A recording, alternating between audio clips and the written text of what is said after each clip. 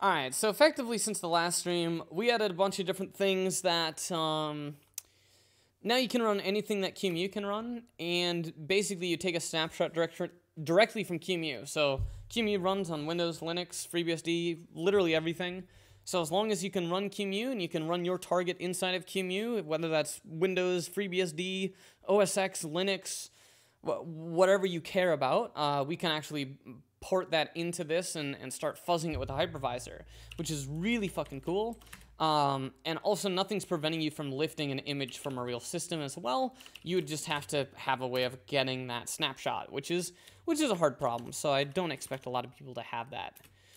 So if we take a look at what did I call this source test fuzzer.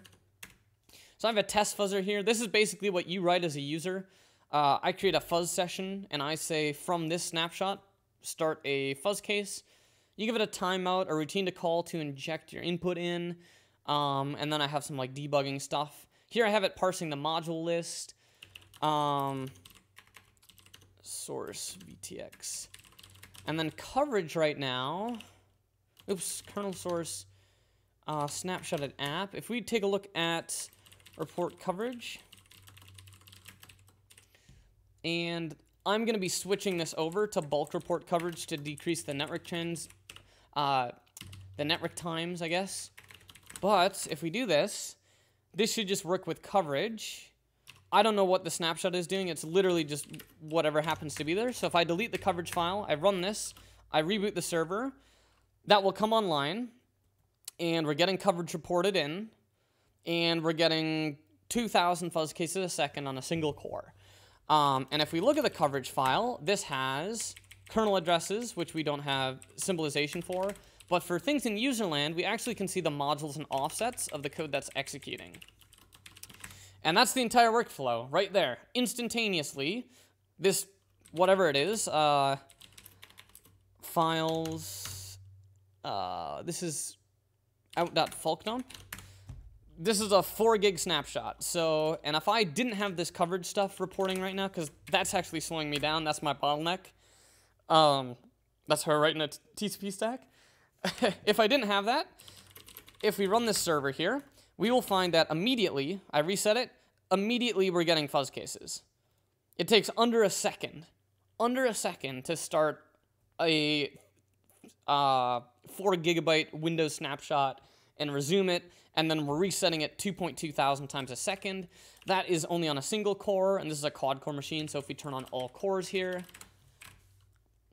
it'll be the exact same thing, but this will just bring on the cores. So if I reset this, oops, um, I think I have to reset again. So if I reset this, downloads that file, and now we're running, instantaneously we're running 6,400 fuzz cases a second. Just starts right away. Now our overhead is actually much less than that. So if I changed init's master VM and I just said um, uh, worker dot worker dot VM dot set reg register RIP, and I'm just gonna set RIP to garbage. I'm just gonna guess that that's probably not mapped in, but it might be. um, I think this is in create VTX. So this will this will basically show uh, how quickly we can reset. Oh, that's actually going to, um, that's going to still execute because that's just going to be a page fault. So what do I want to clobber here? I guess I'll set CR3 to something invalid. This might panic on invalid VM state. Um, failed to get module list. I'll just get rid of this. That's just so I get the module offsets. And this will basically show the overhead. Yeah. So on this quad-core machine, the overhead of my VM, the overhead of my actual execution environment, uh, allows me to do 3.5 million fuzz cases a second. Um, so basically, as long as your target takes longer to execute than that, you will run basically 100% at native speed of your execution, of, of your program's execution. But yeah, that's 3.5 million fuzz cases a second. It's doing nothing, right? The VMs are entering and exiting, but this is showing the overhead costs of the VM. This is on a quad core machine. This is like a $500 server. like super super cheap, two hundred dollar processor, I think, like super budget hardware. So yeah, that's where we're at now. So yeah, at this point, you can you can fuzz Linux, Windows, whatever the fuck you want in this environment, and you'll get this is your this is basically your baseline performance number until you start adding things that take time. But if they're taking time to execute, well, I can't speed them up, right? If your program takes one second to execute, I can't make I can't make your program run faster. I can't make your stuff run faster than it already does. But I do use like less than 5% overhead on pretty much anything you're doing. So, um, yeah, that's where we are. I'm actually super excited about that because this is this is likely the fastest VM reset in the world. There's probably nothing even close to this speed, to be honest. So, and I still think there's room for like 20% improvement on reset times. But yeah, that's that's where we're at. So we're gonna add a TCP stack so I can bulk report coverage because you'll find if I report coverage, if I put all this stuff back to normal, um, and then I put this back where I actually report coverage, you'll see that it actually takes like two seconds for the VMs to start, uh, which is just a lot longer than it should take. So here we go, one, two seconds, three seconds. So it takes about three seconds for the VMs to start, uh, which I would consider unacceptable because they're bottlenecking on basically they're bottlenecking on about 20,000 round trips, right? Or like 10,000 round trips over the network. And even if you have 0.1 millisecond of ping, uh, in this case, the Linux UDP stack is like 0.3 to 0.5, and that lines up. It takes about three seconds to handle the 10,000 packets I get. Um, obviously, I could thread my server and stuff, and we'll do that. But the correct way to do it is to switch to TCP and then batch the coverage reporting. So maybe only report the coverage every 500 milliseconds and report all of it when you have that coverage. So yeah, we're gonna write a TCP stack. How's that sound? How does that sound, everyone?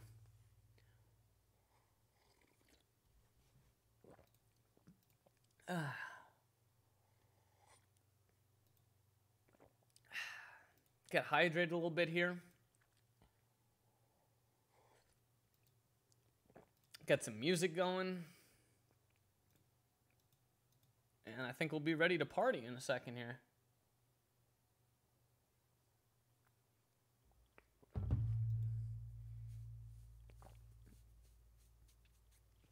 All right.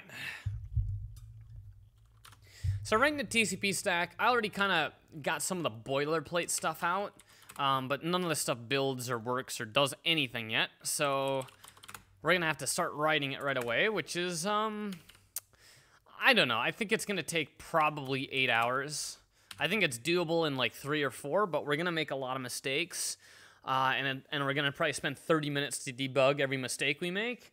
So it's probably going to take uh, this whole stream to write this TCP stack. Um, but shouldn't be too bad. So let's take a look at, um, let's just pull in TCP here, include this module.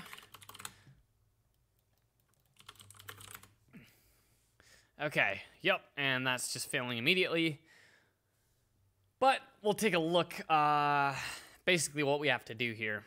So what we have to do here is we have to add a TCP stack to our, our custom kernel.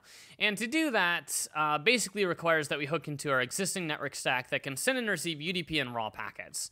Uh, and inside of here, we're going to basically make a way that you can bind to a port, and then once you bind bound to a port, you can then send and receive uh, TCP transactions. And I might actually call this connect rather than bind because that's a little bit more accurate to what we're going to be doing. Um, so we're going to try and figure out how we want to do that. Um, but basically, we'll probably have TCP connect. That'll give you a TCP connection, and then that will register in the network tables to log the packets when they come in and respond to these things. Because if we have two TCP uh, sessions going at once, um, there's going to be situations where the packet comes in that's destined to a different port, and we actually need to know where we save those packets. So we're going to need to have, similar to UDP, we need to have kind of a queue of packets pending for different ports, and I think we'll just automatically respond to them. So I don't 100% know how I want to structure this yet, but I think effectively you're going to do like connect TCP. You're going to give it a uh, probably an address, and it'll give you a connection. It'll do the SYN ACK three-way hand, handshake, and it'll probably try and get all that out to you. I think. I think that's the plan. Like the API that I want effectively is probably going to be um, I'll get access to a net device, which is done via oops kernel source net snap uh, network mapping, net mapping, net device. So let's see. We're just gonna kind of pseudocode how we want this to look and then we'll try to implement it to that pseudocode, which might be difficult. Um, we might have to change the way we do some things, but I'm not sure. So we'll do netdev.connect TCP, or maybe TCP under connect. I think we'll do TCP under connect. And then we'll give it an IP and a port. 2000. Um, and then that's going to return a result. So we'll unwrap that result. Because the connection is actually, uh, comms will actually occur during that stage. So this is roughly what I want, and then at this point, this will be a, a TCP is equal to this, and I should be able to do TCP.send, ASDF, and TCP.receive, and this will probably just go into a buffer, something like this let's mute buff uh, OU8 1024, something like that. So that's basically how it's going to be implemented. Here we'll pull in use net net device, and that looks pretty clean. Okay, so that's roughly what uh, the API is going to look like for how we do TCP sending and receiving. Um, now we just have to implement it. More work on the network stack, something I've experienced in again. Oh, you, you're gonna be, uh, you're gonna be cringing this whole time, dude. okay, so when we bind to UDP, we're just gonna do this. We're gonna do, um, or TCP. We're actually gonna core this out. So here we're gonna get a port. So this is, um, let port is equal to this.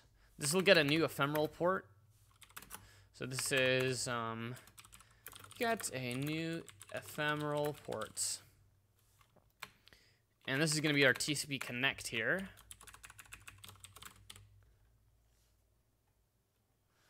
Um,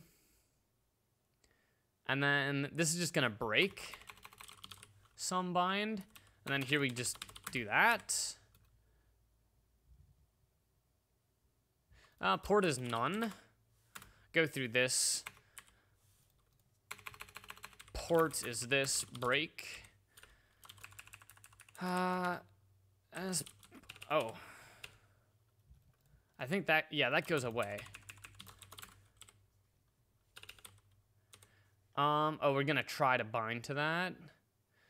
Oh yeah, maybe we need to do a loop here. This is gonna be attempt to connect to a uh, TCP server. And this is to be TCP connect. And we're to have server. This is the server and IP. And I think that's it. This is on a net device, so we'll have a net device. This will return a TCP bind. Okay, yeah, we're gonna we're gonna just write all of this code. New. Uh, TCP connected uh, TCP connection is actually good. So we'll call this a TCP connection, reference to the network device we are bound on, and the port we are bound to. Um. Okay. So we're going to have TCP binds. That's what's going to hold... That's going to hold the connections, I guess. So we just do this loop uh, for this. So we're looping for the maximum number of ephemeral ports, and then here, this will be like none could not get a connection. And this will be con continue. Um, port already bound, continue. All right, so we're gonna go through, this is uh, go through all ephemeral ports. Oops. Then we're going to get a new unique port number. We're going to bind to that port. Nope. That is this code. We're going to get access to the TCP binds. We're going to check if this port is already bound. If it's not bound, then we're going to initialize it with a new queue. That'll hold the bytes that we have received. And then we're going to release the lock in the TCP binds, and then we'll return out the TCP bind. And in this case, this will just straight return it. And this is a TCP connection. Um. Okay, cur. Self. I'm gonna somehow have to get an arc for the self. I think this is going to take a TCP, uh, an ArcNet device. Because you're going to have to pass it a copy of that. Uh, TCP connection. Turn out the TCP connection. I'm not going to call that TCP binds. I'm going to call that TCP connection. That's a net. TCP binds, TCP connections. And then we'll just reformat some of this code to look better. Oh, that just barely fits in one line. Okay, that's ballpark, what we want. Eight. Not found in the scope TCP bind. Yep, this is TCP connection.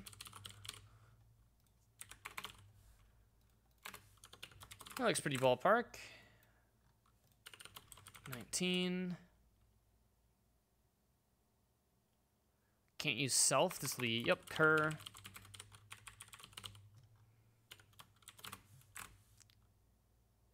Okay, associated function, unknown field, TCP binds, yep, TCP binds.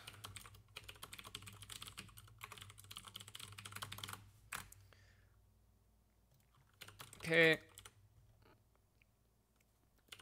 Yeah, I guess here we get a port. We go through all the ports. We then check if that port is currently bound. If that port is bound, if if that port is bound, then we can't use it. If it isn't bound, then we initialize that port with a new mapping, and we return out the connection. Okay. Wow, easy, super easy. So now this is not happy because we want to do net device connect and then we'll pass it the net dev. And this should now work. Obviously these things don't exist. The sends and receives don't work. But that builds and it'll run. Obviously it does nothing yet. All right, so at this point, we want to actually create we return a TCP connection, and then I think I'll just do, um, I think maybe before I reserve that connection, well, I want to create that connection here, and then that connection is going to, yeah, yeah, similar to what we did kernel source net UDP. We want to implement drop for TCP connection. and we want to unbind from the from this. So what we'll do is we will get access to the TCP connections on the curve, which is self device. We'll lock those, and then we'll do um, self or TCP connections. Remove ref self dot ports. Expect failed to remove ports that TCP port was bound. Should never happen. And this is remove the connection from the TCP connections.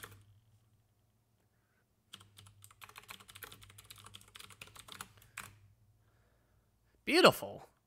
All right, so this should print uh, print dropping connection for port, and then we can do self-tap port.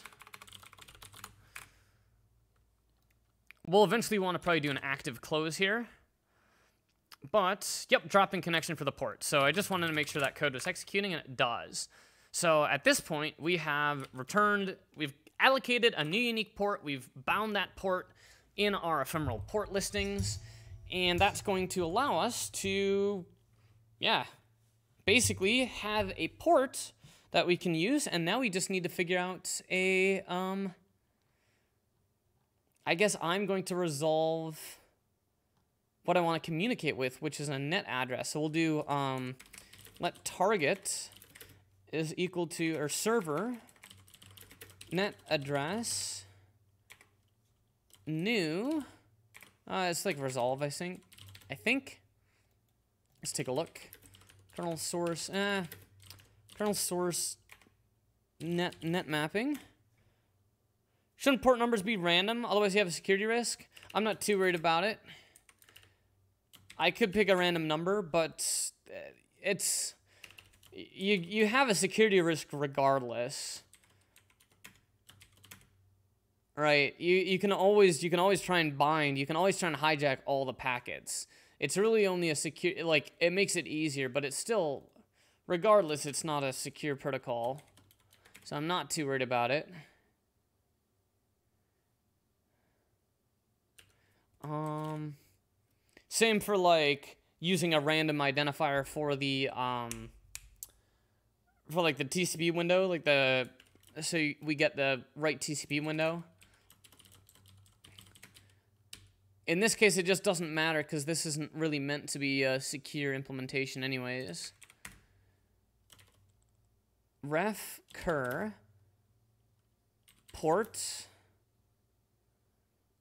and then server Uh, and we want to create this so that it gets dropped. So this is con is equal to this. This is like create. We could we could randomize the ports. It's pretty trivial to do. I think originally they needed to be sequential, but yeah, I can I can randomize them. We can just do like CPU RDTSC, which is not really random, but it's close. um, I want to do the same thing in UDP then. Before when I wrote this code, I had to, I had to like explicitly, and then this will be like the number of attempts. Try a hundred thousand times to find a free port.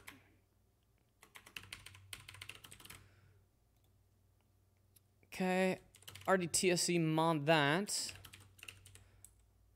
Yeah, originally when I did this, I actually had to do sequential because I didn't have a way of knowing if they're actually in use. But now that we have that, we might as well randomize it because it actually simplifies the code. Um...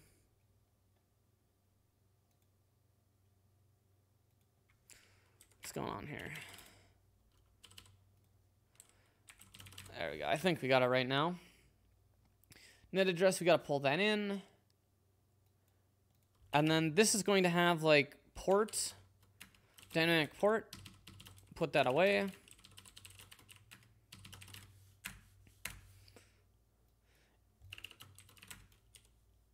All right. This will pull in net address and we'll resolve that. So we'll create the connection, then we'll result resolve the address. So this is resolve the address for the server using ARP. Um, I guess, yeah, I kind of want to do it there, but then I have to have this be none. Or I can just do this. Yeah, but I kind of want that guard structure. I want that port to get freed if we fail to connect.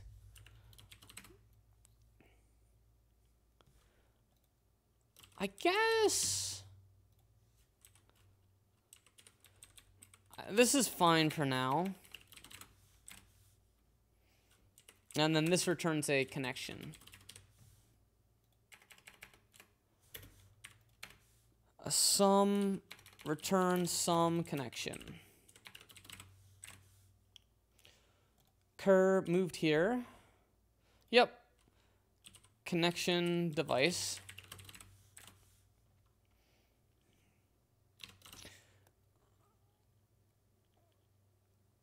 Okay, and then that, I don't want this to fuzz. Oh, it's not fuzzing. Okay, that number is just counting down. All right. So at this point, we can start doing TCP, I think. We just got to start making the packets, which is, I guess we'll just look at it on Wikipedia. I think that's probably going to be the easiest way. Um,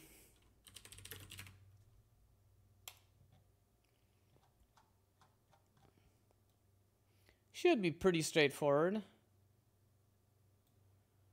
There we go.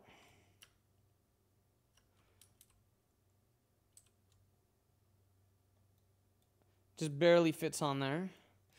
Okay, so we're going to do, we're going to have a TCP header. Um, I guess I implement that on packet. Impl packets. FN TCP, create TCP? What do I call it for UDP?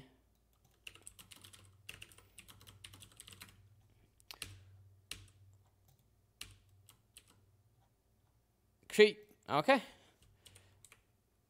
It's just gonna be this. So create TCP, we're gonna make a TCP packet. We have an address. And this is going to form it, and then we'll probably... I don't know how I'm going to handle all the flags. I don't know if I'll pass in structure. There are a bunch of different ways I can do this. This creates a new TCP packet. Okay. Yeah, how do I want to do this? I guess let's see what we did in UDP, and we'll inline this. That returns a UDP builder. Yeah, we want to do the same thing. We want to make a TCP builder. TDP. TCP. Thank you, Nightshade. We're going to do TCP builder. And this is going to look the same, I think, as a UDP builder. We're going to have a packet, which is self. We're going to have an address, which is the adder. And then we're going to have a UDP payload, a TCP payload, which is zero.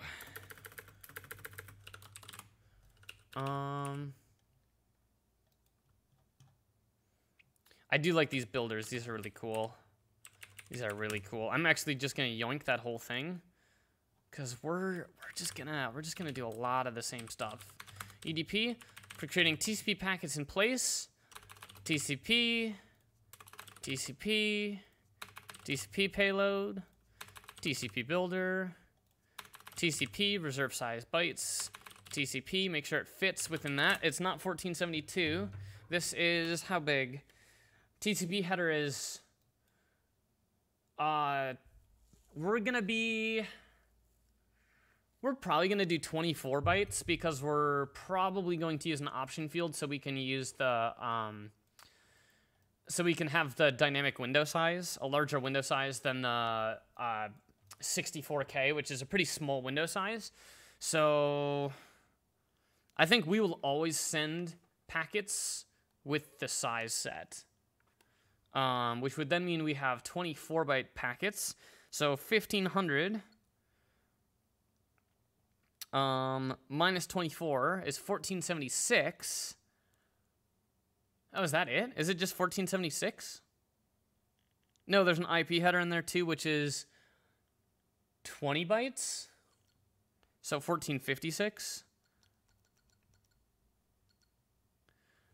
Yeah, so you can do 1456, I think.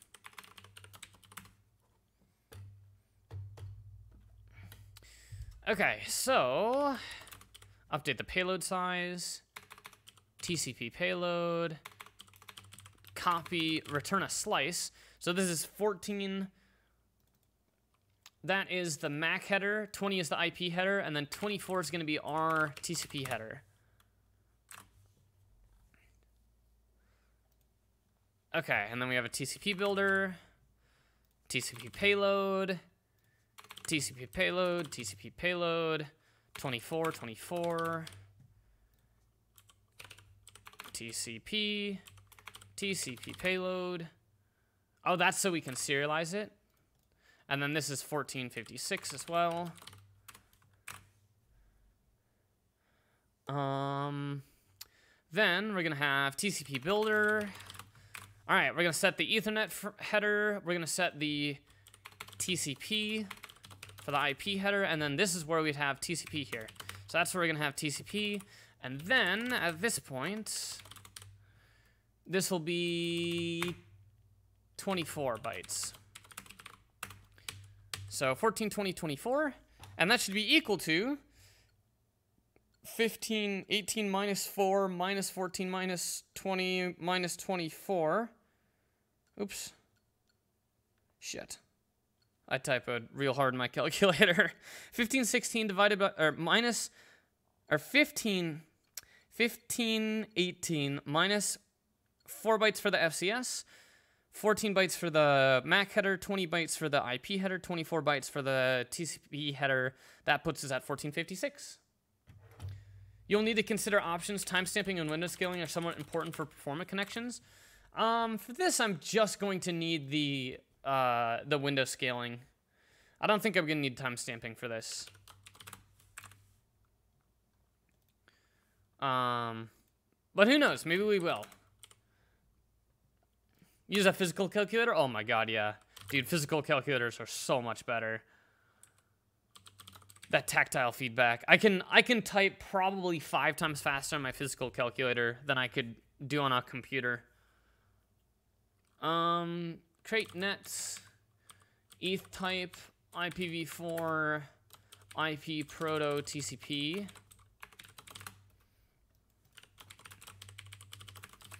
And I don't know what TCP is.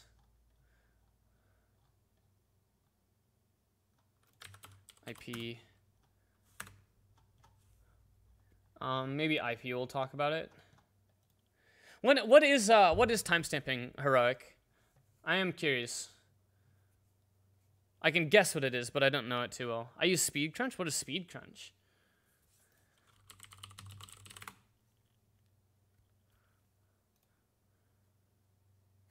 Oh, shit. Can you do hex in this by any chance? This looks pretty good. How do you do hex? Oh, you just hex. Okay, this might be this might be the shit then.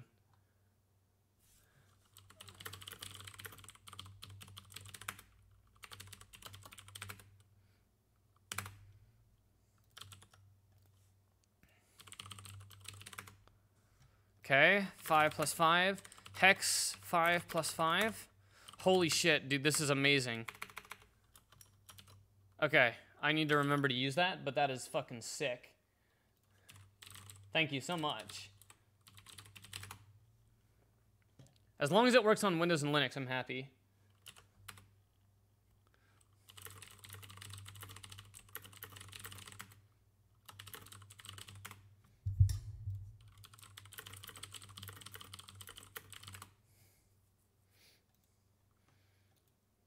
SpeedCrunch looks sick? Yeah.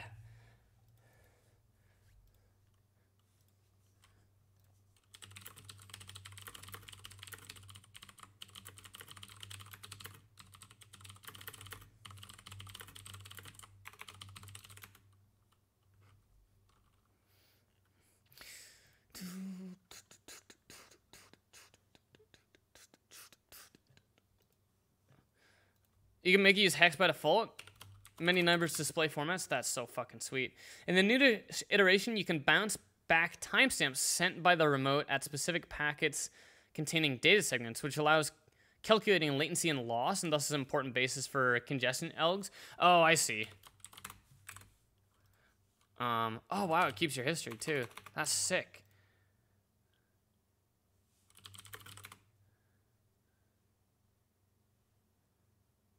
Um, okay.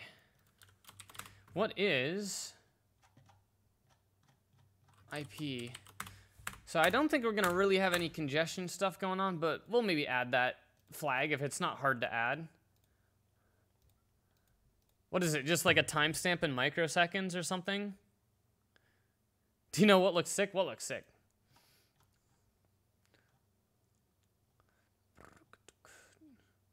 What is, what is the type? Type, TCP 6.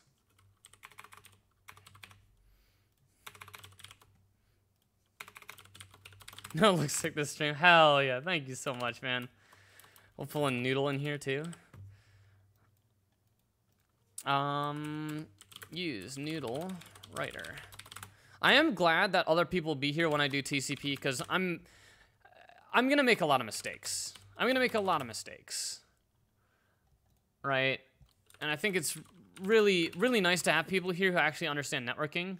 Because I would not be able to get a lot of this stuff right. This is 2 plus 24. 1420, yep. 20 plus 24.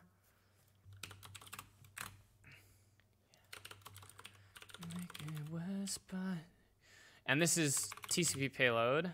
I should just call it payload, but whatever.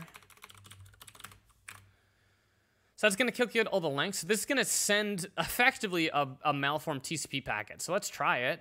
We're going to do uh, packet is equal to um, connection device dot um, connection dot device dot allocate packet, I think is what my API is. God, I'm brilliant. I'm starting to like know how to use my uh, own protocol at this point. So here I'm gonna do a packet. Now on packet, I can do create UDP or TCP. And what did that take as an argument? The function we literally just fucking wrote. the function we just literally wrote. A network address. Server. So this is let packet is equal to this create a new TCP packet. And then we can do packet copy from slice, or actually write. What do I, what do I use to this? I think I use write. Yeah. I think I can just literally write ASDF, and that's going to write it in place of the packet, which is so fucking cool. I actually really like the way that I'm doing this. Uh, connection, I need to resolve that server. So we'll resolve the server, and then here we'll have server, allocate a packet, and then here we can do um, connection, device, send, packet. Make this mute, and I think we're good. Um...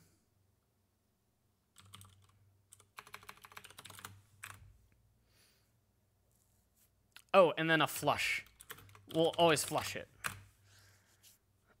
and then mute packet here. Dude, this is cool. So that'll create a TCP packet, and then when that gets dropped, when this goes out of scope, it'll actually compute the length and fill in the headers. So it basically allows us to write directly to the payload, and then once we actually are done, it'll update because it knows all the lengths at that point. So that's basically the design there. So let's take a look at TCP dump, um, TCP how do I do that? I can I can filter by port, right? Uh, port equals or something. Uh, TCP dump, TCP port range, 2000, X.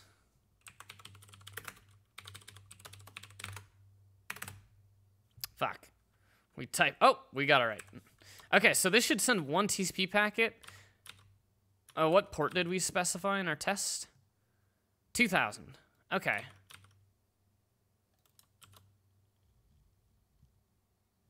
Oh, it's a malform packet right now.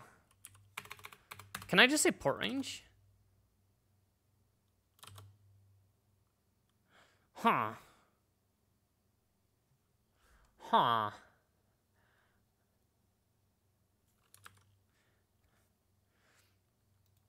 Let's just try UDP quick. UCP. UDP. Uninsane clown posse. Some middle boxes and hosts that refuse a TCP connection if you don't indicate those? Okay. Hey, so there's a TCP. Or, or UDP. So this is TCP. This is doing the same logic. I'm guessing it's just malformed. Oh, it's getting dropped because I don't calculate the TCP checksum.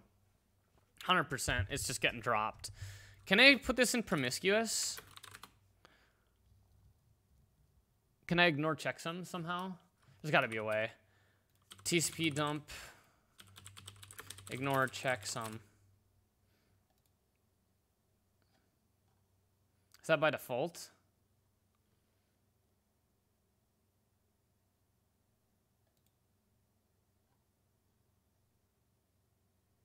Um, it seems like it is by default.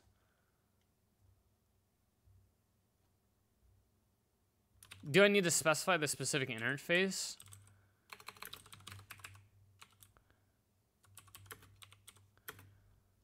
Um...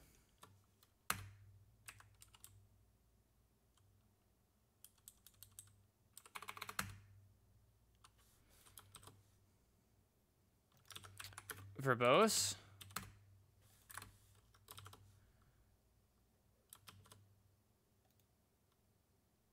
Huh. I mean, it's definitely sending the packet.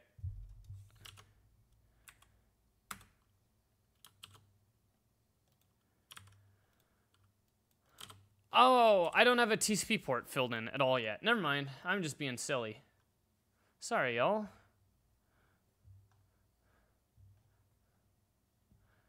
Okay. So we just got to make the TCP header. This is easy. So, um, that's IP header. Set up the TCP header. TCP header, TCP header. This is from 14 to 20 to 1420 plus 24 for now. We'll probably change that because we will add your windowing stuff um, if that seems important.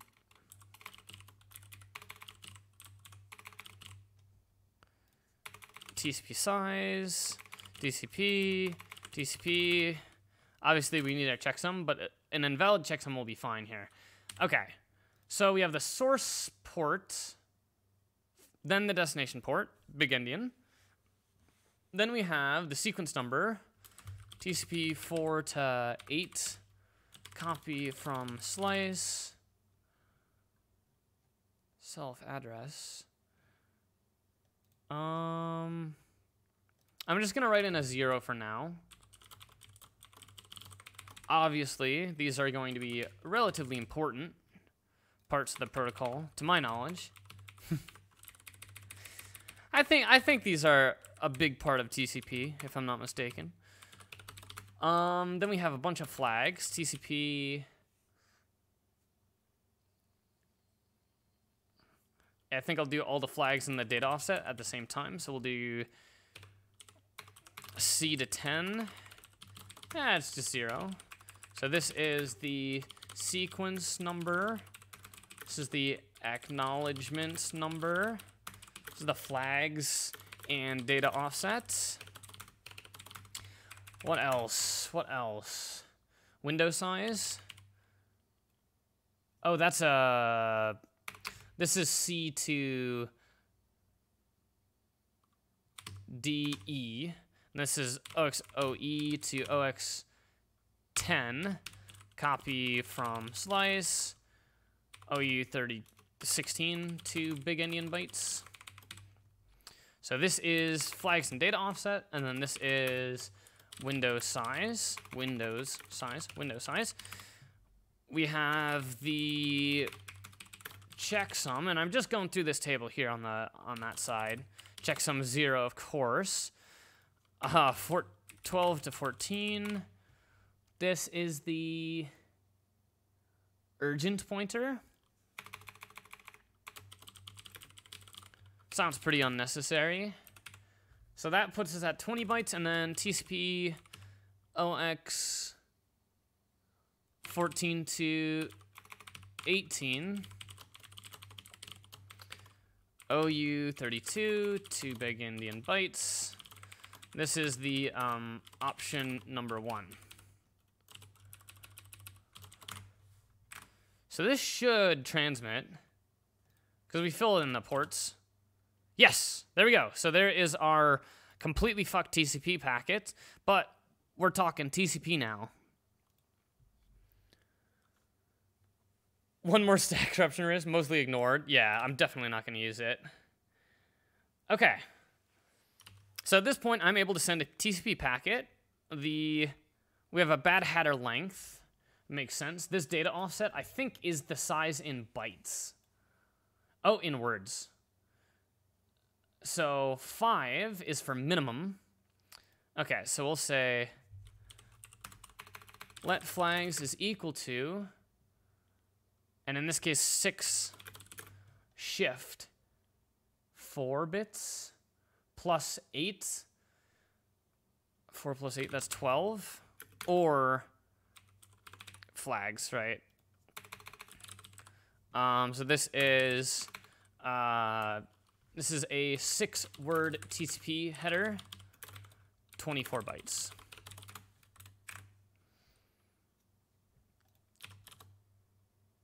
Now, incorrect checksum.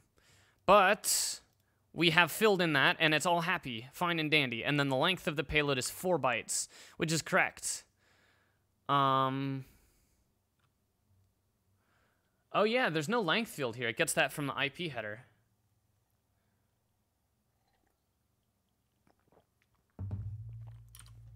But yeah, that's correct. Um, we have no flag set. Checksum is set to zero. Window, sequence, and then the length. So what we want to do is we want to figure out the option field.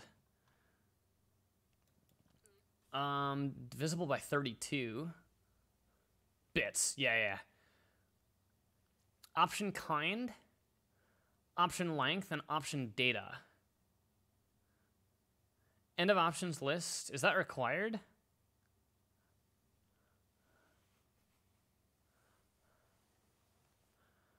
I guess if we just have a zero, that's fine. Just all zero is fine.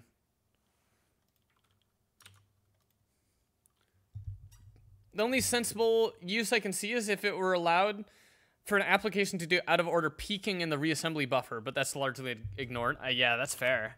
What what does what does it actually do? What does that what does that point to? Okay, and then TCP checksum.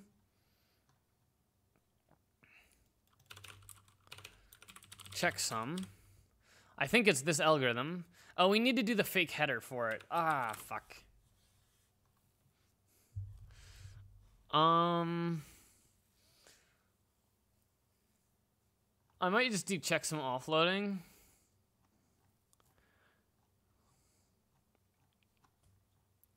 Because the, the checksum sucks.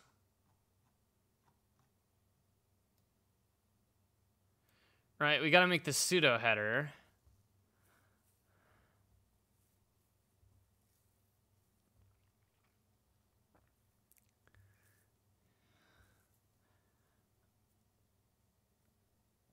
And I might just do offload. All series is valid padding in any and all cases. Yeah, sweet. Seems very similar to DHCP in that regard. Oops.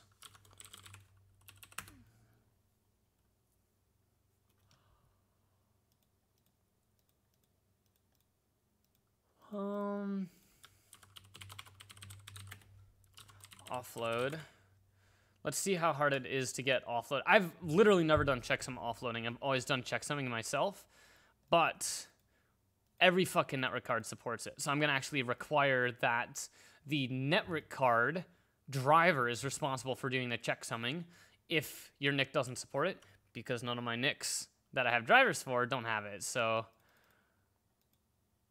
just not something I care about. Urgent pointer is an offset into the segment of the packet itself. Oh, weird. Um, transmission, legacy format. Checksum offset indicates where, relative to the start of the packet, to insert the TC a TCP checksum if this mode is enabled. IC bit is set in TDESC CMD. Hardware ignores CSO unless EOP is set in the desk. CSO is provided in a unit of bytes and must be in the range of the data provided. Should be written as zero for future compatibility. It literally looks like it's going to insert a TCP checksum there. That's my interpretation. Is it's literally going to put a TCP checksum there. So let's uh, let's see if we can just try that. We're gonna need to change send. That goes to driver, and driver implements uh, net device net driver. I think what I'll do is I'll do fn send TCP packet flush uh, send a raw frame over the network connection um, send a TCP frame over the network blah blah blah the driver must insert the TCP checksum um, into the packet offset. And we're only doing IP right now, so it's only ever going to be at, uh, I guess, what is that offset? 14 plus 20, that's the IP, and then the offset into the TCP header. I've never done offload. I'm so excited for this. Um, plus 12 bytes. So that's 46 bytes, offset 46, I think.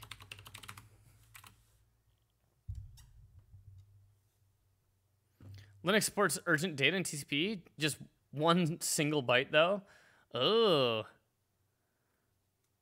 Single byte out of band. Wow. That's a lot of that's a lot of read ahead.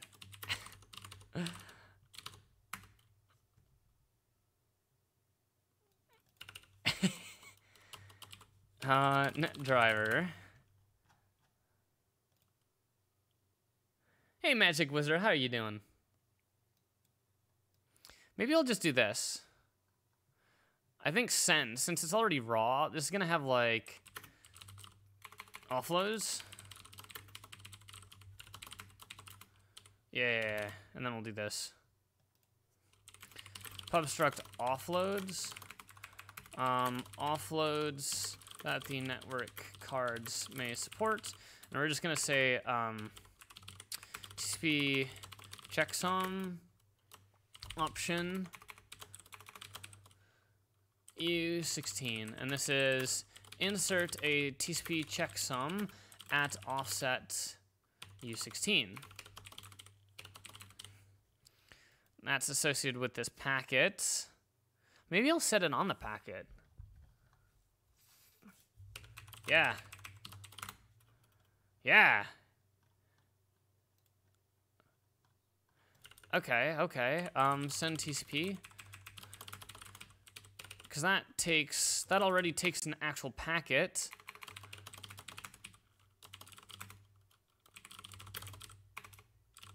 And this is going to be um, TCP check some Option U16, this is uh, offset to the location in bytes in the packet for the NIC to insert or offload a TCP checksum. And then by default, TCP checksum, none.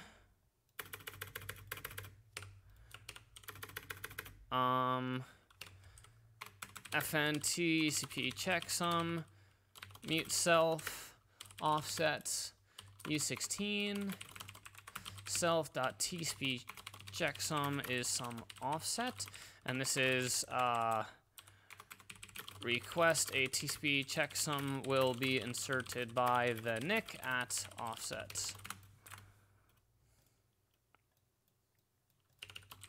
532. Send TCP.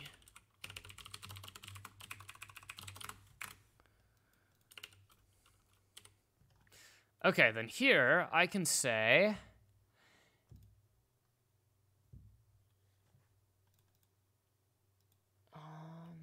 I need to change up my music a bit. Okay, there we go.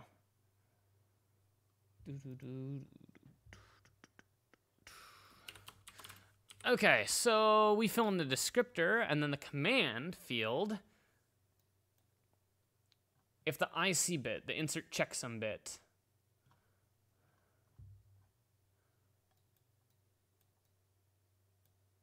needs to insert a checksum at that. IC is ignored if CSO and CCS are out of the packet range. Okay. So we'll say, um,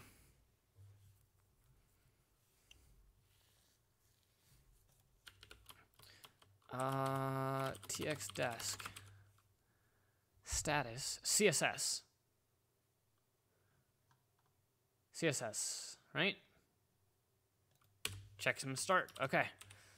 Uh, CSS is um, packet dot TCP checksum unwrap or zero. Okay, and then we'll just change that to a U8 if that's what it takes.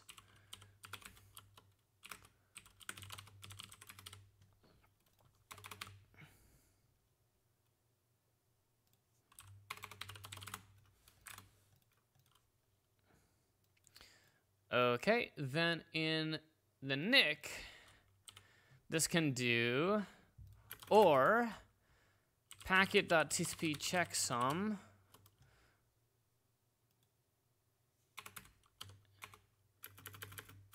if this is sum, then one shift IC, I think it was two, bit two, else zero. Do that.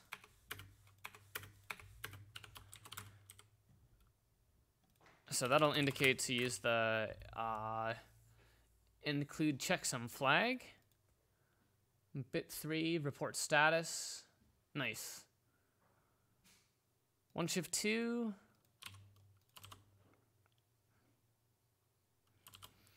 Okay, so now I just have to set that checksum. Um, when I create a TCP packet at the end. This is, uh, indicates we need a TCP checksum inserted. And we'll do self.packet dot TCP checksum um, 14 plus 20 plus 12 bytes. I should do it. Okay, did we miss? I think we missed.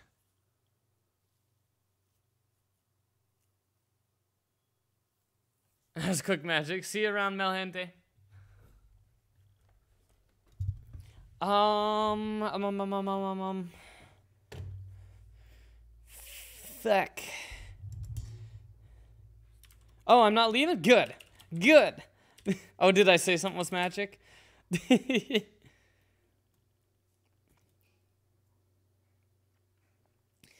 um. On or zero. If it's sum, then we set that. Let's see if we just put it at zero, if that'll clobber it. My workday only just begun. I'll be here all day.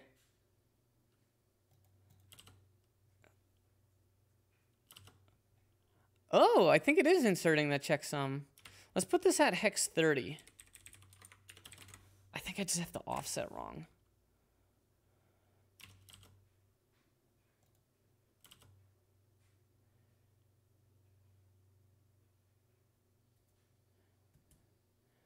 Um. No, it's not inserting it there. Or is it putting a zero in? Let's go to 22C and see if we can write over the DF. Just hard coding some offsets. No big deal.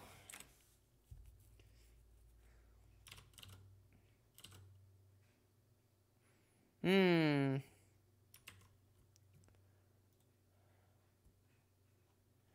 Insert checksum. At the offset indicated by the CSO field, it's performed for the entire packet starting at the byte by the CCS field. Oh. Oh, checksum start field or CSS. A value of zero corresponds to the first byte. Yeah, but I would still expect that would fill in. I still expect that would fill it in. Um, if I take, oh, this is the CSO, and this is the CSS. Okay, this should work. This is gonna clobber it now.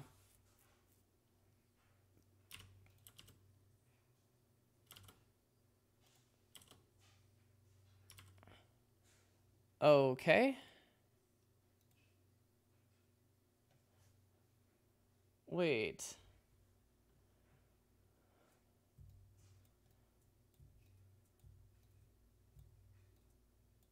Hardware ignores CSO unless EOP is set. It is set.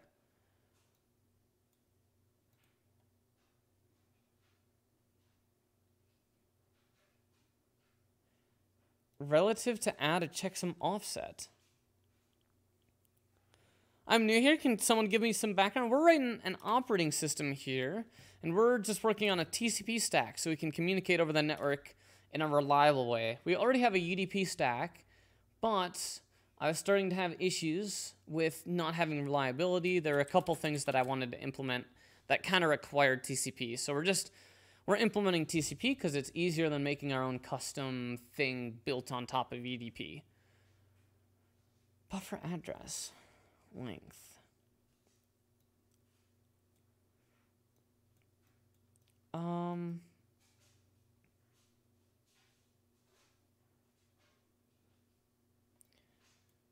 where to, to start computing it? Must compute this offset to be to back out the bytes that should not be included in the TCP checksum.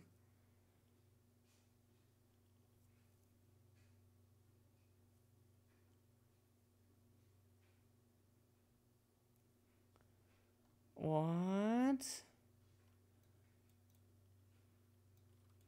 It's recommended you use the newer descriptor format. Newer descriptor format allows the hardware to calculate both the IP and TCP checksums. Oh yeah, maybe we should just use the new descriptor format.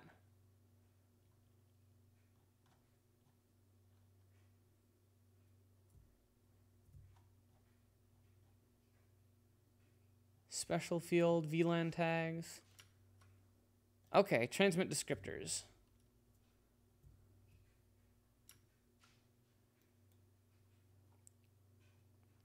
So this is the original 64-bit address, legacy mode, and non-legacy mode, D-type, and R. Dext. Wait, where's the length and stuff?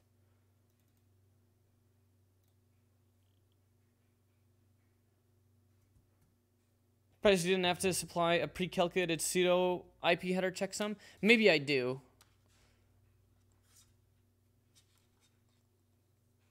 Maybe I do.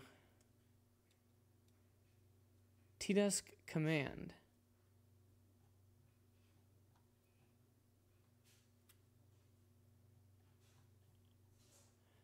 Magic Wizard, welcome back. Hell yeah, long time no see. It's been minutes. Um.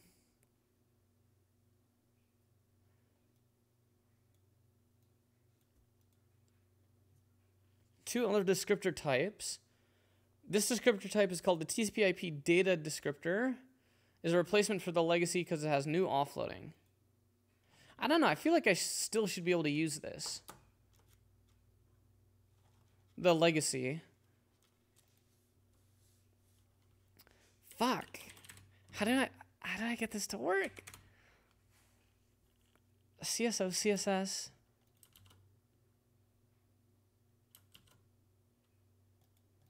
Now we're not getting a packet.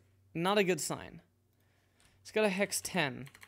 That's where the checksum start occurs.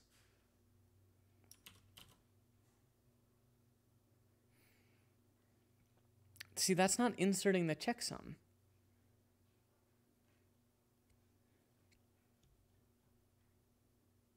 Where relative to the start of the packet. Nothing in here looks like it's getting filled in. Oh, this. Oh, this isn't showing me the MAC header. I think that's what it filled in. Oh, hell yeah. Uh-huh-huh-huh. Checksum incorrect. So this is going to be at... Offset is 14 plus 20 plus 12. Fuck, how did I get this to work? Okay. Bad header length, too short.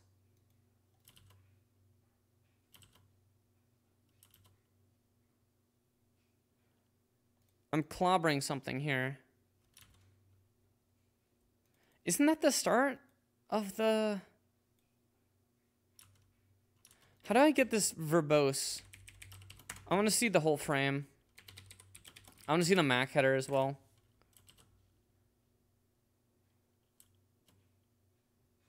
There we go. Now we have the MAC header. Okay. So this is inserting 14 plus 20 plus 12. Mac that plus that.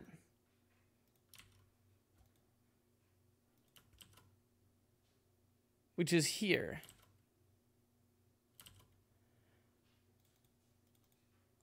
Um. Yeah, this is the destination port, the source port. Okay. Okay, okay, okay, okay, okay. One, two, three, four for the sequence number. One, two, three, four for that.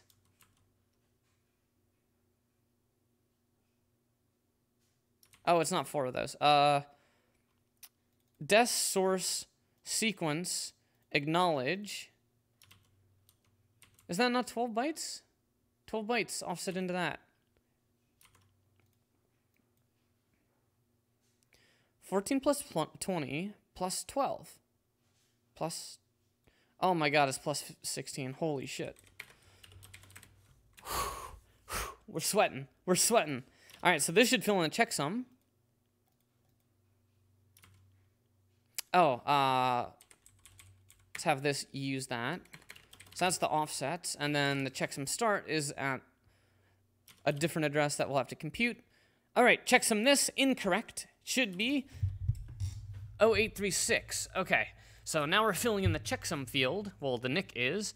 And then we just have to tell it the start of the checksum field. I don't think we have to give it a pseudo header. I actually have no idea what I'm supposed to give it here. But we're just going to try random stuff until it works, right? We're programmers. Um, offset. This will be U8, U8. So this is the um, checksum start offset and checksum offset for TCP checksum offload. Um, at offset dot one, and the checksum will be computed starting from offset dot zero.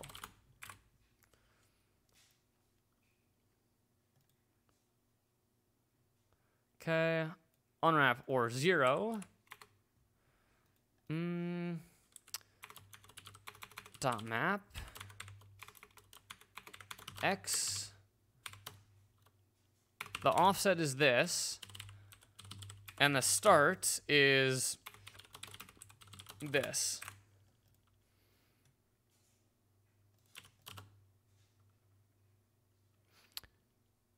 Okay, so that's incorrect. Now the question is, do I just point at the data or do I read the manual?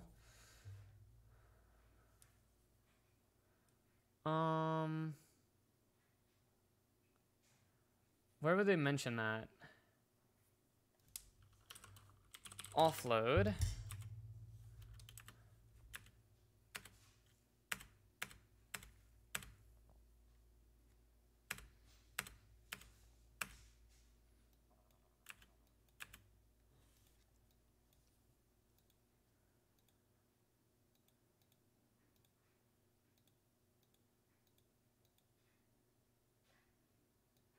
Segmentation offload, we're not using that.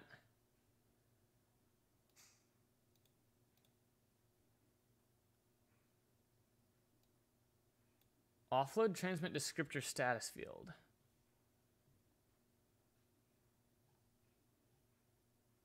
That's, okay, that's for those descriptors. Where does this talk about offloading?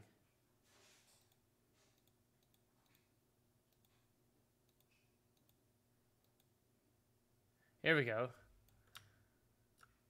Um.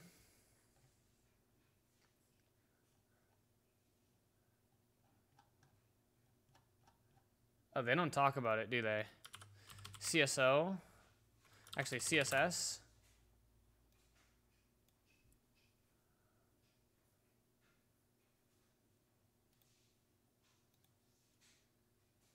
Um. Indicates where to become begin computing it. Must compute this offset to the to back out the bytes that should not be included in the TCP checksum. Provide in units of bytes and must be in the range specified. For short packets that are padded,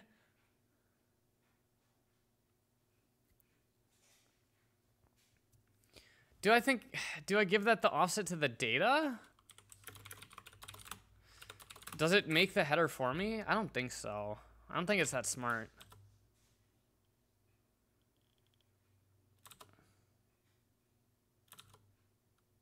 Yeah, but now we're getting the same checksum. Unless it's actually summing that with the checksum field. Like, do I have to fill that in with the... Maybe I do have to... Yeah... Um, padded by software must be in the range of that. Length of 0b corresponds to the first byte in the packet. Ooh.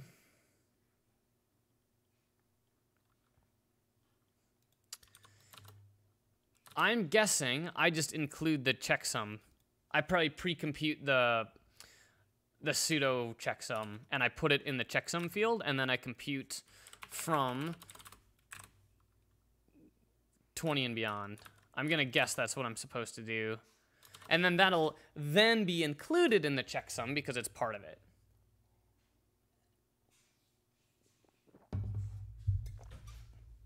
That's going to be my guess. So I give it the offset to start the TCP checksum, the offset to insert it, and it's inserting it, but obviously incorrectly. And then I want to fill in the checksum field. I'm going to have to do the pseudo header, which is what I was dreading because it sucks. Hate this stuff. Source dest.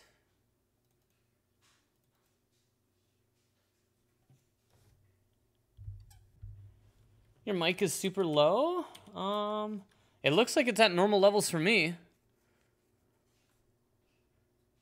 Like,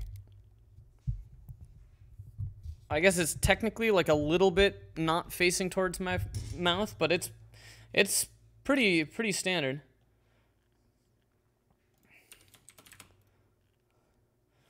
Um. So does that mean I just have to do these? I just have the and dest address, I'm pretty sure. Because these will be included. So I'll take the source and the dest and the protocol and TCP length, and then I will checksum just those fields. I'll place them in the checksum field, and then I'll checksum the whole fucking packet. And then I think I'm good. I think that's the strategy here. So let's do a shit.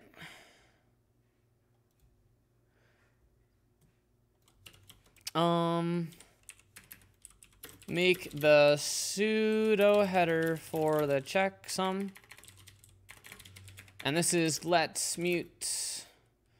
pseudo is equal to OU8 for four, uh, 12 bytes. No problem, Sappy. Pseudo copy from slice self.adder.source adder. Dot source adder.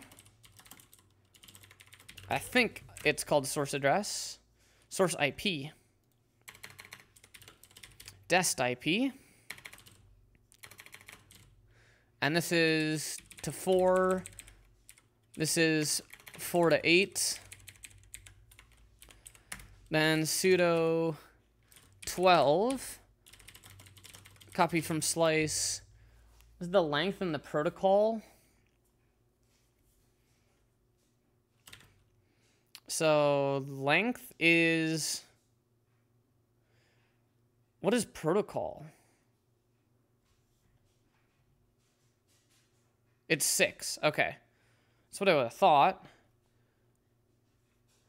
Um says this just six shift 16 so U32, or the length of the TCP, the TCP length, is that the length of the data? Header and data. Okay. So that is 24 plus um, self TCP payload. Okay, that's the pseudo header.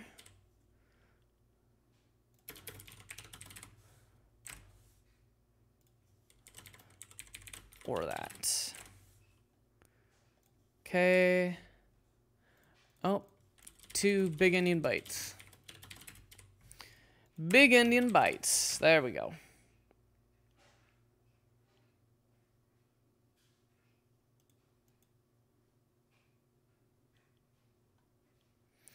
Um, guessing that has the actual thing. Okay. Pseudo, and we typed it wrong.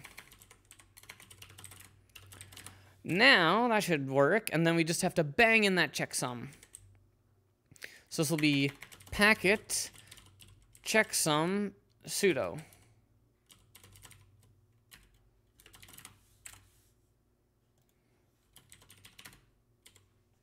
Checksum.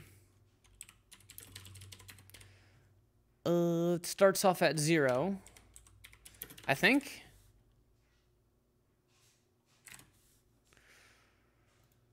Oh, I hate I hate computing checksums.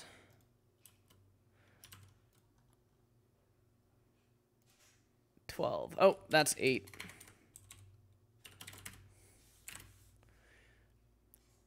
Thanks, Rust. Incorrect checksum. Okay, now we just have to guess at what things we have to change. 24 plus TCP payload. The header and data, measured in octets.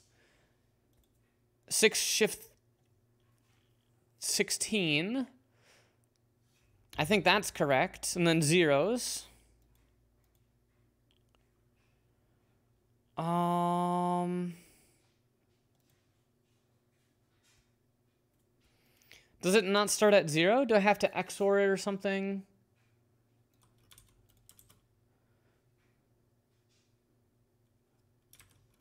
Hmm. So I'm going to compute it on this, and then I insert it here, and then I have it checksum this whole thing. Fuck.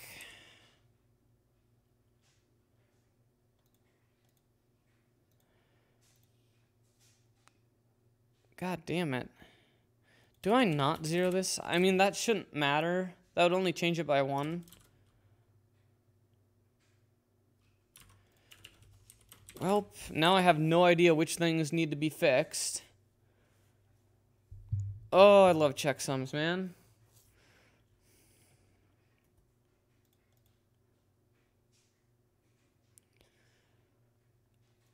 Source address, dest address.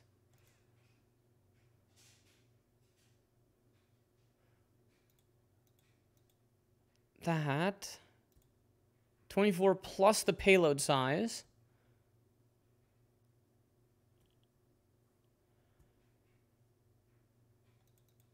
Protocol is 6. This is IP. We can just do that. Or TCP.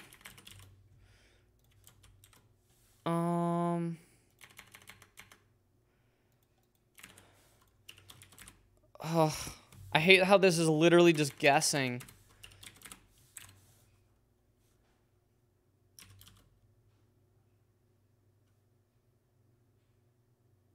Like, I, I literally just have no way to know. I guess if I pad the packet... Is that the problem because I'm padding the packet? I pad it to 40 hex bytes. Let's add a...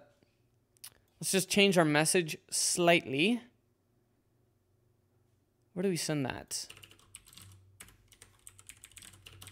ASDFDF. This should be exactly 64 bytes on the wire. 882D.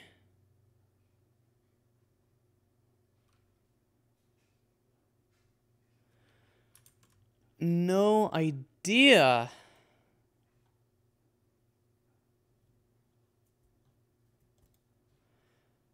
Hate this, man. I hate this. I hate how this is to take literally 30 minutes to figure out how to fucking checksum.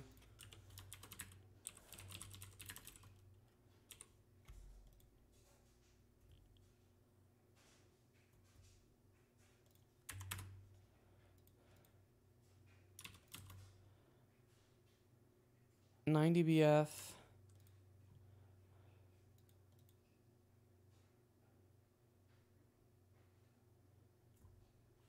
That offset should be fine. And if I don't fill this in, if I fill this in with a zero, I should get different results. Well, yeah, I mean, that's just... Oh. It's just like fucking random, man.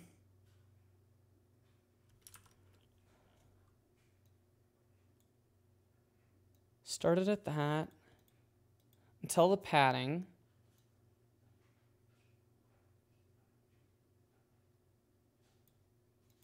I guess I might have to make sure that the padding gets zeroed out. But that doesn't matter yet because we have we have no padding. So we're going from 14 plus 20, 20 uh, 34 bytes. We're inserting inserting it there.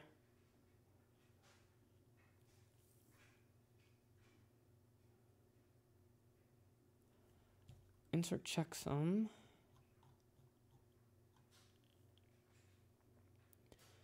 Checksum start field.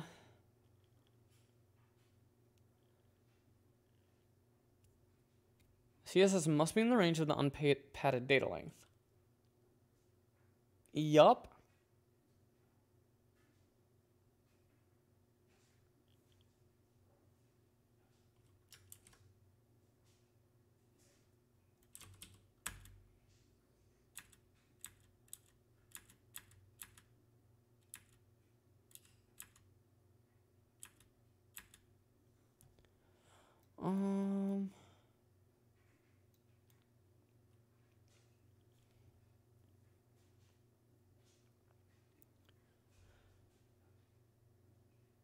When using TCP segmentation. Okay.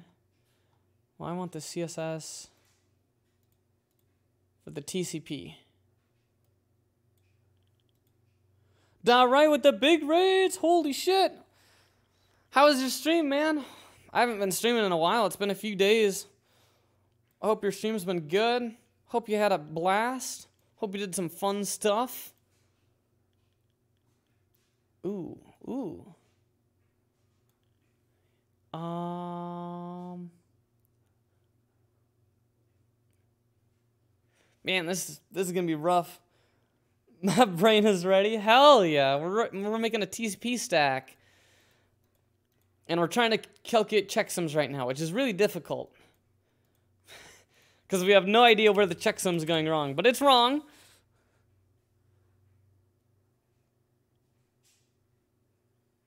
Two people right? Can't pull Gamozo number. It's too much for me.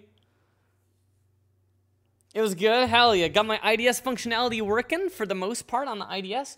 Dude, that's that's fucking sick, dude. Holy shit. You're like blasting through stuff now. What's gonna be your like hello world test? Or do you already have like a bunch of tests? Not like test test, but like what's your what is your first goal of like this like complete thing working? What's the first thing you want it to do? Ah, fuck. Dude, I have literally no idea where this checksum's being calculated wrong. Oh, this is gonna suck.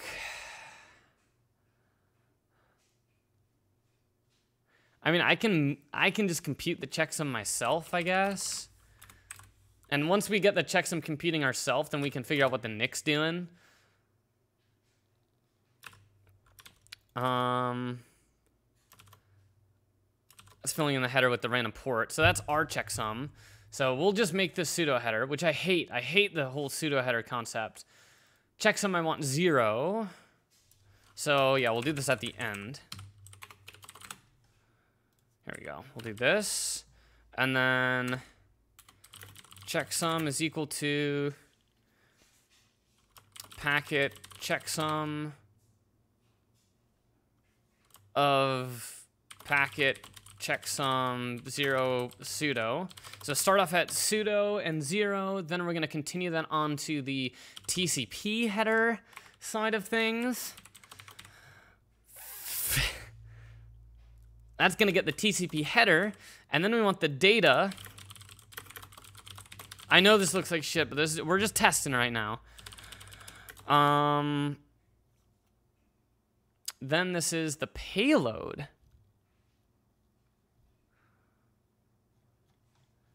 We set the length of the packet. Self packet.raw. Um. Um. I do have reference code for this if I really need it. Plus 20 plus 24. And then we go to 14 plus 20 plus 24 plus self.tcp payload. And that's like gonna theoretically calculate a checksum and then we'll fill it in. I hate this. I hate checksums. We had problems with this before. I gotta make tests and shit for this. Type on 231. Thank you. Oops. Okay, then copy in the checksum. I feel like there's no fucking way we're even close. Why is that giving a U32? What? What?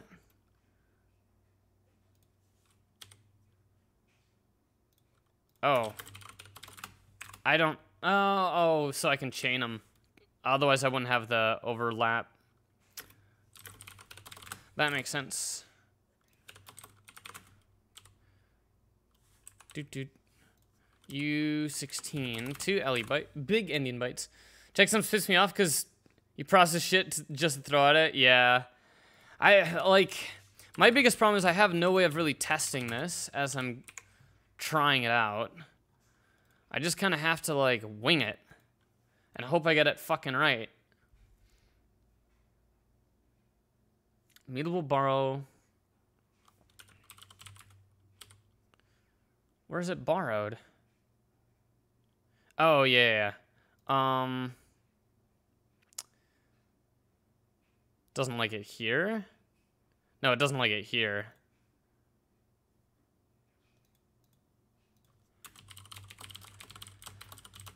Uh, we can drop that. And we have to copy this into 14 plus 20 plus 10. 14 plus 20. Oh, we're, we're hacking, right? We're just trying to get this to work. Oh my god, you're killing me here.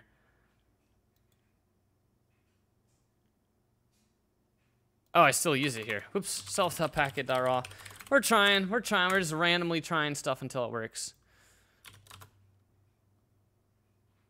Okay, so this is wrong. So this checksum is wrong. So there's anything is potentially wrong here. The pseudo header could be wrong. The way that we initialize things could be wrong. so we really have no idea at all what it could be. we just have to completely guess and entirely just guess the fuck we're doing wrong. Source IP, dest IP, checksum, checksum that, and then we checksum the TCP header where the checksum is zero.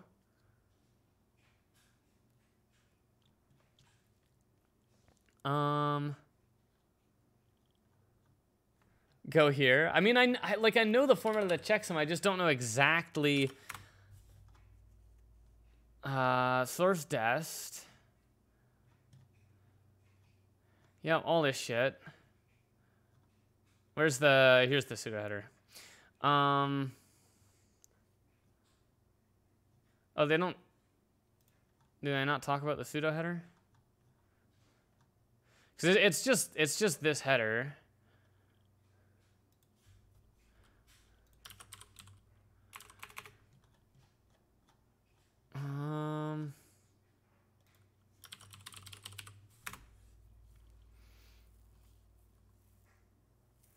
I don't think this talks to the computation of it at all. Unless I'm doing this wrong. Oh, here we go. Here we go. There's the pseudo header. 32-bit IP reserved all zeros.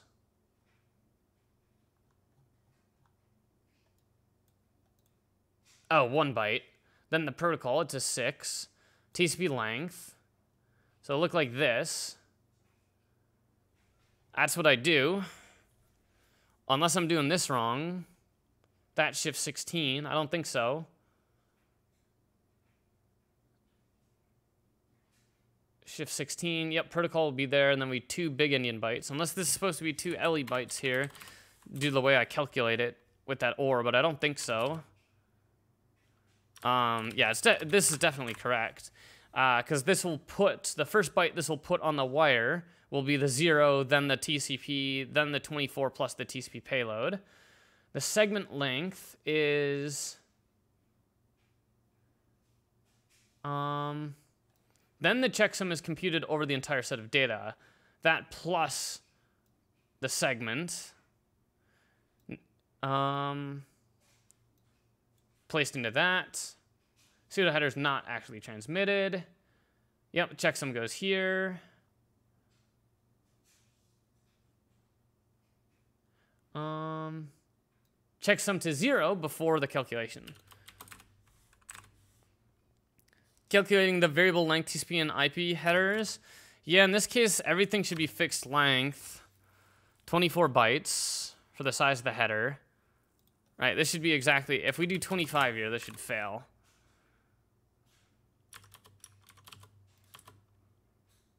Nice. Yep, because that's length 24. Um... Unless I can't chain these checksums like this. Maybe the way that I'm chaining these checksums is broken.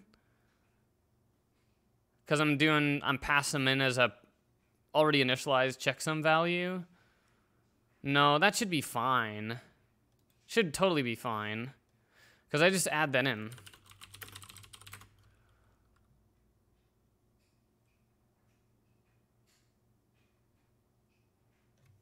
Invert the whole thing. Maybe I'm not supposed to be inverting it.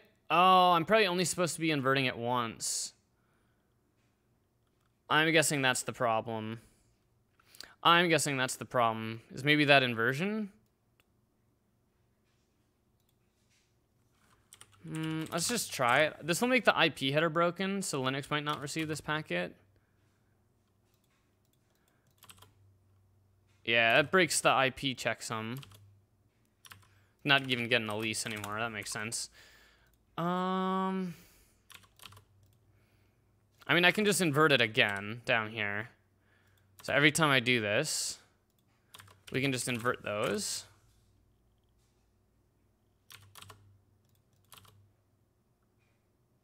Nope. Not even close. So who who fucking knows, man?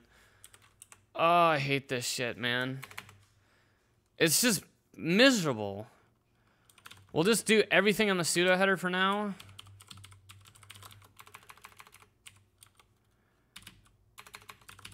Um,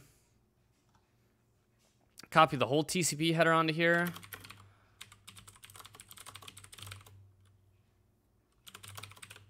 And then my life is not miserable.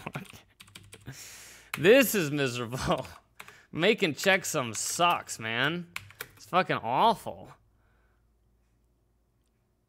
And they're not even like standardized checksums at all. 12 plus 24 plus plus self TCP. Actually, we can just do this. From 12 to this, uh, 24 plus. Oh, I was doing it wrong. Let's go back to the pseudo. This. No, those offsets are correct. Fuck.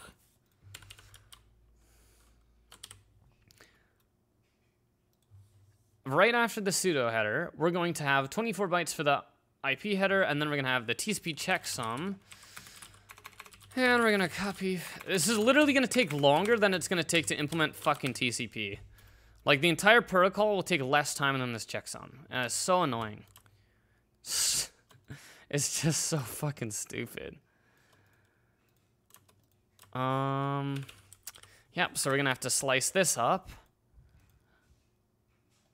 And we're gonna have to drop TCP. And we'll copy in the checksum. We'll copy in this is the 14 plus 20 plus 24 plus self TCP checksum, right?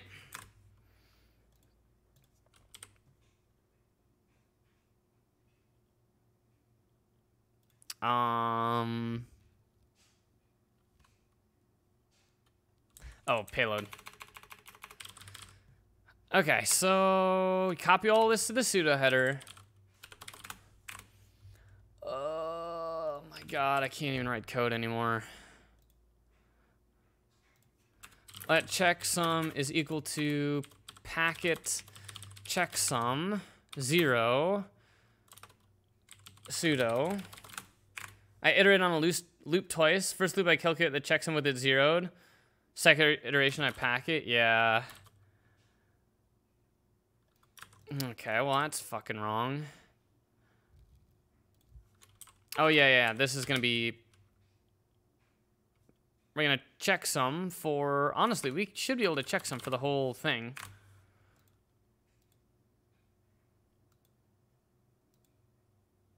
Oh, and then this is to 12 now?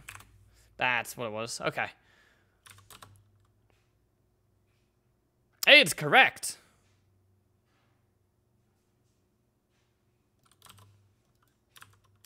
Okay, okay. Okay. Okay. Uh-huh.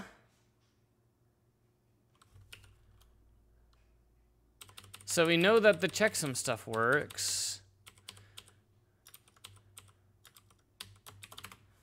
And then this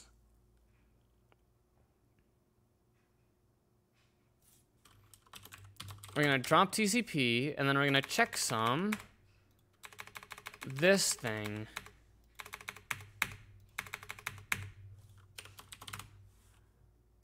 Let's try this. Not quite. Oh yeah, there's no checksum. Oh. This is packet checksum on the pseudo, starting at zero. So maybe I do have to invert it. Or maybe it's the way that I copy in the the carries. Maybe I can't chain the carries like that. Incorrect. All right. So this is just the bytes. So that's the same. This is the only stuff that differs during finalization. Is I copy in the carries and then I invert the checksum. Ooh, and then I endian swap it. Ooh, from BE. Mm-hmm. So we're just gonna like undo that shit.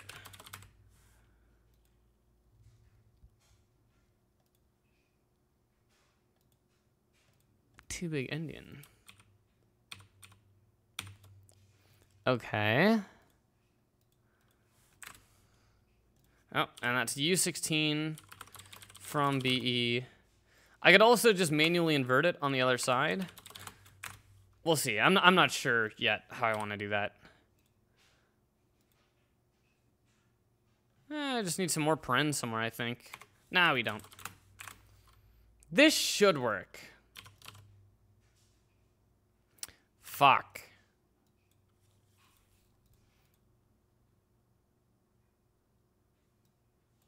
That literally undoes this. The carries just copy over anyways. The, the carries shouldn't matter. So 14 plus 20 from the raw packet. We first computed on the pseudo header.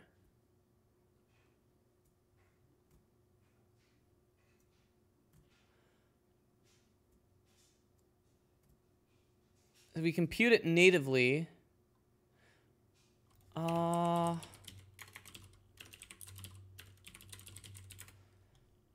so we do it in place.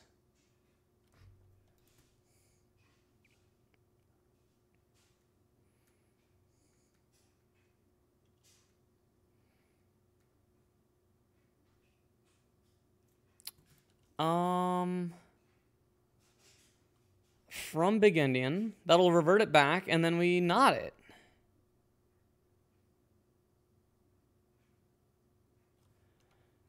What?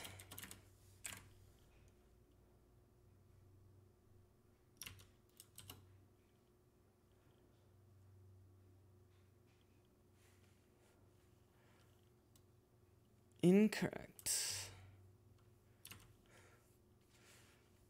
Oh, I hate everything about this. This is miserable. I hate checksums. I hate how they're knotted at the end like this. So I can't really chain these. Right?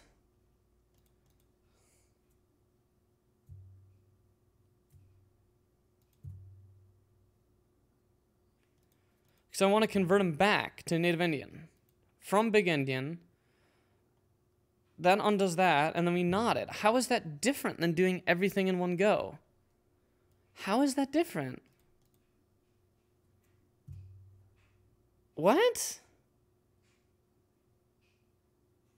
What? How is that different?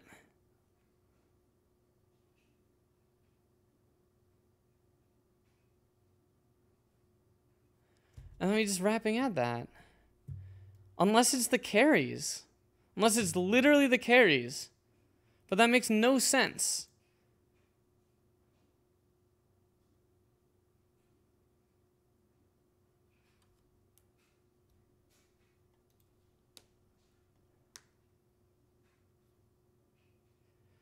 Take the checksum, not it.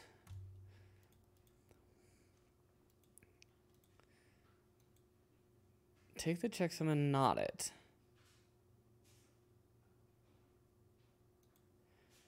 From big endian. 14 plus 20. 14 plus 20 plus. Ooh. Uh, that's probably it. Hey! We correct now. Okay, so I'm guessing what I need to do is I need to fill in that checksum here. Packet. Checksum. Pseudo. And then we have to undo that.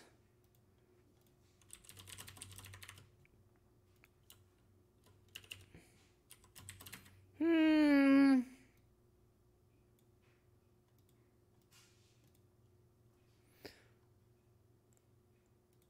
Okay, so now we're going to try this. Try this.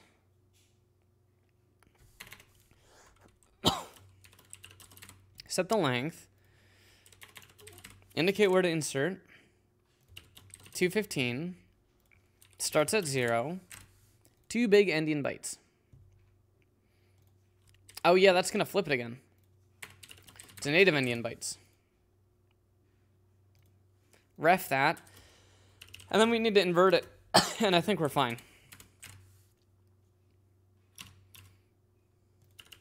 God damn it. Make the pseudo header. Here we go. Make the pseudo header.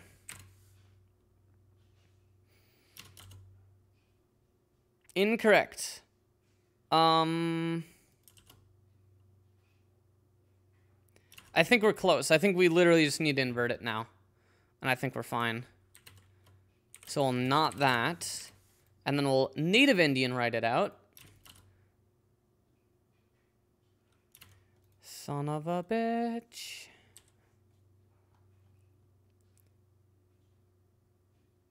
Um, 14 plus 20.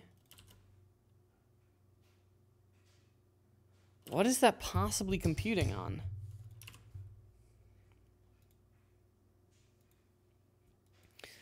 Oh, I fucking hate this. Once this is done, we're gonna actually just write TCP and it'll take five minutes. But this shit, man, fucking checksums. They suck, dude. They're so stupid.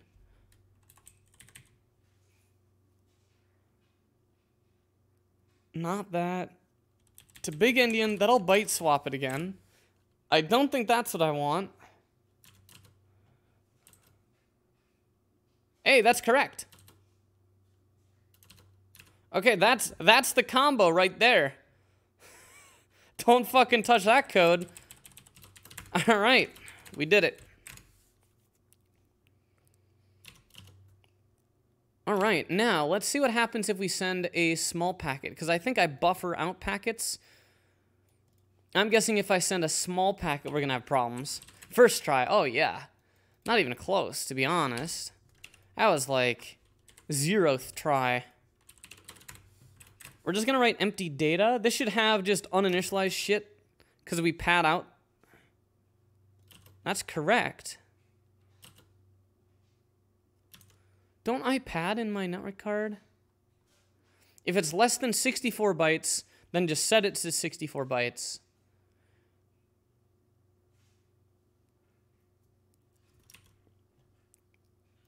Wait, why am I not getting 64 bytes? I think that's just because I haven't sent anything yet. Let's try this. I want to send it with uninitialized stuff in that buffer. I think the second packet will come in bad here.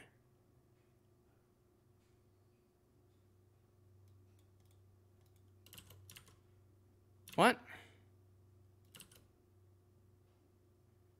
What? Where's the data? Where's my ASDF? The length is correct. The length is correct. What? Where's my data gone?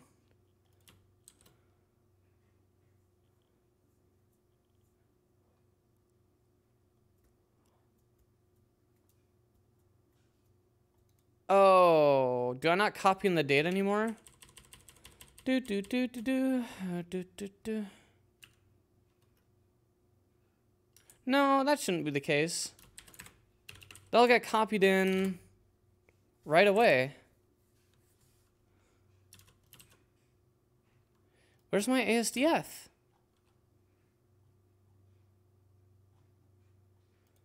Hmm. 14, 20, 24. Set the length. 14, 20, 24 TCP payload.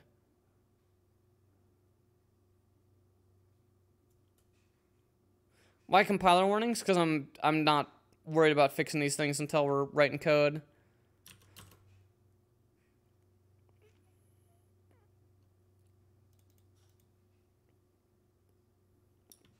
Where are those bytes?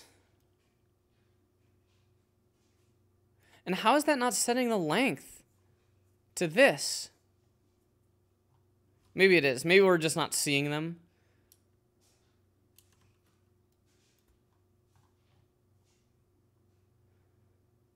Buff plus len. It's greater than that. Copy that in. The bytes have magically disappeared. I wonder if I only do it once, if I still have that problem. Maybe Rust is optimizing out those writes. Shouldn't be able to across that boundary.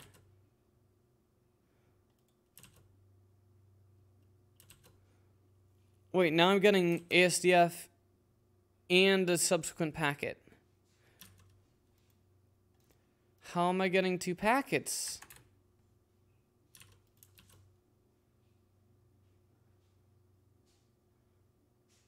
How am I getting two packets?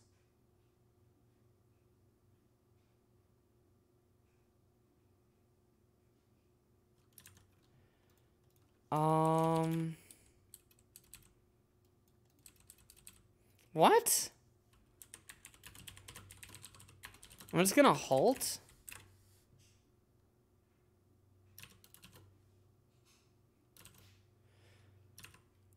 How am I getting two packets? Oh, hmm, wait. No, I don't know.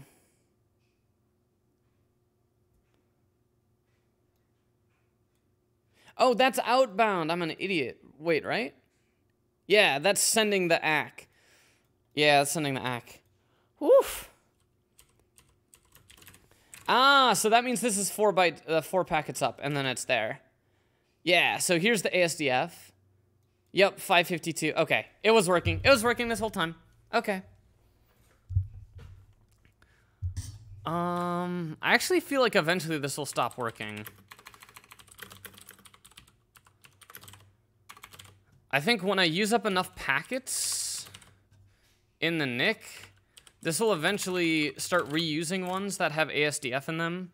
And then I think the checksum will be wrong by the NIC. Incorrect. Let's just grep for that. Hey, we have some incorrects. Okay, that makes sense. So, um...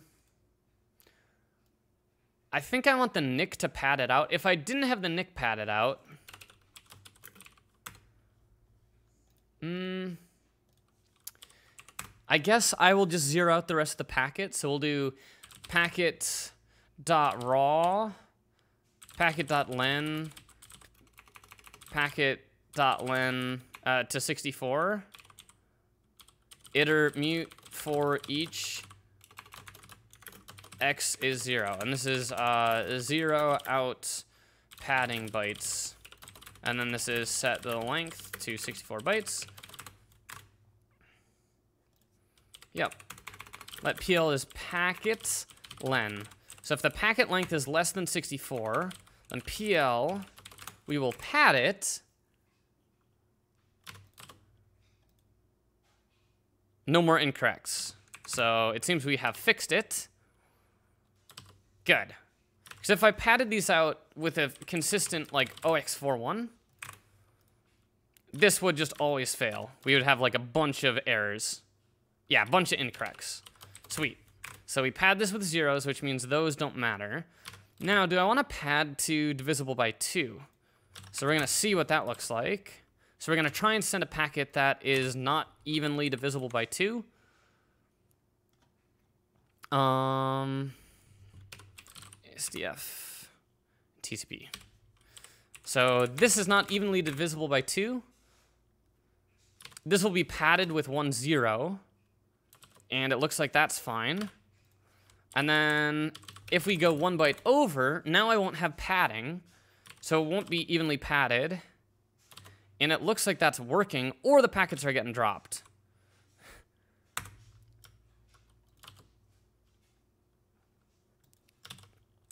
And I don't think packets are getting dropped.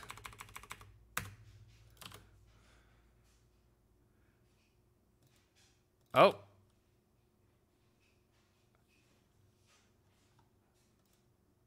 Hmm.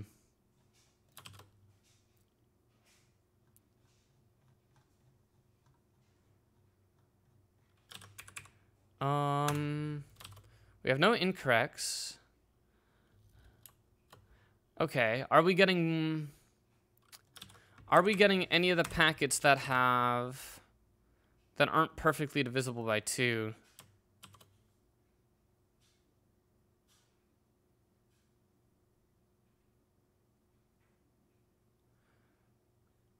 Um... ASDF and then an A, an extra A there. Then why am I not getting anything else? Am I sending them too fast for TCP dump? I don't think so. I don't know. Maybe TCP dump is dropping them. Possible. Let's go back to this.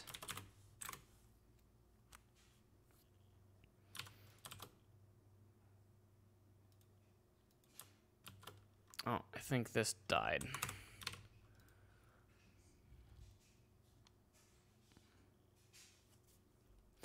Come on. Come on, T-Speed. Timeout. Retry. I guess PXE in this case. TFTP.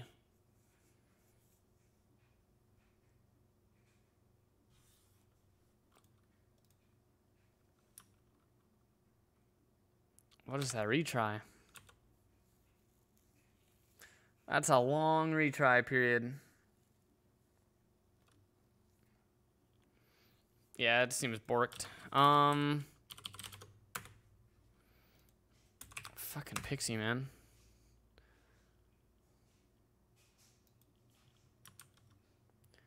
I've tried to use other TFTP servers. Everything sucks. All the TFTP stuff is like really bad, and I have no idea why. I have no idea why, but they are all so bad.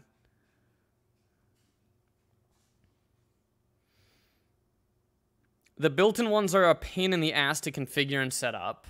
The non-built-in ones typically are like really hacky and have leaks. TFTP has a leak. This one clearly has a leak.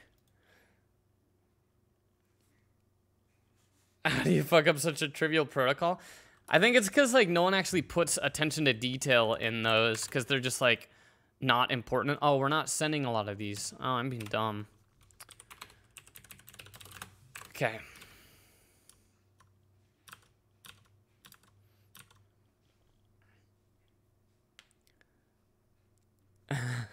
Literally trivial.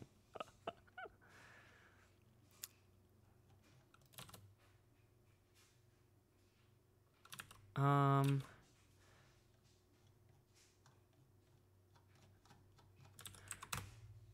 Okay, let's grab. Oh, fuck. God damn it. That is not what I want to have in my history. Alright. Need TFTP over HTTPS? Nah, it's fine. It's fine. HTTPS is way too complex.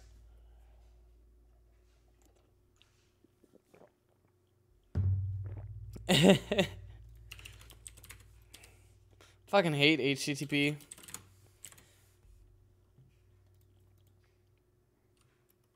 It worked for DNS. I mean, it didn't work for DNS. They just did it. They didn't necessarily do it because it was the right thing. They just did it because they because they just did it. it's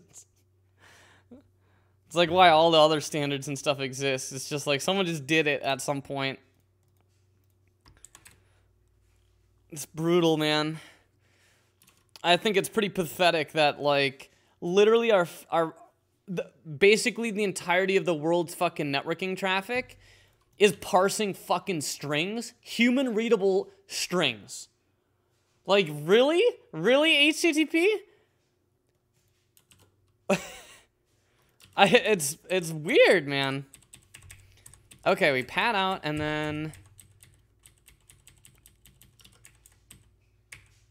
uh grep incorrect. It's perfect, no bugs. So now, actually quick as minor, yeah, that's true. But it's not too rolled out yet.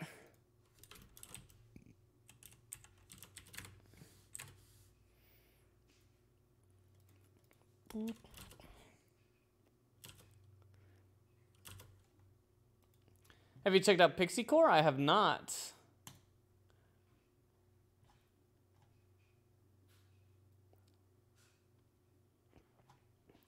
Interesting. You can kind of manage everything. I might try that.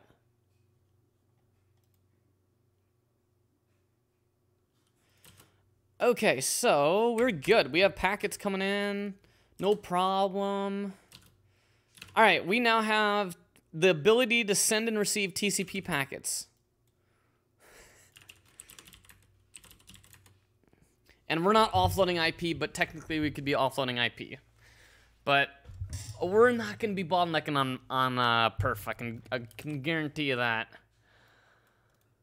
Um... All right, so now we have to implement TCP. And TCP is just a protocol where you have some bits that go over, and then sometimes you send an ACK packet when you feel like it, and then it's reliable or something. Uh, so we might have to figure out a little bit more about TCP than just that.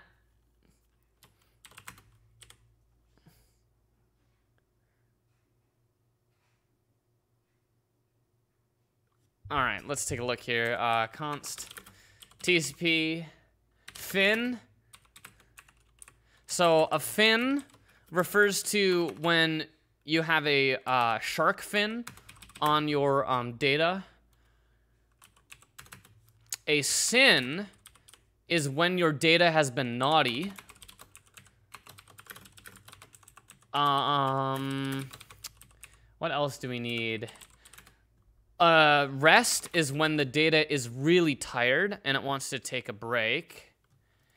What else do we have here? Um, we have an ACK, which is kind of like when your your packet kind of gets sick and it's like ah, ah, you know. Um, what else do we have? I think that's pretty much all we care about. Fin, SYN, reset, and ACK.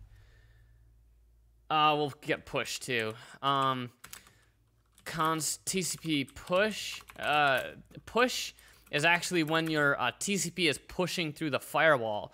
So if you don't have the push bit set, it can't push through the firewall and get the uh, Trojan horse into your computer. So that's actually, a lot of people call that the virus bit of TCP.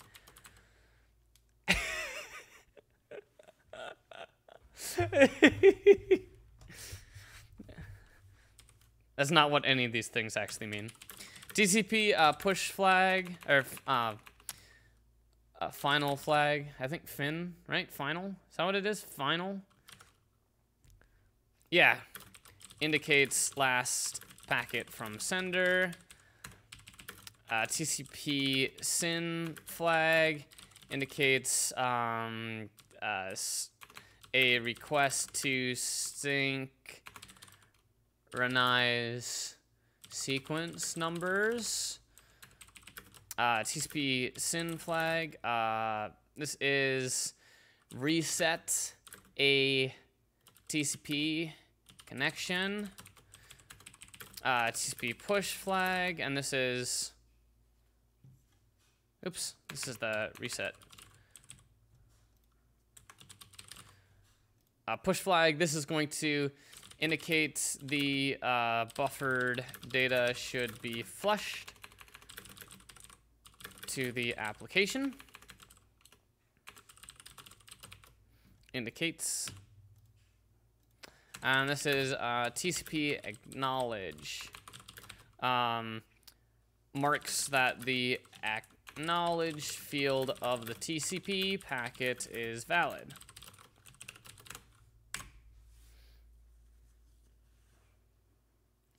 People sleep on the push pin.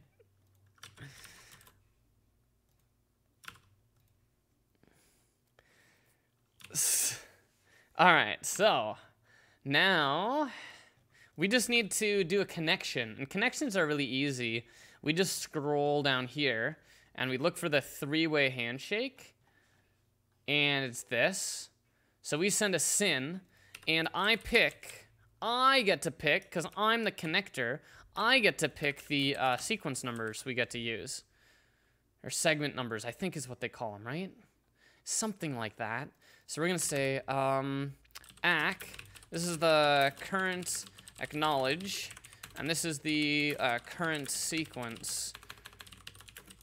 And I think we're going to need both of these. We're going to need a client-side sequence and a server-side sequence. ACK is CPU RDTSC. Um, uh, sequence. ACK is zero. There's my random number. Now, now you can't uh, do sequence prediction, so I'm immune to all viruses. Window number, is that what it's called?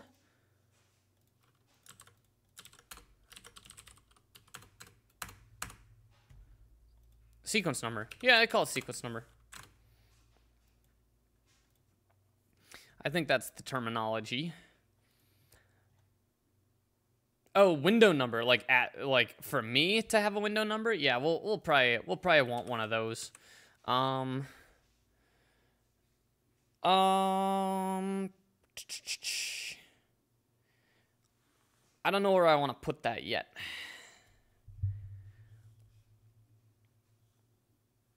I think I'm going to use a ring buffer. I think that's ideal.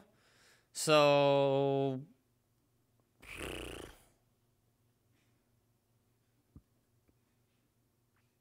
Um.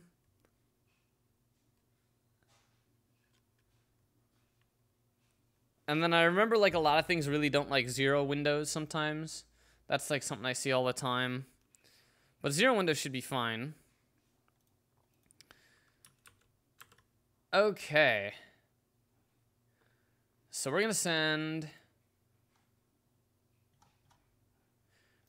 We're to send, so this is going to be in connect we are going to send a TCP packet and then we'll set the, I guess this will take flags. So we'll say TCP SYN. This will have flags. This is going to be a solid TCP implementation. I can tell you that for sure.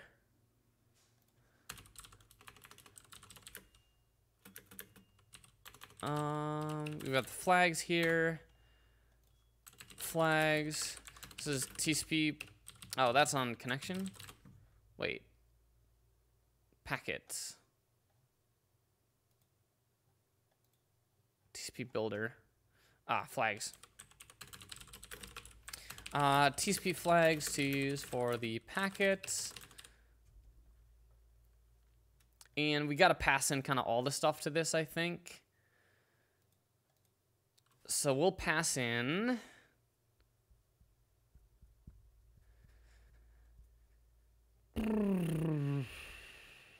You know, flags here.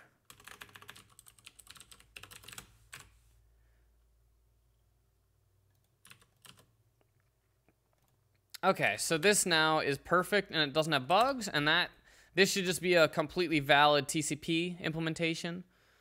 Um, flags, none. Oh, shit.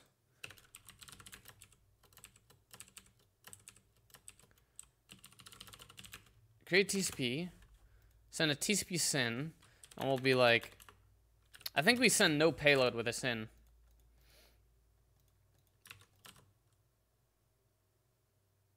Ah, it's a sin. So we got a SYN flag set.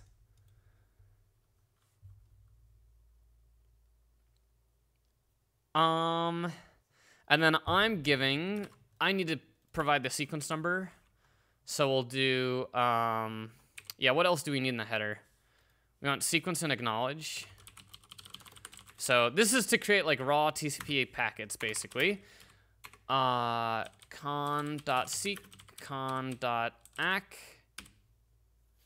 Uh, we don't need ack in this case.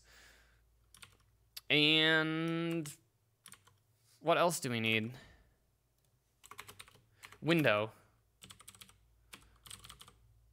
And the window is going to be, here we'll do this. Um, vec dequeue. Uh, I think we have to lock this.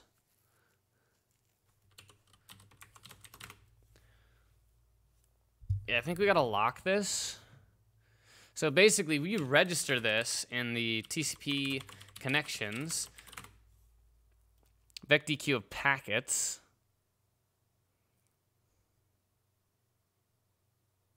Hmm.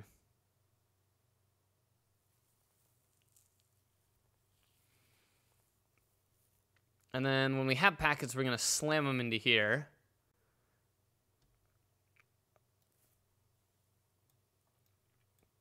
Um, yeah, I need to figure out like where I want to put these packets, where I want to put the window.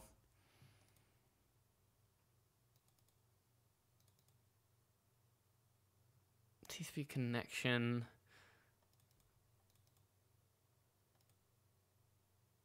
So, yeah, what will the window be? So we can just say for now the window is not zero.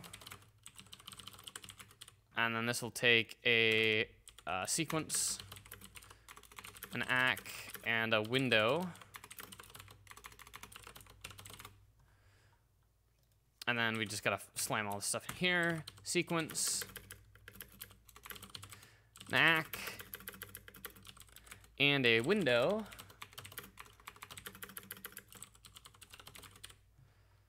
Um, sequence, ACK, window, uh, window size.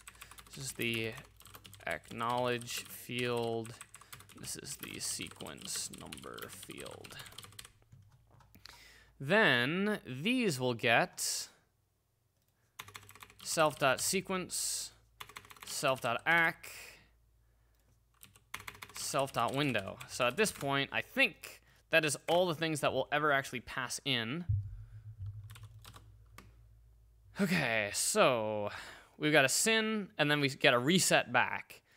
Um, the reset basically indicates go fuck yourself. Uh, I'm not listening here. No connection. So we're gonna need to make a parser for the opposite side of this. Um, and my music stopped. Let's get music going. Put this on. There we go.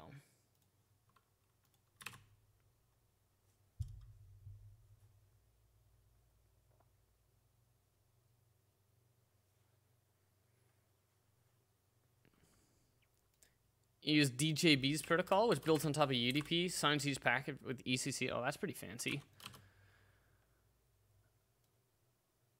Um. Okay.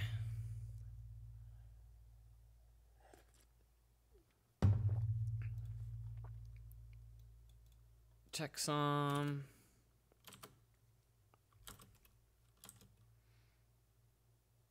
I think we're good. I think I now need to start parsing packets. Well, I need to figure out how I want to do my windowing. Ah, that's going to be tough. That's going to be really tough. I think maybe this could have a arc lock cell of the window. and then we lock it every time we need to get access to the window. And then, yeah, I think that's what we have to do. This is going to be an arc lock cell vec DQ, right?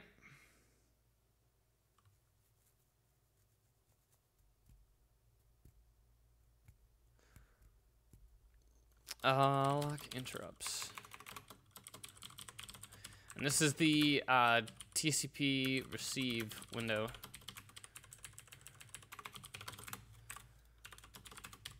Okay.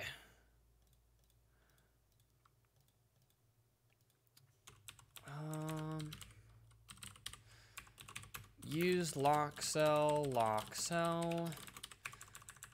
Use crates, core_reqs, lock interrupts.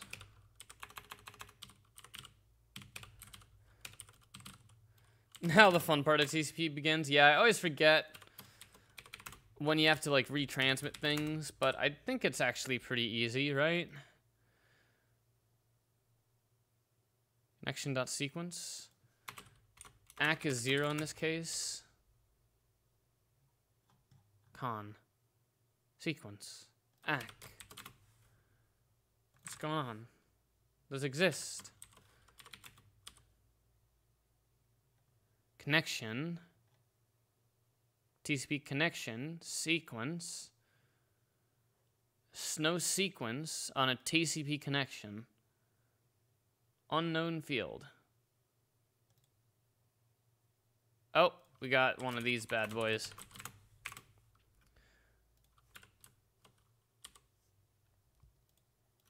Um, oh, one of these bad boys on the end. There we go. Done. Fixed. 51. Okay, window is equal to a lock cell new uh, arc new lock cell new of a vec dq with capacity window size. That's a that's a nice one right there.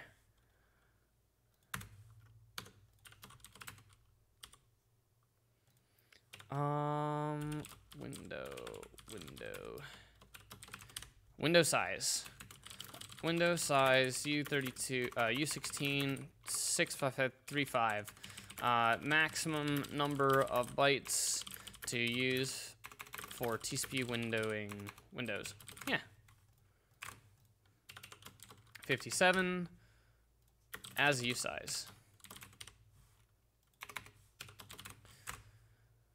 Now, for this window, we'll actually send... Um... Here. Get access to the TCP window. Well, we need to do this every single time. So let window is equal to connection.window.lock. This is window capacity minus window len is the size of our window. So this is uh, lock the TCP window, or get access to the get access to the TCP window uh, for this connection. And then we report that our window is the capacity minus the length. Um,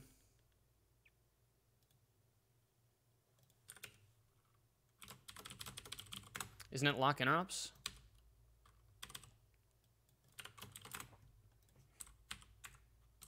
Oh, core locals, not core_reqs. Uh, 74. This as U16.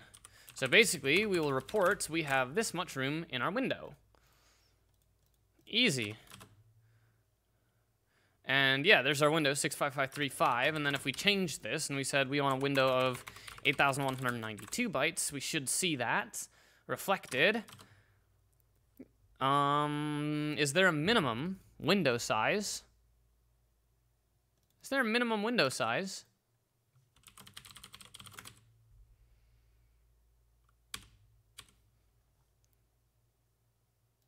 Capacity minus that. What?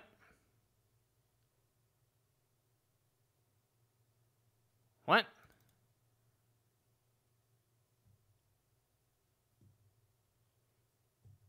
Am I crazy? Window. This is the window right here. That's... Uh, no, that's not the window, is it?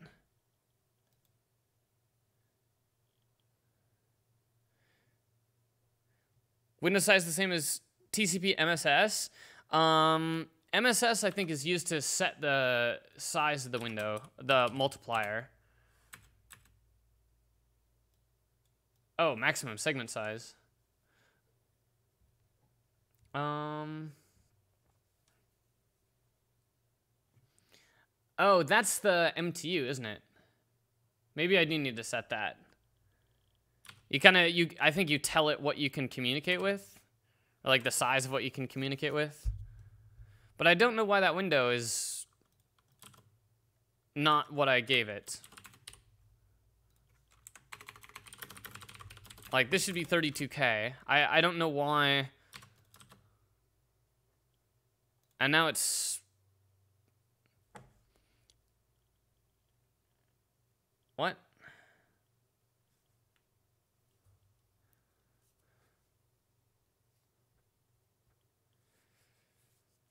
Do I have the do I have to set the MSS on every packet or just on the connection?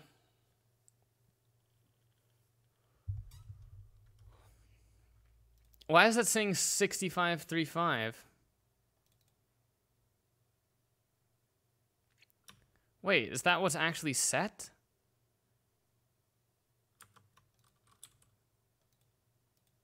What? It's part of the handshake? Okay.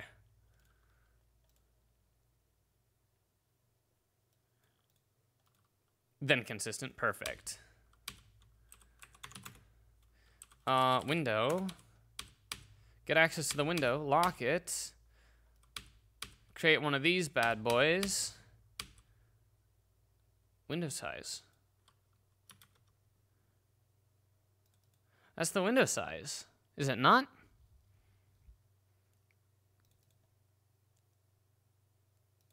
That's not what I send. Right?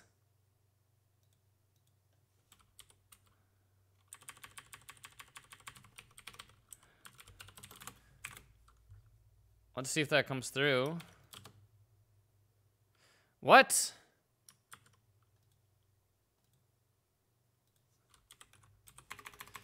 Eight one nine two. Eight one nine two. Okay, something's fucked here.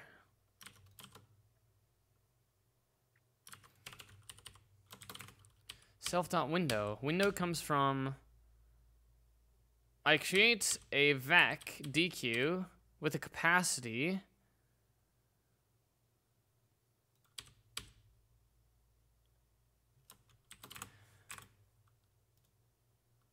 Oh, is vec deque not necessarily making a vector with that capacity?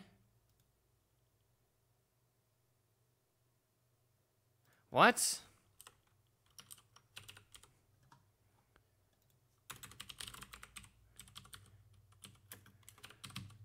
Um...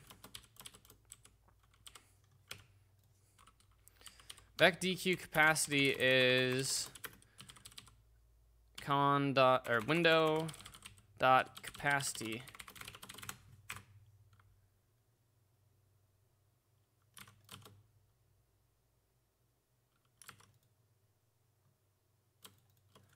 What?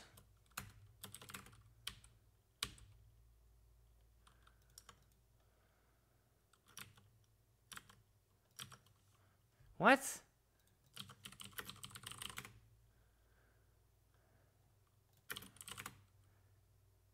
Is that just a hint?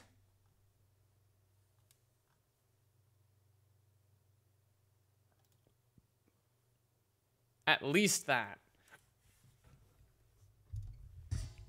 Okay, that's fine. Then we'll just do this then. Then we won't say the capacity. But now I need these window size, which kind of sucks. Um, actually, can I do...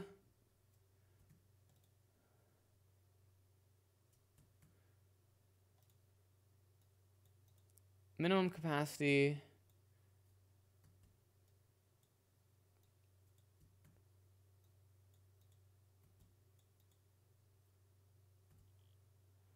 All right, whatever. Uh, window size.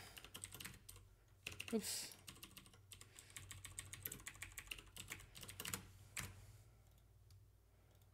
Oh, so now we're gonna have a lot of these.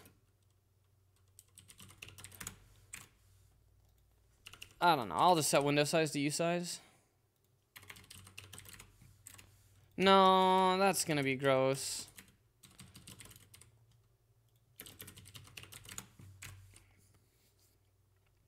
Okay, so we just send this shit.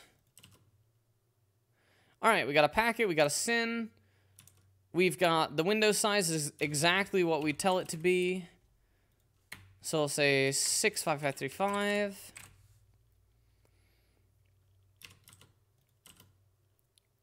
Nice. Okay. So now that we do that, um, now we just need to do the handshake. Um, I mean, technically, I don't need to do the MSS, but I should.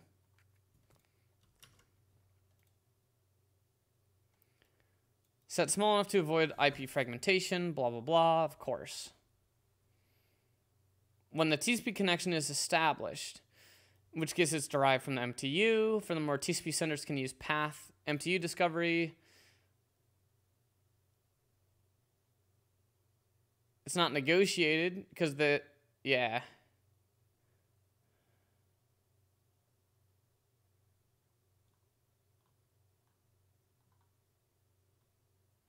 Okay. I don't think we care yet. We can always add that. All right, now we need to write a parser for TCP packets. Should be pretty easy. We already have an IP parser. So we'll get an IP header. Um, this is on packets.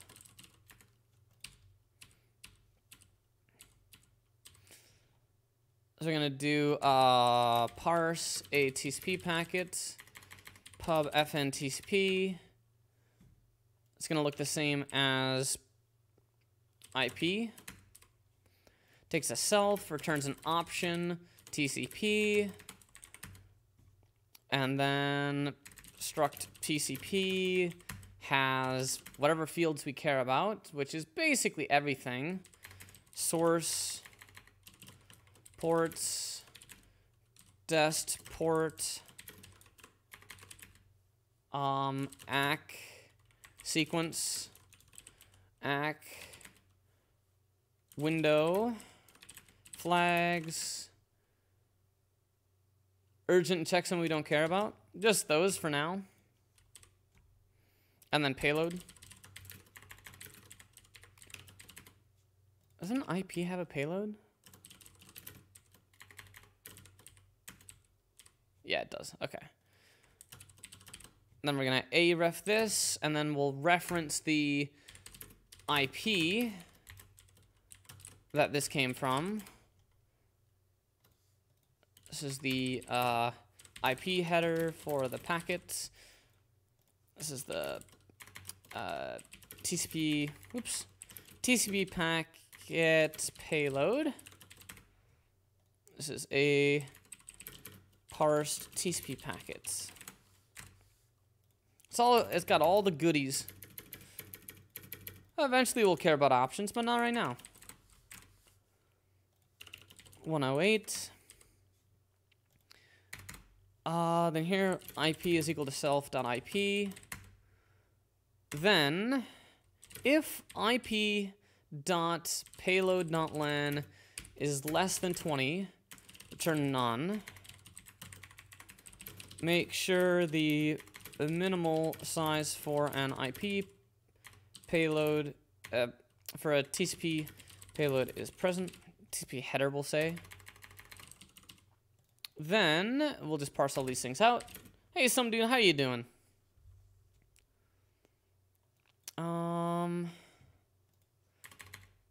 TCP, some. Then we'll do IP payload 022. This is source ports U16 from LE bytes. This try into OK. Dest port. Seek ACK.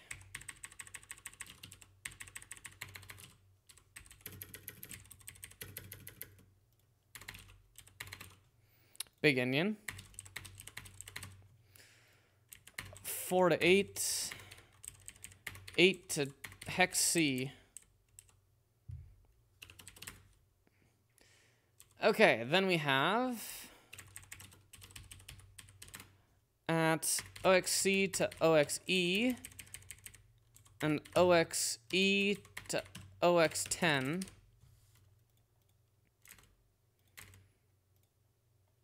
This is the, oh, these might actually fit one-liners. Window, flags. Yeah? There we go.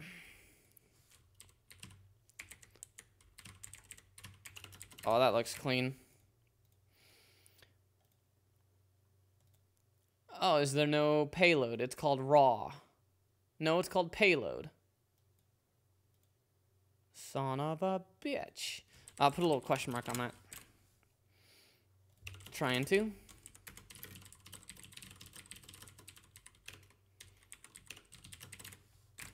Doing good auditing code. Online school taking up my day. My day. And then IP we can move out now. Missing payload.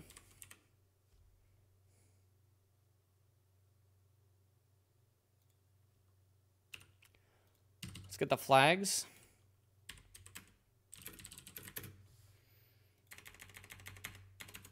Then we will um, let data offset is equal to flags shift by, eh, looks like 12 times 4. Compute the data offset, uh, compute the size of the TCP header in bytes one liner. Oh. Get the TCP flags. And flags is equal to flags. Compute the size of the TCP header in bytes. Assert, uh, here we'll say, if data offset is less than 20, return none. We'll say bad TCP offset, or bad TCP header size right? And then we can compute the payload from IP dot payload dot dot uh, data offset as usize.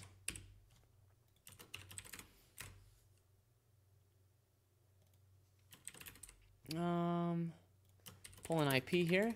We might have a lifetime issue here. Uh, private type, 92, pub. Make all these pub too.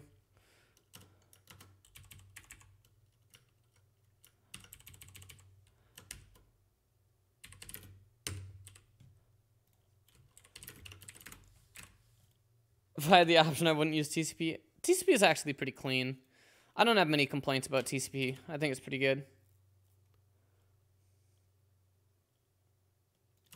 You can't really get much simpler than TCP. There's like a couple things you can shave off of TCP, but it's pretty thin.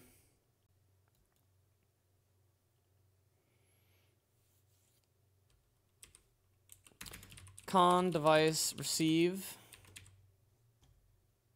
timeout. Timeout. Receive timeout 100k millis or 100 100 millis. Um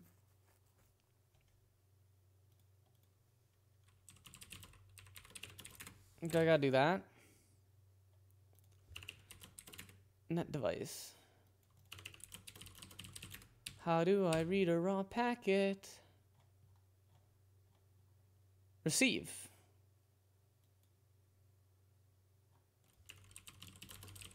Oh, is receive timeout a UDP construct? It is. I guess that makes sense.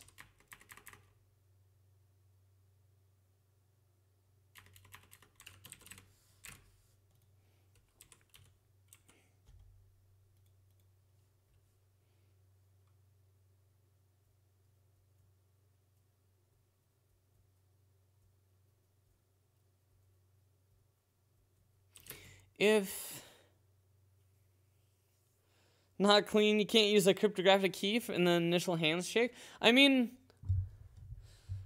it wasn't designed for crypto. Crypto's an afterthought.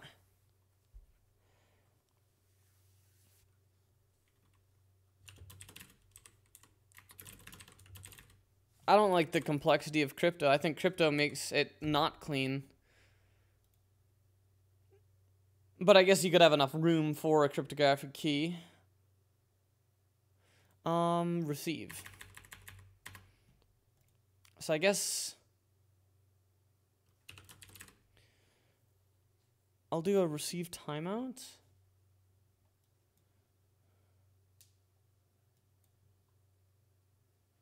Receive UDP. Why isn't this just uh why isn't this just on receive?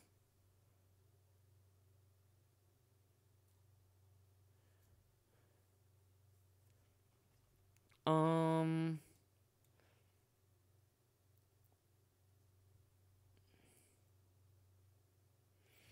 I feel like receive timeout I should implement on receive, and then these could leverage that.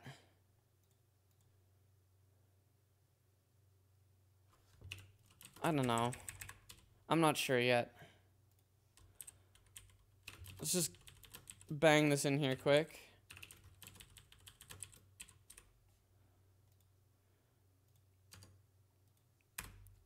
If let some packet is equal to receive on the device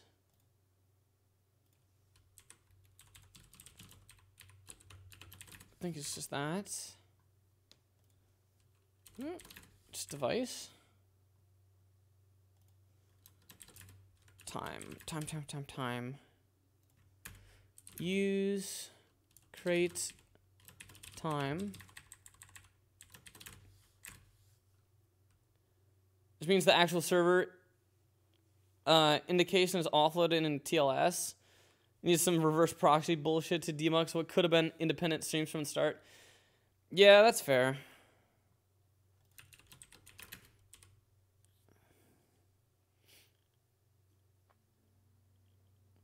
I'm just not a big fan of like T TLS and SSL in general. I'm more about just, I don't know. I just like the good old fashioned VLAN or like IPsec tunnel. That being said, if you want to connect to random websites, you do need something. So, I mean, you could do like IPsec. I don't know. I, I don't like the concept of like not being able to communicate without having crypto. I think like I don't like this force of crypto on everything because there's really no good way of doing crypto yet in like any fucking environment. It's really annoying. You can use like OpenSSL, which is fucking ass. And way too big. Like, just the complexity of the crypto algorithms that you need to do basic fucking communications with a server uh, are kind of prohibitively complex, and I really don't like it. Unwrap on a none. We send. Oh, yeah, yeah, yeah, that's to fail, isn't it? In main, 98. Unwrap on that, fails. Oh, yeah, because I returned none here. Okay, if we didn't time out, I should be able to print the I think I can do this. I think I implemented debug on all these. Packet dot TCP.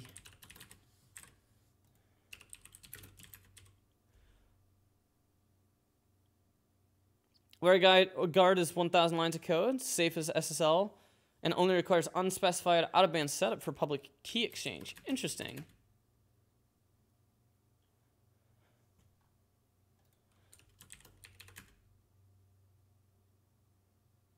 Order of magnitude 1k lines? Yeah. I feel like 1k lines is way too small to do any sort of crypto. Um, TCP.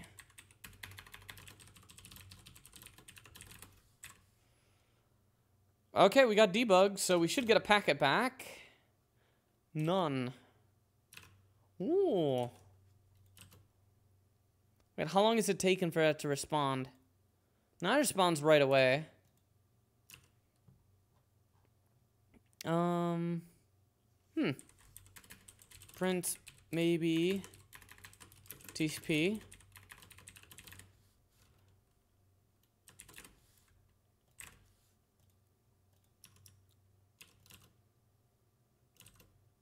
I'm printing. Gotta do this. Let TCP is this. Print TCP.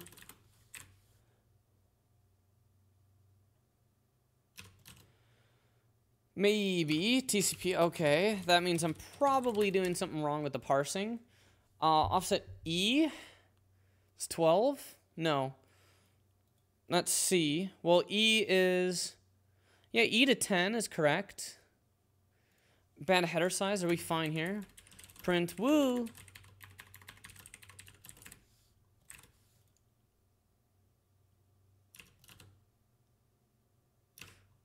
Okay, so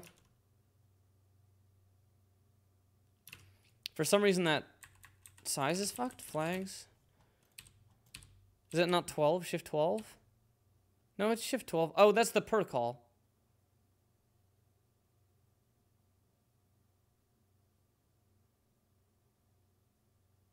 Oh no, that is the, that isn't. Um, yeah, shift 12 multiplied by 4. And we'll just print this size here. IP payload E to 10.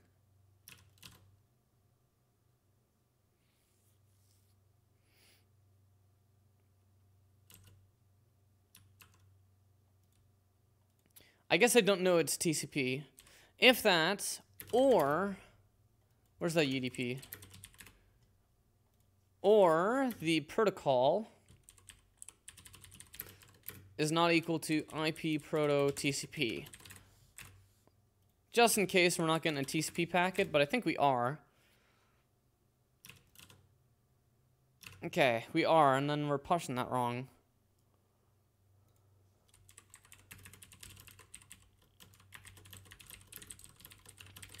Flags. Shift 12.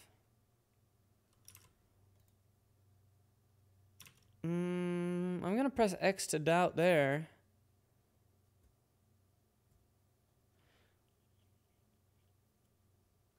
Yeah, there are flags set. Am I hitting the wrong thing?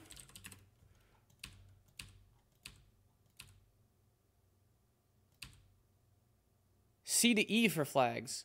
Oh, I'm going the wrong way. Oh, whoopsies. Whoopsies. See? This is E to 10. Source dest, sequence, ACK, then the flags, then these.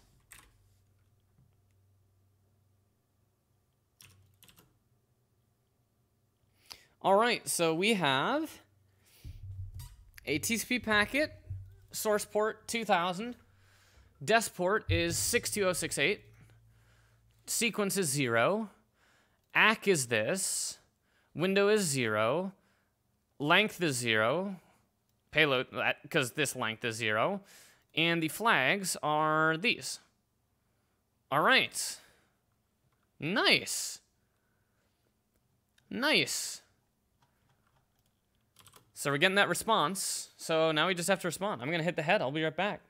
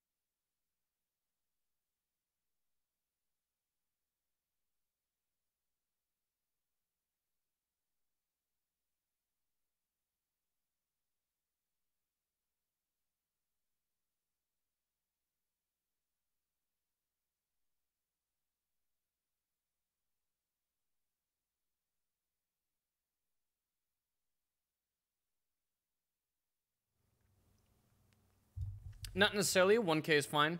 Yeah, I guess I've never implemented a like SSL stack. Maybe it's not as bad as I think. Like I used to think uh, TCP was way too complex of a protocol, but it's actually really simple. So I don't know. Maybe it's not as bad as I think. But I often don't like I don't know. The SSL libraries are so fucking huge and so fucking unwieldy. I think the biggest problem is you need to negotiate your crypto scheme, and you have like a billion different crypto schemes. So you don't need just one encryption scheme. You need every single encryption scheme the server could ever respond to saying, this is what we're using today. Or the client, whatever you negotiate.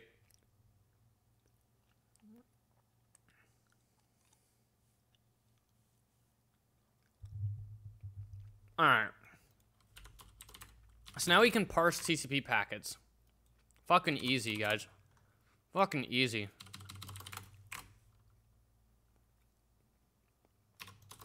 Is there any unsafe code in this? No unsafe code in our TCP stack. Fuck yeah. Um. Okay. That is validated TCP. The lengths have been validated to be good. We have the payload, which is the raw payload. So all we really care about are these numbers now. So that server acts this.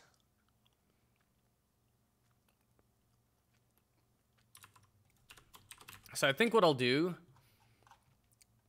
is I will put, I think I'm going to want a remote, I'm going to want a remote ACK so I can track what has been ACKed. But that's what I sent it. Oh, it adds one. So here's one thing I never got about ACKs. You increment it by the number of bytes in the payload.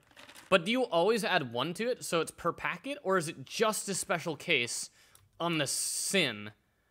On the SYN ACK? Um...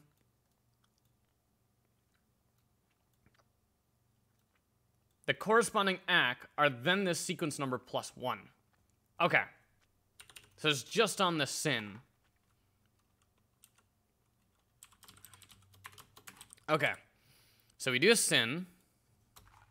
And I feel like I might want to find a cleaner way to do this.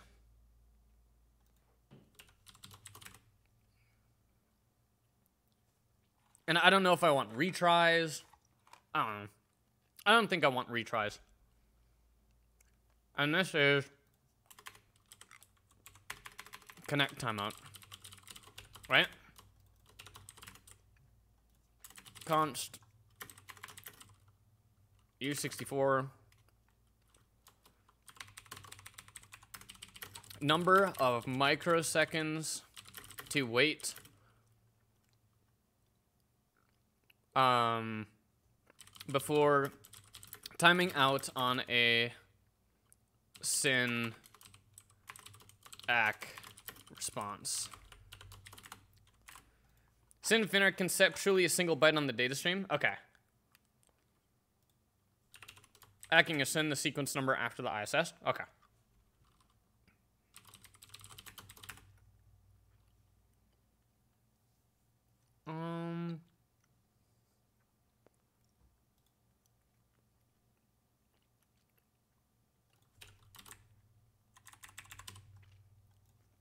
And then I acknowledge their ACK, right?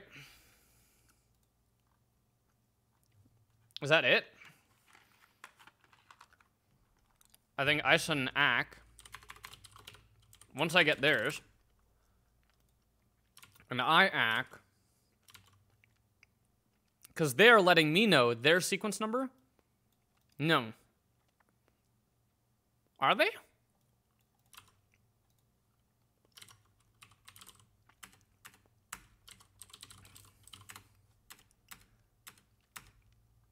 Um, set to one more than the received one.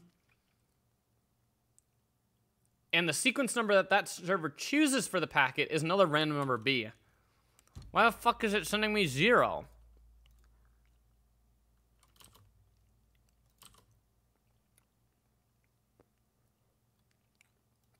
Oh, is that not the real sequence number?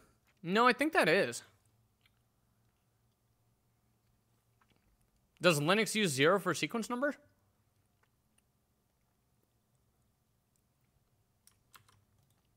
All right.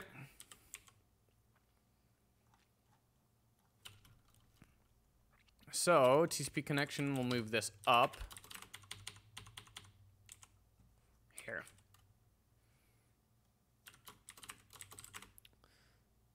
Look up what happens when you have syn fin in the same packet.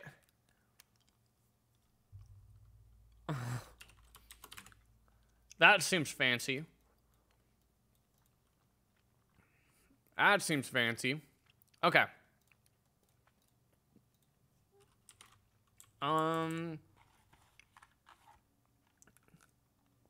this is the R current sequence and R current acknowledge.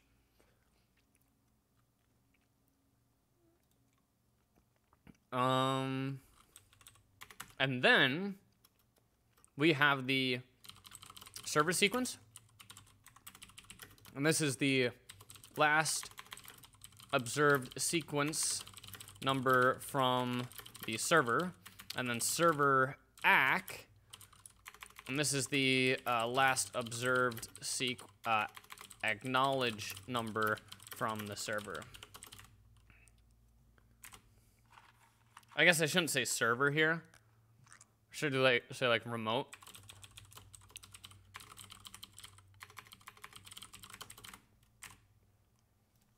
From the moat side.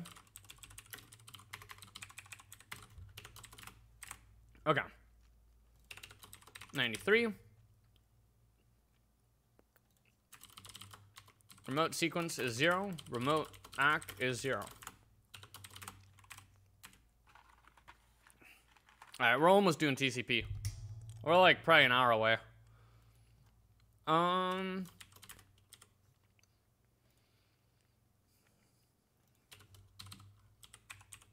We will say break. If, if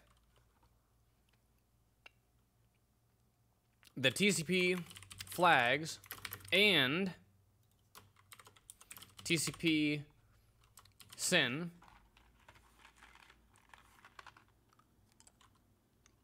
or TCP ACK is equal to TCP SYN or TCP ACK Right. Right? Oh. And TCP dot um ACK is equal to connection dot sequence wrapping add one. I think I'm gonna do this. When we send it, it, is con.seek wrapping add one. Um, update the sequence number by one since we sent a SYN. Correct? Um, here, if we got a SYN-ACK that also came from and has the act that matches our sequence, then we're really happy. And we can do connection dot um remote syn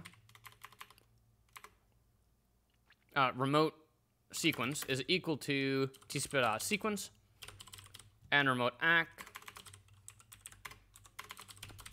is that. So we established the remote side of those things. Oh yeah, and um, if let some some, if let some packet is this dot and then x dot TCP. Another prenny boy.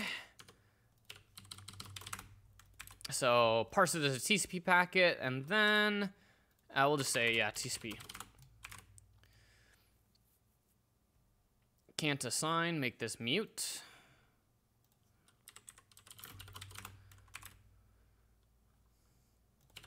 129. Oh. You're right. You're right. You're right, Rust. Um... If let some TCP... Is there a better way to do this in Rust?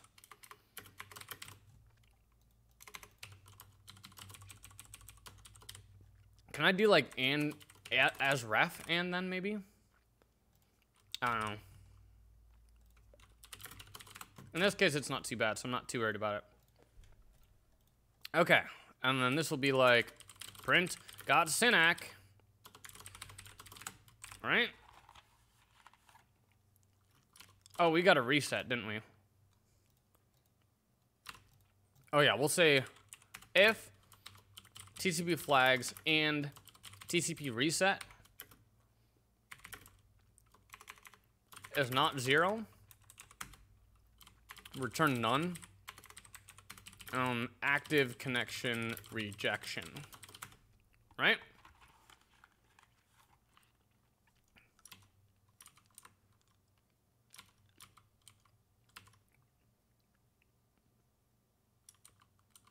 Is it a reset that it sends? I don't know what the dot is.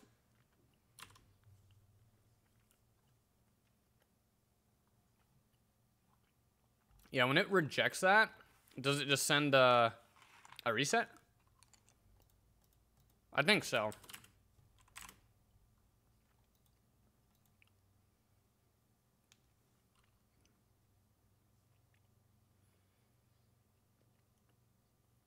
You should only adhere if the sequence number matches.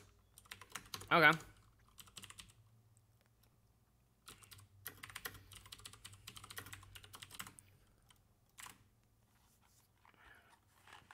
Right. If it's a reset and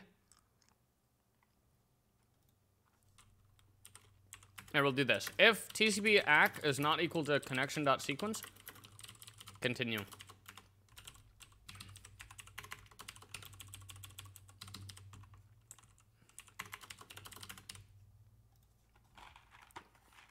Oh, I got a port filter at this stage. I'm not filtering ports at all because I'm doing raw receives. Um, if the ACK is not equal to that, or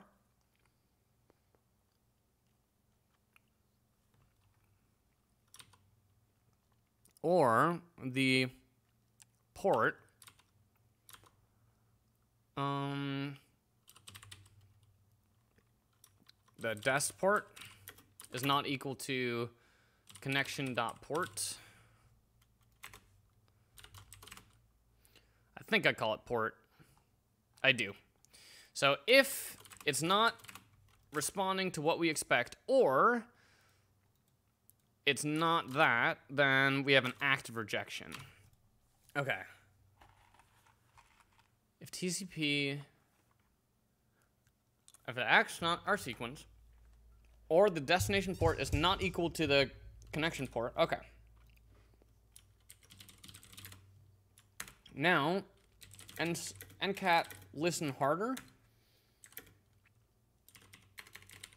2000. Because I think this resets. So we got a SYN-ACK. Now it's sending me some options. It's like, yo, dude. Yo, I want to use some options. What's up? I got an MSS here I really want to use, 1460. I'll be like, yo, I can figure that out.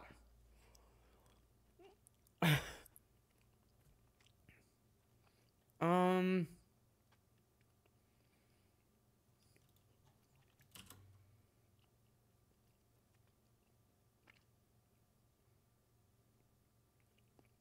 I'm guessing the dot means ack.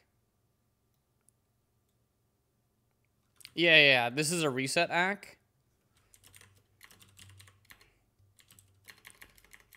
TCP ack or reset.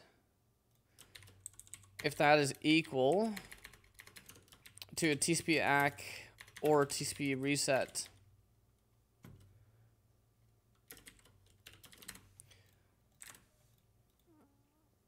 Um, so if we got an ACK reset, I guess here we'll just say if TCP flags, oops, TCOP, TCP flags and TCP reset is not equal to zero, uh, TCP ACK, uh, if it's zero, all packets should be ACKs at this point.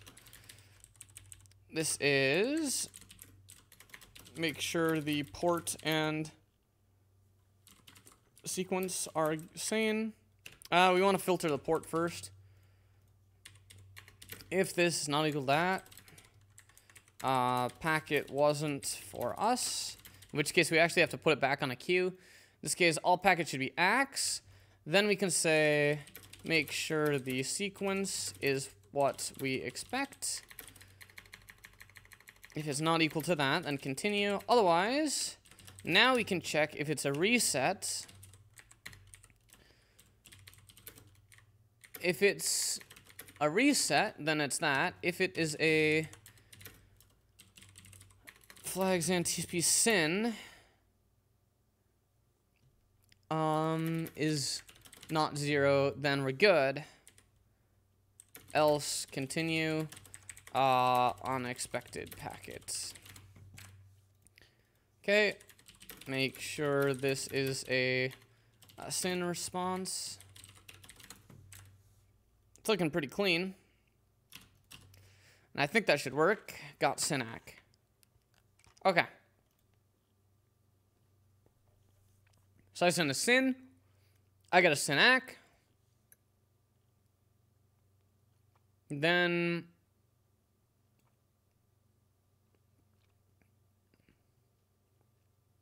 What?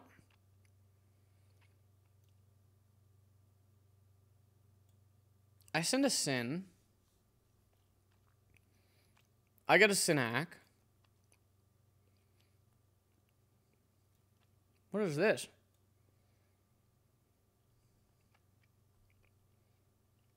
What is this?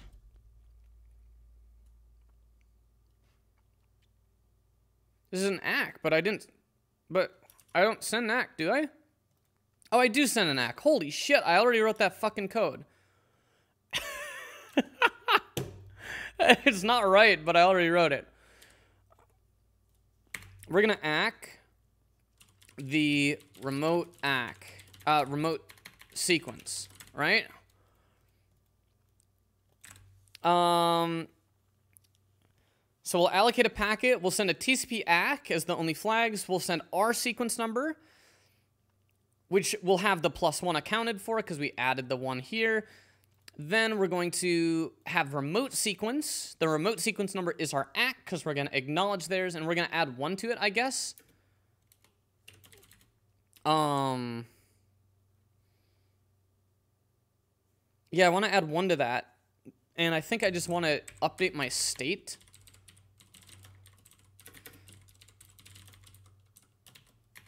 wrapping add one.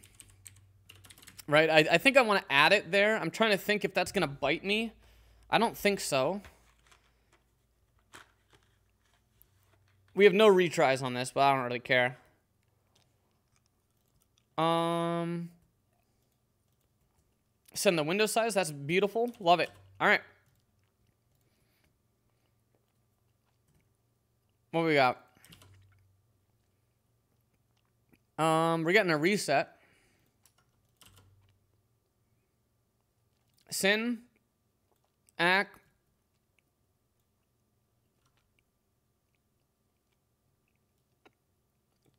Wait, I'm getting a reset? Oh, Netcat's only listening once? I think so. SYN, SYN-ACK, ACK. So we send an ACK. And what's F? What flag is F? Fin?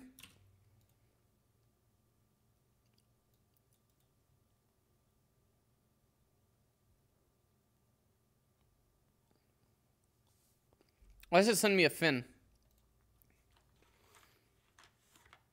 Is it because I didn't give it... That's a FIN-ACK.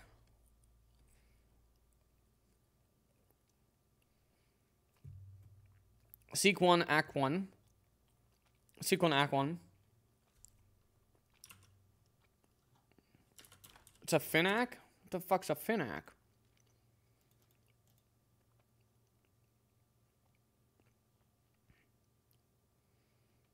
Is that the end? An active close? Why is it closing that connection? It's closing it because I haven't agreed to its MSS, correct?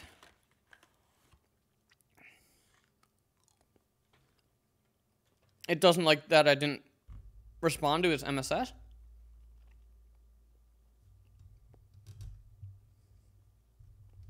Is that what it's complaining about?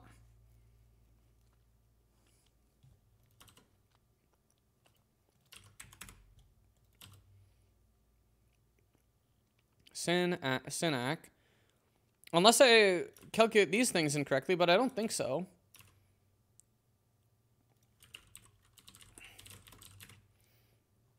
So I set this wrapping add. I send it my ACK as the remote sequence. And I send that packet off. It should be fine. So I would suspect that's just options then.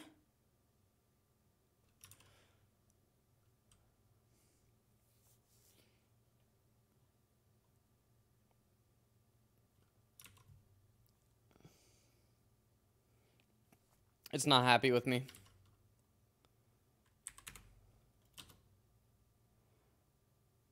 SYN. Oh, are these fins for different ports? Oh, they're fins for different ports. They're random shit I had open. Yeah. It's trying to close other sessions. Okay, yeah, we're fine. Okay, we technically want to parse out those options at this point. But let's just send a packet Create TCP. Oh, there we go. So we're going to send a real packet now. And we'll send a push. I think I need an ACK here. I mean, it doesn't matter. I'm just going to ACK all the packets. I don't think it fucking matters. And then I'm going to send moose waffles. I need to respect the server's MSS, right? When I send it packets, I need to respect its MSS.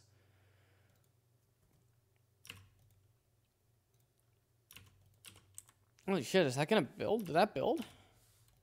Okay. Moose Waffles did a push ACK, and then it ACKed.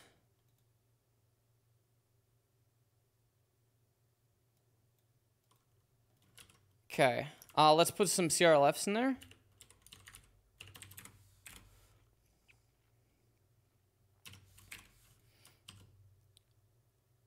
Fuck.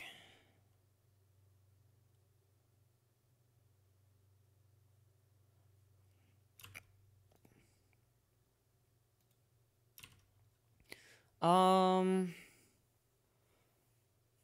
EOL. Need to respect it. No one choose it. Yeah. Oh, do I need to do... no, fin is you close it. Yeah, yeah, yeah. Uh, push.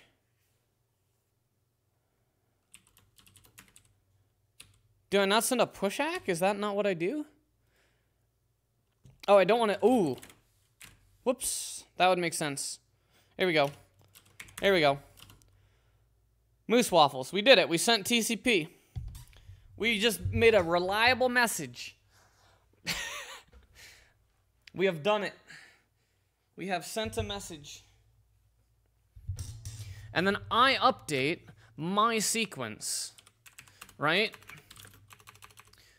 Um, connection, after I send that shit, I update my sequence to reflect what I sent. And that's just a byte to the payload. So yeah. Hell yeah. Alright, so this is going to be on TCP Builder. No, we're impling. Oh, we haven't implemented anything yet on TCP connection. On TCP connection, we're going to implement a FN send. This is going to take a mutable reference to self. It's going to take a reference to a, a, a buffer, and it's gonna send this whole fucking thing.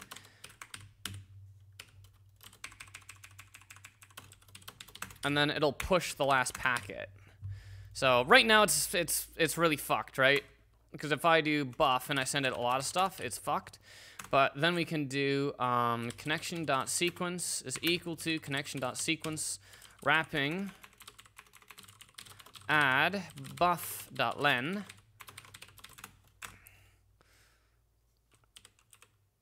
uh, as u32.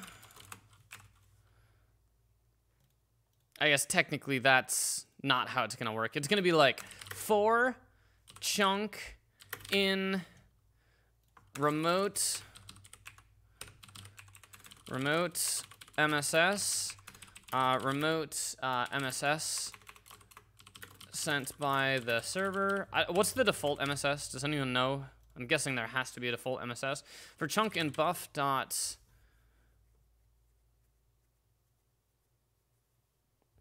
You have four numbers. The CQ sent, the seek, the remote is act, seek... Yeah, the, these four, yeah.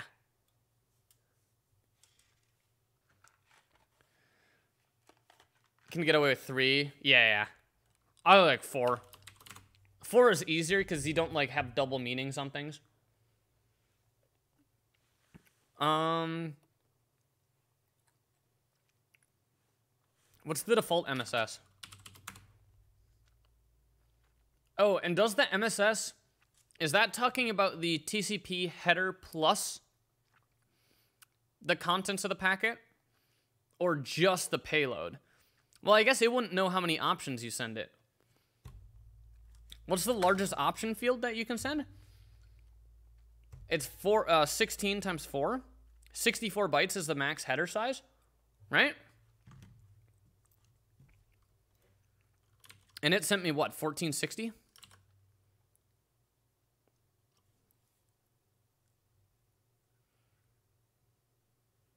Only the payload size? Really? What did it send me as MSS? Uh, 1460? But that couldn't fit. Oh, the maximum header is is not. It's uh 15 times 4, 60 bytes, plus 14 bytes for an IP header, so 74. What? What? So that is... How would it receive packets that large? 15 times 4 plus that. That's 1520 already.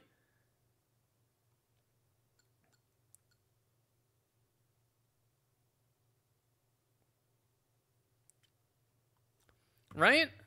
If it's only the payload, is the payload the IP payload or the TCP payload? Because if it's the TCP payload, this wouldn't fit right?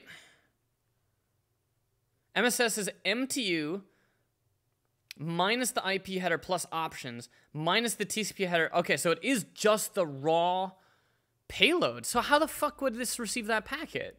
Because if I sent it with full options, it wouldn't fit.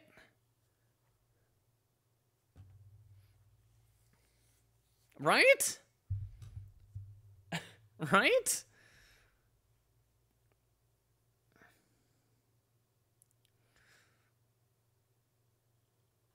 Anyways.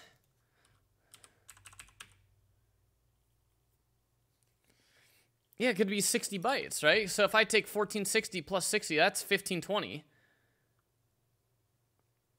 Okay, that's not what MSS requires. Okay, perfect. Cool. Remote.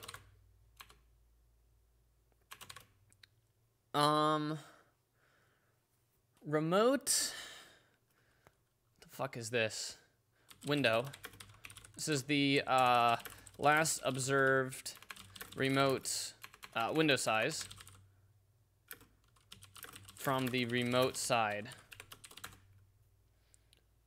You mustn't exceed in any circumstances? Okay.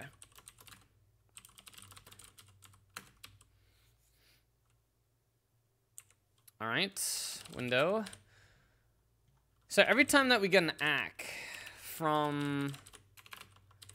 Every time we get an ACK, we want to set all of these. Right?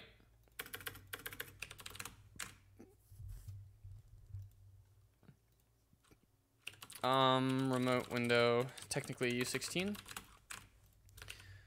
And then 119, remote window, remote MSS is, uh, you said default is 536. Like, I want to fail closed. I want to fail as simple as possible. Okay, for each chunk in the buffer dot chunks of um Oh, Desi, is there a good way to know when an iterator is at the end? I really want like an iterator that returns a boolean which tells you whether it's on the last one or not, so I know whether or not I can flush, but doesn't matter too much.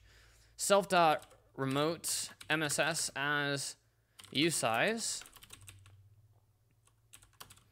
And then we'll validate that. We'll, we'll just like cap that to something. We'll do like let MSS is equal to peek is none.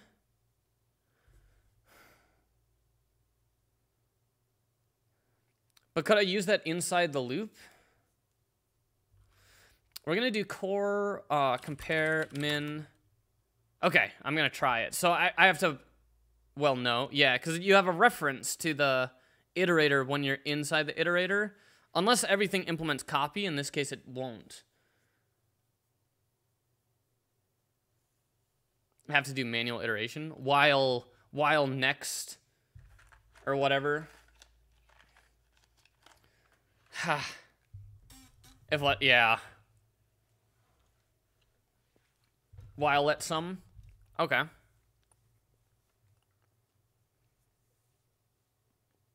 Isn't that still to borrow? Isn't X still borrowing iterator?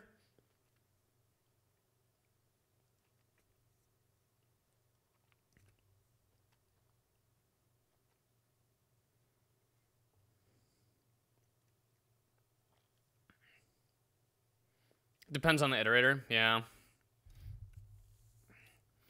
Yeah, so I'll probably just compute the chunk size, but this is something that I do a lot, and I'd really like to not have that. So we'll do self.remote MSS as usize, and then we'll just set our MSS internally to a maximum of 1560, right? This is like cap the MSS to a reasonable size. And then here we'll do MSS. X cannot borrow the iterator due to the definition of the iterator trait. Okay. So if I do iterator is equal to buff.chunks MSS, then I can do while let some chunk is equal to iter.next. This has to be mut. And then I can say here, if iter.peek is none, TCP push, else zero.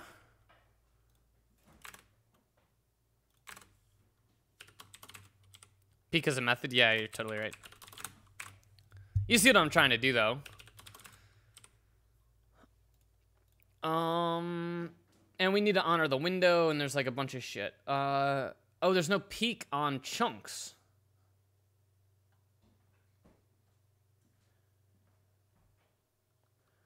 What?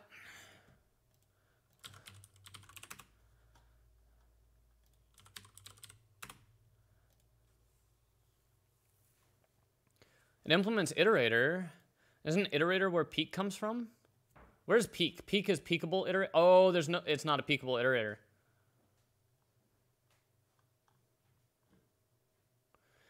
It's a exact size iterator. Can I do the len.0 on that? Dot peekable? What do you what do you think is better, the len zero yeah, okay. If the len is zero, len zero is better, I agree. And then I still have to do this, right? Yeah, I still have to do the while let, I think. Or can I for iter this? No, because that's borrowing it in the for loop, isn't it?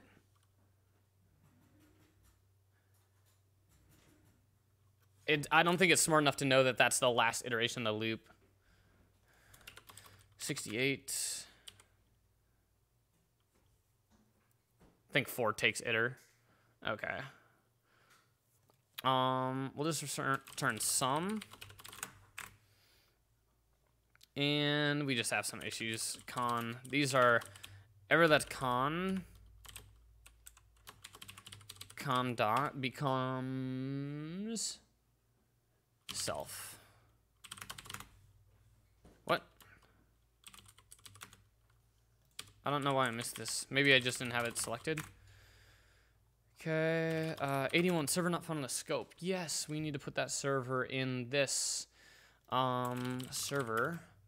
This is the, like, net address. Address of the remote server. 131, and then server. The problem is I, I kind of have, like, a loop here where that wants to use device.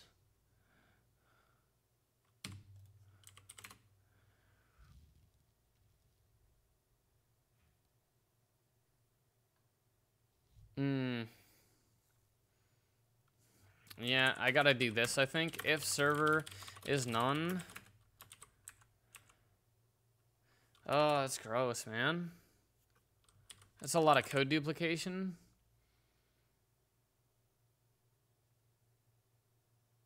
Hmm. I mean, it's not that bad, I guess.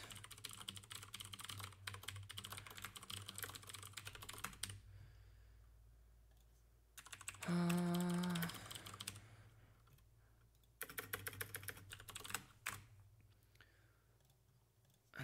server, we move that in, so this is connection.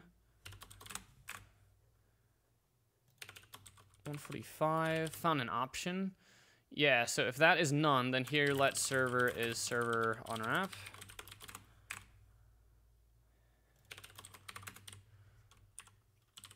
Um, self server. And this is just device cur. Because I moved that in. I think I put a ref on it. Yeah. Okay. Um. Okay, got Synack. Okay, and then we don't send anything, which is fine. And then here, get rid of that. And then that will return a connection at this point. And on the connection, I'm going to clean this up a little bit. A little bit here.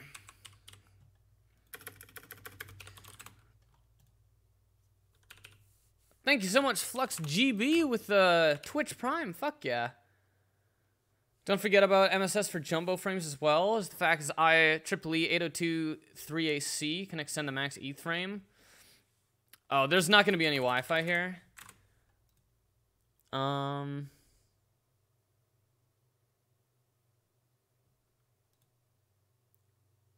I see, but they expand it to include the VLAN. Huh. Yeah, I'm not doing jumbos right now at all. I'm not doing jumbos, and I'm not doing Wi-Fi ever. and I'm not gonna have VLAN support either.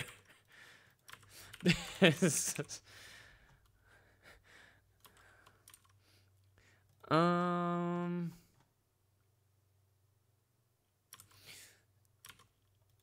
Okay, Synack, and then I think I just send this.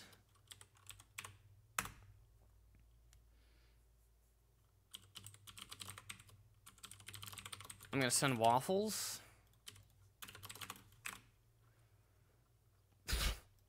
Private function. Not anymore. So this will allow me to send some waffles over the network. Routers and switches may need to send the different frame size over. Huh. Okay, there's waffles. Look at that. That's some fancy shit. And I should push on the last one. So if it's the end of the iterator, then we'll push the iterator. Or we'll, we'll send a push instead of... Yeah, if we look, we the last packet that we send, if I fucking start TCP dump, I just need to do no password all on this box. I don't care. Um, yeah, I push it.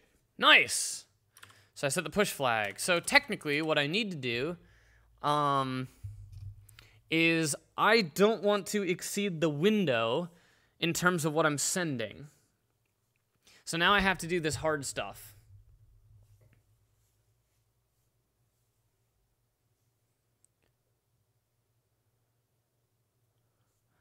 Um, send a TCP, uh, send a payload over the TCP connection.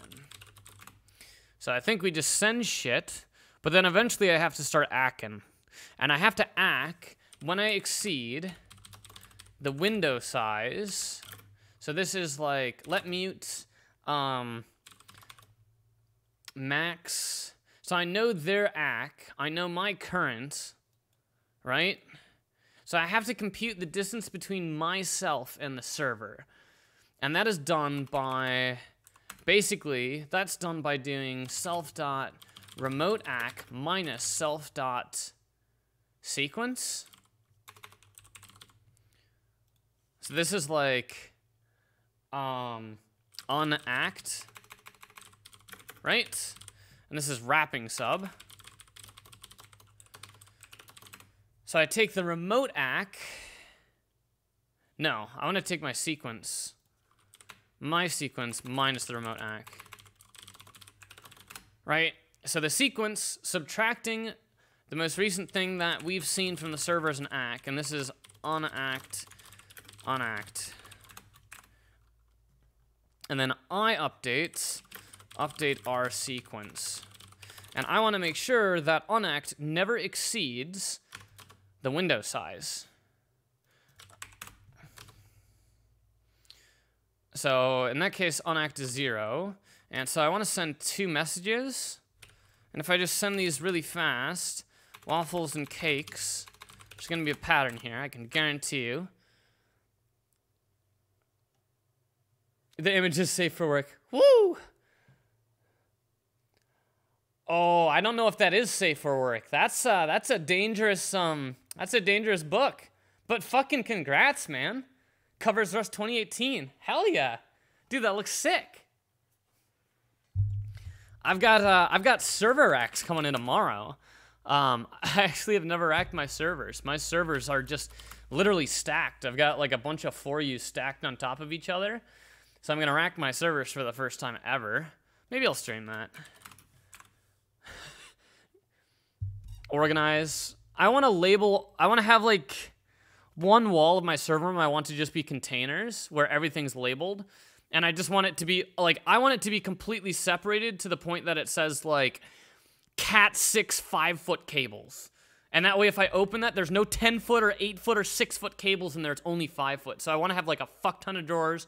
So, like, all my USB cables, VGA cables, DVI, I want all of them separate. Because I, like, I'm getting to the point now that I keep buying shit that I already own, and I am like, dude, I'm I I, I am probably I probably have like 500 bucks in inventory of like fucking USB, VGA, miscellaneous cables. I'll never complain about cat cables because I'll always fucking use those for whatever. But like, I keep ordering like USB 3 extension cables and then I keep finding that I have like a box full of 20 of them. um, gonna need some Kleenex for tomorrow's stream. I'm not. Tomorrow is not the new server. The server hasn't shipped yet. It still hasn't been made yet. Um, and quite frankly, it's it's potentially gonna be a while before that server is. Uh, I think they said it will likely ship on the 15th.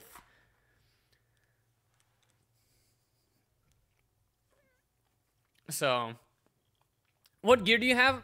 I've got two, um, two like big servers right now. They are, um, I have a Xeon Phi server, So 64, 256 threads um, with 96 gigs of RAM, and then I have a AMD machine, an ancient AMD machine. We're not talking Ryzen.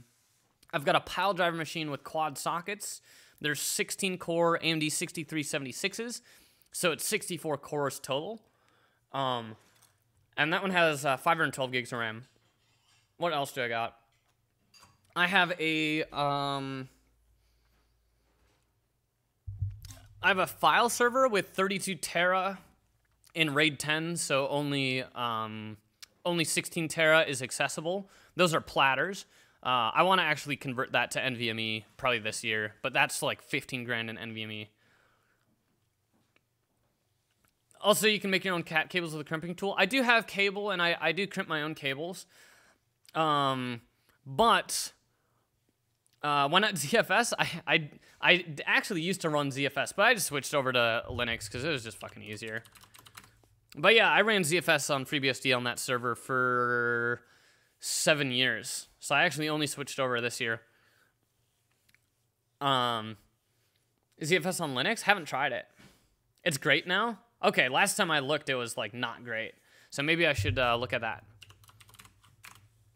Um, it's almost prod ready. Yeah, I'm just using ext4, which is fine. I've never had a drive failure in my life. Knock on wood. so like, I'm I'm feeling pretty cozy. I've never had to rebuild anything. I don't I don't hot swap drives in and out. I don't like grow things up. I've never had disk corruption ever. I've never had a ZFS log that wasn't clean. like I don't know. I, and I'm running uh, it's eight different four terabyte drives in there, I think. So those are those are pretty fun. And then I've got um, what else do I have in there? I've got a couple like CPU research machines, which are just random shit. Um, that's not true. I've had one drive fail- failure. I had a 50 gig SSD fail in like 2009. Like one of the first SS. Actually, no. My, I, the 50 gig SSD I have still is running in one of my servers. The first SSD I bought in like 2008, 2009 still works. It's the one that I bought like two years after when they started mass producing them, but they were still like really sketch. So like the first batch was like a research like lab CPU. Not of course it production because I fucking bought it off Newegg. But it was like when they were still uncomfortable with the tech and they were like taking precautions. And then they went balls to the wall in the next two years. And those drives were like the SSDs between 2009 and 2012 were absolute dog shit.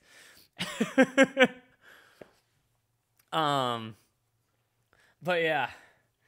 So I'm looking to update my storage server and switch everything to NVMe. I think I'm gonna do similar, 32 tera, 16 tera in RAID 10. I love RAID 10. RAID 10 is just fantastic.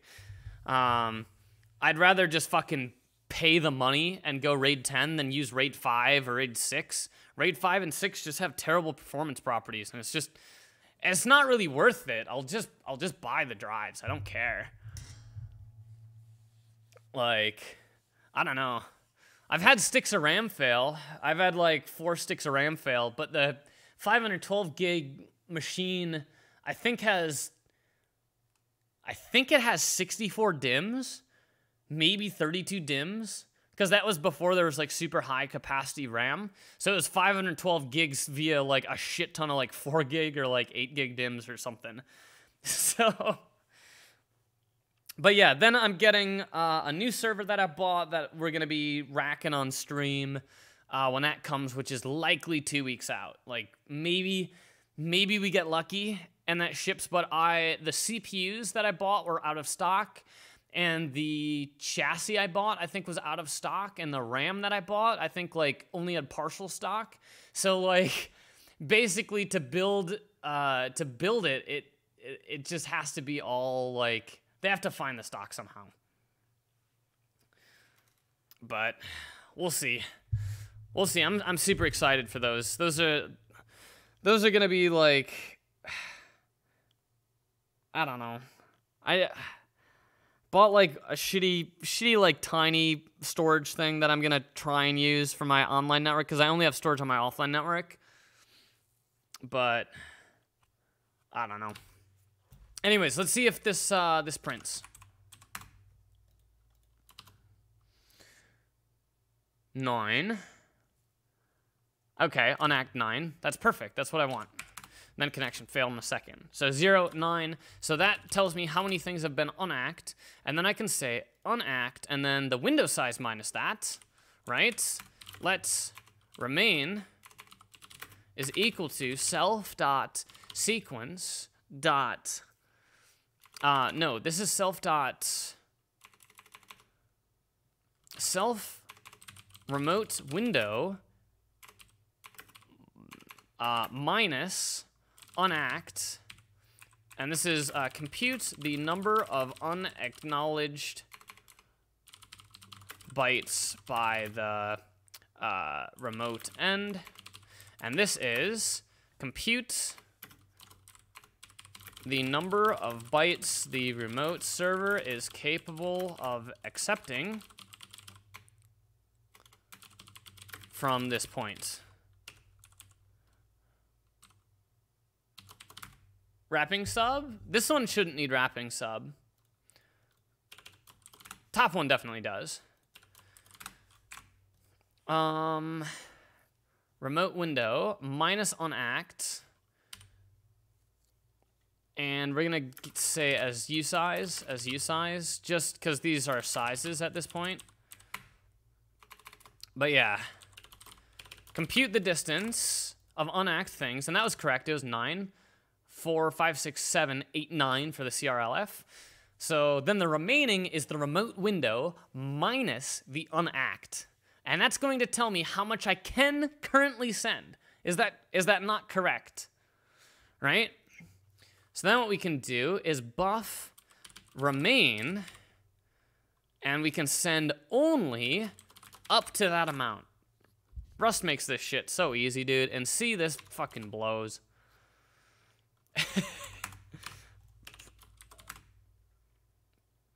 You're computing the max MSS size? Are you not having each size announce the MSS during the... I mean, that's what I have, right? That's what I store.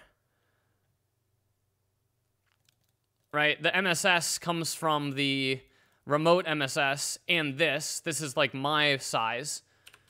I shorten it, potentially, if they report greater than 1560. Because I know this is what I want to send. I can go under that MSS, but this is what the what we negotiated, what it sent to me. And then I cap that at 1560.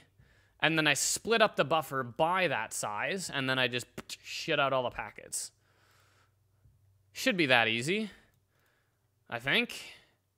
Nothing too crazy there. Didn't see the remote MSS? Yeah. And right now, I'm actually not parsing that out of options.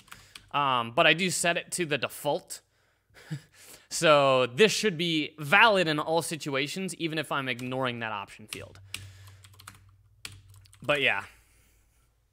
I should be able to ignore that option field and use the default. Otherwise, they are not complying.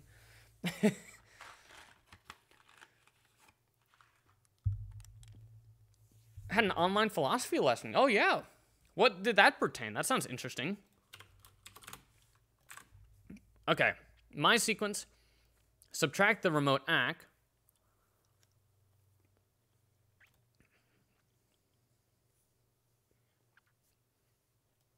Compute the number of bytes, remote window, minus unact. We trim it down to remain. We split it up into MSS chunks. We then make packets, and we write in the chunk, not the buff,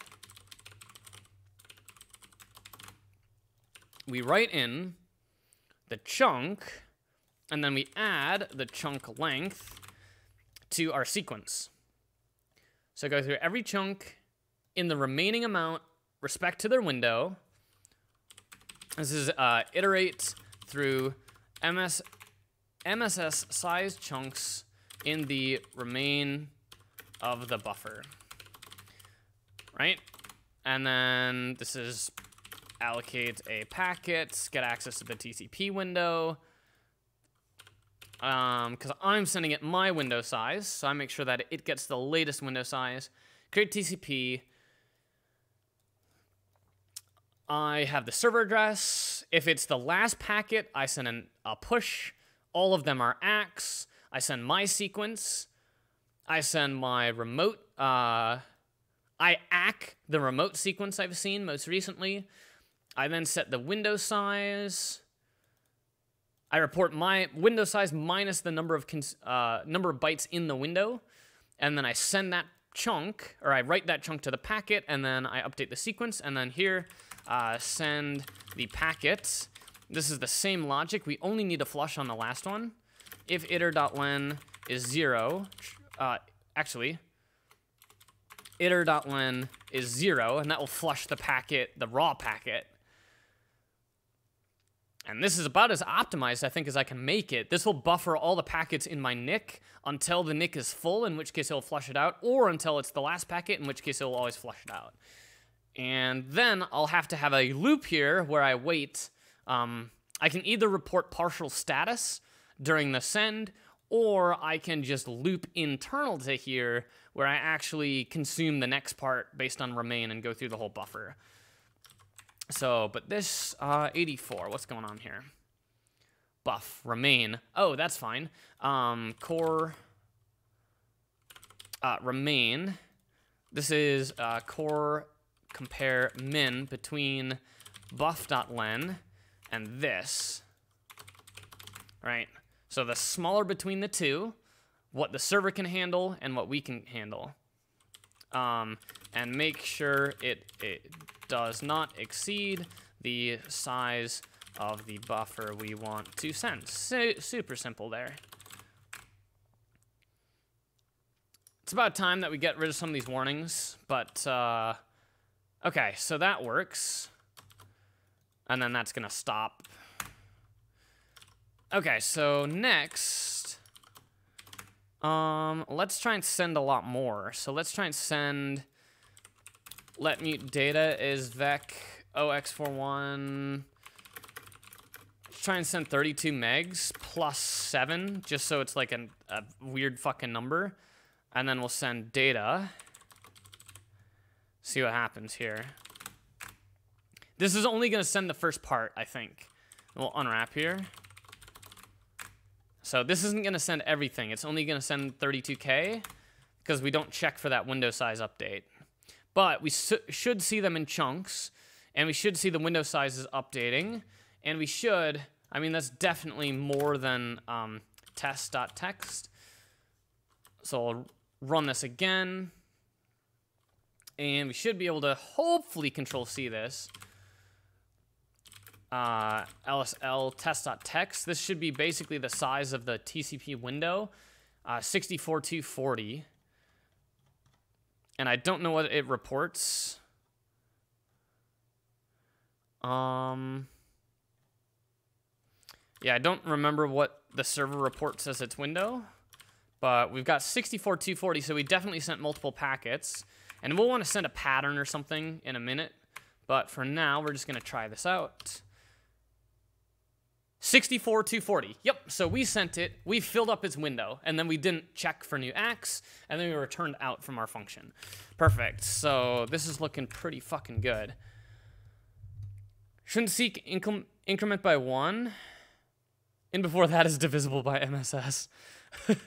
um, I think sequence here, it should just increment by the size of the data that I'm sending, right? It increments by one when you send a SYN, or when you're responding, when you're ACKing a SYN, but I don't think you increment it by one for just a normal packet. I'm no expert, but I would guess that if I wasn't doing that correctly, I would not have gotten this whole data, right? We can try it. I can increment it by one. I don't think that is correct, but we can try it and we can see if we get the data but I'm guessing Linux would be very unhappy with these sequences. Let's take a look. Yeah, that failed after the first one. Okay, so we are now able to send up to window size. Woo! Beautiful. We don't do retransmits, we don't do anything yet, but that's that's easy. Um, so now what we're gonna do is when we have exhausted the window, I guess we're gonna wait for ACKs for a, a, a smidge, a small amount of time. And then if we don't get an ACK, then we're going to resume where we left off. Who needs to send more than 64k data? Exactly. Um, so this, ah, fuck me, I copied the wrong code. Um, I guess this is effectively what I want. Roughly this. Not a bug, it's a feature. Yeah, exactly. Just don't send that much data and it's fine.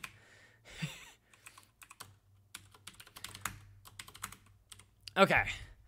Um, compute the TSC value for the timeout. In this case, we're going to hardcode a timeout and we'll constify it later. So if we have timed out, we're going to return none. No, we're going to panic right now because we want to handle partial sends. Default MSS on Windows is 1460. TCP window size is 7, 17520. Oh, yeah, because they set the, um, they're going to have the multiplier on that. 1460 on Linux. And then, I see. Okay, so here's what we're going to do. We're going to, we're then going to wait for a packet. And then if it wasn't destined for a port, if it wasn't an ACK, if the sequence didn't match, and then at this point I can say like, ooh, ACKs maybe? Alright. So at this point we got an ACK for, oh, it's not gonna be equal. Um, I actually need to figure out how I want to handle that. Self.sequence. So if the ACK is not equal to our sequence, which is basically waiting for the entire thing, which is technically valid, but we won't retransmit like where the server started, but ACKs maybe. So that's gonna wait for the last thing to get ACKed, which is not necessarily what I wanna do. I probably want to, um,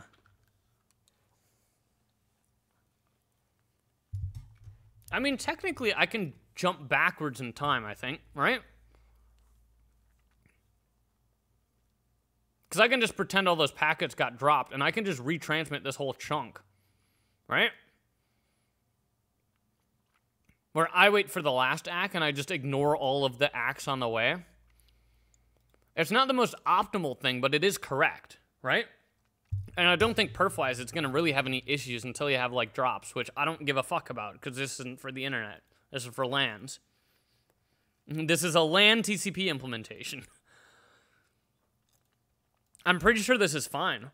I can just discard everything that isn't the last ACK. I guess I don't get the ratcheting effect. It means that if, yeah, I probably should implement that then. How do I do that then?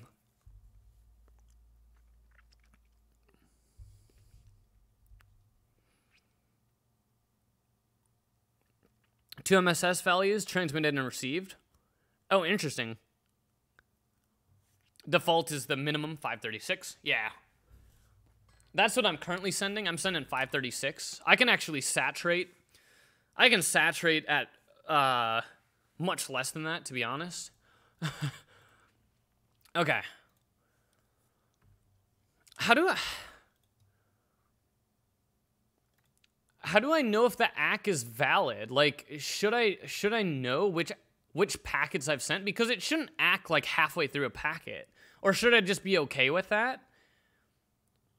Like, let's say I let's say we're at zero right now. We're at sequence zero, and I send 512 bytes, and it ACKs 256.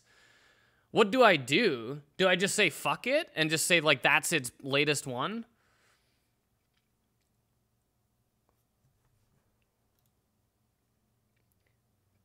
And how do I update, how do I know that it's greater than, because it wraps modulo the boundary?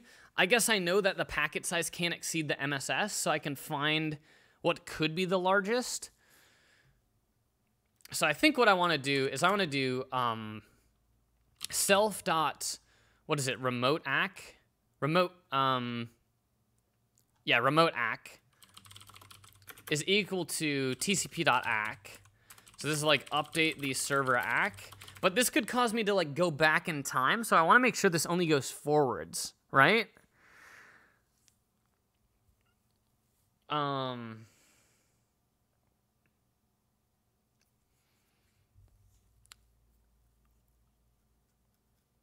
ACKs can build up. One ACK can acknowledge. Yeah, that's the like SACK stuff, right? And I'm fine with that. So what I need to do and sacks typically it's like a timeout of like a few milliseconds before it just sends the ACK anyways, right? Because it usually batches like n, where n is typically like two, just to reduce the amount of packets on the network. But I think I want to consume those.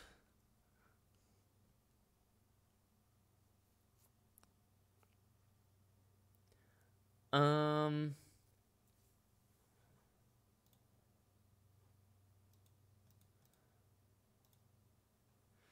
Shit.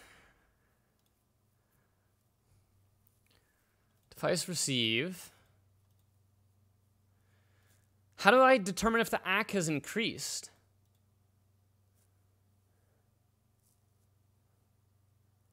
Because I can I can just update the remote ACK here, but that could cause it to go backwards. Like theoretically.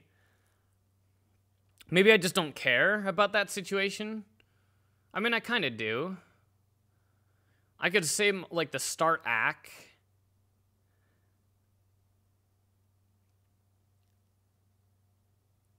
God, what's the best way to handle this? Um, let's see. Fuck, how do I want to do this? Remote ACK. We check the window. Wrapping sub less than a lot yeah like less than mss right or or less than the size of the packet maybe i don't know a meg or something actually a meg is uh 64k is fine because nothing can be greater than 64k so i can say if it's less than 64k then it incremented right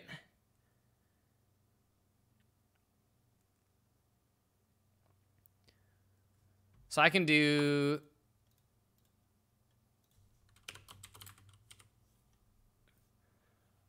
I guess it could batch multiple 64Ks.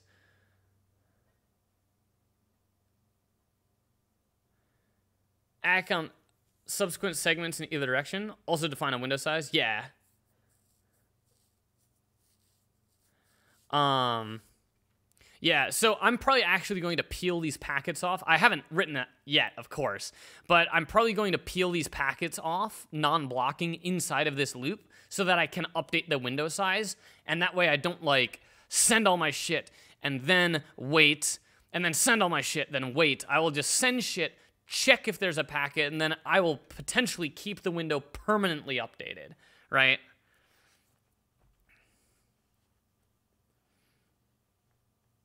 Um.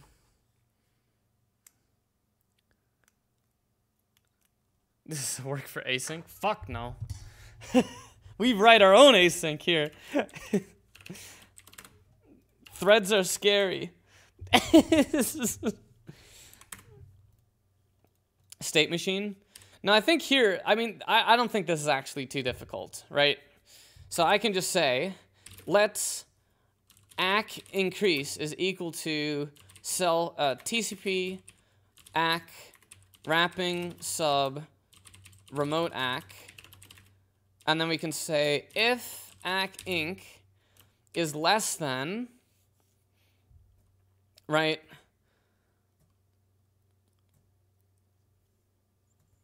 You have to make sure you keep all the segments. That's not a big problem. I'm not going to I'm not going to return from send until I've ACKed everything, and that solves that problem.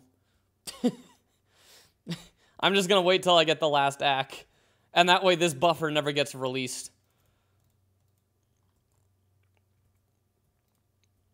Um,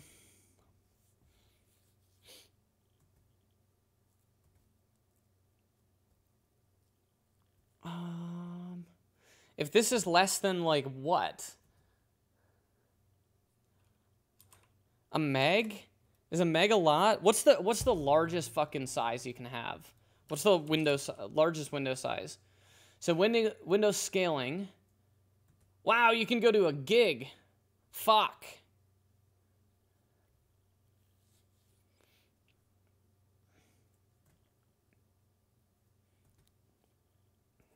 Is less than the remote window. I'm trying to think if that's always correct. I think so. I think so, right?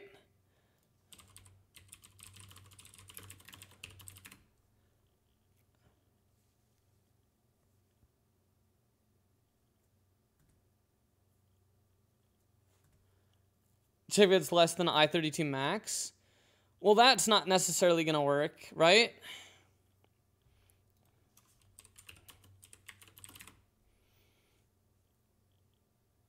Oh, i32 max. Yeah, yeah, I see what you're saying. Um, I mean, that would allow me to, like... Oh, I need to bounds check it as well against my ACK.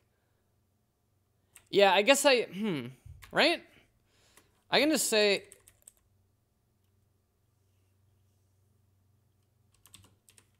um ACK inc is this, sub that. That's basically the increment in the ACK, and I can say um oh yeah, yeah, yeah, we'll just do this. If self remote ACK is greater than the self.ack uh, sequence, uh, continue, we'll just be like, uh, remote ACK exceeds our sequence, right? In which in which case we got we got some problems. So this is like so this will prevent that, right? Um oh, that's not always true though, right? Cuz the fucking wrapping Dude, I hate this. I hate how it's mod 32, man.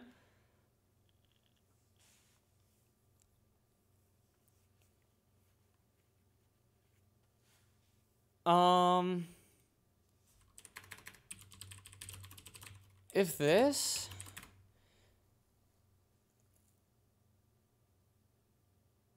um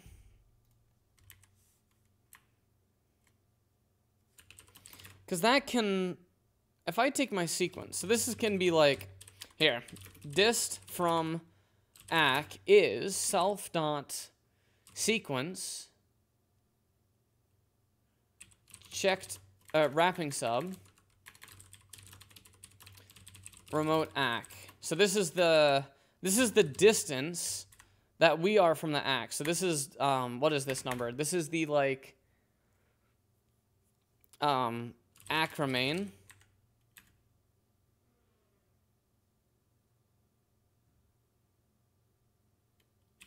Um, get the number of bytes left for remote to ACK, and then we'll say if ACK remain is greater than self dot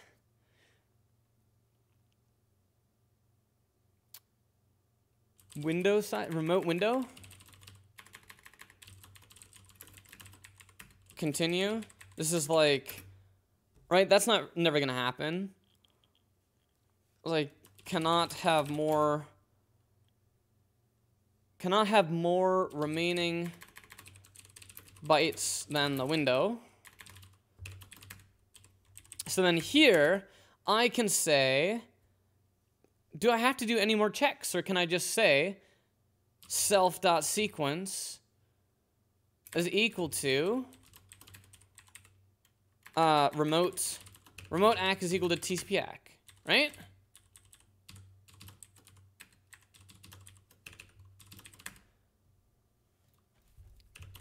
Get the number of bytes left. So our sequence that we sent, subtract off the remote ACK. If that exceeds the remote window, these are all unsigned. If that exceeds the remote window, then what are you doing? and in which case, it is inside of that window, and we will just update the remote ACK. And where we set the remote ACK, we also want to set the remote window and the sequence. Why not, right? Update the server state. Oh, and here we can say, um, I mean, technically, do I want the sequence to be able to go back in time on the server side? Technically, the server sequence shouldn't change here.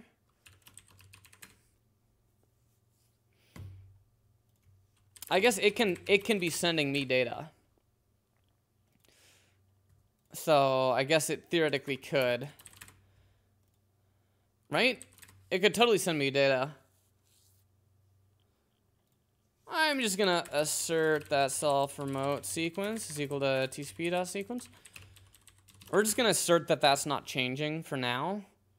This is um currently we don't handle ACKs that also are sending data.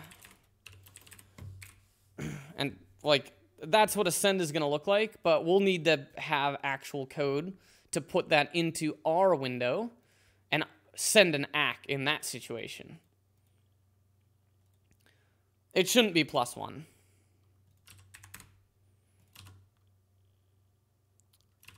Okay, explicit panic at 115. Alright, we timed out. That's fair, because we didn't give it a, a reason to stop. So, what we're going to do is we're going to slam this into here. And we're going to attempt to pick something off. Uh, and we'll do while let some. While there's a packet, while there's a raw packet, consume the raw packets. It's getting close. Okay. So we don't end up sending more because we stop the loop. But now what we do is um, unact is this. And then I think I'm just looping on the outside. Set text width is 79. Remote MSS, that's not changing, so we don't need to do anything there. But this whole thing goes in a loop while we're sending data. So then I need to track the number of bytes that were sent. Let mut sent is equal to, this is number of transmit bytes. And we will only mark them as sent once this happened. Oops. We'll only do that once we have ACKs. And once we get ACKs, then sent plus equals self dot remote ack wrapping sub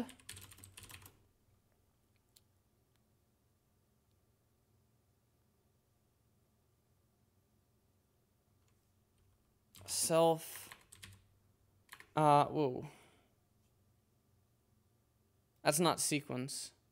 And this this is packet. Yeah. Based on their ACK. So take the current sequence that we have sent, subtract off the TCP ACK, and then at this point we want to update the number of sent bytes, and we'll do this by adding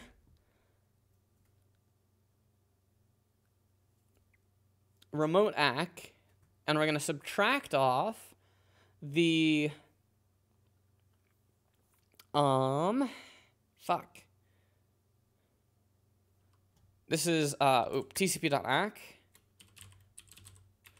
and tcp.remoteack or self.remoteack. Update number of bytes sent based on that ACK and then print sent this sent. Right? So that's basically the distance between the ACKs.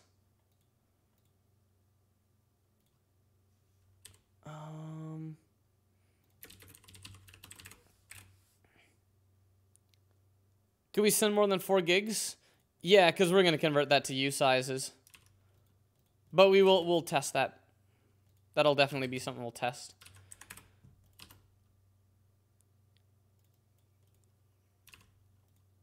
Um. Wow. Prince got ack.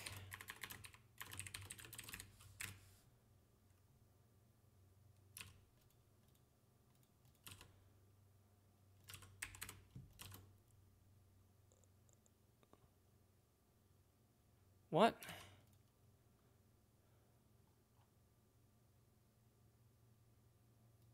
While let self device receive. Um, got TCP.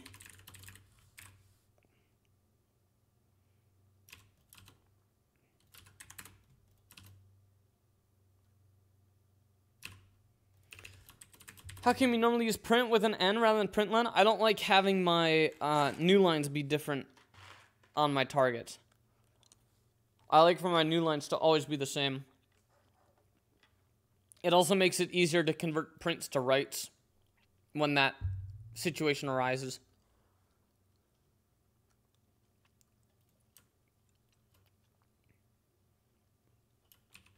Um. Whoa. This is building, right? Alright, let's clear up some of the shit. It's about time.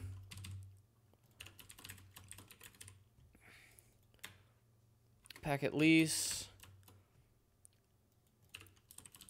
Atomic. Unreachable. 216. Doesn't need to be mut. 272. Doesn't need to be mut. 101. Doesn't need to be mut. Okay, that's like probably better. TCP. You can make these pub. Uh,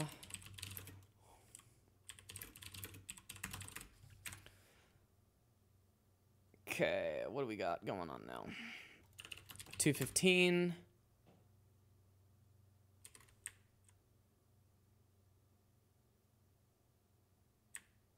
Oh yeah, just create create TCP. Yeah, we don't need that binding technically. And then pending coverage we don't use. Unreachable 149, yep. Let's get rid of that for now. Obviously, that'll eventually be reachable. Okay. Println always adds new line. Oh, interesting. I still like being able to just convert to a, a write. I don't know. I like the explicitness of the new lines.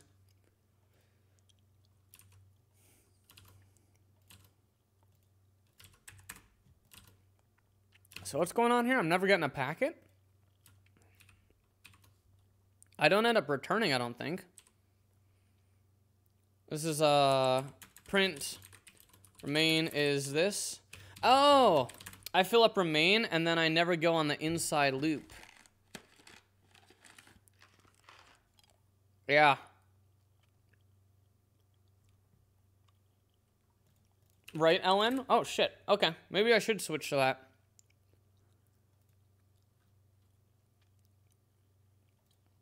Wow, we blast all those packets up before we get the ACK. I'm pretty impressed. We'll just do this for now, where we drain these. Um, if it's an ACK and it's destined for us, then update sent. Here we go. Here we go.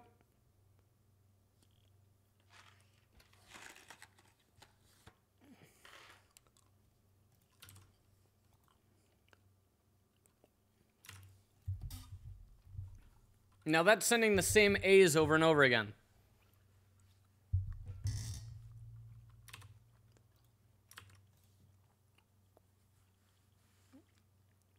So, what I want to do is I want to send something I can validate. Can we use PV to see how fast it sends the data? I mean, it'll, it'll basically be instant.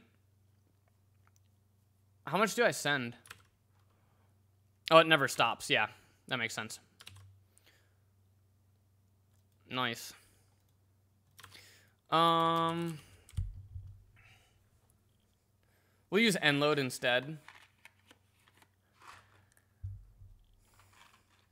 Dude, I gotta stop eating this candy. Shit. This is why I don't bring candy next to my desk. Bad idea. Bad idea. Sharing is caring. What's going on here? What exactly are you doing? What is the goal? We're just writing a TCP stack for a custom OS. That's really all we're up to right now. The goal is just to get a TCP stack so I can get data out of the um, OS. More specifically, get large chunks of data. Okay. So then I can trim sent. I can say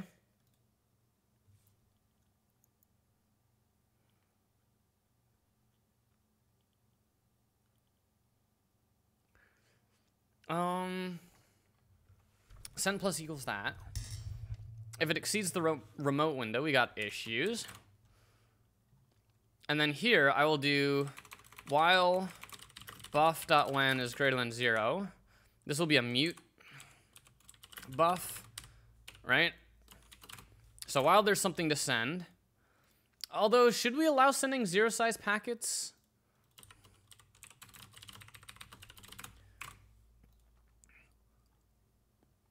And then technically we want to do sent here. Sent plus remain, but that could potentially go out of bounds, I think. I mean, technically not, because we make sure it's in bounds of the window, which we use during remain. If it exceeds buffer length, it could go over the window.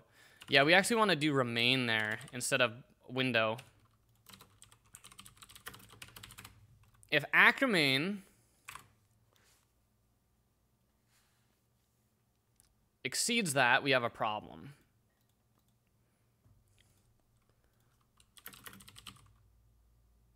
Uh, we'll go this way.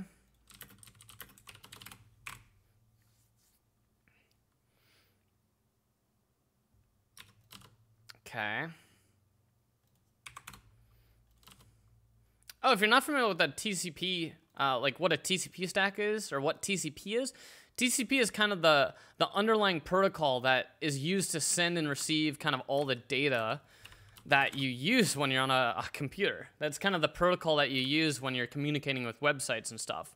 Um, so that's effectively what we're implementing. It's a way of sending and receiving data between computers over over the network or over really any medium, but typically a network. Okay, perfect. That's what I wanted to see. That index is out of bounds. Is that what I want to see? That's on 89. Oh, buff.len. Um, minus sent. And we'll do checked sub here just because I'm scared. Here we go. Bam. So this should work.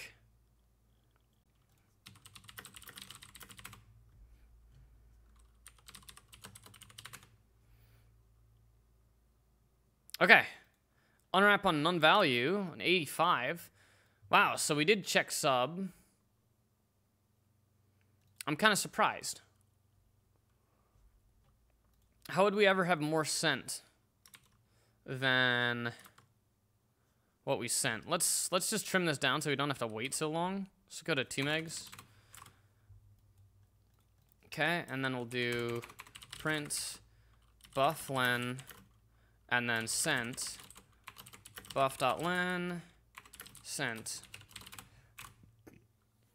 I do think I have to clip this value. I have to trim this value down myself. Sent all that shit. Bufflen is this. Sent is 21. Did I do a retransmit?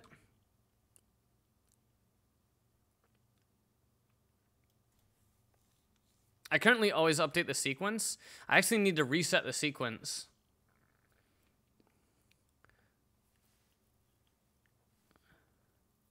When I go to send again.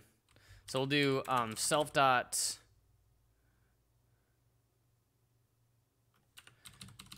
Um, when I get to this stage,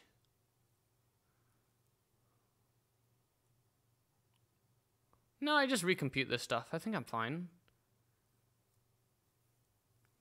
Or will I end up pushing that sequence? If I go to retransmit something, I'll end up bumping the sequence, which is a problem. I'm guessing I'm guessing I dropped a packet.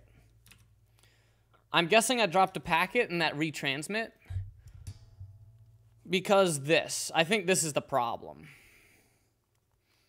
And if I sent more, then of course the server comes back because it thinks I sent more than I did. Um, okay, we start off figuring out how much we can send. We then clip everything down. We then send MSS sized chunks. And then we update our sequence.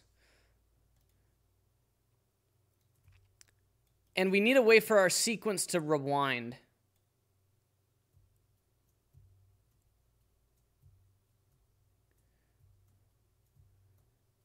I guess not necessarily.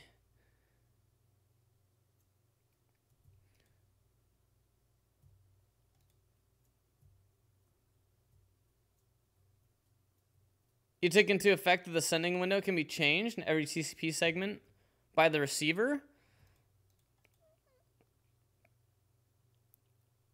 Um, I mean, they shouldn't they shouldn't be able to like shorten their window.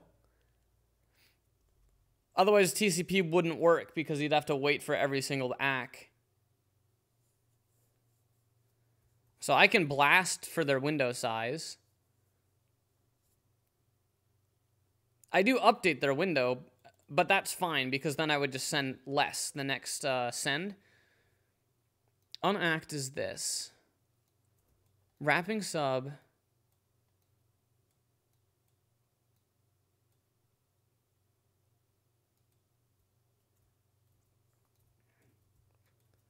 my sequence minus that. That gets unacknowledged.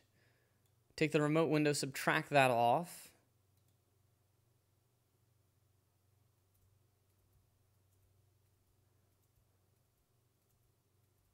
Oh, window size could be zero. This could go zero.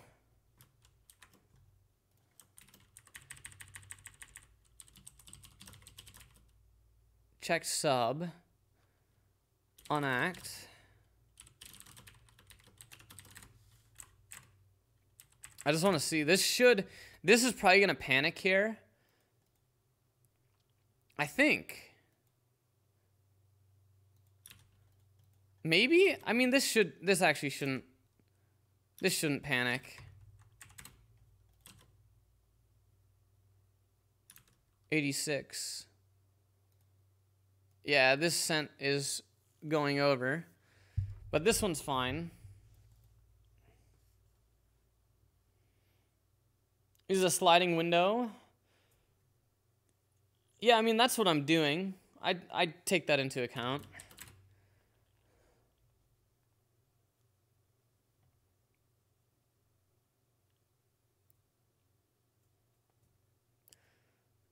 Wrapping sub. Yes, that'll tell me the unacknowledged bytes. I then determine how much I can send it by taking the remote window, I subtract the unacknowledged bytes, which in theory they could change the window size and that could be fucked.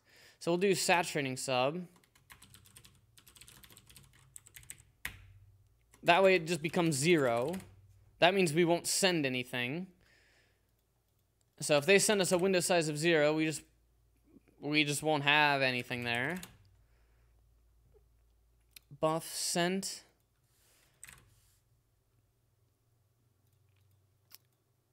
Sent plus sent plus sent to sent plus remain.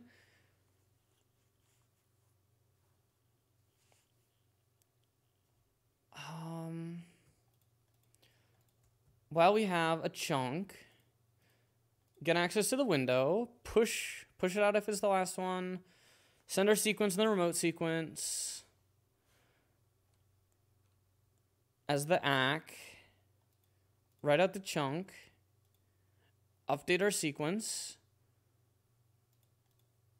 send the packet, and do that in a loop until we've used up the entire window.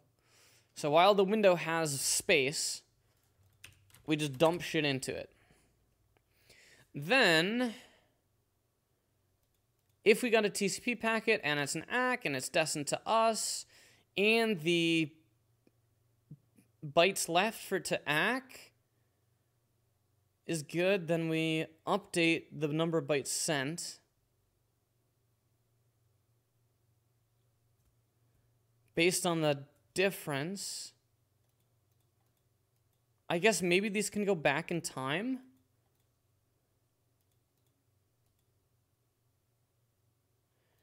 I could say if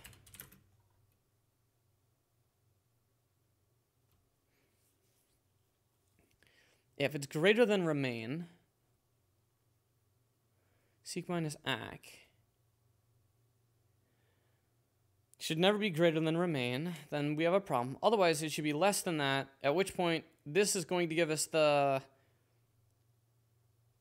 increase in the ACK. And we can say if the let's ACK increase is equal to tcp.ack wrapping sub self remote ACK.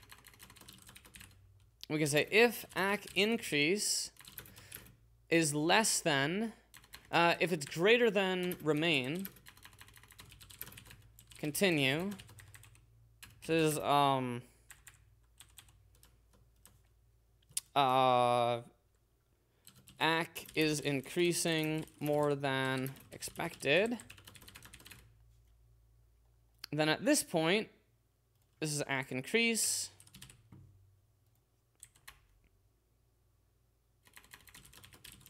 If packets get out of order, that could have happened where it would like go back, but I think we would have seen like all Fs there, so I don't think that is the bug.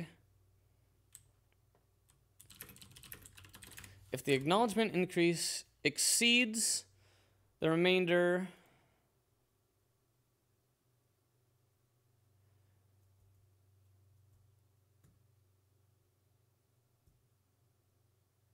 self.sequence minus that. So we make sure that we don't go out of bounds of what we sent. And we make sure that we don't. And we make sure that we are not. We make sure that we're increasing and not going negative, not going back in time.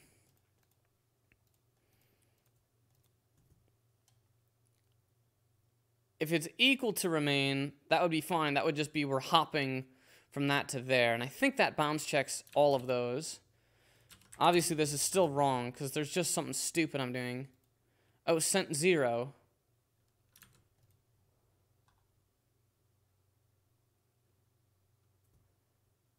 Um, I guess then here we can say if self.remote ack is equal to self dot sequence and uh, oh, we don't have buff len is zero?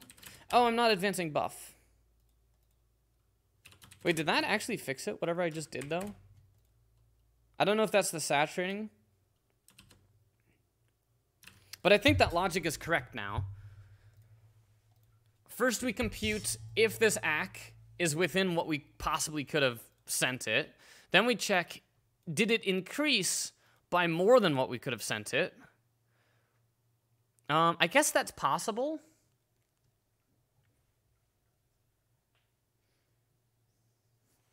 Yeah, this is possible.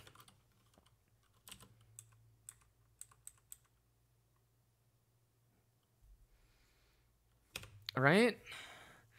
That can be greater than remain if the if the remote side was already behind. So if we sent something twice in a row, this could happen. So if we already sent it 10 bytes and we sent 100 more bytes, it's possible that this would exceed that, but it would never exceed this because this is the sequence. Well, it could exceed this, couldn't it?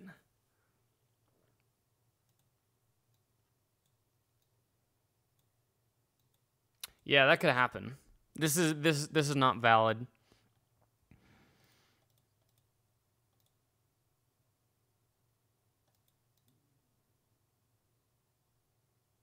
Mm-mm. What's the correct logic then? I guess I could save this starting ACK. I could save this um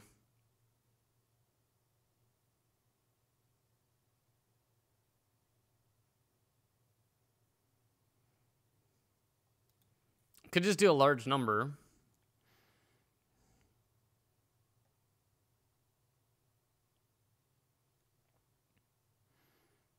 Mm, I think I have to save the old the old stuff on ACK. Right, we're computing on act.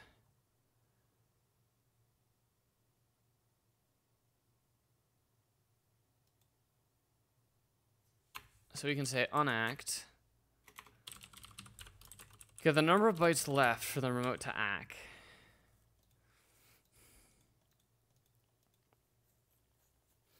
But I don't know how I bound that. I think it would just be window size. It's not necessarily remain, but window size should work.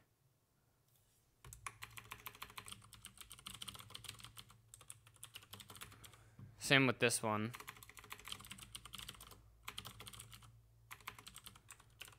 I mean, it could change that window.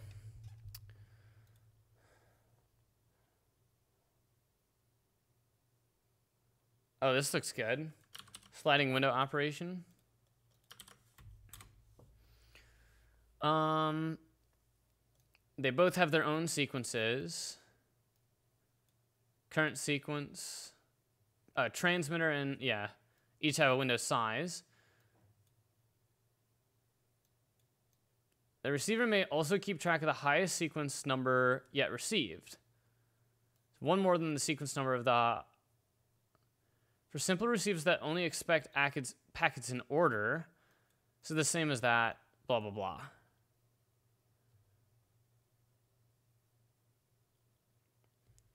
Here's an idea. You could chop off your buffer at the end of the loop instead of changing. Um, I don't necessarily know what you mean in that case. Um, okay, so the sequence numbers always obey this rule. This is what we want to. This is what we want to validate, right? The highest acknowledgement received by the transmitter cannot be higher than the highest number acknowledged by the receiver. Buff is buff delta sent. Yeah, that's what I'm gonna do. Yeah, that's that's what, I'm not doing that right now, but that's what I'm gonna do. I'm just trying to figure out this logic. Um, the highest acknowledgement received by the transmitter cannot be higher than the highest NR acknowledged by the receiver. I guess that's so for transmitter, it may translate it transmit up to WT packets ahead of the latest acknowledgement. That is, it might it may transmit packet number NT as long as it fits in the window. Right.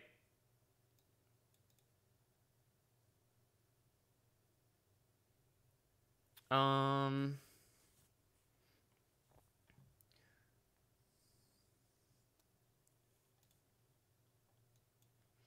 I mean, I could make sure that the ACKs are just in order.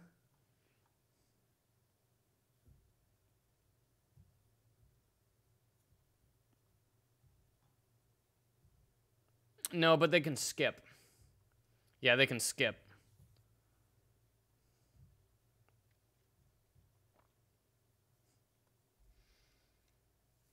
But I don't think, I think this is fine.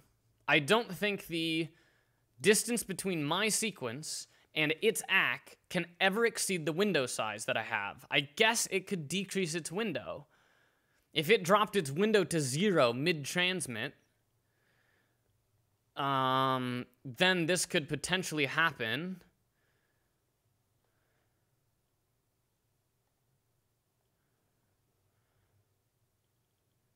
Right? NA.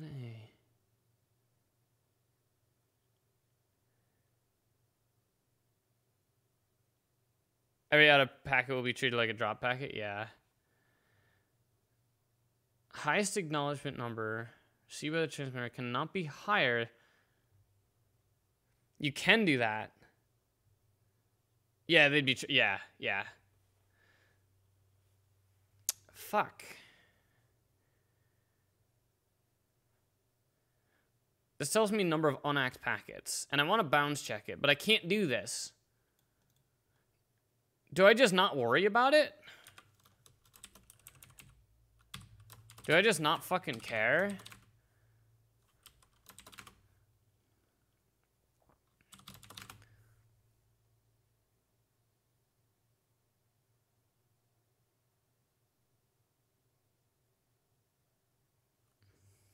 Well, I don't want it to...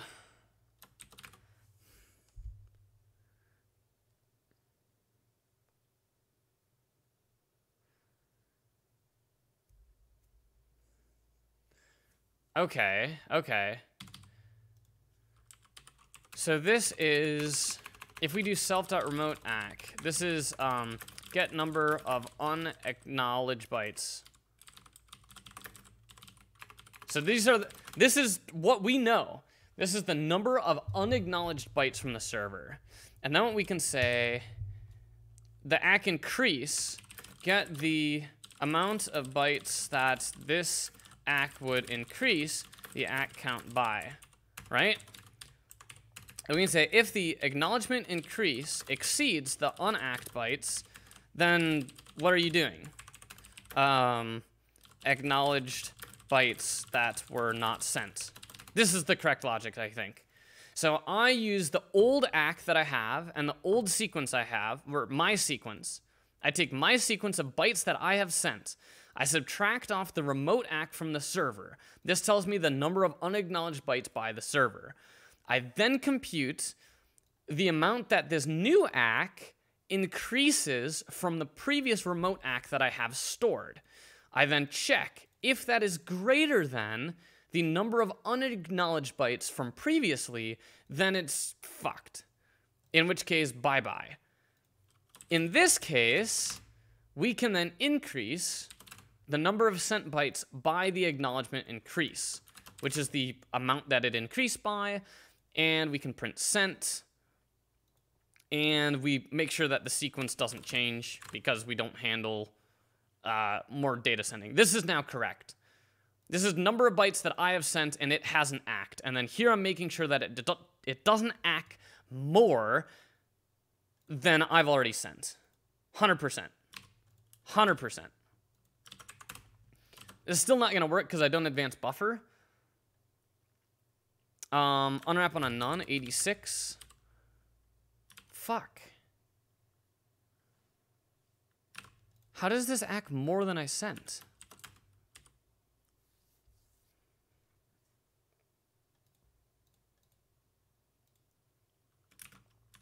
I don't get it.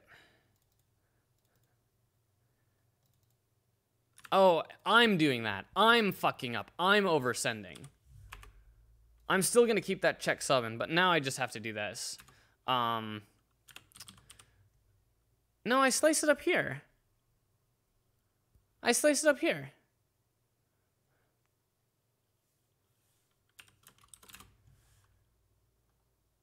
How am I sending more? Let me just check that let mut dumb is usize. Dumb plus equals chunk dot len print actually sent dumb. am I oversending and I don't think I am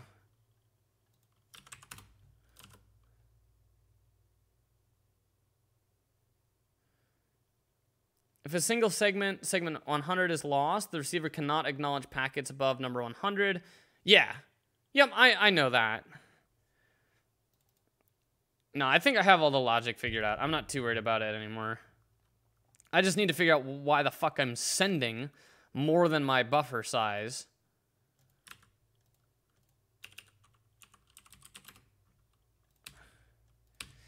if buff len is greater than zero, oh, uh, if buff sent. But wouldn't this just converge to zero? That's what I would expect. That's the behavior I expect.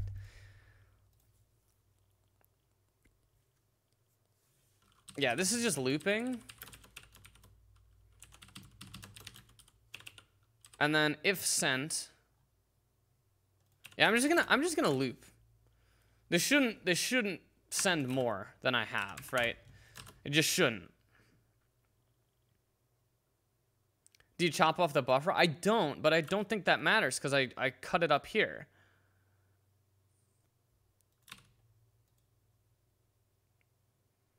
I just don't understand why I'm sending more than the buffer size. Like I'm I am doing that. That's happening here. Send the first part over and over again? I'm not because I update sent, right?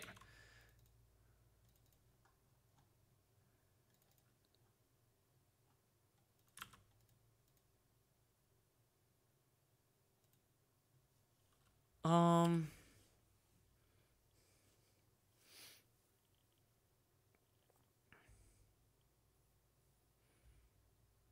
I think a packet's probably getting dropped. I think if a packet gets dropped, if a packet gets dropped, then I update my sequence erroneously or I like retransmit something. Yeah, oh, I resend a lot of shit. That's what's happening. I resend a bunch of shit. Yep, yep, yep, yep, yep. I fuck up. Um, basically, I send starting from there, and then I need to update. Uh, I need to also store the sequence number for that sent. Um, this is uh, sequence number of sent amount, and then number of bytes sent. And this is going to start at self.sequence. And then, when I start a resend, I will do let self.sequence is equal to sent.0. Not let. But this is uh, reset the sequence. And then this is dot one. Reset the sequence to the... I guess retransmits, I need to wait for a drop, and then I time out, I guess? So I don't necessarily want to do that.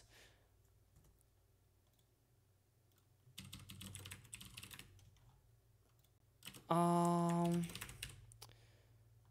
Well, I just want to go... Yeah, I just want to slice up the buff. But I need a way of getting back to it, so we'll do, like, pointer. Here, we'll do this. Pointer is buff. Right? So this is a pointer to the data to send. Buff doesn't change anymore. Now, this will be based on pointer And then pointer, we will advance every time we send something. Right here at the end. Pointer is equal to ref pointer sent plus remain. So we sent that much. That's how much we actually sent. Oh, we don't have sent anymore? Yeah, it's just dot remain. And then this is pointer. Pointer.len. The smaller between the two. And then if we don't get an ACK for a certain amount of time, then we go back and we update pointer to a previous value.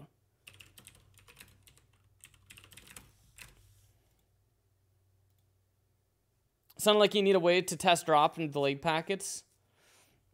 Yeah, I, I will do that once once I have this written, so this will go through the chunks, advance the pointer reflecting what we sent. Remain will never be out of bounds. And then 140 sent.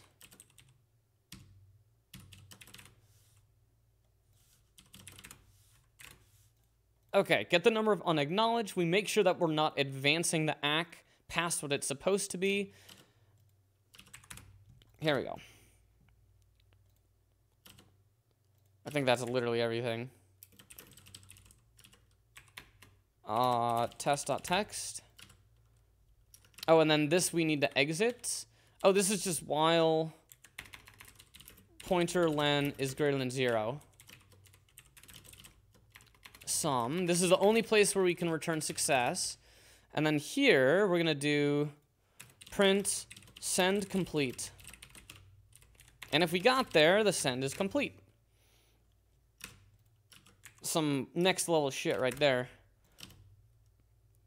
Yeah, okay.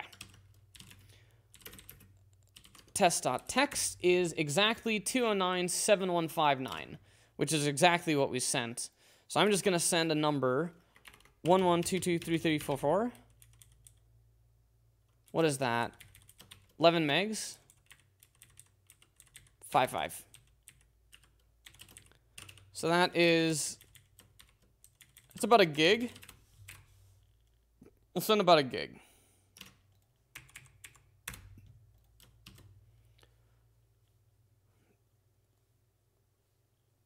Come on. Come on.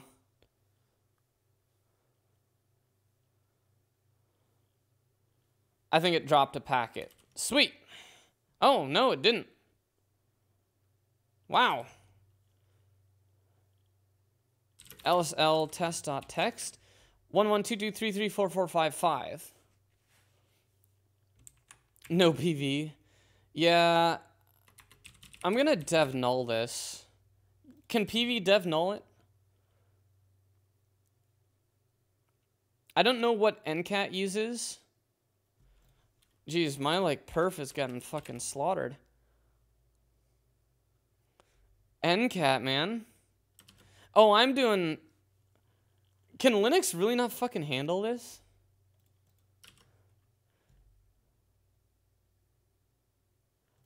I'm gonna kill these QEMUs quick. Um... It's this machine.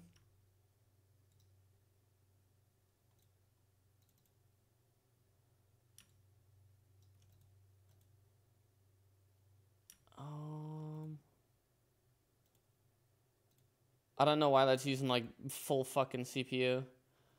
Shutting it down.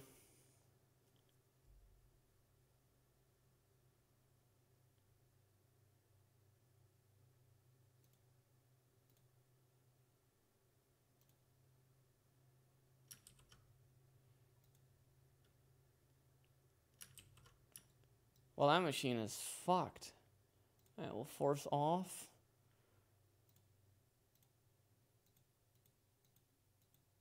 Oh, maybe it was installing updates. I don't know. Bye. Okay, so...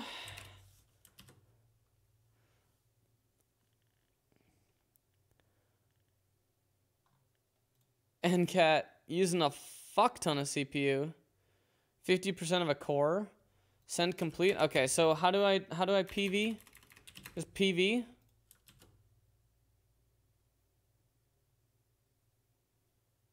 It's not working. Oh, I pipe it or I cat? I probably pipe it.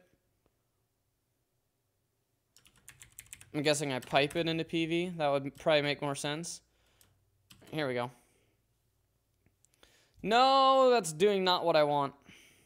How do I shut it up? Oh, do I just, uh, this?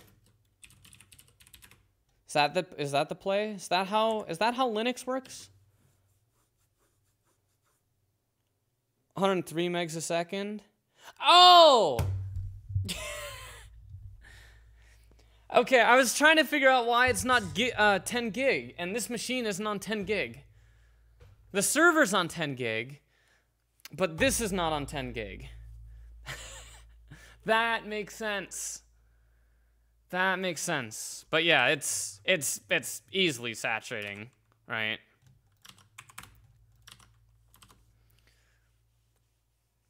Yeah, fucking easy. And that's at 500 byte packets too. It's a bit aggressive for NCAT. NCAT's using a lot of CPU to do that. Get the new server, it won't be here for weeks. Okay, so now we don't handle retransmits, right? Basically, eventually, we will like not get an ACK. And if we don't get an ACK, then eventually we would need to, and this will not stop until we get ACKs, right? No, this won't stop. This will just keep, this will return before I get ACKs. So then at the end, yeah, I think I just want to loop. I want to loop. And then I want to say, um, if pointer len is zero, and self dot remote ack is equal to self dot sequence, return Some. This is, right? Everything has been written and has been ACKed. Right? If the buffer we want to send is zero and the remote ACK is identical to our sequence, then we've sent everything. And this should still work, right?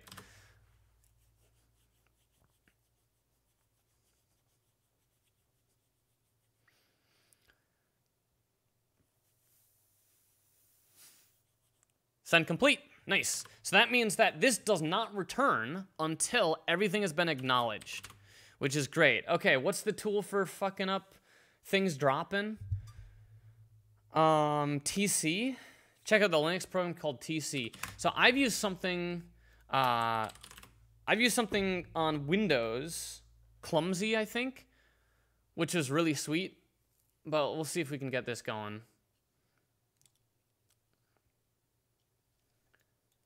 Um, actually, like, we'll do Linux TCP uh, drop test. Um, drop watch. Like, how would I use TC to do that? Otherwise, I might just fire up Clumsy in a VM because it's easy. But yeah, basically right now on a drop packet, I would just sit and I'd wait for ACKs. At, at some stage, the window is zero, and I'd be waiting for ACKs, and I would never actually send new stuff. But yeah, this should be correct. Unacked is this. ACK increases this. If the ACK increases exceeds the unacked, then we don't like it. Otherwise, update our ACKs. Search results. Um, TC test drop packets. Okay, how to drop a packet. There we go, simulate. Oh, Stack Overflow, we're good. netem to simulate networks.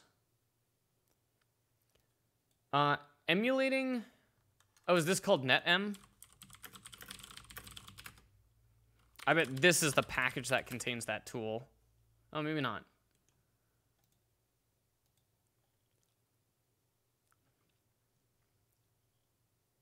Lost 3%? Okay. Um, is there a way for me to do that on a specific port? Dude, this is sick. Packet loss. TC, this, dev, this. Oh, what's TC? qdisc change dev enps 0 enp25s 0 i think 6s 0 um root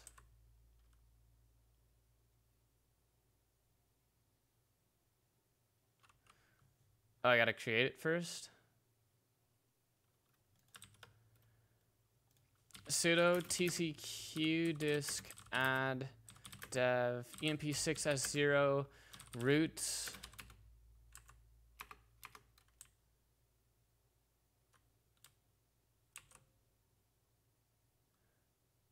netem help. There we go. Oh, reordering loss.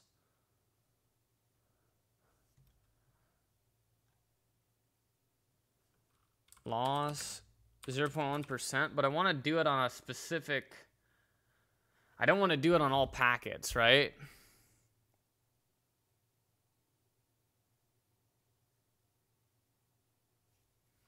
Um, correlation can be used. Bur- I mean, burst losses. Um.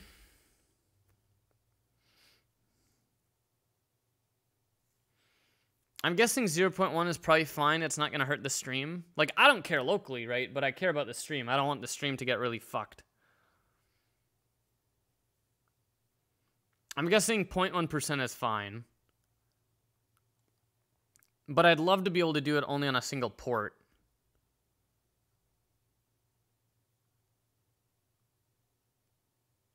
Um, fuck it.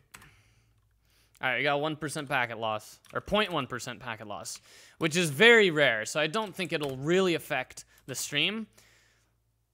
But it should affect this. This should get stuck.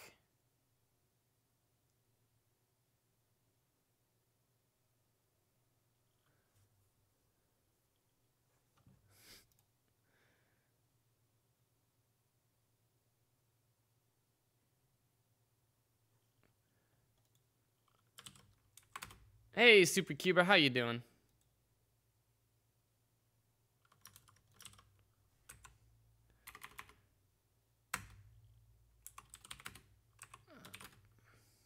Oops. Remove. Delete.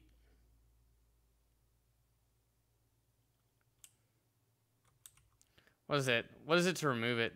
Del? Yeah, I don't fucking know. Alright, so why is that not... And then this is modify.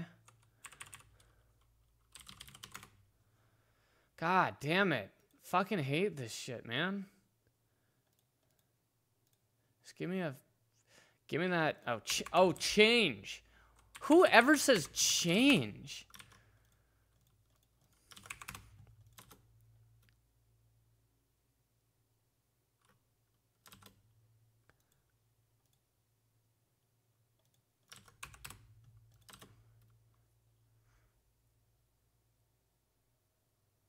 Dude, how is this not dropping and getting stuck? Oh, um, wait. No. No, I feel like this should get stuck. Like, TFTP is getting stuck, but for some reason this doesn't.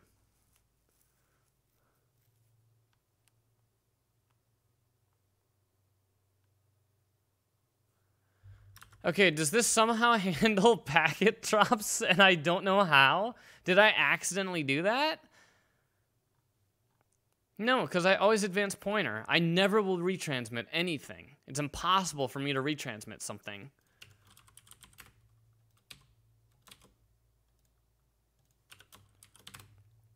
Remain is just the window or the length of the pointer, and I always advance that unconditionally. I have no way to escape this early. How the fuck does this work? Um, like I'm always, I'm constantly dropping packets on TFTP, but I'm not dropping packets. Maybe this doesn't drop inbound. No, if it drops out inbound or outbound, it should cause. Actually, outbound drops are okay as long as it's not the very last packet. Yeah, this is probably dropping outbound, isn't it? 100%.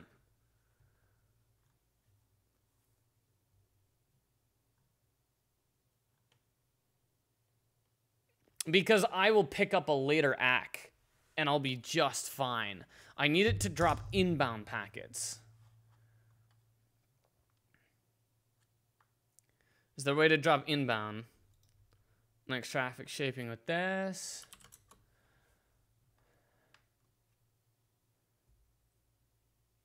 on egress, outgoing or forwarding. You don't have control over incoming. Ah.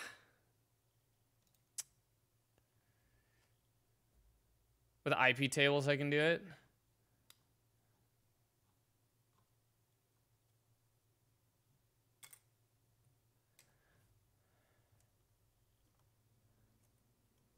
IP tables has FW mark that can mark packets. Okay.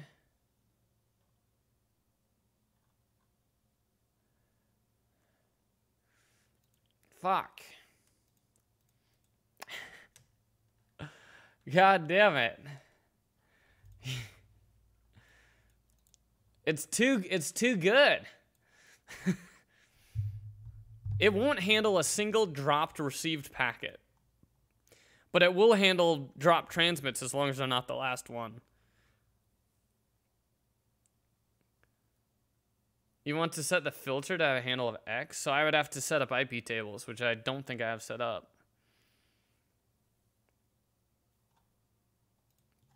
Number six. I close it.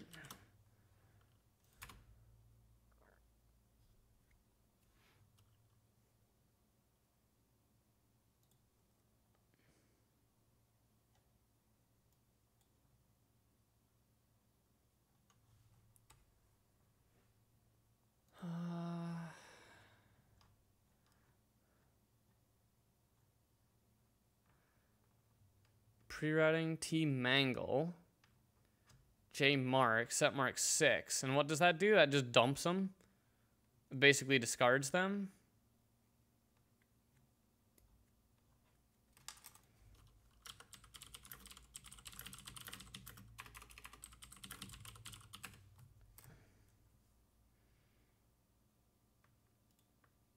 Um, yeah, it's only for that.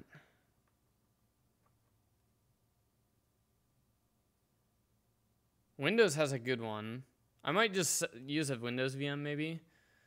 It's just going to be easier. I really don't want to fuck up my host. I'm going to remove this.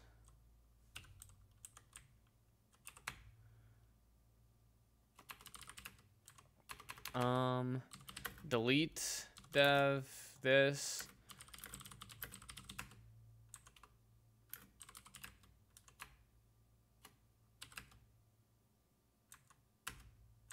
Okay. So I shouldn't be able to change it? Okay.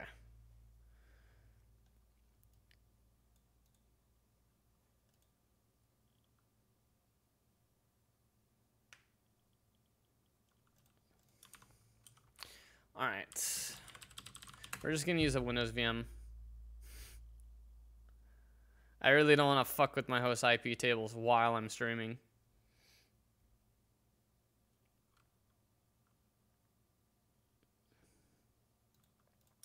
Now I gotta wait for Virt Manager to open because Qt or whatever it uses takes about 30 seconds to launch. Doing something stupid. I gotta figure out what it is. So annoying that it takes so long to open. Um, yeah, we can use this. We'll just give it network. Boot that shit.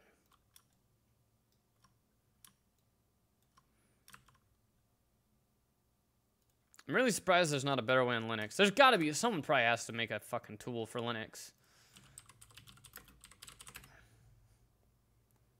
Maybe Clumsy works on Linux? Holy shit, does it work on Linux? Oh, nope, doesn't.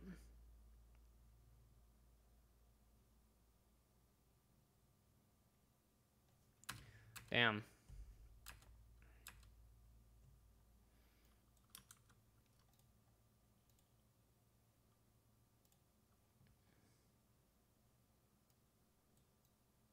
TC config, make it easy to set up packet loss. I want like a fucking GUI is what I want.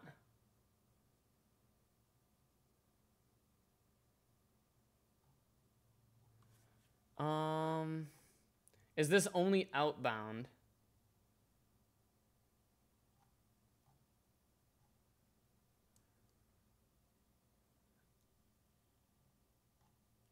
How do I set this up inbound? Documentation.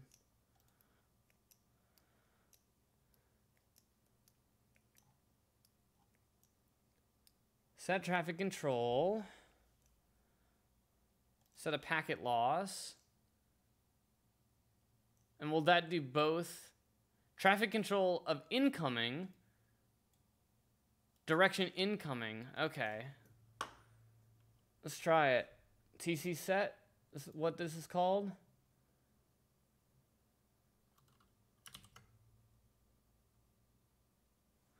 Let's try it. I like it.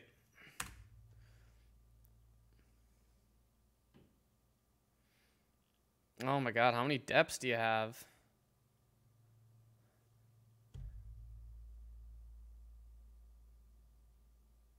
That succeed?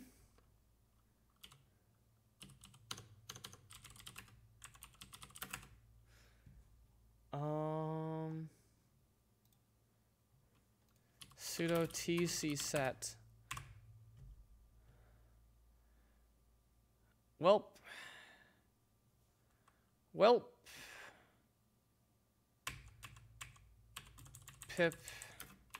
Uh, Py Python. Actually, pip uninstall. Okay. Python 3 and pip install. Let's see if it works Python 3.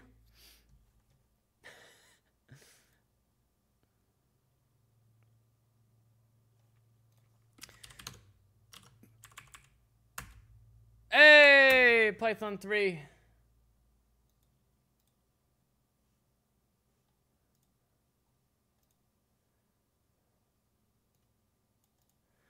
TC set, TC set ENP6 S0 direction incoming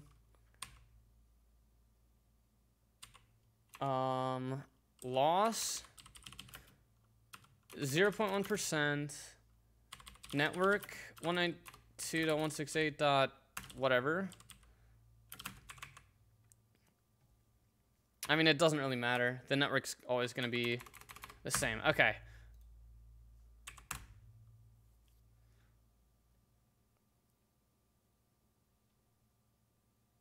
Okay, so it ran once. So let's see. Is this is this the dream? Yes! Yes! It stops. It gets stuck. Fuck yeah. It's borked.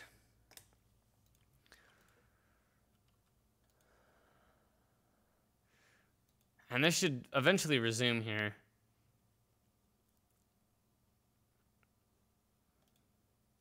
Like this will retry. Yeah, I want to do a port filter. TC Del.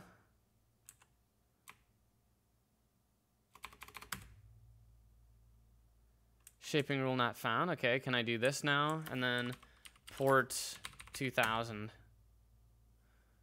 Um, overwrite. Right? So this is only on port 2000 now. Hopefully that um, reboot. Unfortunately, TFTP cannot really survive that, it seems. So we'll restart PyPXE, and we'll only filter uh, incoming on a specific port. White chocolate milk? It's just a fun name.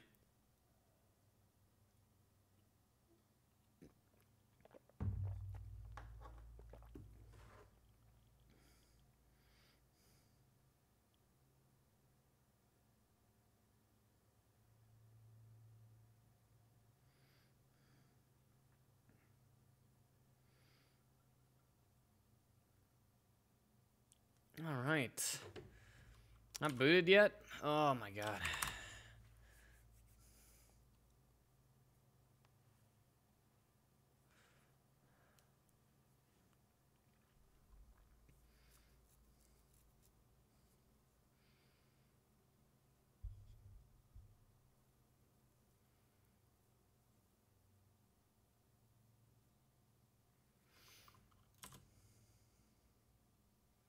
Hey, nice, it got stuck. Perfect. And then, yep, can't reconnect. Okay, it gets stuck pretty much right away. Great, good to see, good to see. Now this is pretty easy. Now we just say, um, I think the window size, we only care about the window size being zero, right? So let's say, um,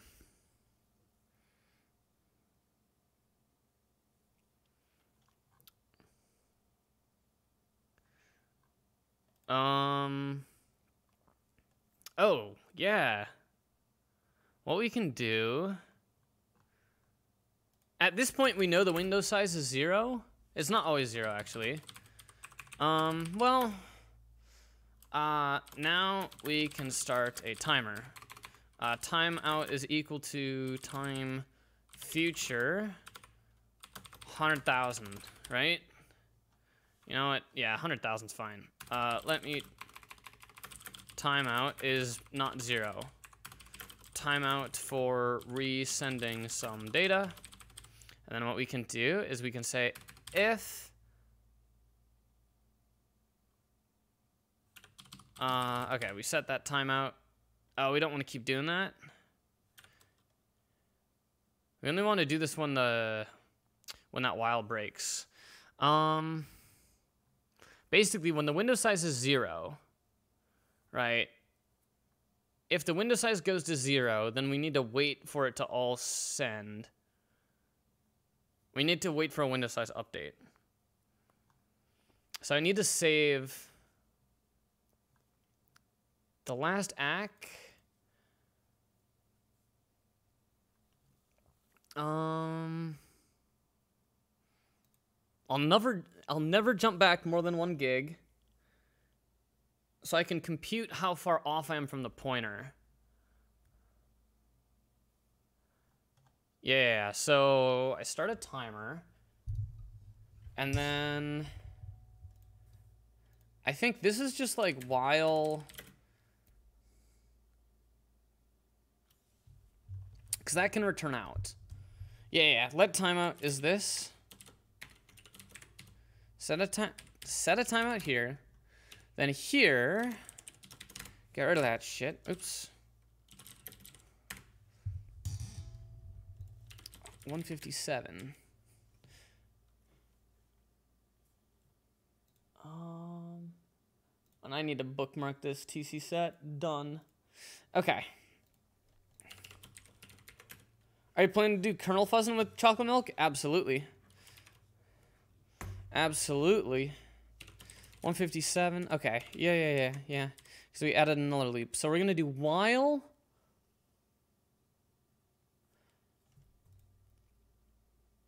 I guess while the window size is zero. Or while, yeah.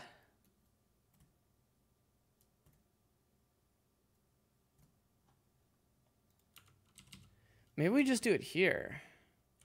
Hmm. I can... Yeah. I don't know. I haven't decided yet how I want to structure this. I think this is more how I want to do it. Advance the pointer, reflecting what we sent. So the first thing we're going to do is check for a packet. Then we compute all of this shit. And is this valid now that we put it here?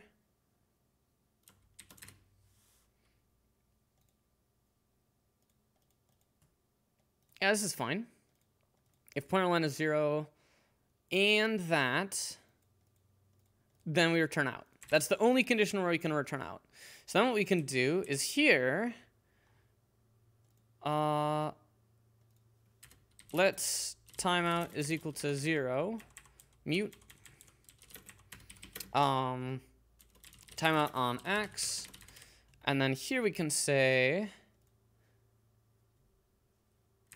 if remain is zero, continue. Um, we either have no window available to send anything, or we have sent any everything and we're waiting for the final ACK, right? So at this point, timeout is equal to time, uh, we can just set it here. Timeout is equal to time, because we fill up the window, or we send everything. Then we send timeout is time future. Uh, just a hundred thousand. So this is set a timeout to wait for a window update, right?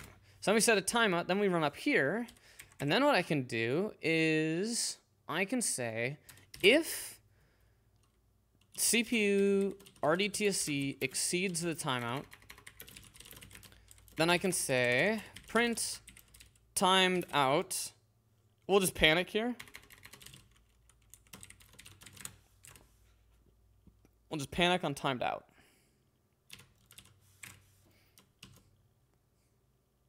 Okay, nice. Nice. And if we don't have that packet loss on, if we turn that off, if we set the loss to zero, uh, can I just do this? How do I remove it?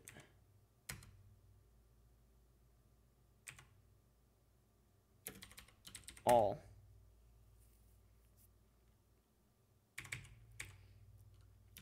Okay, so this should no longer fail. We shouldn't get a timeout, and we don't. No timeouts. Looks good. We have nothing dropping. At a K, this is net NCAT, but yeah, we'll see.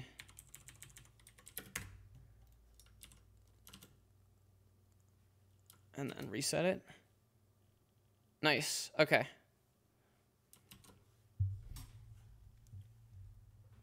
Thank you. I knew there was a flag. I was too lazy. Okay, so now we're going to add 0.1% packet loss, so very minor. And I detect a timeout condition. And in this case, uh, we didn't get an ACK in a timely manner, and we either have no window left, or we have sent everything, and we're waiting, waiting for the final ACK. So we didn't get an ACK in a timely manner, so at this point, we need to compute where to set pointer. So we're gonna do pointer is equal to buff dot dot something, where that something is going to be um, sent is equal to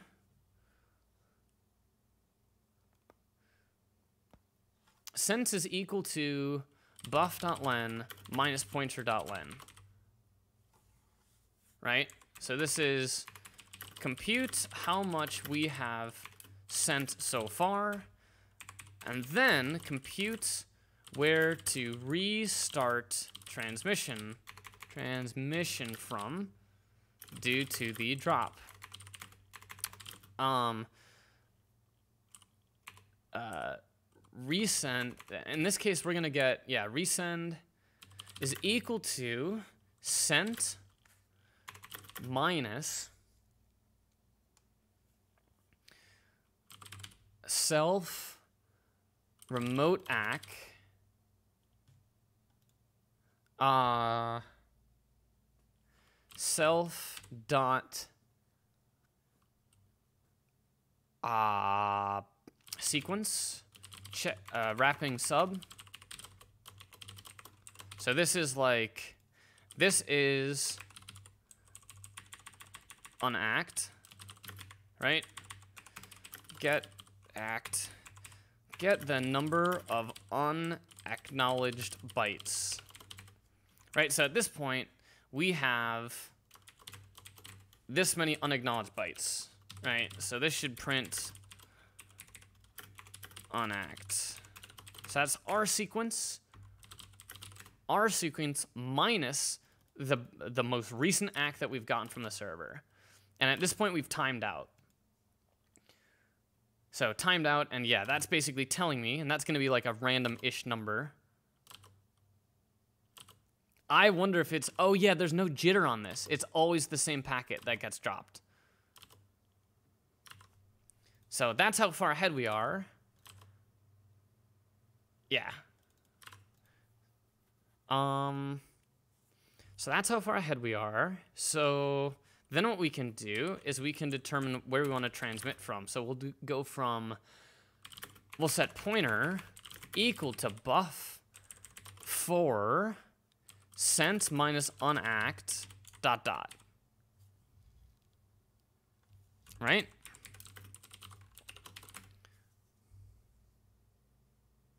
Mm.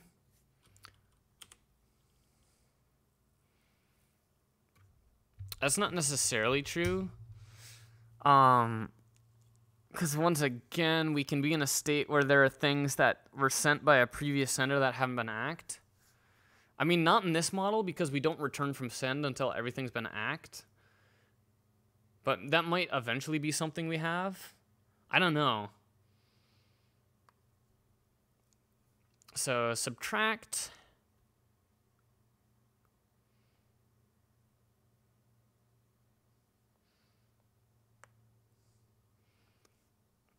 Get the number of unacknowledged bytes.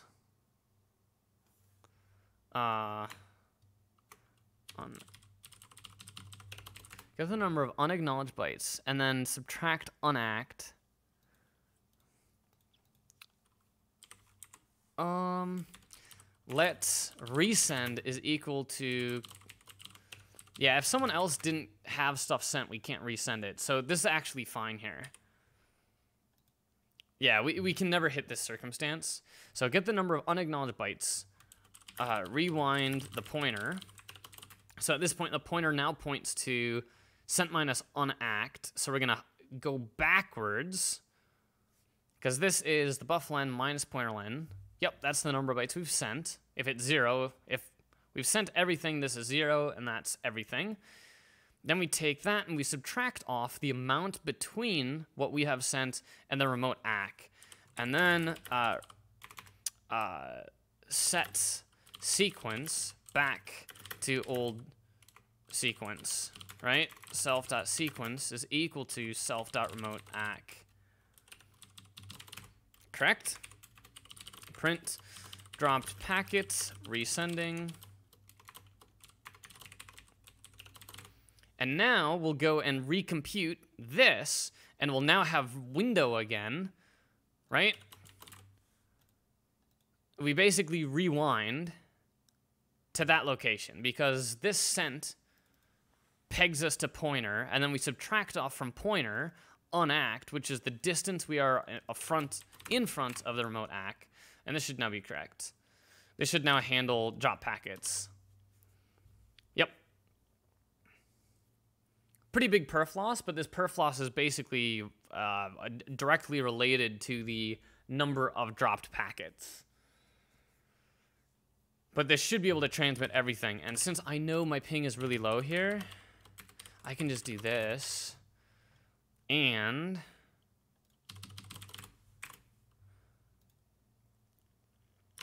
This will now retransmit. And there we go. We're sending at 80 megs a second with packet loss. And then eventually it'll get to the end. Okay, so now we survive packet loss. And we'll just write this to a test file. Just so we can validate it's actually got all the bytes and we didn't get extras. But I don't think that's going to be the case.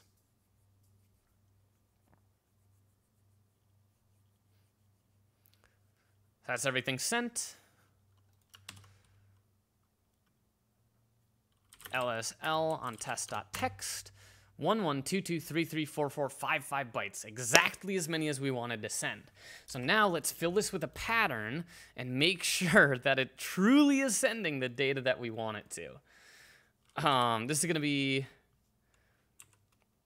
um, vec is going to be 0u64 and it'll contain, I don't know, a meg of that. That's 8 megs. That's a gig. So then we'll do for this in um, data dot iter mut dot enumerate dot for each i i X, X is II, right?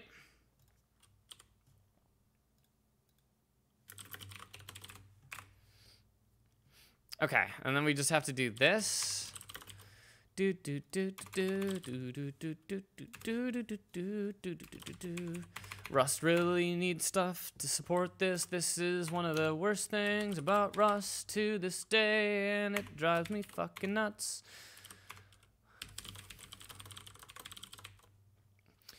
Um.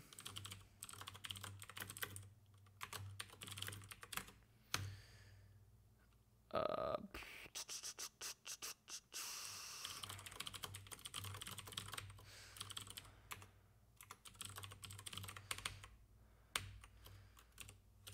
I can't wait till Rust gets fucking safe casting. We need it so bad.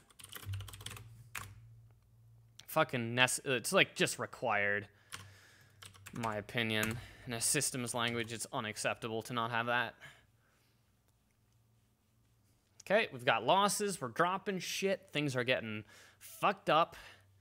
And we got no problems.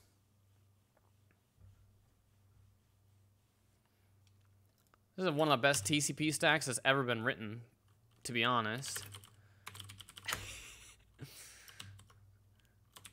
Okay, XXD test a text tail.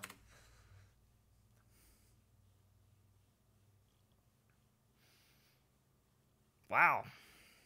Wow, XXD. We'll just print head. All right, well that looks good. So verify.py, open test.text, RB, data this dot read for II in range zero to len data for eight import struct struct unpack q data ii times eight. Oh we already do that ii to ii plus eight zero assert ii divided by 8 is equal to this.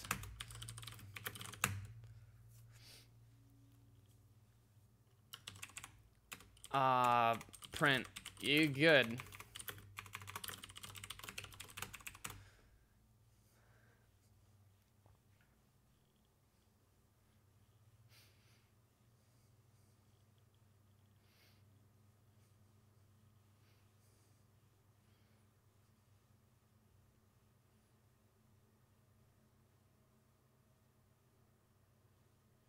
Come on, Python. You got this. you got this, Python. It's not too hard. I'm pretty sure it's successful, though. Because it doesn't look like we've got any problems. We would have had problems probably really early if we had a big flaw.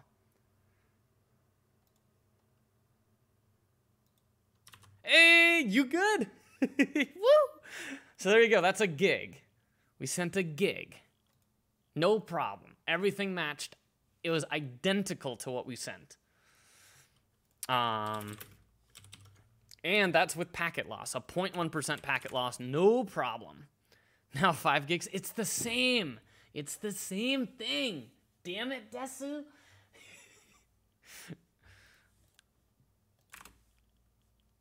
okay. Oh. It's different because wrapping. Oh you right. You right. You right. Are you okay with 16 gigs? Is 16 gigs acceptable to you, Desu?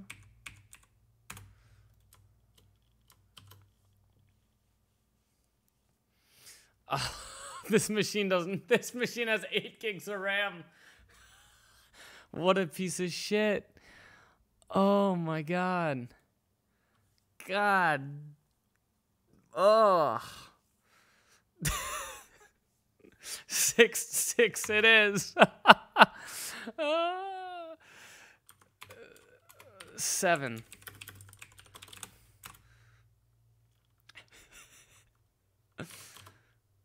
you bitch.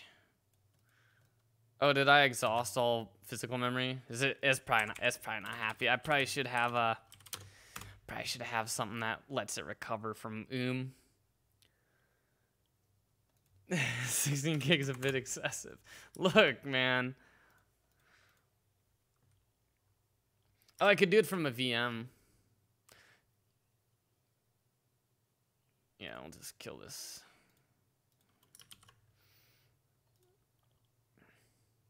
We out of RAM? Yeah, we got we got RAM problems. Okay, we'll just we'll do it in a VM. Ah, 30.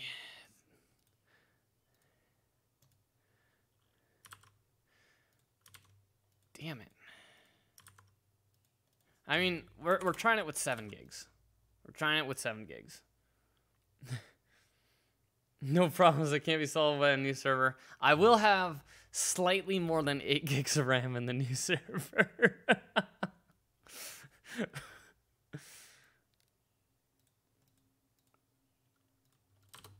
okay, here we go. Data coming in. Coming in hot.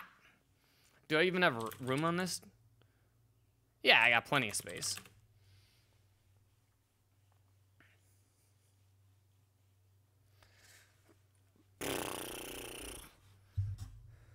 What's news on the server? Just waiting, just waiting for it to be built.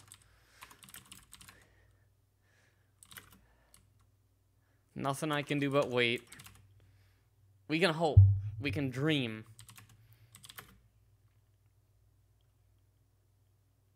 Have you tried to hack SCADA systems? I have not. I've heard they are very easy though.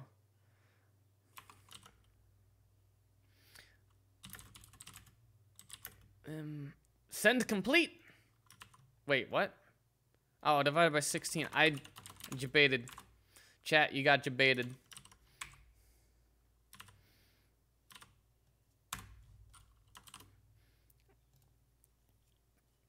Um.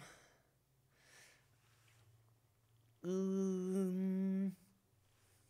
How am I gonna verify this? Is there a better way? Do I just do it in Rust? Cargo new bin verify. Verify. Vim source. We're against the clock right now.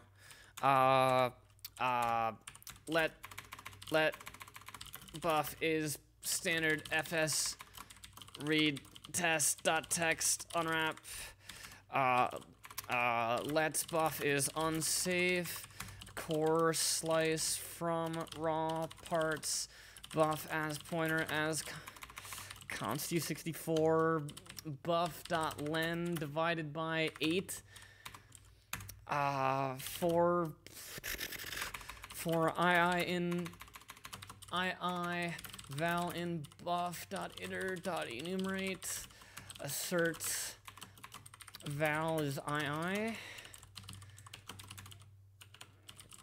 touch test cargo run release fuck as U64. Okay, that should do.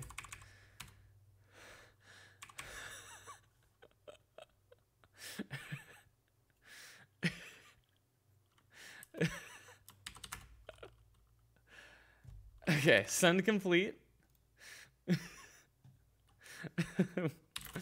uh,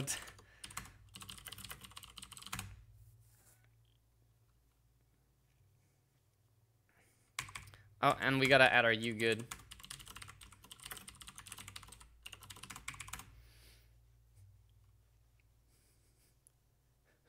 You good?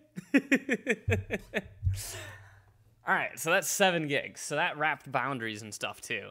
So that's pretty much as aggressive as you can get. We ignore all options. So if the server's like telling us, hey, we, we have a larger window than 64K, it just, we just don't give a shit right now. We just treat the window as bytes, which is always valid. It just means we'll undershoot the window.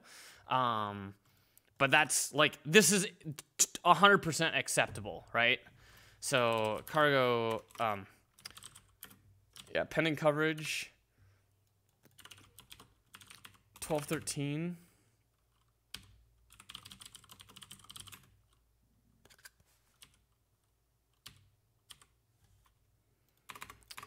And so now I buffer up this coverage. Let's do this. Now ACK. Yeah, we never use ACK because we never will until we send data. Um. Okay, so that works. Now we just need to do receives, and receives are easier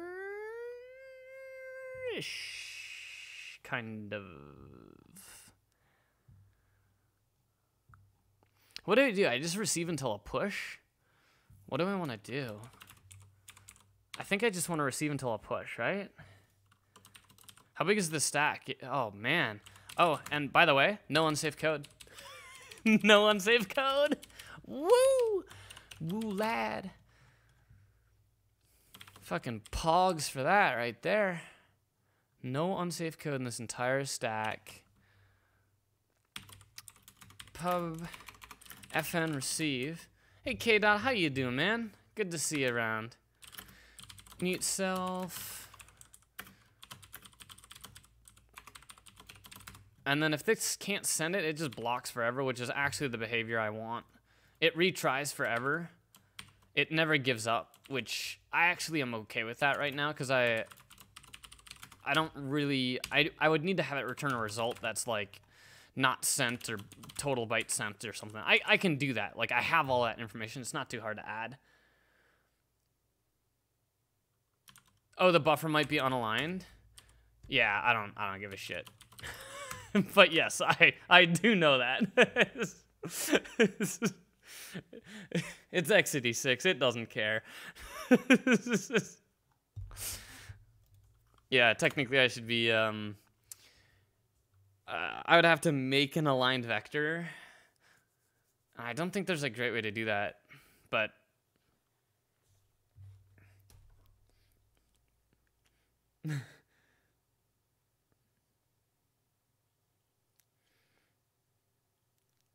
All right. Sends are easy, right, man? Or receives are easy, right? So we want to, this is um, send a payload over the TCP connection. Currently, this returns some if and only if all, all bytes are sent. If the send never completes, this function never returns, right? That sucks. That's eventually something we want to change, but at least the comment reflects what this does. And that's what's important to me. 187. So this is going to receive You almost used if. I know, it's correct. Um, receives. How do I want to do this? Do I want to receive into a vector until a push? Or do I want to receive into a fixed size buffer? Fixed size buffer is more classical. Vector until a push yeah, I guess you you can't really rely on pushes. Yeah, we're just gonna receive receives uh, data until uh, buff is full. We'll just do that. I, I like this. This is basically receive all, like send all and receive all. Um, I think I can't remember what Rust calls its receive all.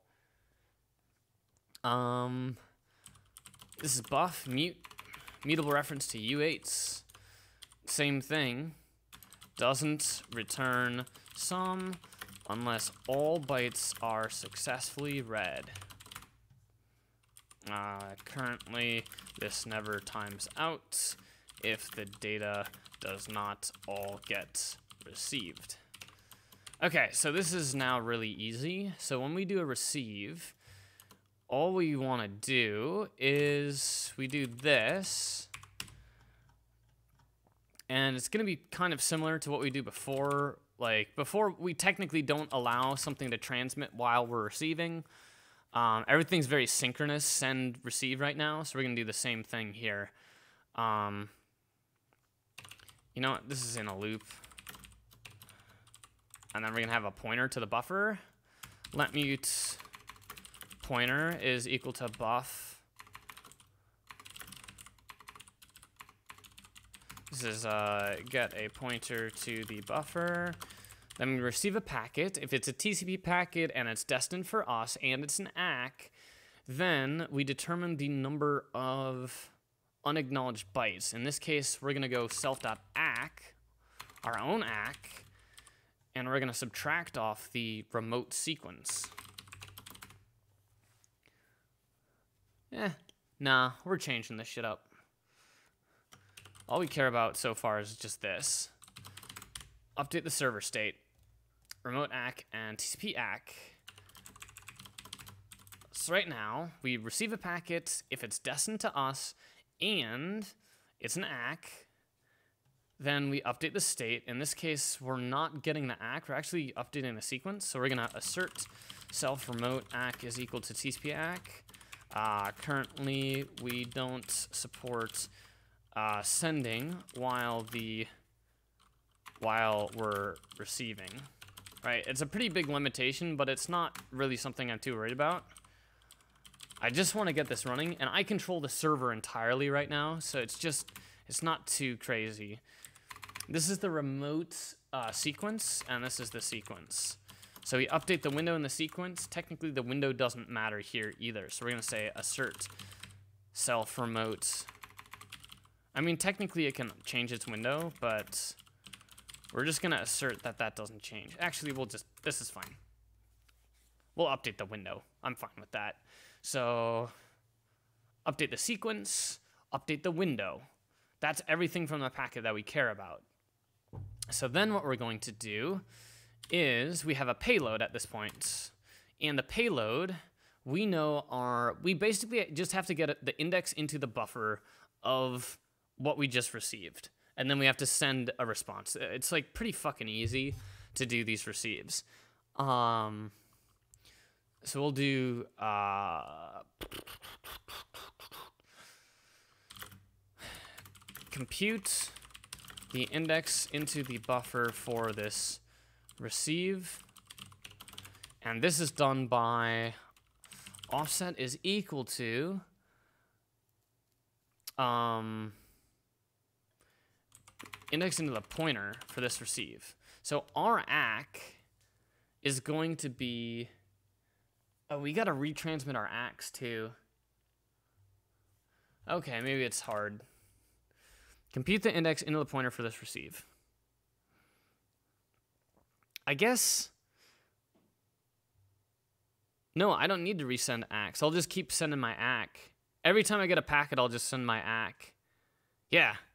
So we'll offset is equal to... Um... Actually, offset's always zero, right? If self.remote sequence is equal to, is that pre-index or post-index? It's pre-index, right? You update the, we update the index before sending, right? No, we updated afterwards. Okay, so the sequence trails it. So in which case, we'll say if the remote sequence is equal to the RAC, um, if this is the next packet we are expecting, then print got the next packet. Well, whatever, we'll just keep writing code. So at this stage, we're going to copy into pointer, copy from slice, and this is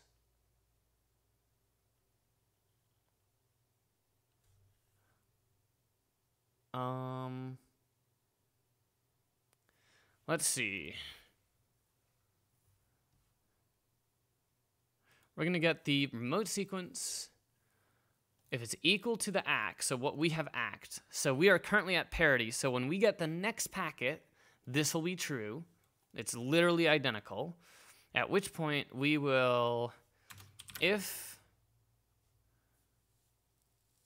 I think if we receive more, I just discard the data. No, I can put it back in the queue. I can put it in the receive window.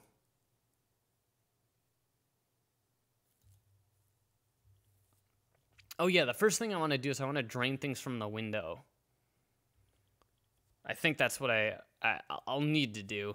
But here we're gonna say if we'll just do this quick. Um, assert pointer len is less than or equal to uh, tcp.payload.len. This is going to, this assertion will fail if it sends more than we're expecting, which is fine. Um, but we need to have a place to put that remaining data. So in this case, we're going to copy from slice into TCP payload len. So we don't handle the remainder right now. And we're just going to copy, because when we do the remainder, we have to implement windowing, which we have to kind of do up here and stuff too.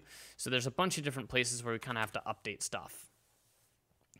So we are going to copy from slice. Um, yeah, just tcp.payload. This is copy the bytes in. And then at this point, we just send an ACK, but we actually are going to unconditionally ACK. Um, and then, oh, and then here we advance pointer. Pointer is equal to ref pointer tcp.payload.len. So we advance the pointer. And then here, we will loop um, while the pointer is greater than that, because we can always update the ACK. Yeah, while the pointer, while there's something to do, while there's something to receive, when there's nothing to receive, we're done. Then at this point, ACK everything so far.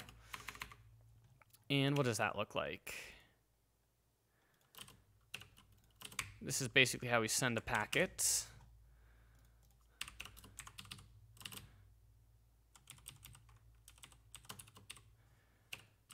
ACK everything so far. We make a packet. We're then going to send an ACK. We have no push here. We're going to just send our sequence and then the remote sequence.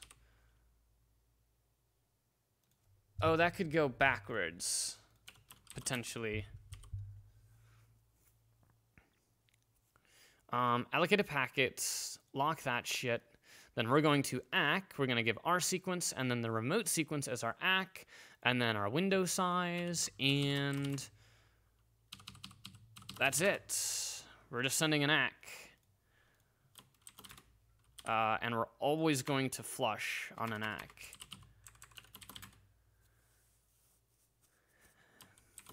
We'll just guarantee that ACKs actually get flushed out. Um, oops.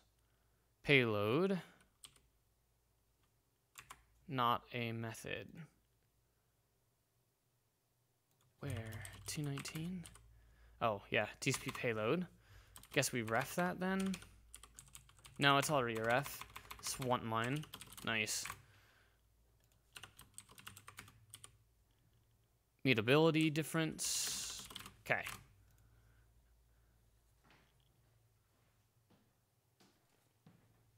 You still up, dude? Yeah, what up? What are you doing up? Hanging out. I'm on that, uh, on that good sleep. Fuck yeah, dude. The sun's coming up. It's nice. Fucking classic. God, we sent seven gigs of data over TCP. I mean, there's not much to see. we can just send data. Here, here's what the code looks like. We uh, allocated a, a little buffer, just a small little Oh, buffer. that's pretty small, yeah. and then we fill it with a pattern, i- i- an incrementing U64, really Oh, sophisticated. okay, yeah. Uh, they call that a hash. It's a Oh, hashing. It's a cryptographic. It's a right? cryptographically Yes, secure hash. Looks very hash. And then we send this, and then we print send complete, and it works. And it runs at full speed over a gigabit. I'll have to test it on 10 gig, but I'm sure it will saturate fucking trivially. it's like backing stuff up. Hell yeah.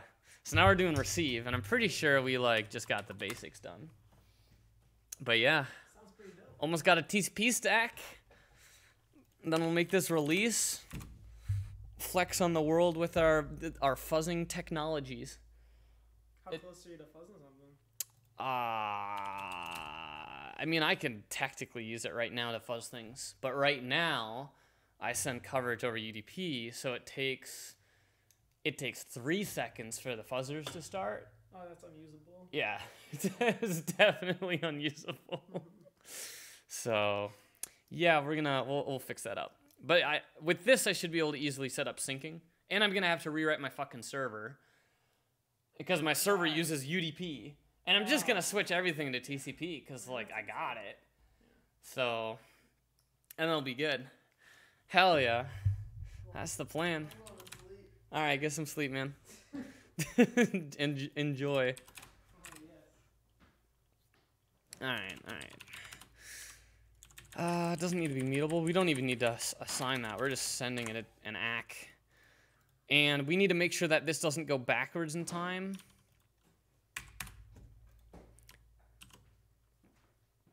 Um. Okay, so that's sending shit, and then we need to make something that actually like does stuff. So we're gonna write a really, really complex protocol here. Uh, this is called test.py. We're gonna import uh, from socket, import star.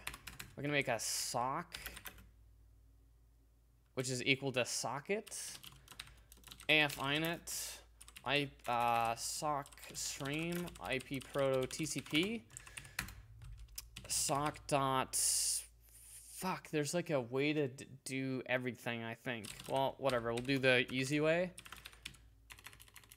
I think this is acceptable.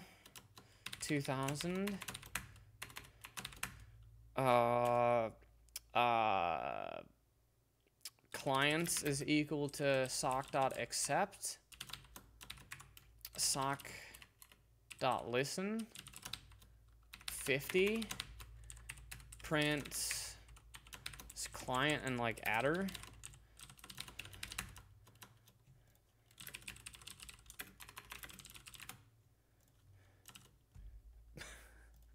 Hey, we did it.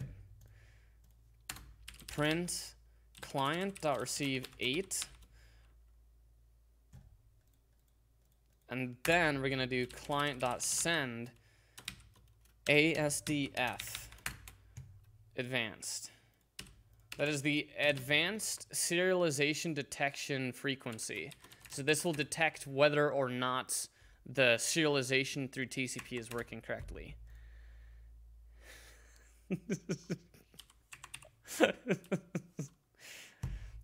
Nothing but quality content here. Late night.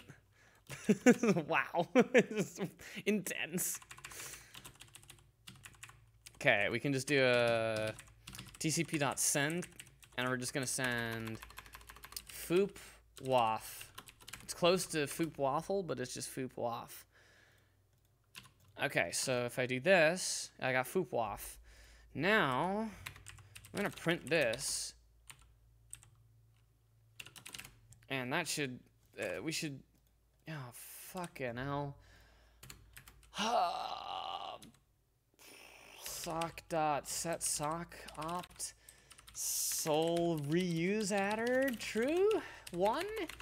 It's like that. It's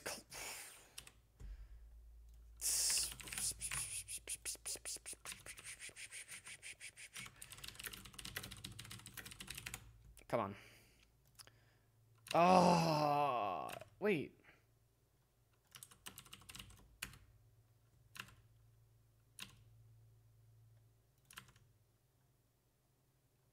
Wait.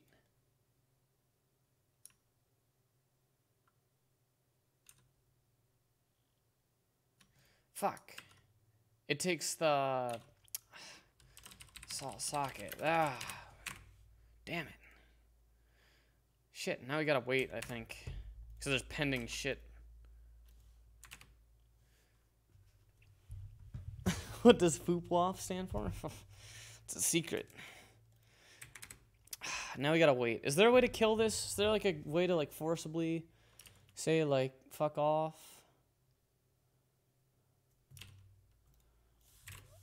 I'm just waiting for that send a timeout because the kernel's holding a buffer that is trying to send to me that I never received.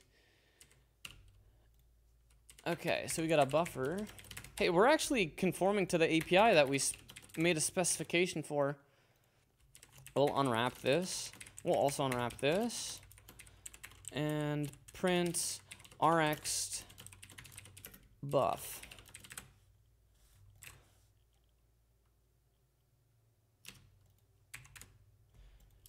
Okay. Holy. Wait. Oh, that's sent for. Oh, we never got the RX? Shit. Uh, print sent.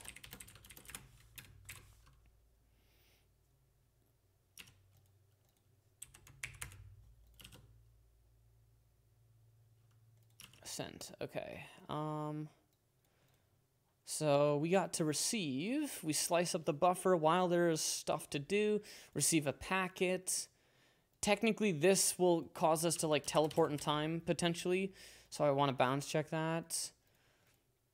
If this is equal, so we'll say like print. Um, print got stuff remote sequence.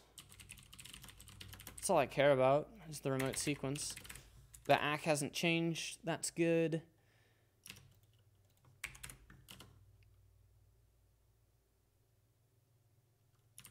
Is that not all four bytes?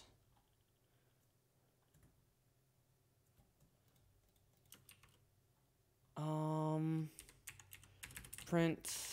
Oh, what's my ACK? What's my ACK? Oh, do I not update my ACK? I need to update my ACK here. Because this sends me a fin, I think. My ACK is zero?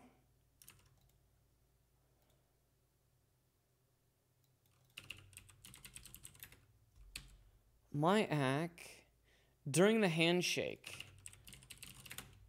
when we do the connection, once we have successfully connected, I want to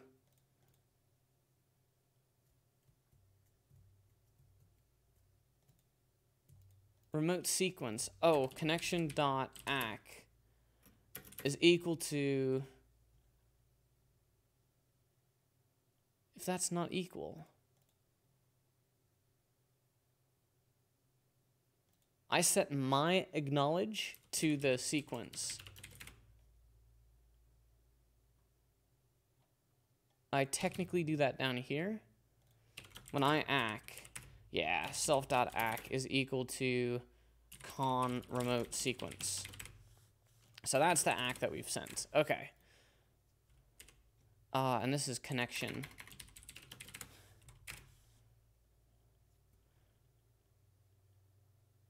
And this one I do the wrapping add. So this one should be correct. I mean, I'm not using my ack, am I? Maybe I can go to the three. Because I never use my ack, do I?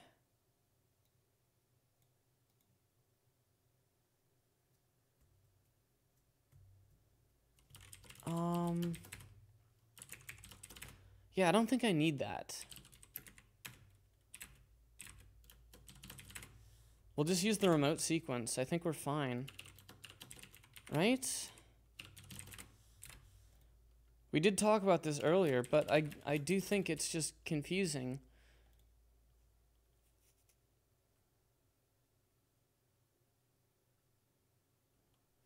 Um, I guess ACK is what I have sent. Yeah, they are slightly different. So uh, once I have sent it, I will update it.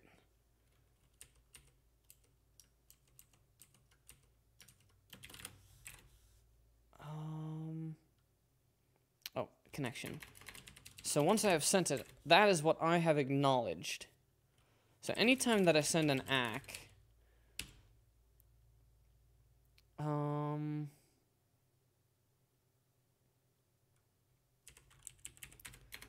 I technically want to ack is equal to self dot remote sequence. Basically, anytime I send an ack, we're going to do that right in the chunk.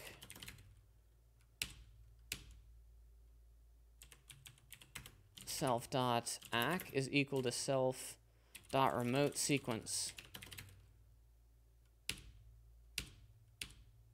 Now that packet can get dropped, but that's fine.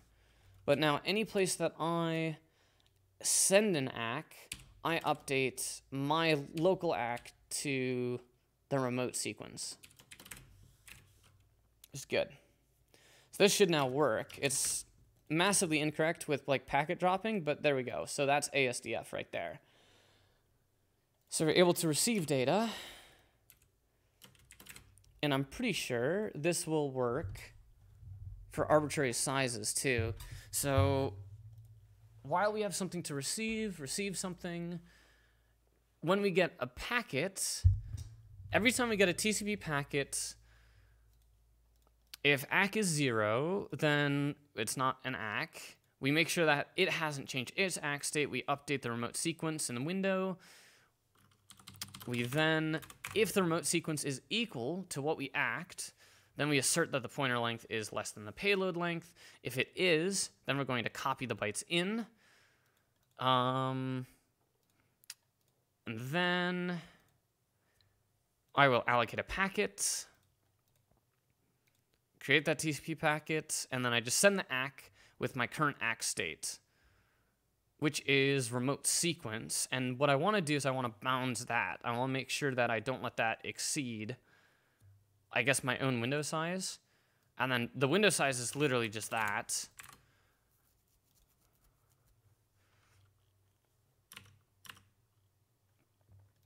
Um, but yeah, this this just works.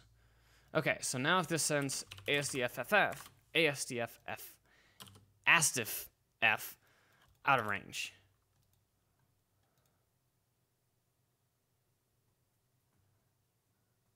Um, oh, I wanted that. Whoops.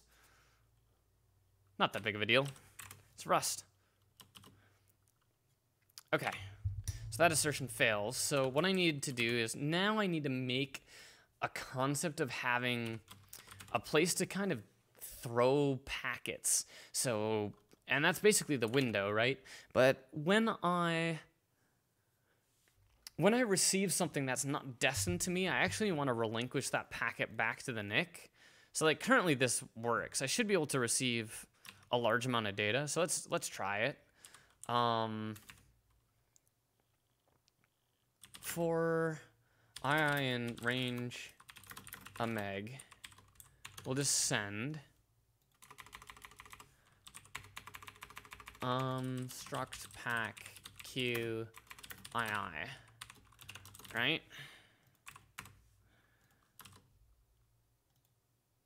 Uh, import struct.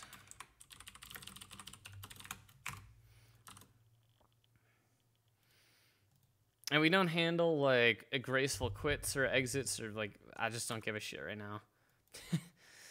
um, buff is this for a uh, loop for IIN0U64 asserts u64 from lebytes um is equal to ii this is going to test a bunch of independent packets. Oh yeah we don't have retransmits on ACKs so this actually probably will fail.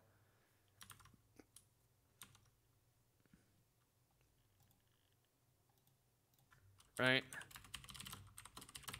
So yeah, uh, we don't handle that packet loss right now. Here we go, sending all this stuff, and then eventually we get stuck, don't we?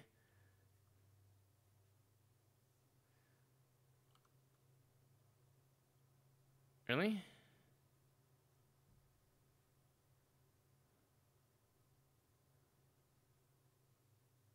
Um... assert that the pointer length is greater than or equal to the payload length. Um, how am I getting extra data? How am I getting extra data there?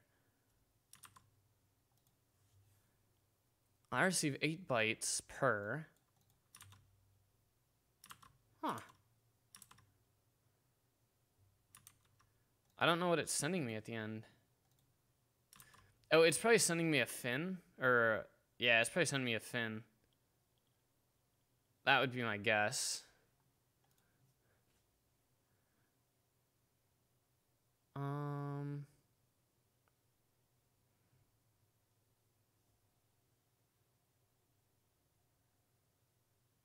Yeah, on a fin, I want to, like, kind of tear everything down. But I feel like this shouldn't be able to handle packet loss right now. Let's try this. We're going to do... That's incoming. Well, we know incoming works. Overwrite. And can I do both direct? Is this just both directions or is it just one? So this is now going to have some losses when we transmit stuff. I guess the sending side is going to retransmit if it doesn't get an ACK, and then it'll just respond with an ACK. This already works. Never mind. This already handles retransmits on drops. Right? Because if I don't get exactly what I want, I will ACK every single packet I get. Um, yeah, okay. So then what I need to do is I need to do the same sort of thing I need to determine unacked on my side, and I need to make sure that doesn't exceed.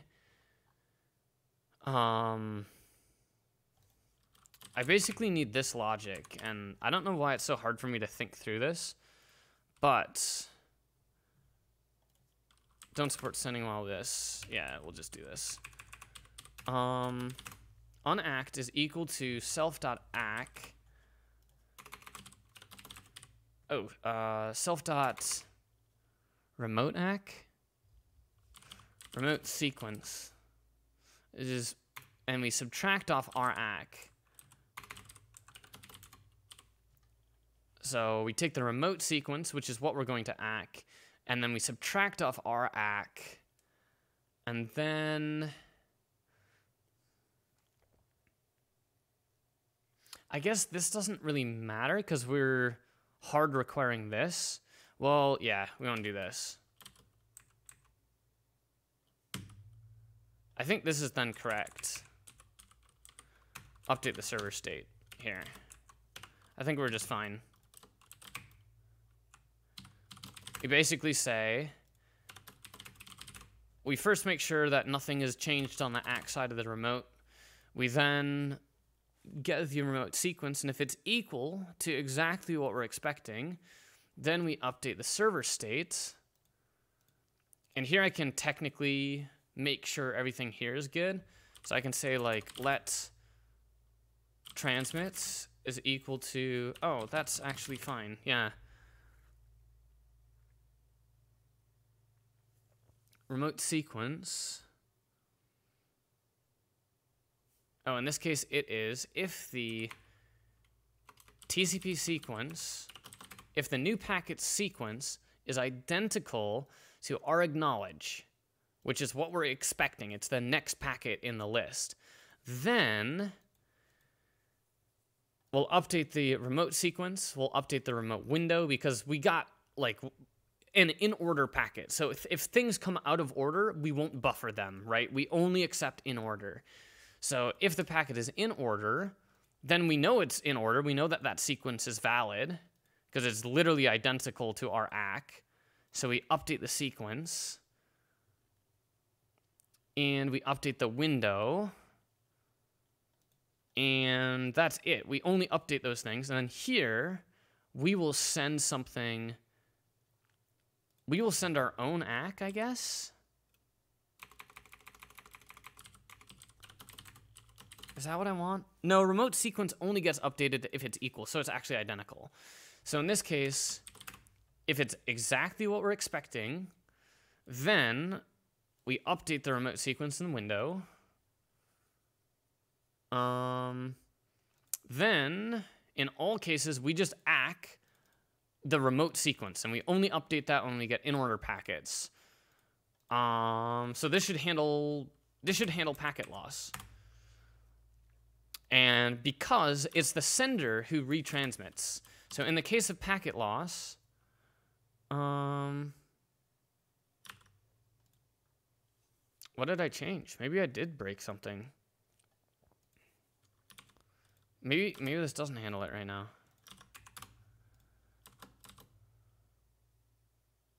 Um, if it's equal, update the server state. So the remote sequence is this, the remote window is this. We copy the bytes in.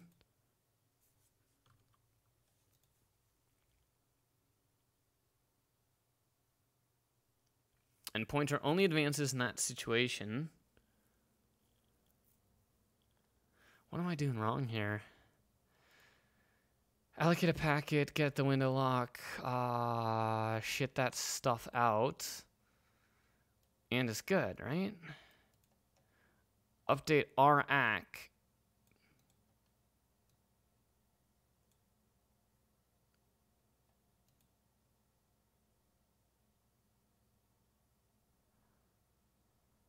I guess I want to send RAC.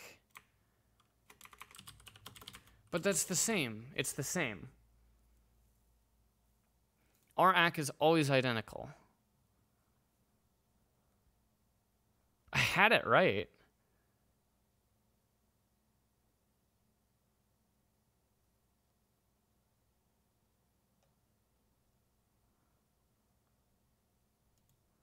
Oh, I can drop this ACK.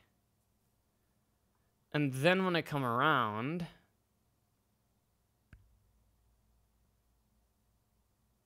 Because I don't... Hmm.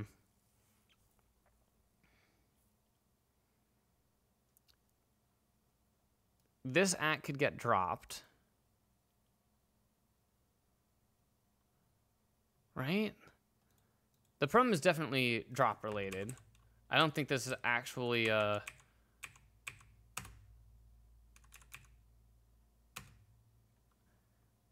Um I don't think this is actually a bug.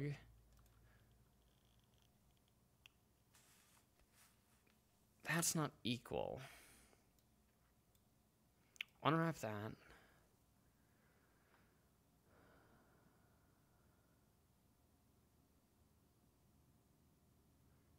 If the sequence is equal, allocate a packet, update that, update my ACK that I have sent, and I send it out.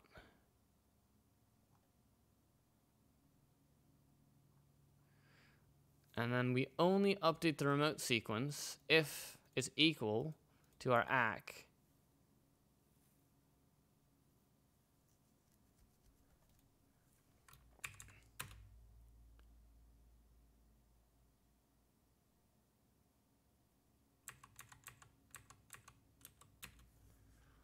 Um, I think that is packet loss, right? Is it always on the same one? Shit. So before, the only difference is I would unconditionally update the server state, which would then mean I'd maybe ACK things that I don't have.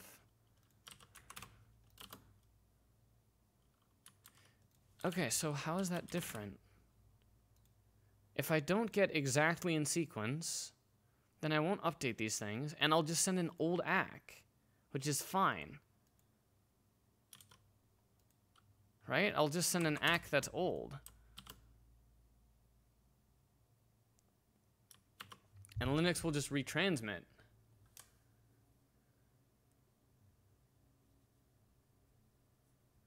Oh, but I'll update my pointer.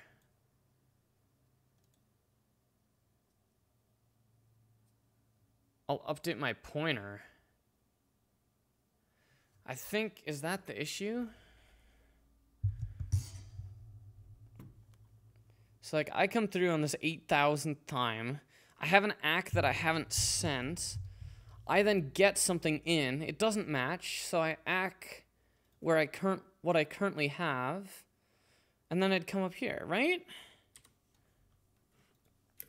Else print seek this not equal to ACK this.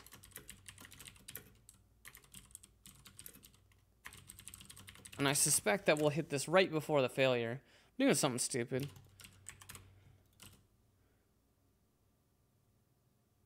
Oh, that happens a lot.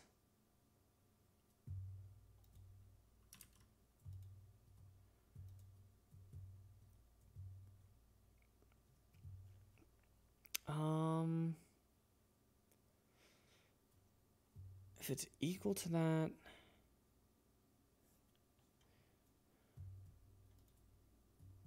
we only update the pointer when we get exactly what we're expecting. An ACK we update here to the remote sequence.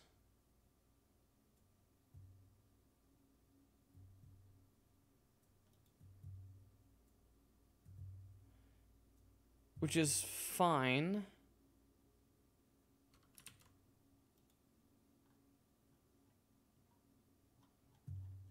Oh, is this one where our window is full? Oh, is this just like always not working? Print good. I don't think we're ever hitting that. I think this is just always wrong.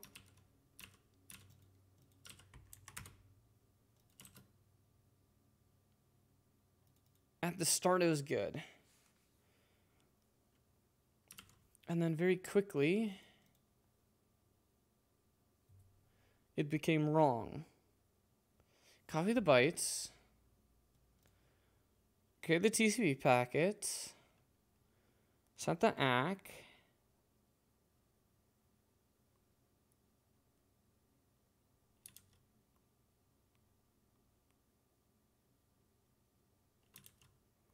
So you get one that's good. And we update the remote sequence in the remote window.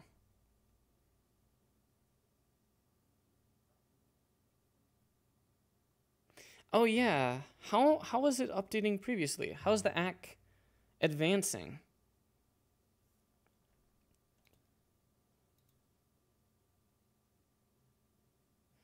Don't I want to do What? I think I want to do self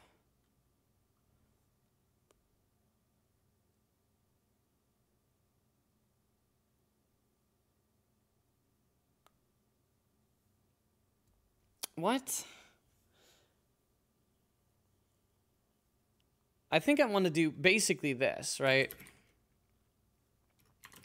Plus equals uh, tcp.payload.len. Something along that line. But I don't think that's going to work. Uh, equals self ack wrapping add se32. So we're going to take our acknowledge, we're going to add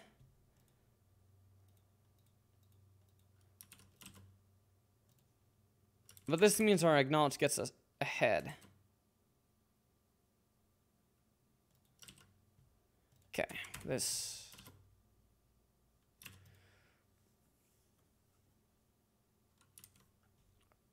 we got a good, and then the next one we have a failure. While the pointer length is greater than zero. Really? Are we just getting a push?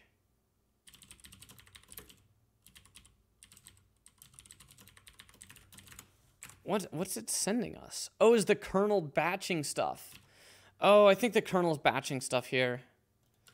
Yeah, it's it's okay. So then is this correct where I do this?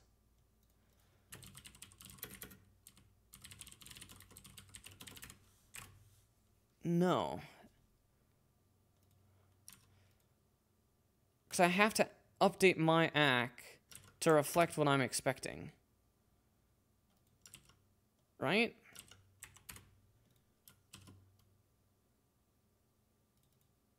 Because I'm off. The next sequence we expect. I think that is right. But we haven't sent that ACK yet. Um, and if I did this, this would not work. Because we would ACK ahead, I think. So this should fail.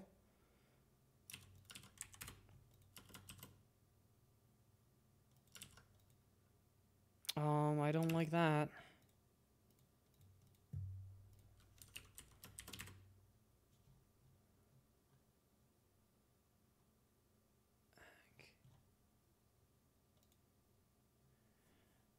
Or do I advance the ACK? How the fuck does that work? When I get a packet, do I add to the ACK? I don't know why I'm like struggling on that.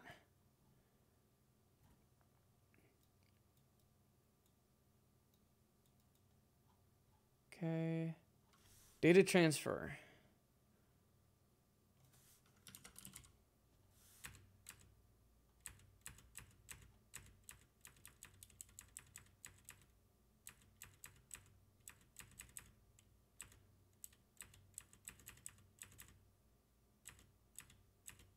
I think I send, I update it, don't I?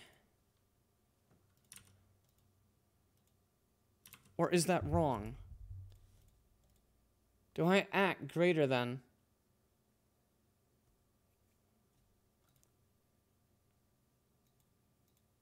Am I going crazy?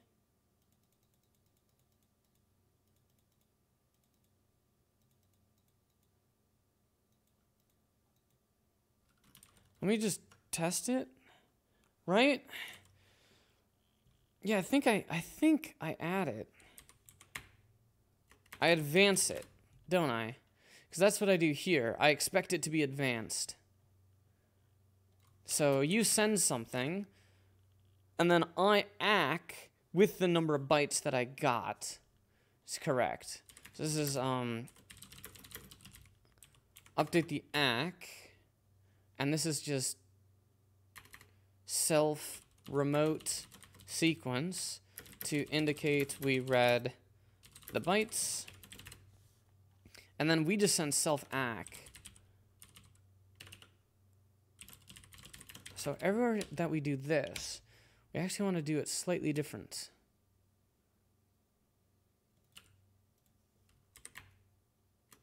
Self.ack.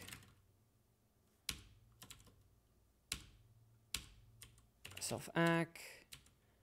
And this is con ack is equal to con remote sequence. All right. So every time we send an ack, we send our sequence and our ack.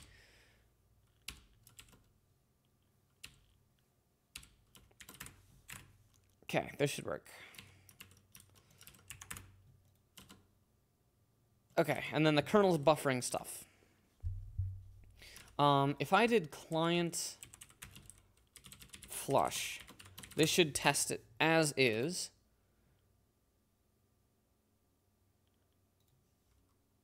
Good. Oh, yikes. That's a problem.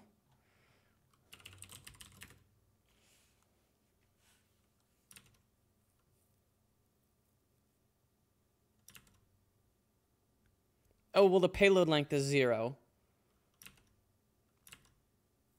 Yeah, so it doesn't it doesn't advance it. Okay. Okay, that's good. What keyboard do you use? It's a Das Keyboard with uh, Cherry MX Blues. Flush. Is there no flush?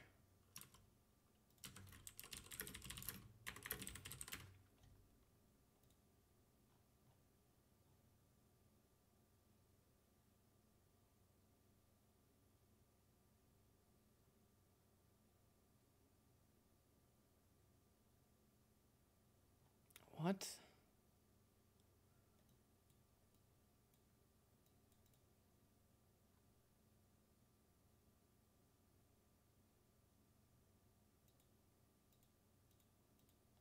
There's no way to flush? I think this will probably work then.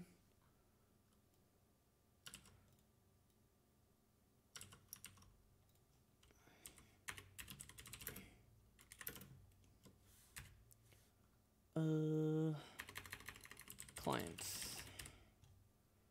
Right. Flush. Oops.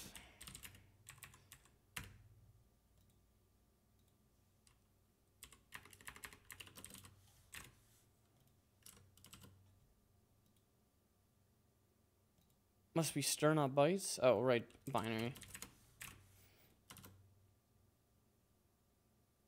Okay, it's still, yeah, it's still chunking them. All right, so we just got to do that then.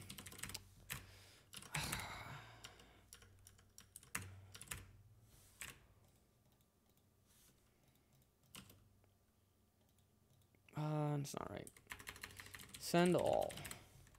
So make sure all those bytes send. That's what we get. And yep. Okay, so what we need to do is the window has to fill stuff in. So what we're gonna do is um let extras. Hey Newfic, how's it going? What's the prerequisite to learn about binary exploitation? I gotta know probably C and assembly relatively well. I think that would be the like first prereq. Calculate the extra bytes from this packet. Extra is equal to extra is equal to self dot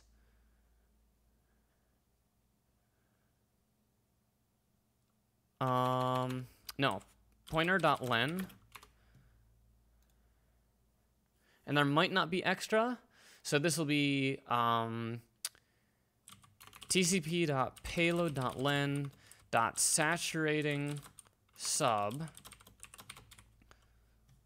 So if it is greater, then we'll have the extra bytes. If it is less than, um, it'll be zero. Calculate the extra bytes from this packet. So here we're going to copy um, to copy is equal to core compare min between pointer len and uh, tcp.payload.len. This is uh, computes the number of bytes to copy.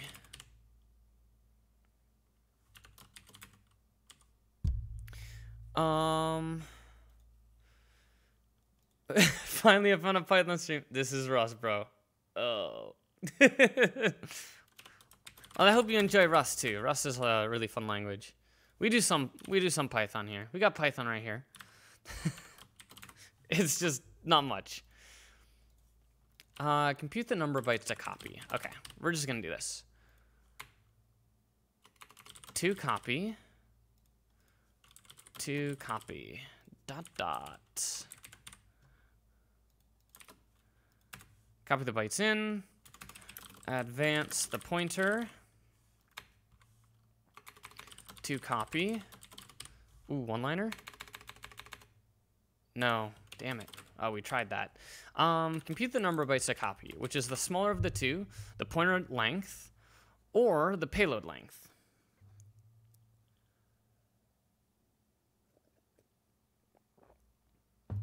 The pointer length or the payload length. We then copy, we slice both of them down to two copy, which is the smaller of the two, and we advance the pointer. Then at this point, we can say if tcp.payload len is greater than 2 copy, um, check if there was a remainder of data. And if there's a remainder of data, if it's equal, then we copied everything. But if it's greater than, only in this situation, we want to get access to the TCP window for this connection, and then we'll do self dot window dot push. Um, there's probably extend, I'm guessing. So we're gonna take a look at VecDeque. And I'm guessing there's an extend.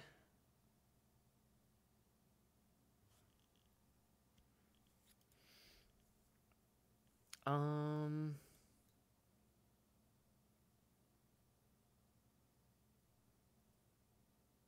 yeah, there's these extends, which I think we should be able to use. So we can do window.extend by tcp.payload for two copy. And this is um, add the uh, remainder to our TCP window. Right?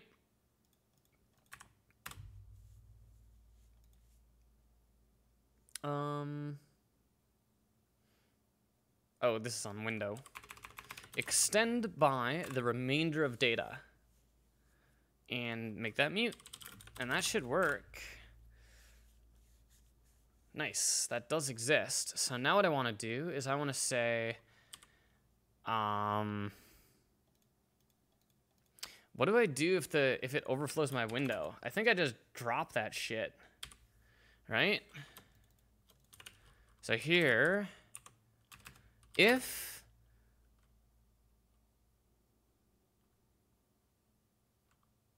uh, okay, let remainder is equal to this. I get a slice to the remainder of data. If remainder.len plus tcp.payload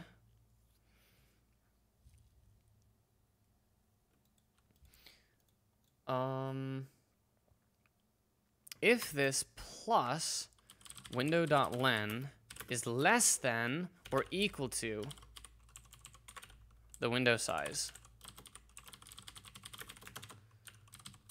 add it to that. Um, make sure we don't overflow our window size. Right, and that's a U16. And we allocate that much, right? Yep. So basically, make sure that the remainder of data added to the window data is less than or equal to the window size. Otherwise, it's greater than, in which case we would have some problems with windowing. So this should never happen, right? This is making sure that it doesn't do the wrong thing, but this should be good now. Um, this is not going to work yet. Nice, assertion failure. So now what we're going to do is we need to grab the bytes. Um, let win let mut window is equal to self.window.lock. And this is first trying to consume bytes from our window. And here we'll do um so like a drain.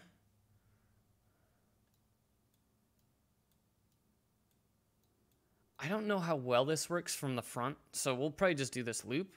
So do while, oh, and we'll get a pointer to the buffer. We'll do this right away. And then we'll do while pointer dot, what editor is this? This is just uh, Vim here. While pointer, while window dot len is greater than zero and pointer len is greater than zero, then pointer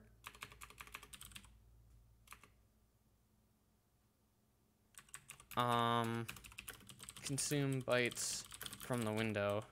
And I think we can do this. Uh, let consumable is equal to core compare min, the smaller between the window length and the pointer length. Compute the number of bytes to consume. Yields the removed items.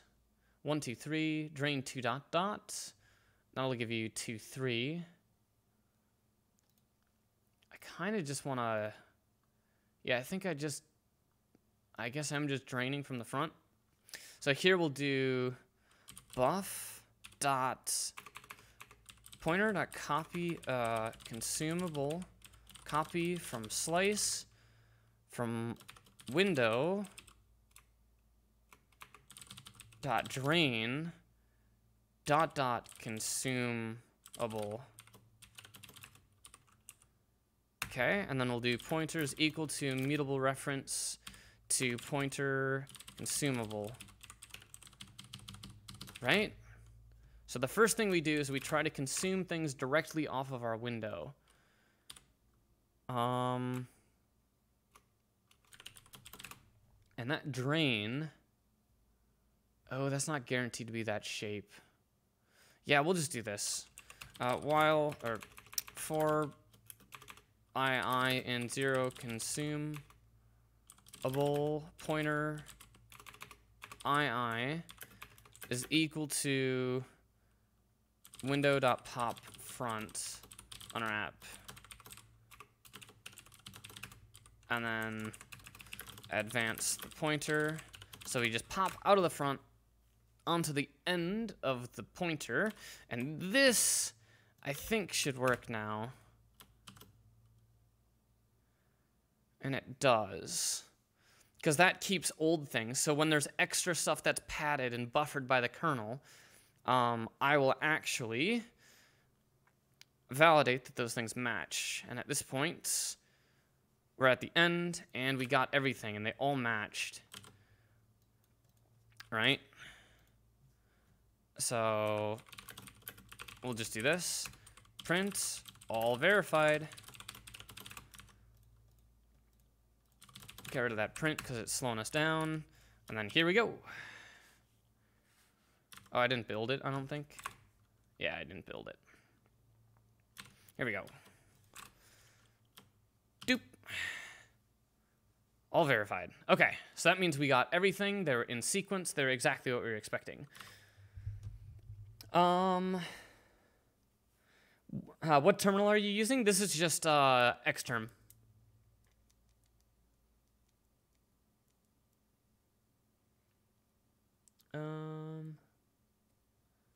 Okay, so that is now all verified. So that means that side is working. But now we want to be able to handle multiple connections. And currently we don't because one of them will consume packets for the other. I mean, technically it'll look like drops, packet drops, but we want to actually handle it a little bit better. So we'll connect twice. Um. Yeah, we'll just do uh, thread clients uh, while true threading thread I always fucking forget in Python. It's so stupid that it's not just the function right away.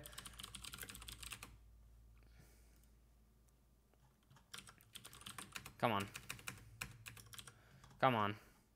Come on. Just give me give me the good shit. Alright, just give me the fucking docs. Thread. Match case. Thread. Thread objects. Name. Oh, target. args clients dot run I think I have to do okay let's try this uh fucking python man uh oh, ordering matters I guess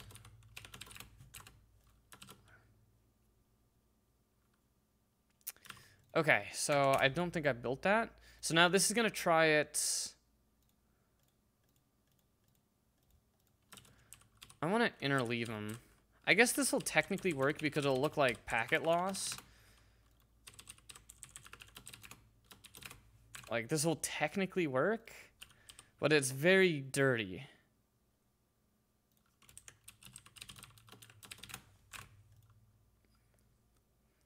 Uh, TCP1. Okay.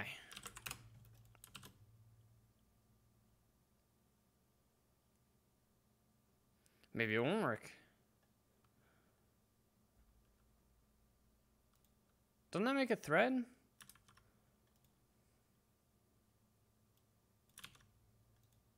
They apparently both sent. Listen 50. Um, oh, it's not run. I think it's spawn or something. Start. Run, I think, attaches. There we go. Okay. So now we're having packet loss, I think. I think that's effectively what's happening, is packets are, are getting dropped. So it's it's very slow, but it's probably making progress. Just very slowly. Let's see.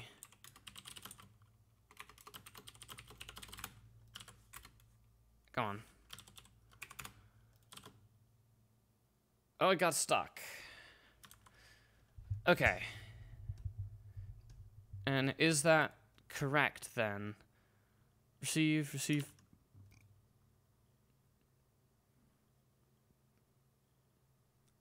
Um.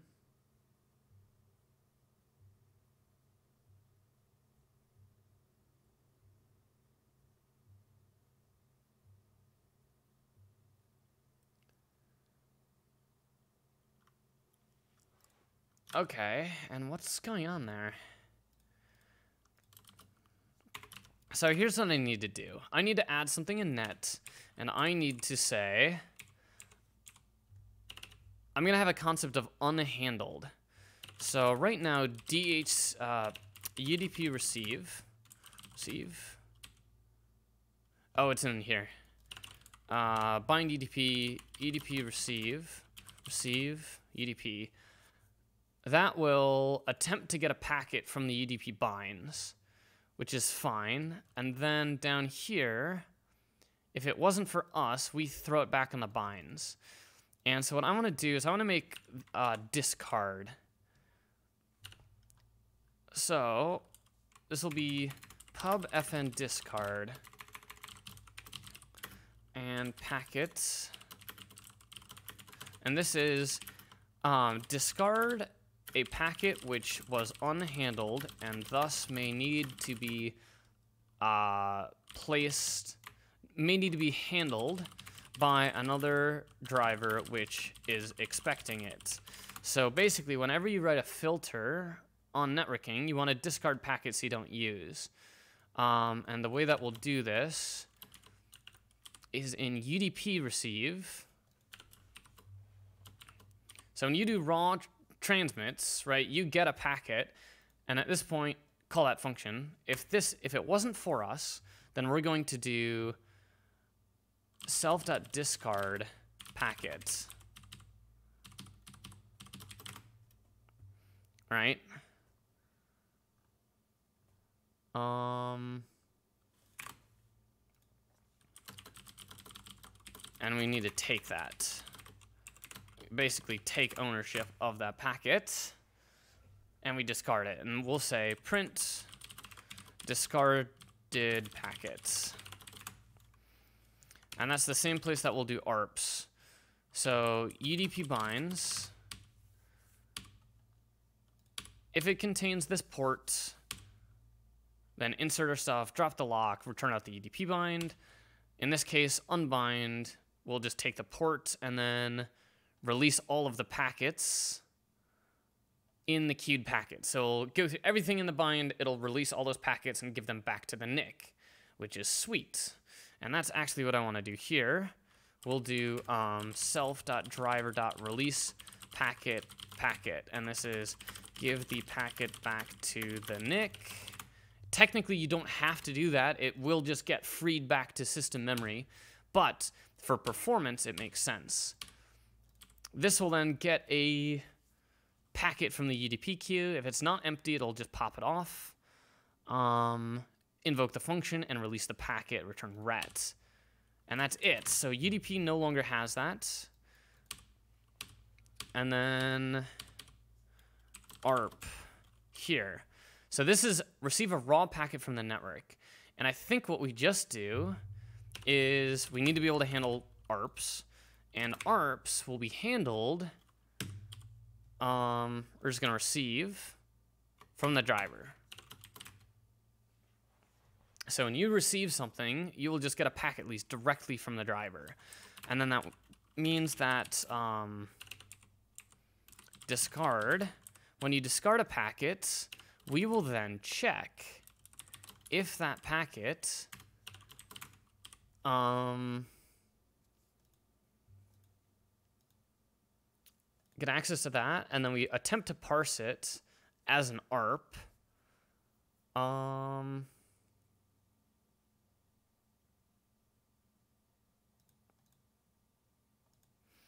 if we have a DHCP lease, if we have an ARP, then if all this stuff matches, then we want to reply to the ARP, and then we want to, I guess I give that packet back to the NIC. Uh, honestly, if I just have a packet lease, it just does it for me, and I think this is fine.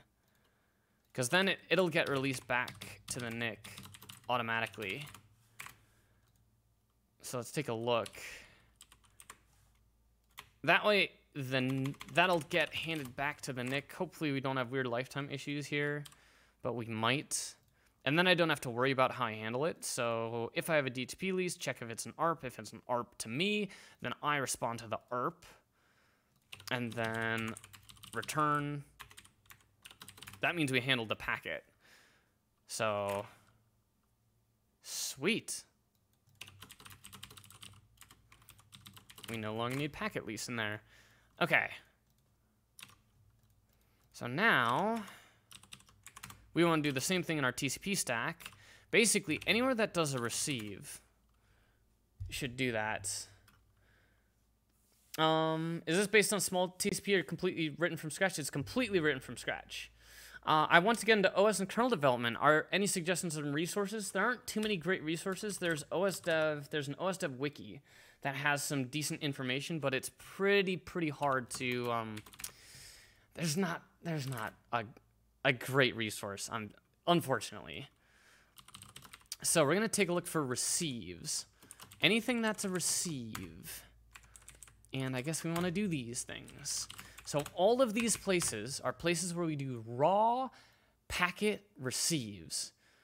We have one here where we, where we do a receive from the driver. That's fine because that one is how you kind of access everything.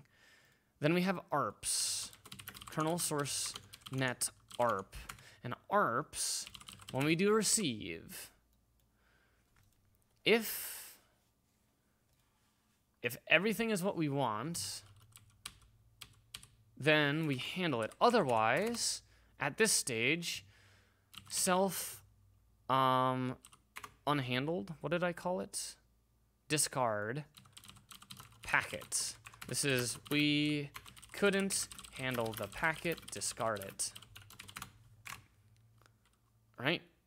So in this situation, we discard that packet, which is good. So this receive is done. It is impossible for you to get this packet and not end up discarding it. Right? Yep, because that's just ifs. Here we return, and then in this case, we'll discard that packet, which is great. Um, then UDP receive. This is the only place where we receive a raw packet. Could be any raw packet. Um, none. If let this returns option. Whoa. That. If it was this, and then here, let ret is equal to this. Um, we'll just do this. Else self discard packet was not destined to our port, and then packet was not UDP. Uh, discard it. Okay. So, in this case, we receive a packet. At this point, is there any place that we can return that we don't discard it? Here, we discard this packet, which looks good. We got UDP, discard that, and then here, packet was not UDP, discard it. Um, oh, and a none here. So if we handled it, we don't discard it. If we didn't handle it, we want to discard it. And this is only when you're working with raw packets. So like a user doesn't have to do this. This is only internal code that's dealing with raw packets. But basically, what we have to deal with is the situation of like we're parsing a TCP stream and we get a UDP packet that's destined to another port. Well, we have to make sure that when we grab a raw packet, that we can give that back to whoever can put it in the correct queue. Um, that's basically the problem that we're trying to solve right now. And so we've done that. Uh, Net didn't actually do it. ARP and UDP correctly will call this discard. And now, um, and this discard is where we're going to handle ARPs. This is where we basically anytime a packet is unhandled by someone who received it, it gives an opportunity to someone else that will put it in UDP queues, we'll put it in TCP windows, you know, we'll parse these packets, we'll do a bunch of different things with these. So in the case of TCP, we have a couple places where we receive packets, and we're going to take a look at all of those. Um, one, two, three. Whoa. Receive. Uh, oh, and this we just do these. One, two, three. Okay, perfect. So in this case, in this receive, if we don't like this packet, packet wasn't for us, we will say self dot device dot release, I forget what I called it, discard packet if it wasn't for us, in the case that it wasn't an ACK, that's fine. We do we don't actually want to give that back to the to something else because it was destined for us and we are us and we're trying to handle it and it's just not what we wanted. It's an invalid packet. So in this case, it could be a valid packet, it's just not what we want. And then down here, if it's not TCP, packet was not TCP, uh, dis discard it. Thank you everyone for all the follows. There's been a lot of follows this hour, and I haven't really been paying attention. I'm so sorry, chat. I've been a little bit in the groove. We're uh, we're making some good progress. We're about seven hours, 20 minutes in, and we almost have a complete TCP stack implemented, which is pretty fucking amazing. Okay, so this receive, this we did the first receive we discarded a packet here because it wasn't TCP, so we didn't handle it. In this case, it wasn't for us, so we discard it, which is fine. Every other situation, it's just an invalid packet that we don't care about. So here's the next one. Same thing, else packet wasn't TCP, discard it. Self.device.discard packet. And then we'll do the same thing up here. If it wasn't for us, discard it.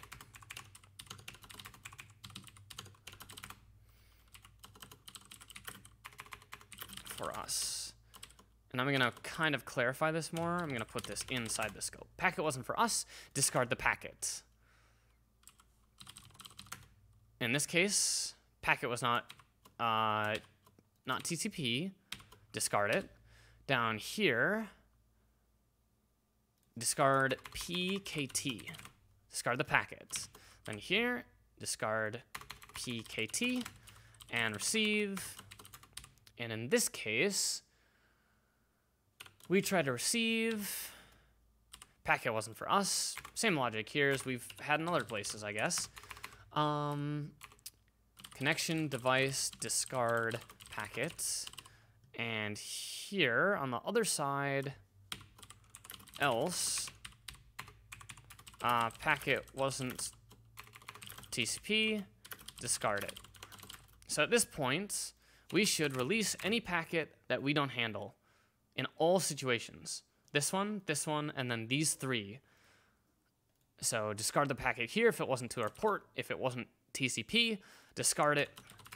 And now this should, it'll print discarding packet. There we go.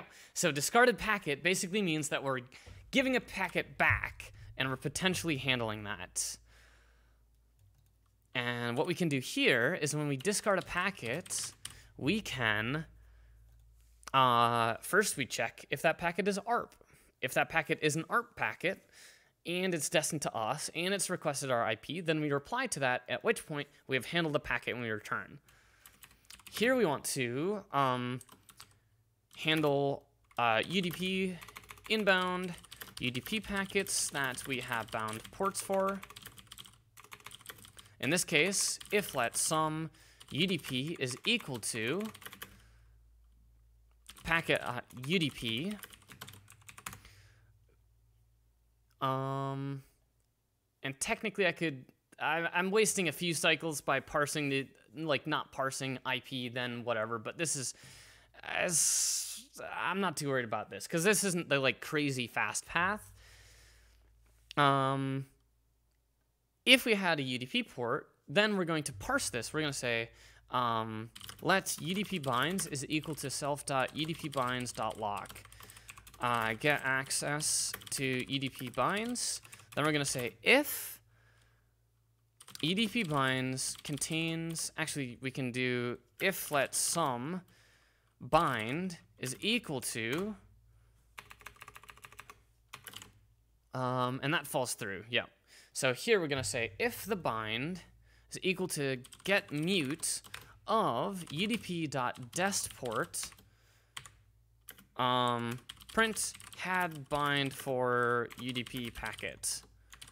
Right, we're just gonna whack that in there like that. Can't parse mutable, here we go. Now we can. Okay. Uh, check if we have a bind for this port. And in this case, we had a bind for the port.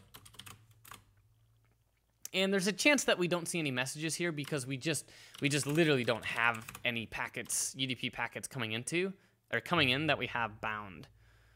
And it looks like that is the case. So what we're gonna do is um, I guess I'll make a UDP bind quick. So we'll do uh, let UDP is equal to net device bind UDP netdev dot clone I think, and then I just give it a port. Oh, it'll, it'll pick a port for me. Uh, print bound to this UDP ports uh, UDP this. I swear to God, if I got that right. Oh, okay. Um, unwrap. Come on, please have port. Yeah, buddy. Doesn't need to be mut. Fuck yeah. So at this stage, we can... Now we're going to start a UDP bind. Bound to UDP this. Now I can do an NC. And I'm going to send a UDP packet to port 65442. Uh, and then you give a host. Oh, dest port. I can just do that. Um, 192.168 dot. I have no idea what lease that just got. Ping archive. I think that's what it will be. NCU 192.168.1.66 port 65442 ASDF. Nice! So this is basically saying it's getting packets it's receiving packets and they're bound to UDP port, but we're currently not like we're not doing a receive on the UDP port. So what we're gonna do is we're gonna stash those into these buffers, and we just do this. We'll just do bind dot push, um, which is a VecDeque push back. We're gonna push this to the end of the queue, and we'll push the UDP packets which is currently a packet lease. So we'll do a packet lease dot take packet. This is uh, add the packet to the queue uh, for this port. And then return. At that point, we handled it. That's it. So now when we get a packet and it's destined for something else, that packet will get discarded. This will then check if it can generically put it into some queue, and if it can, then that's where it'll get stored. Um, okay, so then what I want to do is UDP binds is equal to. So now I want to determine. That's going to make a B tree map. And then when I make a UDP ports, kernel source net UDP bind, when I bind to here, I'm going to create a VecDeque, and I guess VecDeque I don't think has with capacity. Oh, you can do it. Perfect. So what we're gonna do is we're basically going to have uh, const. Um, this is like uh, packet buffer slots usize, and then we'll say like 128. And this is number of um, packets which will be buffered for each UDP port which is bound on the system. This is technically a lower bound as Rust may slightly increase the vec DQ size. Uh, but it'll be close. Okay, so then VecDeque, I will make one with a capacity of this. So vector, VecDeque, number of packets which will be buffered for each UDP which is uh, bound on the system. And here we'll just say, we don't even need that info. Um, uh, when this allows packets to be uh, received even when we're not uh, expecting them, right? Uh, even when we're not directly receiving.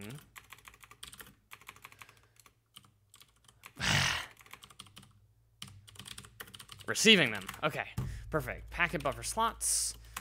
That's on this. We set up the capacity of that vec DQ, and then when we do UDP binds here, here we make a new empty tree. Here we get access to it, and we'll say if packet dot uh, if bind dot len is equal to bind dot capacity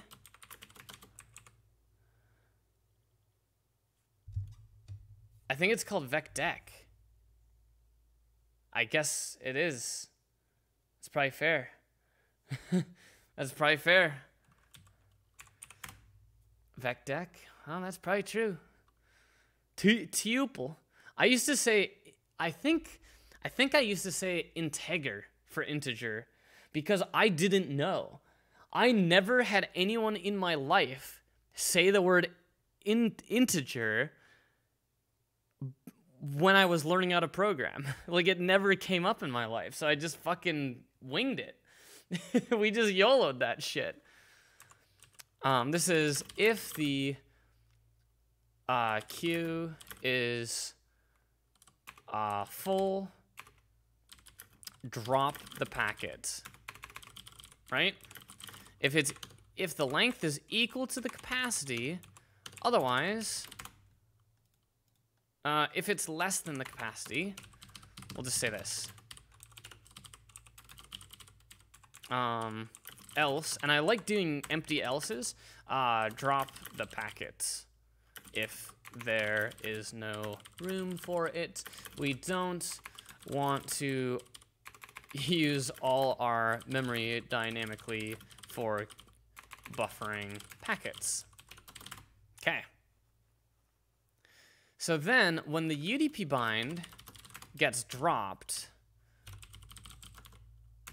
when the UDP bind gets dropped, we actually will go through all of the packets in the queue. So we'll remove that packet and then, or that port from our UDP binds, and then we'll release all those packets back to the NIC, uh, which is pretty slick. So in here, get access to UDP binds. If we have an active bind, If we are within bounds, if the length is less than the capacity, then we'll push it to the end. Otherwise, we'll just drop the packet because we don't want to buffer forever, and then we return out because we handled it. In all the other situations we haven't handled it, it'll just end up going back to the NIC. Okay, so this will now work. Now I want to do um, handle inbound TCP packets we have bound ports for. And this will be if let Some TCP is equal to packet.tcp get access to TCP connections. And this is TCP connections. And in this place, this is where it all changes. Uh, packet, this is um, receive windows for TCP connections. And this will be a same thing that we have in TCP, window, this. We're going to have, for each one, we're going to have an arc lock cell. This allows us to have a copy of the connection, the window directly in here, so we don't have to keep getting this lock on all the connections to access it. So it's an internal internal thing. VecDeque U8 lock interrupts. That is getting gross. Fuck me, there's not a great way to do this, is there? Um, I'm gonna do like that, maybe? Uh, B-tree map. Okay. B-tree map, LockCell B-tree map, a port. This is the uh, port. And then an arc LockCell VecDeque I think we're good. 324. So then we're going to do allocate a new bind queue. Well, yeah, it's not that anymore. We actually are going to make this. That's our window. Haha. Window is equal to this. This is allocate a window for the TCP um, I guess we'll just do it right away. Uh, this way we don't keep, we don't allocate it while having a lock held. Allocate a window for the uh, TCP receive data. If we fail, then we just free this. Like, who fucking cares? Um, this is, like, code-wise, it's cleaner. And this will only ever happen, it'll only ever have to free this if we don't actually get a port. Um, uh, try a bunch of different ports looking for a free one because we're doing random. LockCell new VecDeque window size with capacity. Then we're going to push that window and we arc new that. So here we push um, window.clone. This is add a new window for this connection. Then we're going to drop that, and then we're going to make a net address. We're going to resolve that. If, if that fails, um, failed to resolve uh, server address, drop the connection. So here we're going to get access to this again, and then we'll remove it, and then we'll return none. Otherwise, we'll do this, and we'll pass in the window. So at this point, the arc will have two copies. It will be cloned here, and it'll be cloned here in this window. Now, on the network side of things, what we're going to do is we're going to handle these. So we'll say let TCP connections is equal to self.tcp connections dot lock and then mute, and we'll say check if we have a connection. Check if we have a connection for this port, TCP dash port. Uh, this is connection. We'll just say connection column TCP connections. In this case, print woo, we do. And we technically probably want to update that ACK here, but we're probably going to hit this Um, here, we just want to return here as well because we handled it. So we found we had an inbound packet that was discarded that should be going to a TCP port. So this is going to look similar to the receive side of things. Woo! Yeah, we're hitting it. That's where our packets are going. That's how we're losing shit. So, what we want to do is, at this stage, I don't know if I want to ACK them here. I think it's fine if I don't ACK them, because I'll just let them buffer in the window. That I think the ACKs will be active, so what I'll do is... Uh, maybe I will send ACKs. It's not too hard. Um...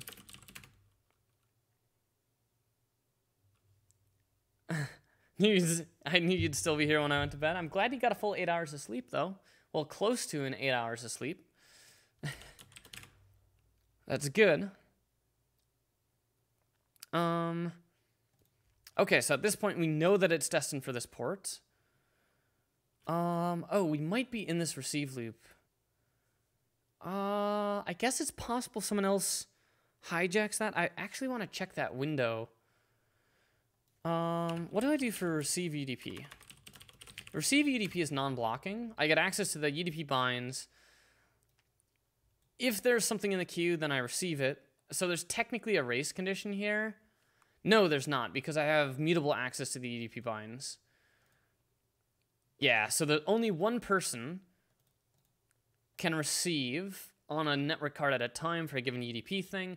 So at this point, exclusive access we will either grab an existing packet or we will put the packet onto the...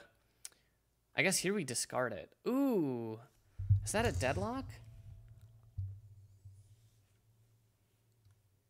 Um, if I'm receiving a UDP packet, I think that's a deadlock because I will discard um, return Fuck. Because discard could actually put that on another UDP bind. Um, honestly, we only need it here.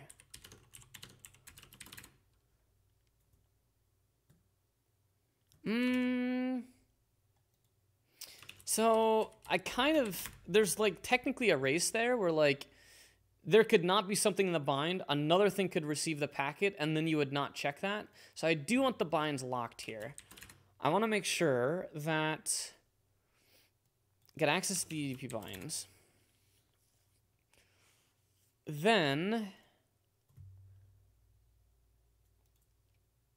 get these, and then here we receive a packet, and then at this point, this point, we can release the UDP binds core mem drop UDP binds. And receive, that's a raw receive. Yeah, so we get access to the UDP binds, we grab a packet from it, and we return out. Um...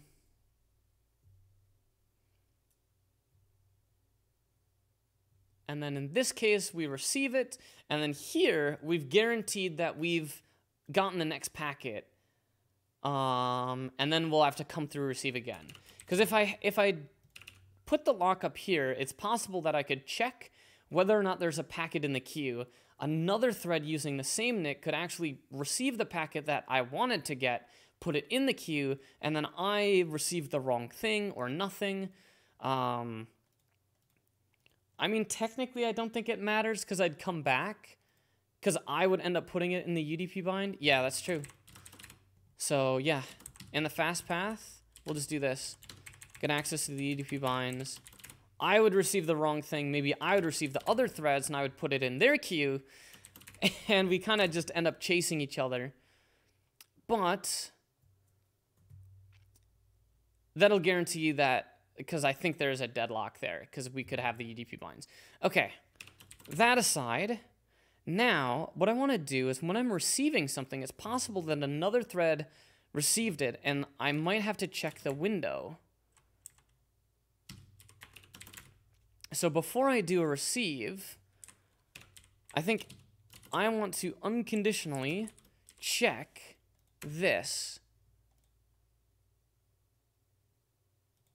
Um, right?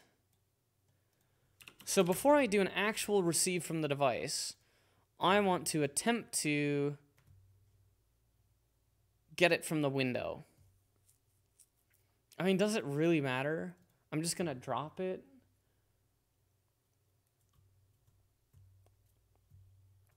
So I'm going to ack it.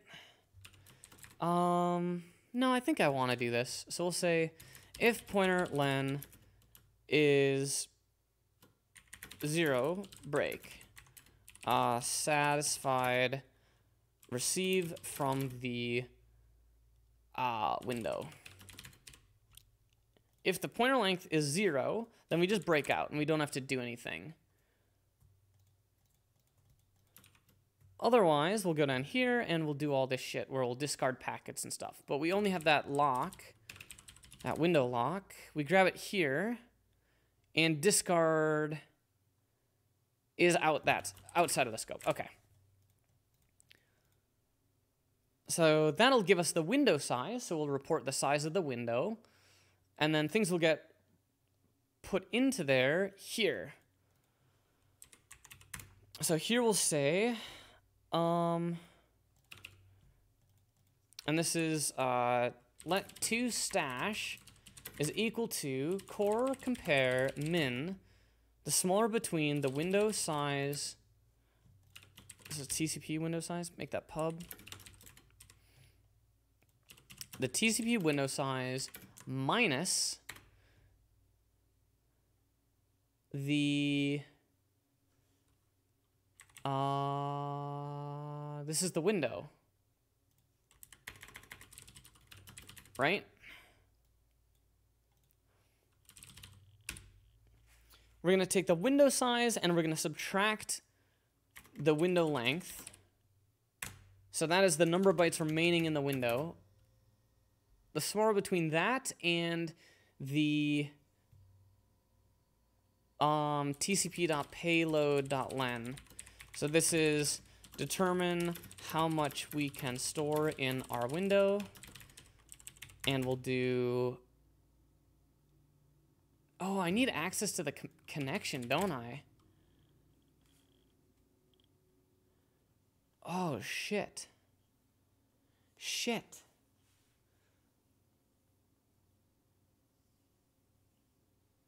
Oh.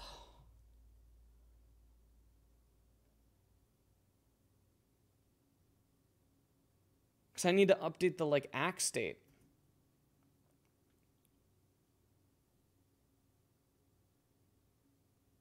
Don't I? I don't necessarily have to. I can derive that from the window.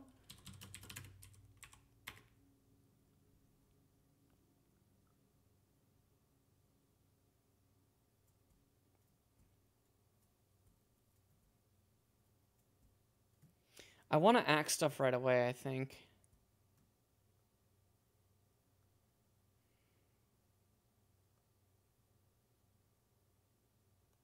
Shit. Did I architect myself into a, a hole?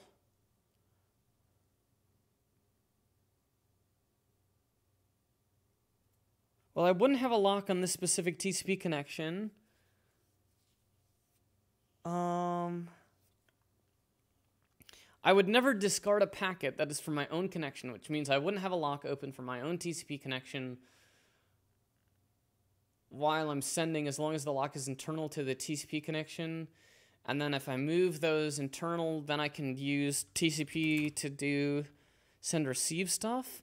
So I think what that means is that this this TCP connection, I might actually return an ARC to that when you connect. And then everything that you do on TCP connection is mutable, and then I have an internal lock.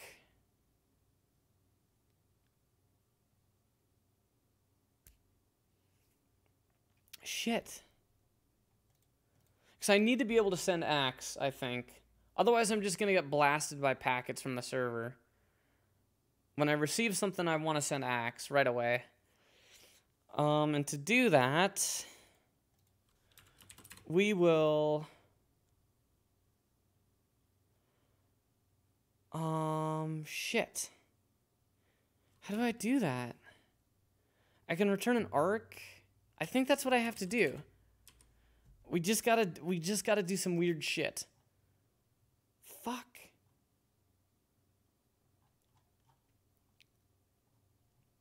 Fuck. Ah, now we gotta re-architect shit for like a few minutes. Um, okay, um, a TCP connection contains internally an int, a, a, TCP connection int, TCP connection. This is a pub struct TCP connection, and then we're gonna do. This is just gonna wrap something so it's not public. It's gonna be an arc, lock cell, TCP connection int lock interrupts. Okay, so I return a, TCP, TCP connection.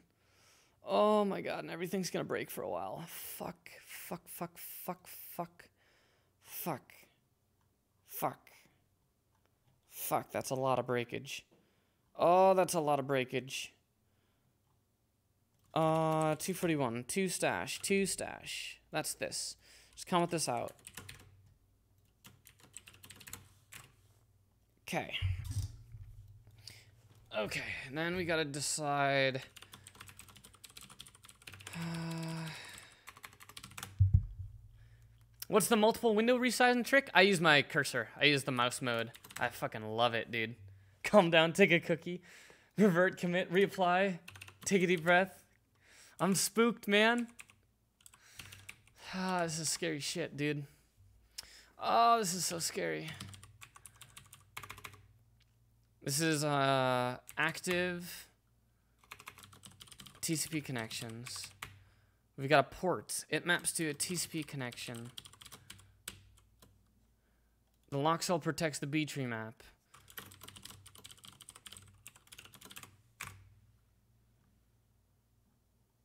Oh, am I gonna get fucking deadlocked? Yeah, yeah, yeah. It's a tuple. It's a tuple. Yeah, yeah, yeah, yeah. It's yeah. Uh, TP connections. This should be fine. That'll get it for the port. That should still work. And this is connection now. Okay, easy. Now, ever that we do TCP connection, pretty much has to change. This. This is now a self. Let's Connection is self dot zero dot lock. Get mutable access to the TCP connection. Um, here, receive, same shit. Um, get mutable access to the TCP connection. Uh, self. Okay, I think ever that I do a self, self dot becomes connection dot g. That should clean up a lot of the errors. Okay, it looks like it did. Self connection. Same thing here. Uh, drop a TCP connection. Get access to that remove it. Ooh.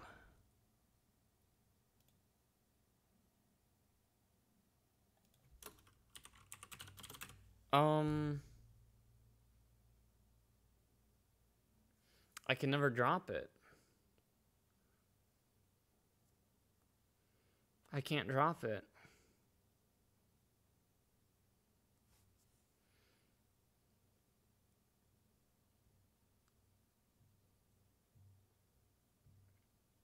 Fuck. No, I can drop it. I dropped the TCP connection. which is mutable because the arc inside. Yeah, we're fine. We're fine. I'm sweating. Drop. Get the lock for the TCP connections. Remove the port. And then we drop ourselves. I think that should work. Uh, actually fucking work. 437. In this case, connection. We're going to make a new connection here, which is a, a TCP connection, which contains a lock, an arc, new lock cell new of a TCP connection int. Woofda.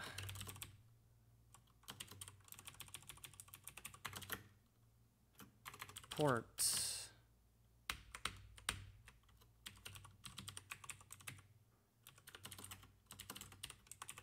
Let con. Uh, this is ret. Then let connection is equal to ret.lock.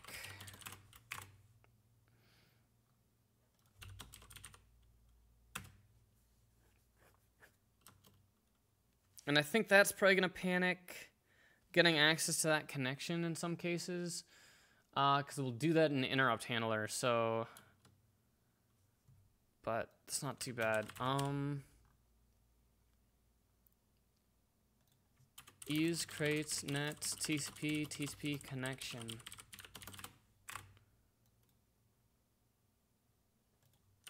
Three thirteen device. Ooh, shit.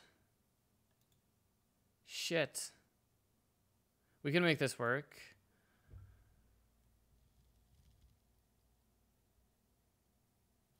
Self dot device. Uh, okay, 316 port. No, this is fine. Self dot zero dot lock. I think this is fine.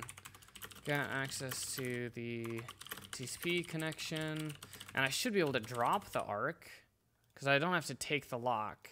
So here I'll do get access to the device, and then here, remove the ports. Window.clone, correct. The connection will add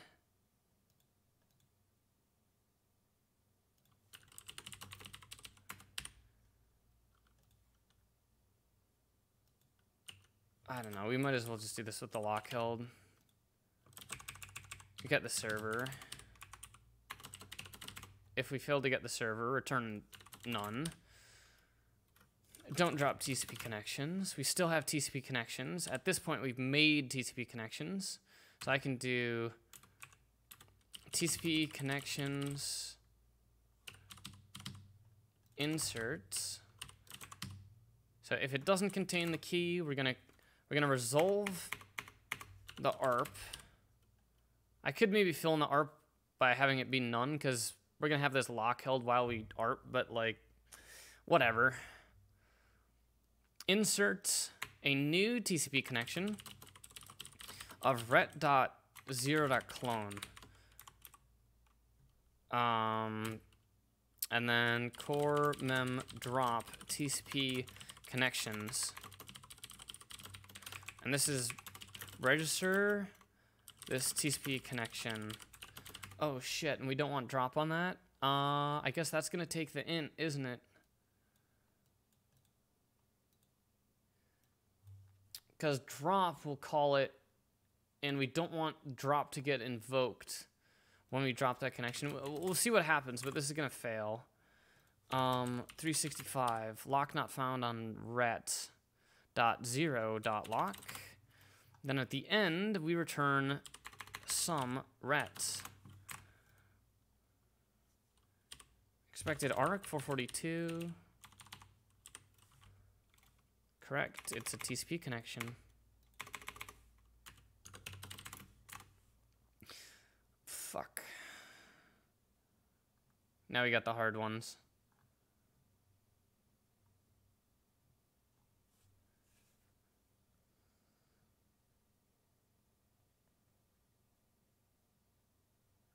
Fuck. Fuck. I'm, str- I'm struggling. Um. Device is connection. It's a arc. Um.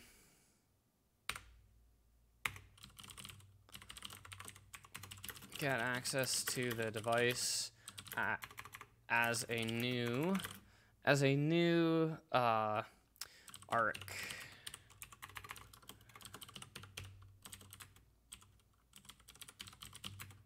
Right? Unless I can do something better. But I'm pretty sure this should be fine.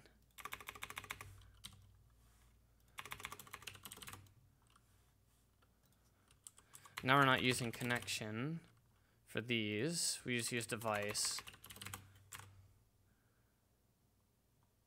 Please. Please. 189. 76.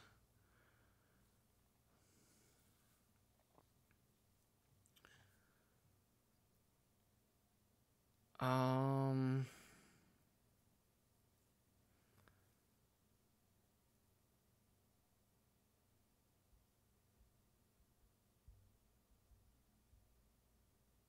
We don't need a lock on window anymore.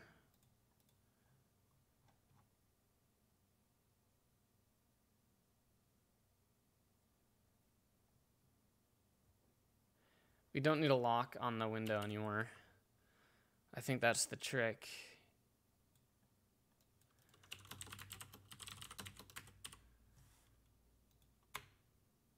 It's just a VecDeque.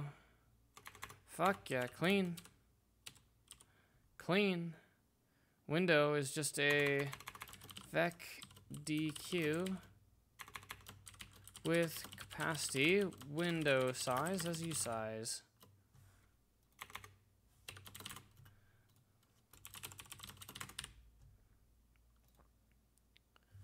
Okay.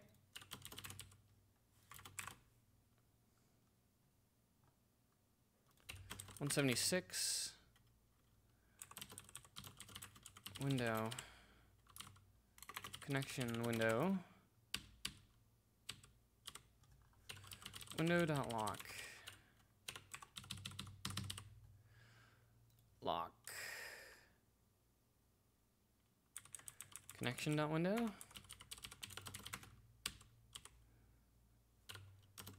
Dude, we're gonna have lifetimes problems. I, I swear. It's just so hard to think through what this, like, everything we need to do. I mean, technically that that is different.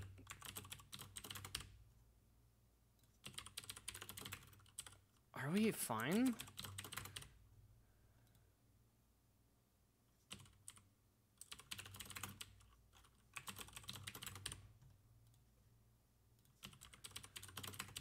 I don't know. There's no way, man. Holy shit. Uh, 214. Oh, yeah, that's just an easy error. Come on. Uh, connection. Come on. Now we get the borrow checker errors. 177.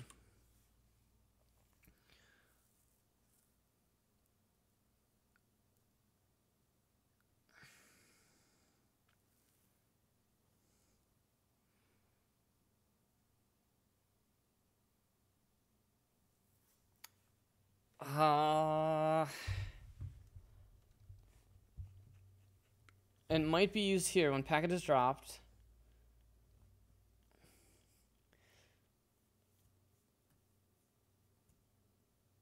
Yep, that's true. We don't need to do this there. This is identical. It literally is identical. Holy shit, can we do it?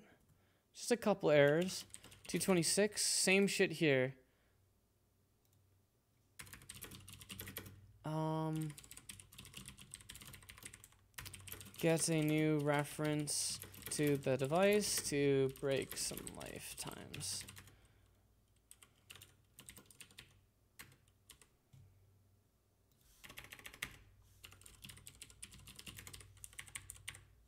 come on. Come on. Gonna be a fucking miracle.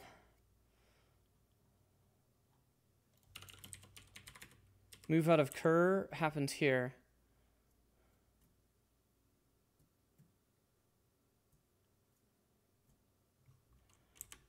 That clone.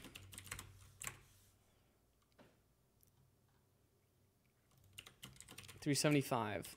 Same shit.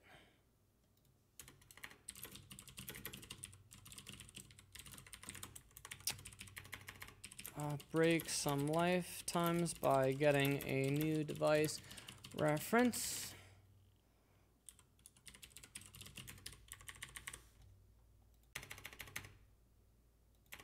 Rust just can't quite reason about that.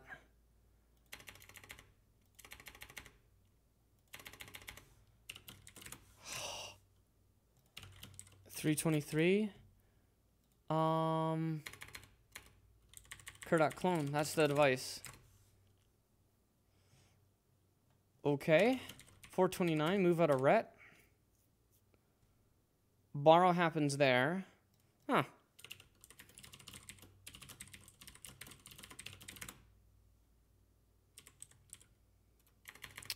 Drop the connection. Fuck yeah, it builds. we did it. Okay, woo. Now we are back to here. Now what we can do determine how much we can store in our window.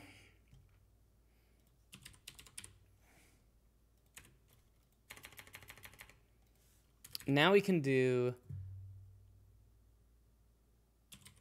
connection. Uh, yeah. Do I just not want to ACK it at all? Yeah, I think so. I think if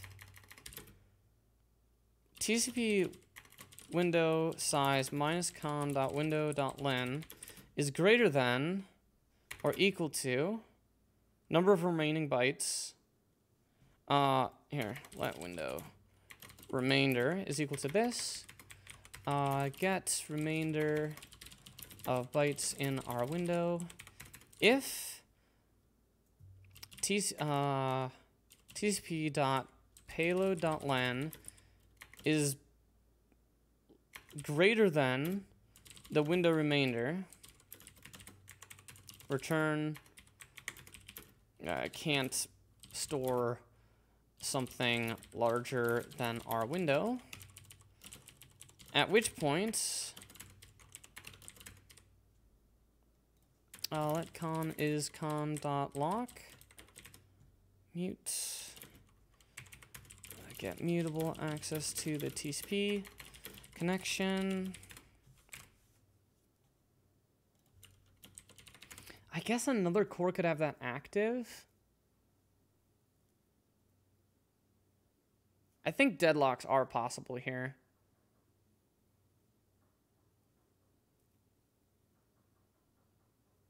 Are they? If another thread receives a packet that's destined to our TCP bind, and we are currently trying to receive on it, then we have the lock. The other core will block, and we're blocking until we get the packet. And that's a silent deadlock. Shit.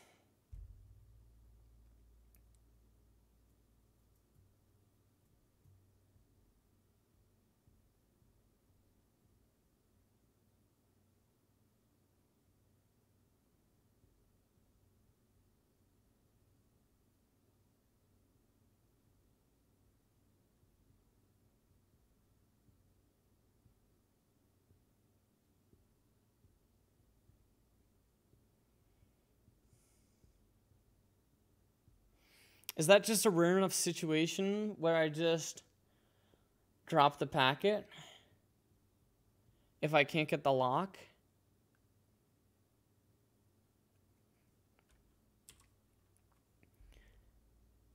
Well, we'll just do this. con.window.extend from tcp.payload. um, extend the window, and then woo.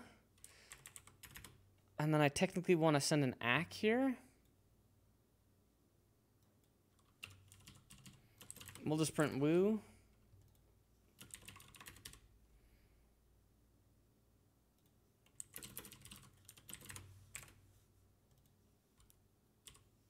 Uh, window rem. Lock. Zero to lock. And I shouldn't have access to that field? Correct.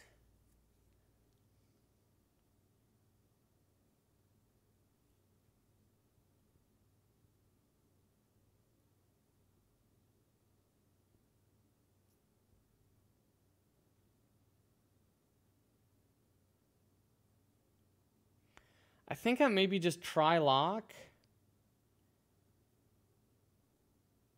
And if I can't get the lock, then I just drop the fucking packet. And then that'll get retransmit just because it's TCP. So like this is more of like a hint. So it'll be like um, discard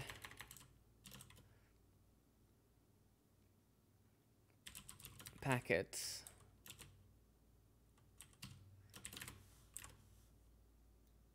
TCP connection.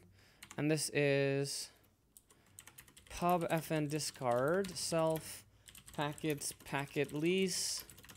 And this is um, handle a packet which is destined for our window.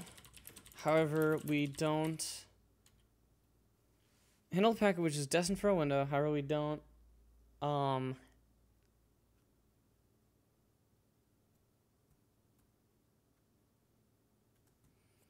Handle a packet which is destined for a window. However, we don't currently...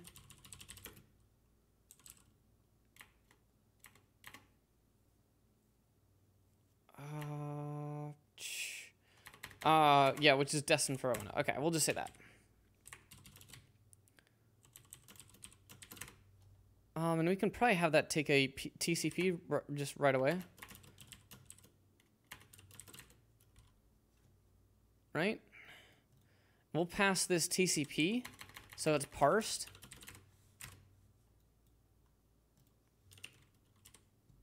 Yep, and this doesn't have, that doesn't need to be pub anymore. Sweet. It's the correct way to do it.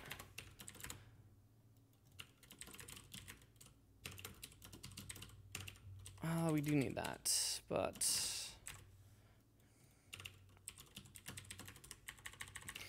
Get the number of bytes in our window. 76. Get mutable access to the TCP connection. Cool. Get remainder bytes in the window.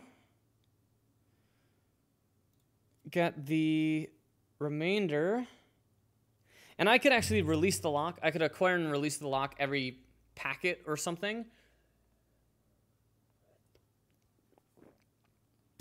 So I can prevent the deadlock. It's doable. If the payload length exceeds the window remainder, we can't do anything. In this case, we'll extend the window. Uh, and this is self.zero. Okay, and then this is TCP. It's the parse TCP packet, which honestly we can just do by ref. Discard. And then we're just going to return because we handled it. Hey! So now we should hit woos again. And now we just want to ACK that shit. Uh... Oh yeah, because now we're fucking up Windows.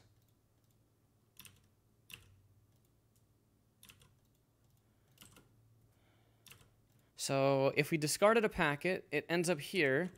And then this is the same as when we extend a window here. We need to update the server state.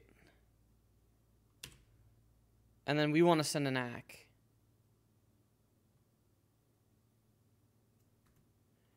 TCP payload length, right?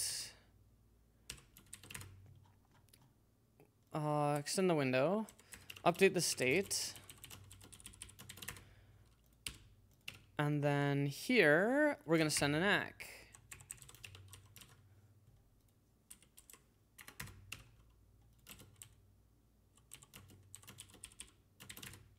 Okay, so at that point, we will ACK that packet, and let's see if I can do a connection dot device now. I think for this one I might be able to. Yeah. So allocate a packet, create a new TCP packet, ACK the device, or ACK the, send an ACK. So update these sequences. Um, and this is on receive, right? It's basically the same logic here.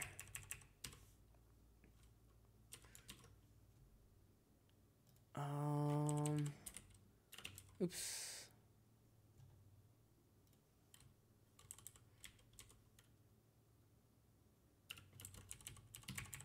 If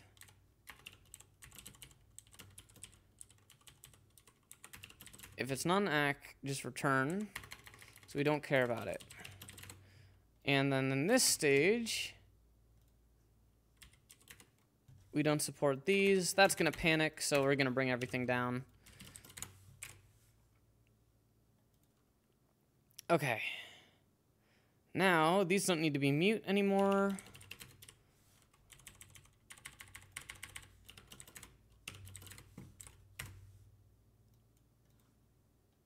Okay, so I'm fucking scared. Holy shit! Holy shit! It just works. we just did it.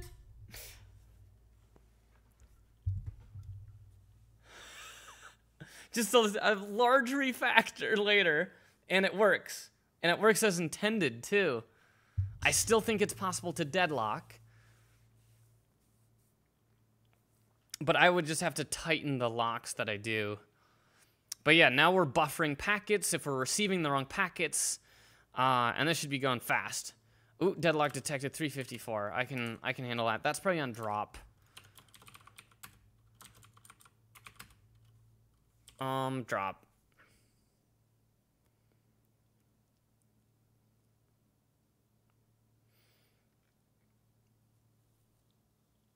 Mm, I'm gonna press X to doubt there. Where did I initially have that lock? How did I ever drop a TCP connection? It's in this. Oh, yeah, yeah, I theorized this. Um, I think if I just forget it... Hmm... Because it's going to call drop on that. And... I'm going to call drop on the arc, but I don't want to drop the container of the arc, the internal value. So what's the problem here? Um, I'm locking that. I then remove that connection, and since I made a TCP connection, I want to store the internal, and then that solves the problem. The internal one. Dropping this will free the net device. It'll be an arc to this. It'll decrease the ref count. Okay, yeah, yeah, yeah. So we gotta make that, we do make it pub. There's nothing you can do with this structure. So then this is what I actually want to store in TCP connections. So I'm going to store this. Mmm, beautiful. TCP connection internal. So I store the internals, 239. Ooh, discard. Ah, fuck, I don't have access to discard. Oh, I can impl discard on that.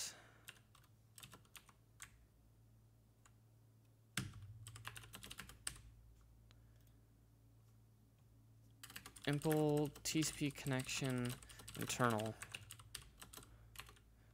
I guess this will be mut then?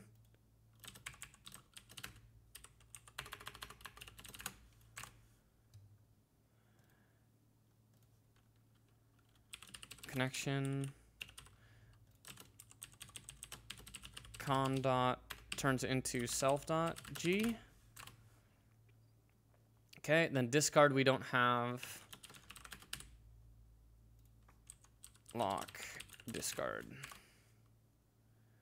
401 this is it.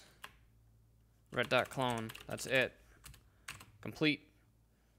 Yes! No warnings no errors correct? No warnings no errors. Okay, and then we can get rid of the print in Python. Just because it's slow. Here we go. Fuck. Instant.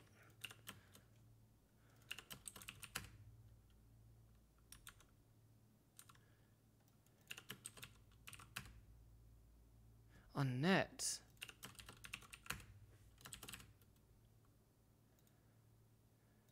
Someone's accessing that.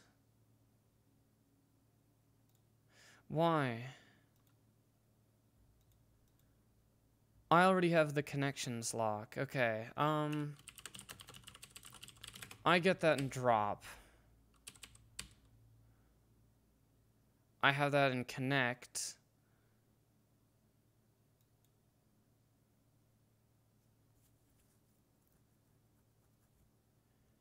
I'm discarding a packet, and I have the connection lock, which would happen. I don't think this always happens. Yeah, it doesn't always happen. Let's see if we can receive it here. It's a it's a true race. Sent. All verified.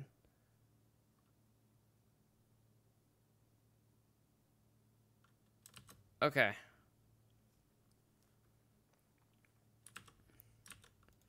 And then sometimes this will fail. Come on. Come on. Come on. Come on. Just fail. This should unwrap. Yep. You son of a bitch. It really like failing before. This is going to happen if I have the connection lock when I discard a packet. And that happens anywhere that I can discard. I can't have the connection lock here. Can't have it here. Can't have it here. I can't have it here. I can have it in one spot, I think. No, I dropped TCP connections.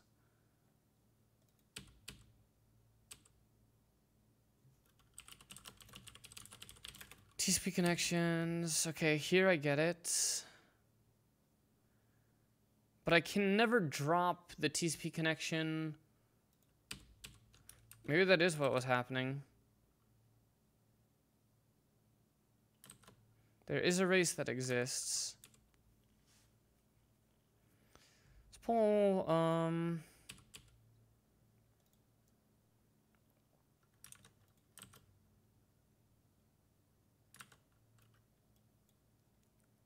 And then this will likely crash. This will crash with interrupt in the wrong mode. I shouldn't be able to get because uh, I need to make that a lock no preempt. I just want to see. Okay, that couldn't download from the server. Okay, we have netmap. Oops. Um, there we go. So this should likely fail. Maybe.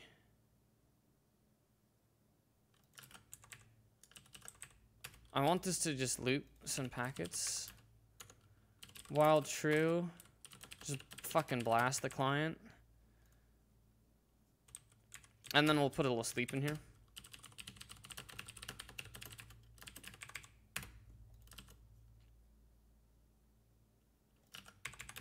Whoops. Four II and zero.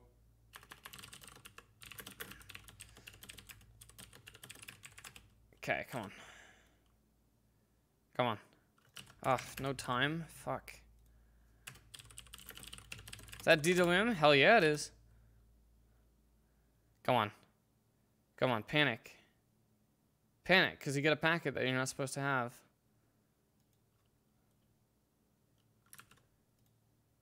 Oh, those binds get dropped. That's why.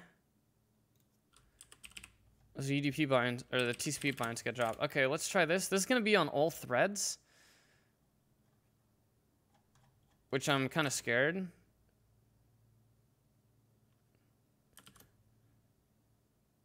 Wow, that was all threads using the stack.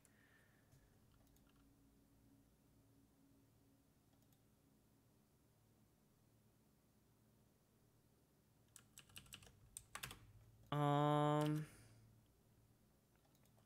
Oh, that's. I think that's deadlocked. I think I did it. I think I did what I theorized. I think I did what I theorized. The silent deadlock. Um.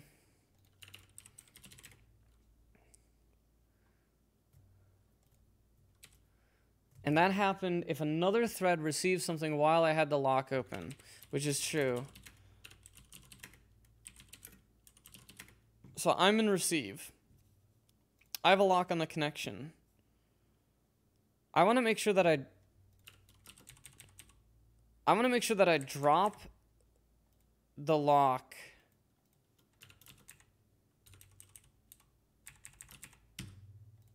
I guess if I drop it every packet here we can do uh, self dot zero dot lock dot device dot clone. This should theoretically mean that I no longer permanently have this lock. Um, in send, I do receive. Okay.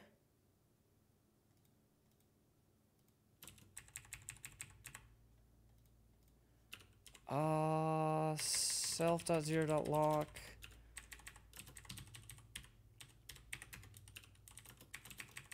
We're definitely probably hurting our perf a little bit with some of these locks, but whatever. It's not too big of a deal. So we lock the connection. This guarantees that we never spin forever. Ooh. Can that deadlock itself? No, because if a packet was destined for it, yeah. So any place we receive now, we actually back off because we eventually release the lock, with the exception of TCP connect, but it's not in the connection list. Oh, yeah. Let's not register the connection until the end. That's probably our That's probably our issue. 400. ret.0.lock. 473. Uh, core mem drop connection. Should be able to do this. Register the connection at the end. And then, okay, so we basically have the lock on connections until we complete the whole, like, SYN-ACK. Timed out when attempting to take lock. Oh, yeah, I can recover from that now. 356 deadlock. That happens if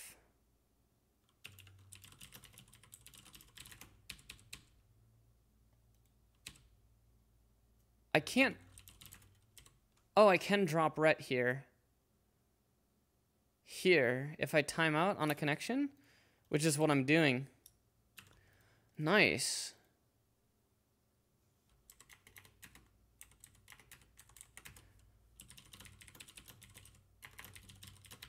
Um...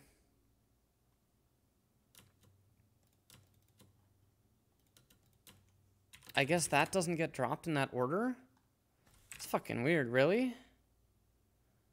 Oh, we're not timing out, we're active reset.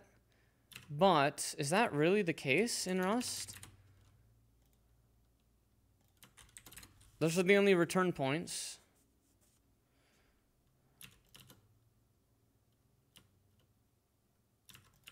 Three fifty nine. Oh yeah, because it expects that to be in there.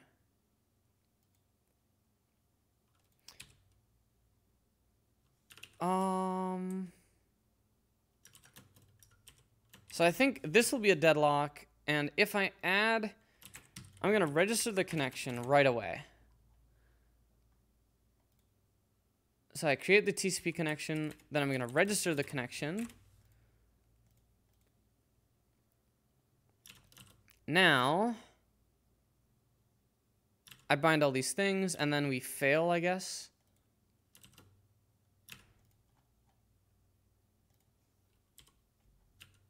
Is it this deadlock? Those that that'll time out eventually and give us control again.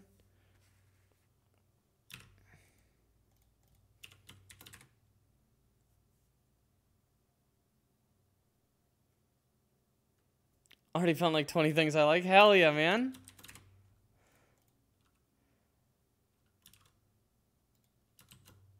We can't soft reboot right now. I'm gonna see if I can recover from this lock.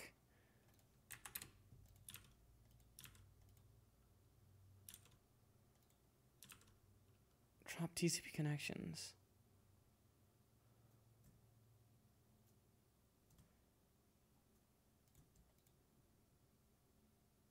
Yeah, because this is created first. Yeah, they get dropped in that order. So I need to explicitly drop it in the opposite order. That's some shit, dude. All right, let's reboot. Do you have a stream schedule? I do not.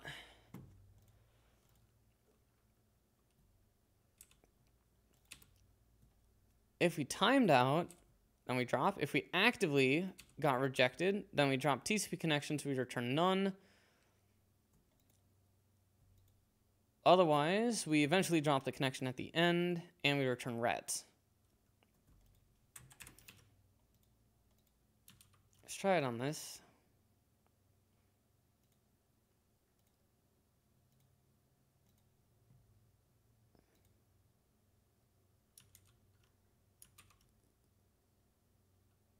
Unwrap on non-value. That's looking good. I think we fixed it. I think we fixed it. 101. That's just unwrapping because it failed to connect. But there's that's fine. Yeah, I think that drop is required. Because otherwise we deadlock. So we have to drop that connection. We have to drop that connection. I think that is that deadlock. And then for the TCP side of things, we can no longer deadlock because while we're looping, we actually release it temporarily, which means we get a new ticket since they're fair locks. Yep. Unwrap on a none. Basically, this means we failed to connect, which is fair, but we're no longer getting that deadlock. And we want to do this a couple times because we really want to make sure that's the case. There, another core came online. Once again, None of them can contact the server, but we're not getting deadlocked again. And I think that makes sense. Really weird edge case there. Okay, test. Here we go.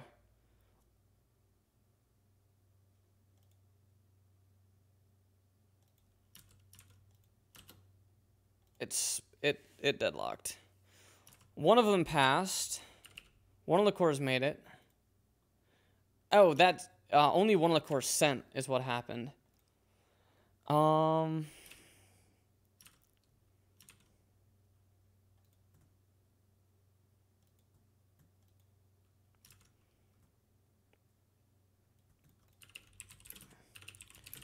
So I did ascend.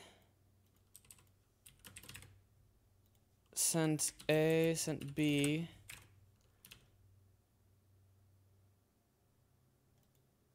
Maybe it's like a print deadlock? Well, we'll see. In this case, we'll try it here. Hopefully we get stuck. Because we can test it a lot faster here.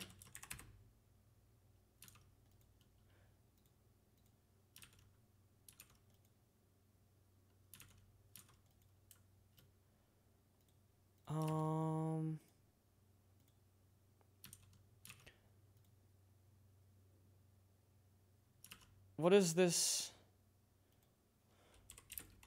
It's on the OSDevNet Verber 2. 1011. I can do that.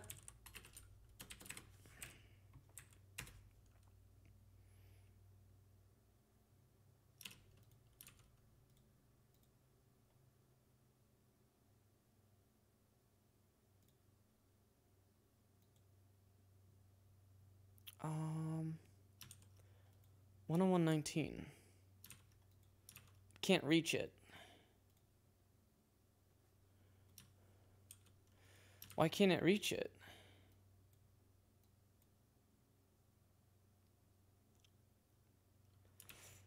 It's technically a different network card, but the offloading sh should still work.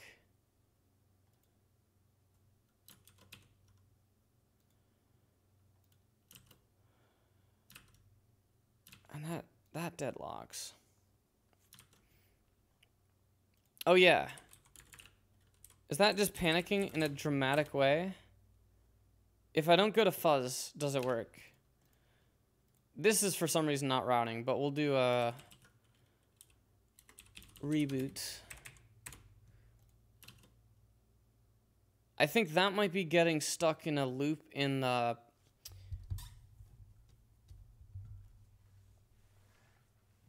Yeah, I think that's getting stuck in an interrupt handler. I feel like I should be able to panic there. It's technically an exception, so it's actually a really hard problem.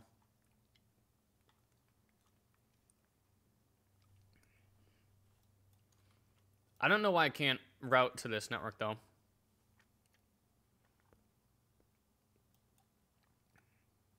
I use 1011. What am I binding to in Python? Zeros.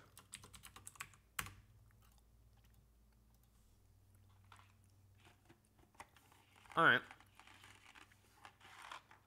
We'll see if we get stuck here.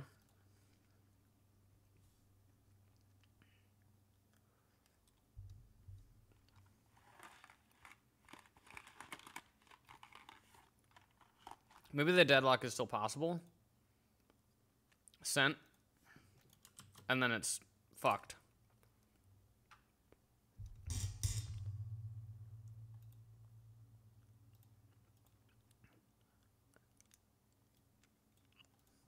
Hmm.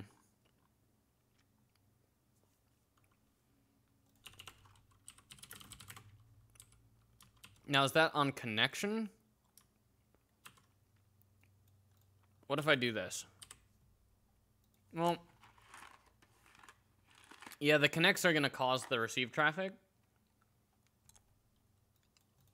Um, oh.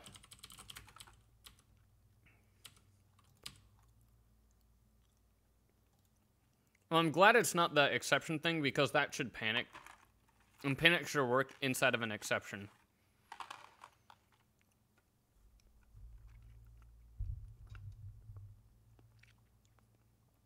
Um, I guess it's here.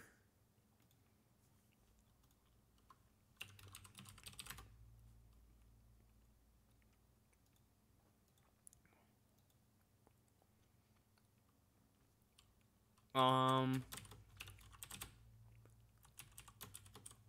here we're going to send a SYN. Uh, send the SYN. This loop, I think, is killing me because I had it open permanently. Uh, wait for the sin ack. And then here, this is ack the SYN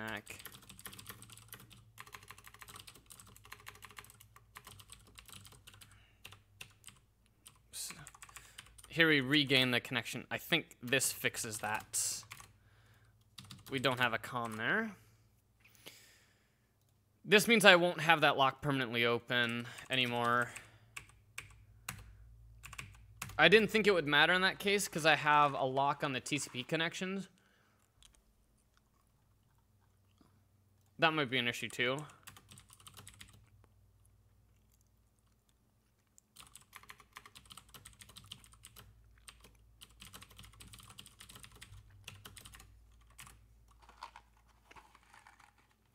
Um,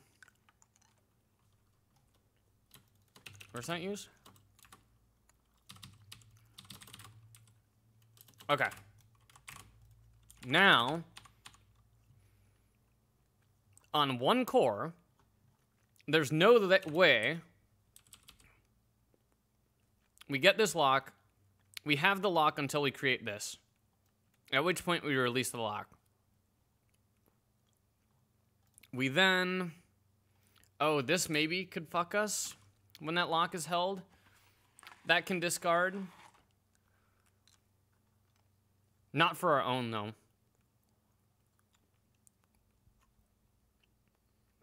Can another core hit that?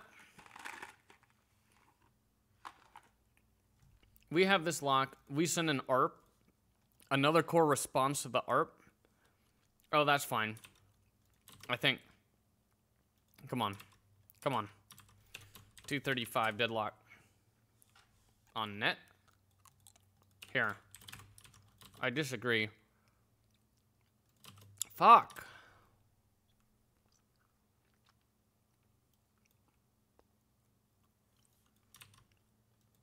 That's not it.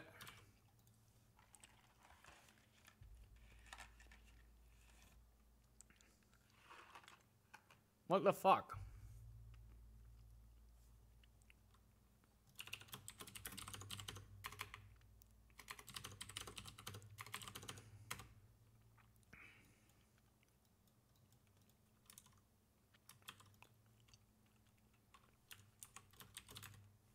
Um.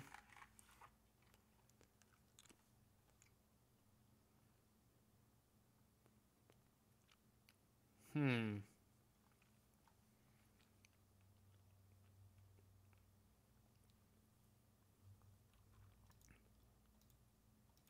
Panic timeout.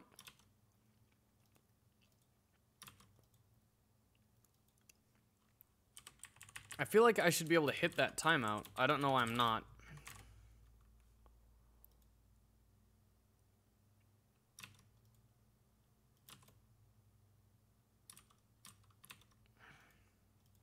Fuck, what could it be?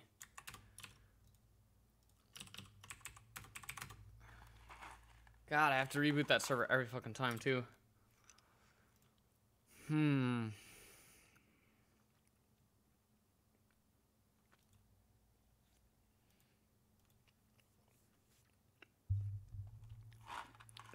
See you around, man. Thanks for all the thanks for the luck.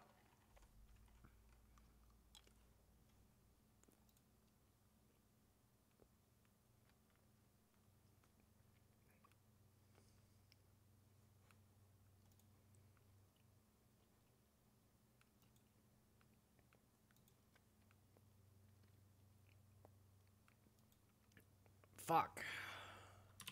I mean, like, technically it works if you don't, like, really hang hit it so hard.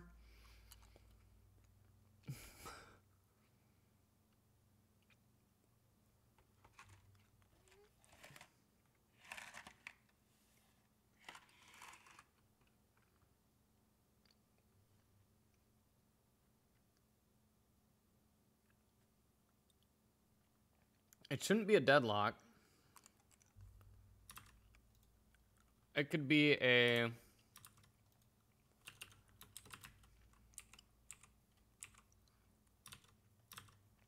um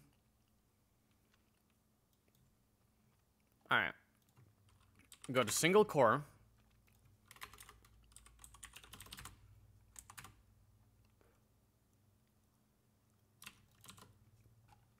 Deadlock detected. Okay, first of all, we need to fix that.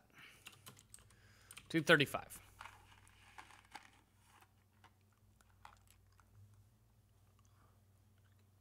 Okay. It's possible that we discard a packet while we have the TCP connection lock.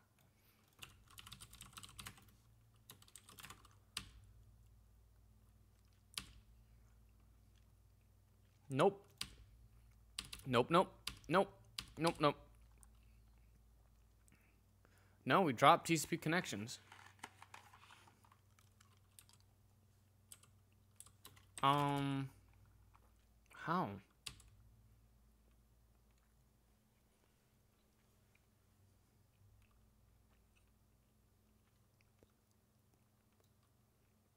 That's the only way that can happen. So let's first figure out single core what the fuck this lock is.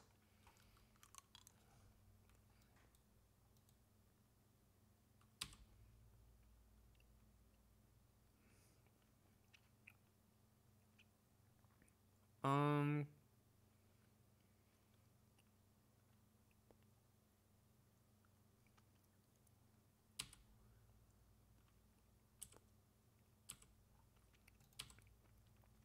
So that calls discard.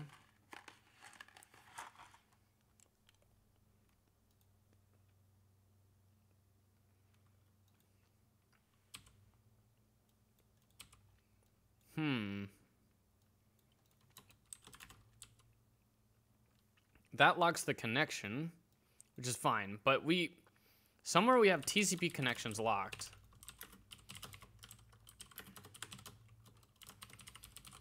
What did you go to school for? I didn't go to school. I'm uneducated.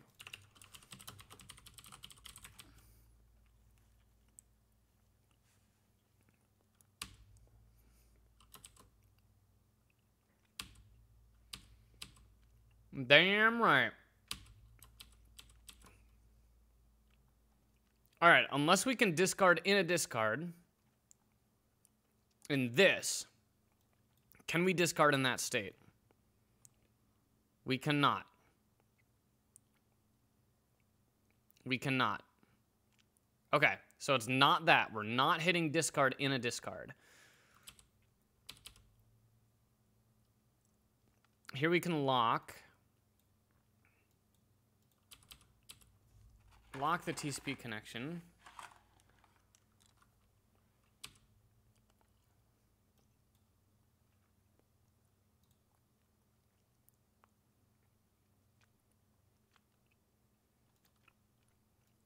This can call discard. This can discard. And if there's a TCP packet. Ah. Parlay Vooks. We're just going to say server is none.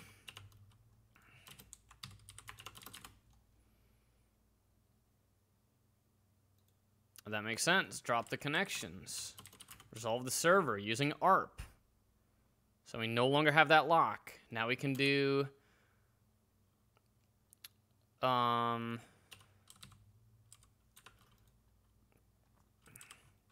We'll just do this. It's gross, but uh, con dot zero dot. You like my French? Red dot zero dot lock.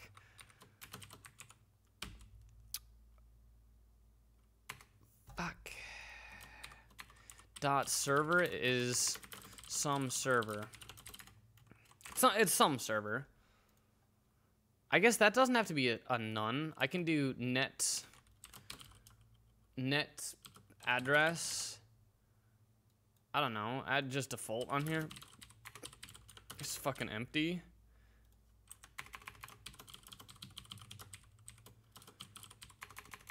Default that shit. Thanks for all the follows. Nanotech leet? Relate? Relate, relatate, actually. Relatate.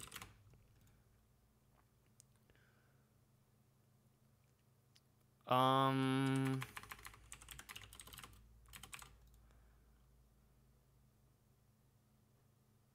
No default on IPv4 address.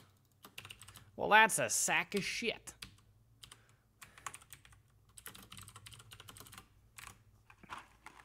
Hell yeah. 35?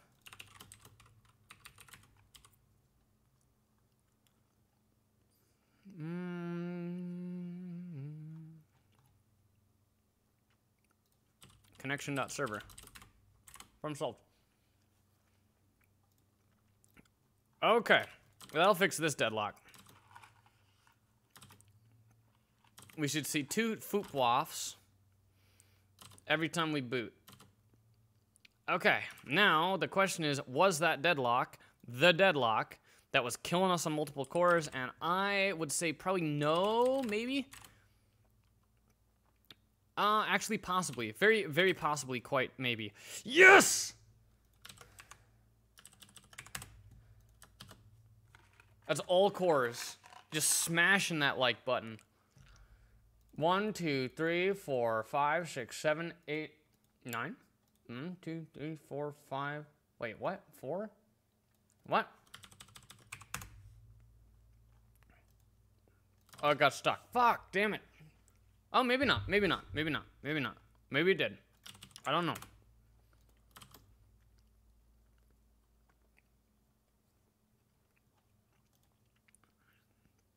Um, no, it's it's broken. Something's broken there. Something's broken. Sent A.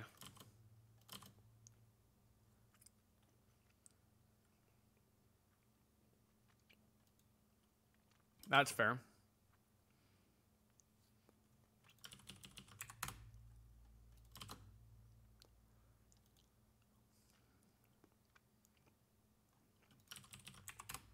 Okay. Eight. Okay, so sometimes it gets stuck here. Or seven sent. But at least these are recoverable locks. Um, connected. Open my core ID.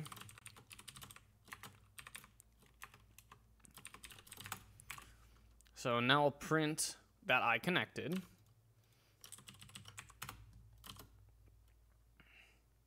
And then all we have to do is go until it gets stuck. Okay.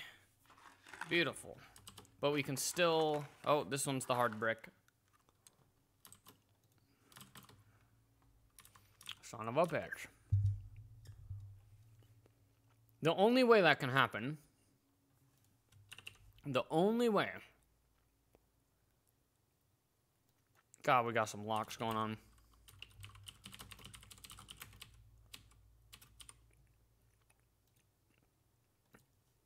If I got rid of this.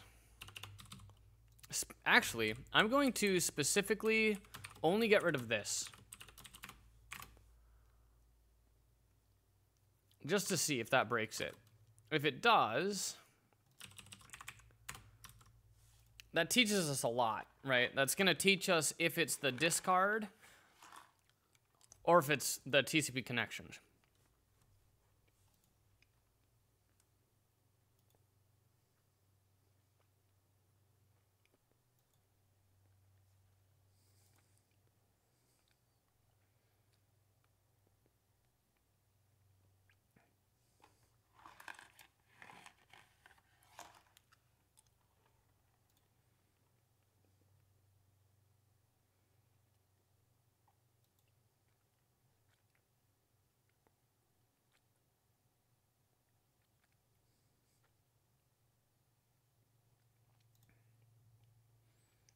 Alright.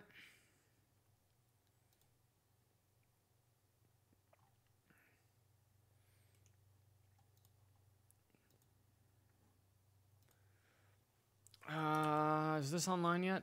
Not yet. Alright, first let's see if it happens if we don't have the server there.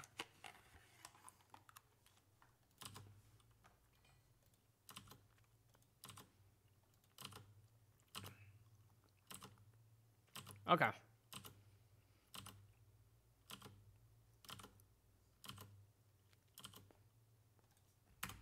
Looks good. Um, I think this is maybe acceptable.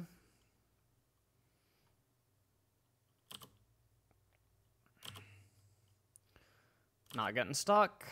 Not getting stuck.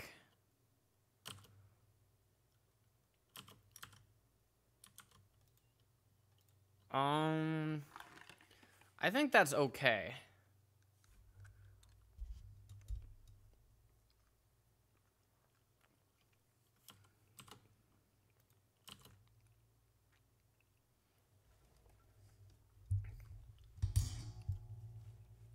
Um.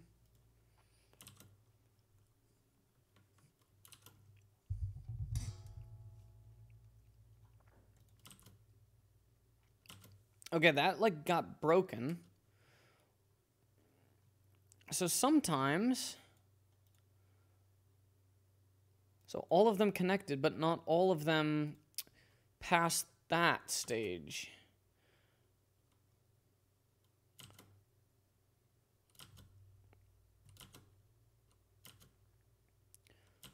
Um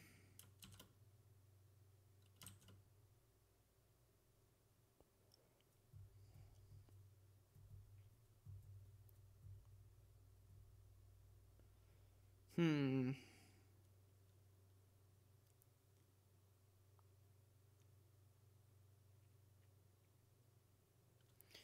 Shit. So sometimes they get stuck. It's relatively rare.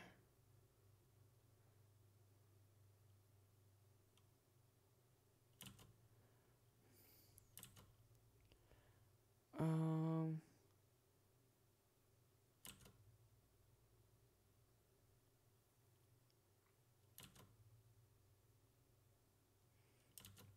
do you not like my TCP content, Moss?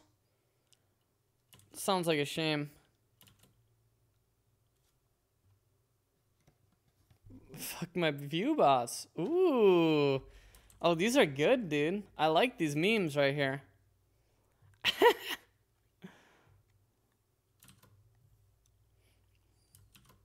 now I'm just curious what this dude has to say. I could ban him, but it, he does seem like he has some. Uh, he does have some edgy uh, things.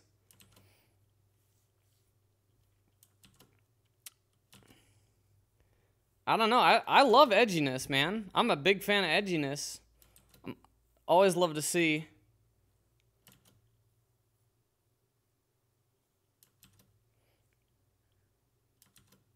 He's not trolling. He probably is.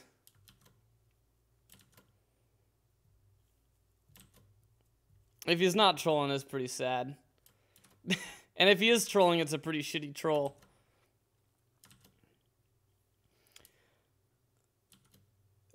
Come to chat, the first thing I see. Interesting. The guy is more edgy than the Python game guy. Oh, yeah. Okay, I, man, I just don't... I don't know how I'm gonna debug this, man.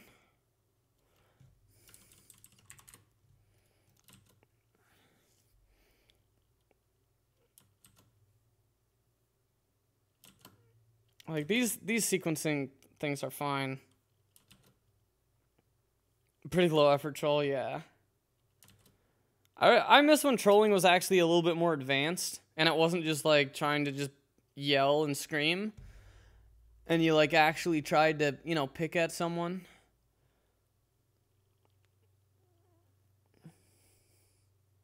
Ah, I see. There we go. There's the there's actually trolling. Okay.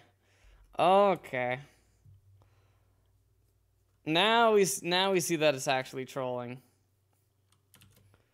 now it's just a sad troll.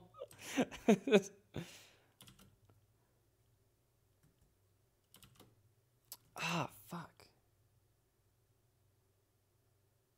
Alright, be right back.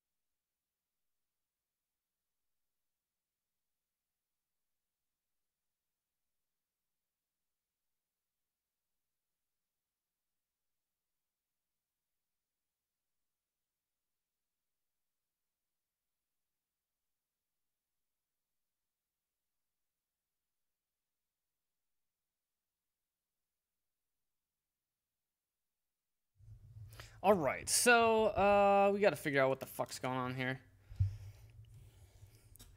Um, you ever stream bug hunting popular software? No, I'll never stream uh, bug hunting on something that is like actual, actually relevant. Um, okay. It's just, it's just too risky. It's, I'm not gonna I'm not gonna find bugs on stream. It's just not it's not appropriate. Those things should be reported responsibly, and uh, they shouldn't be found on a stream where they can't be like, you know, yeah, yep, no problem. I would love to. I absolutely would if it like was sane. Yeah, responsible disclosure. Um, you know, I just don't know. The like hard lock where they get really stuck.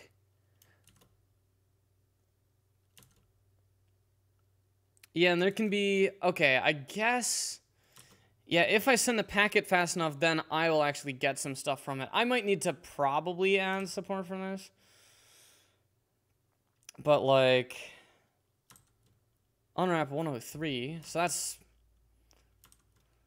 I don't know, it definitely has something to do with this. So I'm going to discard. I'm going to call discard, but I'm not going to actually discard anything. But I will do a... Oops. Discard. And then I'll do a time, sleep, um, return. Okay, so now we're just going to sleep for a little bit. See if that allows us to hit this lock. And it does. We bricked it real good. So at least we know that the issue is we're deadlocking and trying to get this connection lock, and then someone else is never releasing it. Better than indecent exposure. Uh, lock. Okay. That lock doesn't live because we cloned this device out. Then we have this lock. We can while here. If it wasn't for us, we discard it. At which point, we can get the connection lock and we can throw it away. And this is, it wasn't even TCP, throw it in the trash. What about malware reversing streams? I'm not a big fan of malware reversing. I just don't really do any malware related things. It's just not an interest of mine.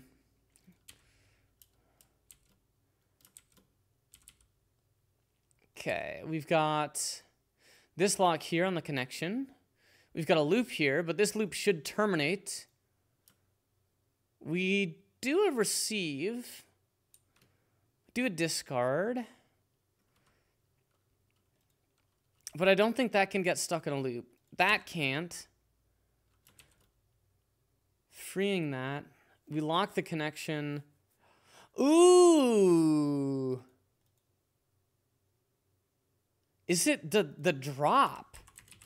Is it the drop? We're just gonna not do anything and drop? I think it's because I get the lock for the connection, and then I get the lock for the TCP connections, and if I'm in this state, I think that might be it. Let's... We're grasping at straws. Thanks, mods.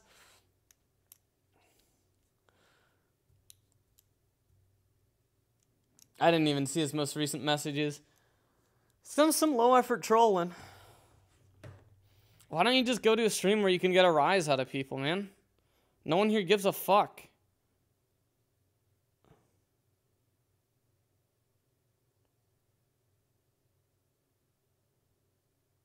Like, no one even remotely gave a fuck, dude. and thanks, Desu. Um, make your own us? Yep, that's what we're working on. We already made it. We're just kind of making it better now. your mother was a hamster and your father smelled of elderberries. Oh, some good old Monty Python. I wonder if it's these locks.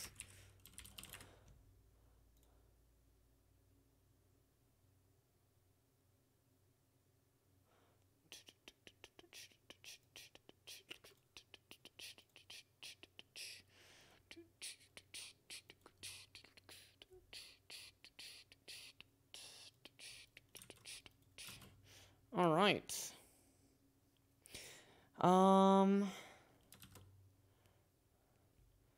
So let's see here.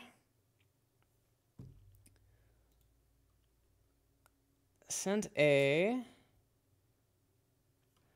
Okay, that got bricked. Nice. Wait, wait. We recovered it. Maybe if I send enough Z's? Oh, eventually I send enough Z's.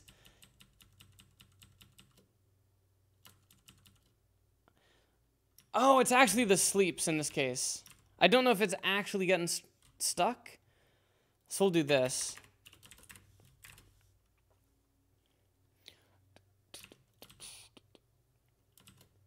Okay.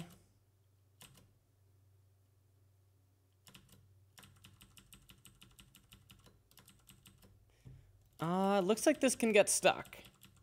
So it's not drop.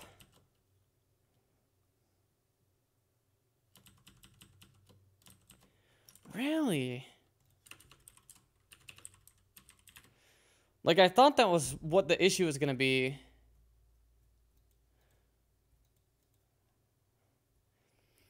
Get access to the TCP connection. Um...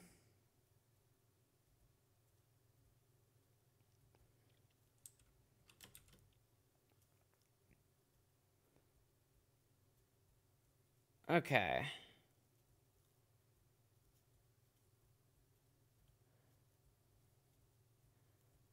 Get that.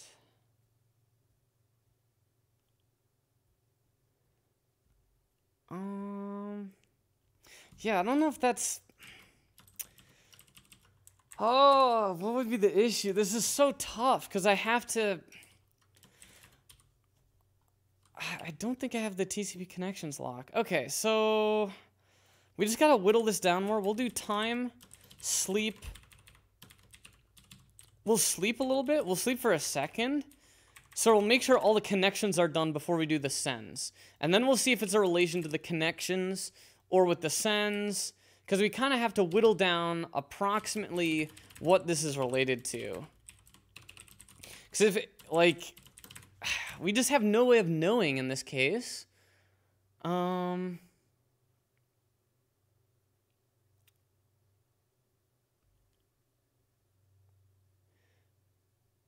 Yeah, we have no way of really knowing what's actually fucking breaking it.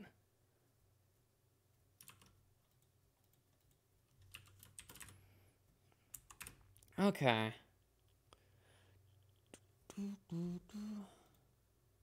Just start calling your bugs flash wounds. Oh, that's pretty good. I like that. All right, so now we're gonna sleep.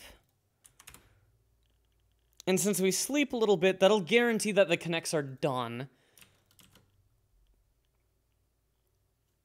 Oh, we need to start the server. Have you written the TCP stack from scratch? Yes. Ooh, okay. One second.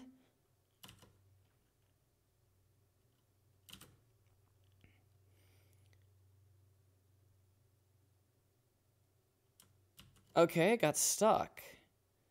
It got stuck.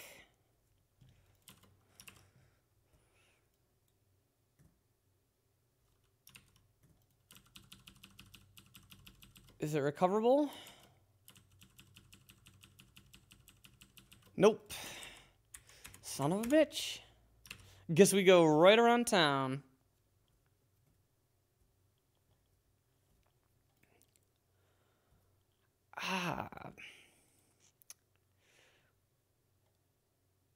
Alright, what if we... Yeah, let's just start minimizing some of this down.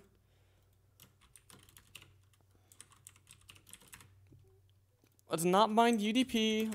We'll do a TCP connection. We'll do just this. And that looks pretty good.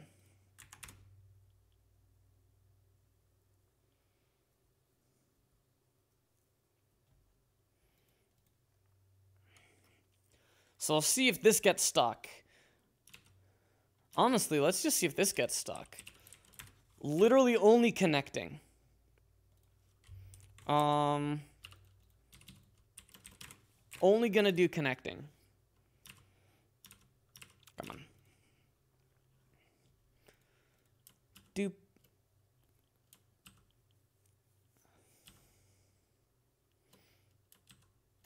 Oh, it got stuck. Okay. That is really good data. that is really good data. That means we know for a fact it has to do with the connection stage. So we don't care about really anything else except the connect. Um, and then here, we'll time sleep. We're gonna sleep for a long time. It's only 100 seconds. That's, that's a long time. So then what I'm going to do is I'm going to sleep. That makes sure I don't release the device. Because otherwise I'm going to drop the device. I, If I drop the device, then I don't know. I think that halt actually does it. But we're, we're going to sleep holding that device lock. I'm pretty sure this is still going to fail. This is still going to get stuck. Nine hours? Oh, hell yeah. No problem. Easy peasy.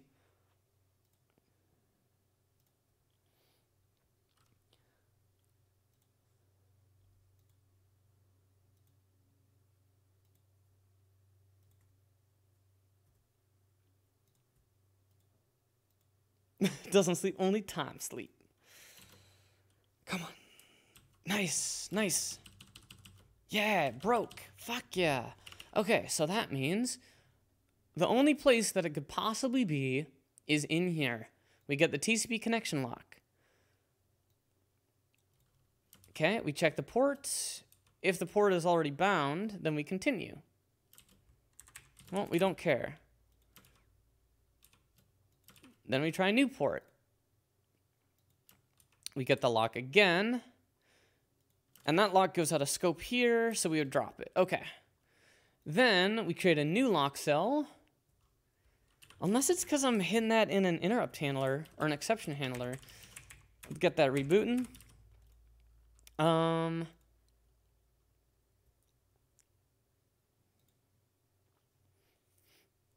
nothing here should get the TCP connection lock.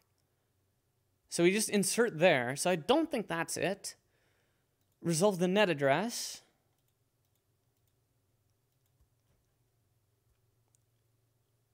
So at this stage, we are potentially discarding packets. We could get a TCP packet here when we're resolving a net address for an ARP, in which case that packet will end up getting blasted over to discard on one of the other cores. Because let's say one core comes through, it creates the TCP session, another one comes through, it's trying to do an ARP, and then it goes to discard that packet, and to discard that packet, it grabs the TCP connection lock which it can't get because someone else is blocking on that. This should be fixed time.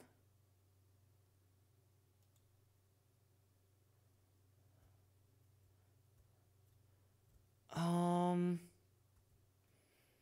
I mean, this causes allocations, but I don't think it's allocation related. Okay, let's just return it here.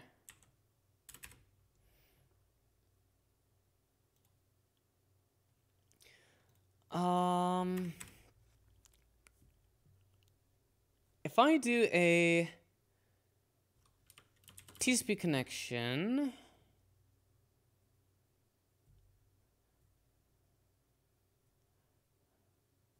TCP connections, lock that.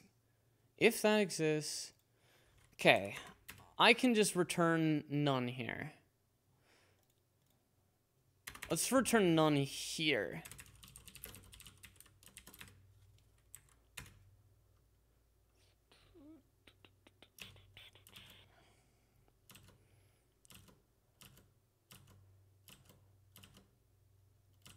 So I don't think this is it. Oh, shit. Is this because I insert the connection before... I insert a connection and then I can potentially go down here where I go to discard that connection and like none of this stuff is set up yet. Yeah, I should not register this until I have... I shouldn't register that until I have created the actual connection.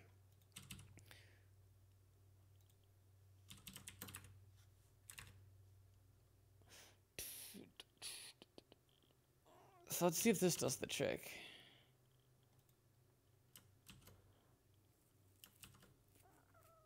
Okay. And why didn't we want to have that lock before? Oh, because we were concerned that we would have issues if we did...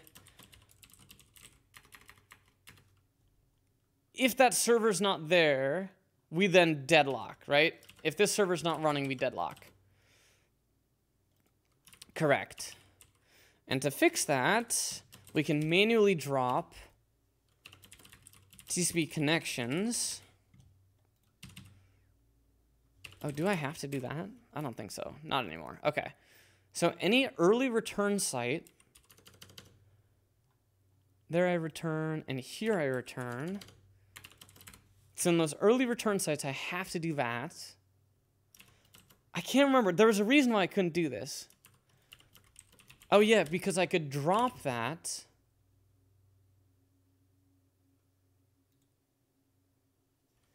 And that's where we were before.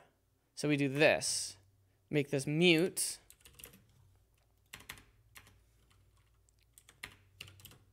So now we will lock. Send the SYN. Oops. This is just connection, con. This should build ret.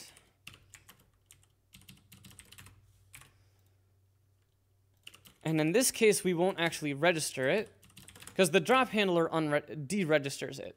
So here, we will insert ret is equal to arc new lock cell new packet. Nope. Connection. Con uh, ret.clone we insert into TCP connections, and then at this point we can drop that. Uh, this is technically a TCP connection. And this is a ret.0.clone. Okay, this should now work. 398, unused. Connection. We'll do that for now.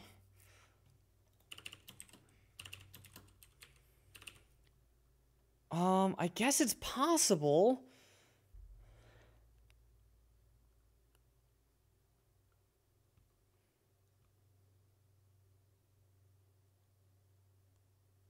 Resolve that net address.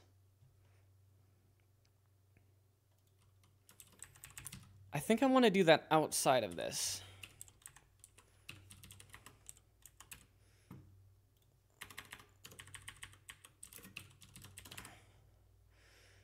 Resolve the server, then we get the TCP connections, then we do this, which is just some allocations. Here we pass the server.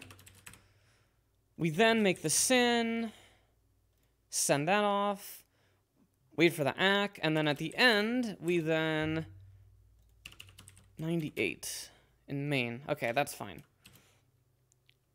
Okay, server's not responding. Good. Server's up. Connected. Connected connected. Yeah, I mean, I think before, well, I mean, definitely before, we had a situation where the TCP connection was being registered, and we would, like, handle it as if it exists. Okay, what's happening here? I can still reboot out of there.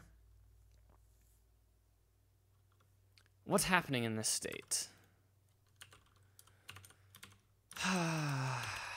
Fuck. Lock.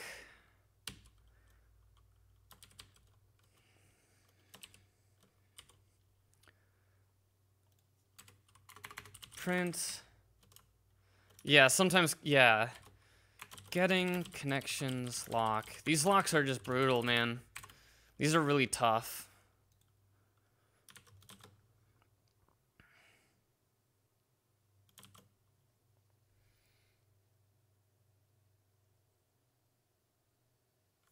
I mean, technically, like one of the biggest issues is I have two locks right now. If I only had one lock, if I if I got the TCP connection lock, anytime I wanted to do TCP, it might be fine. Like there are ways we could architect this, but I do like this because it allows the loosest amount of lock contention.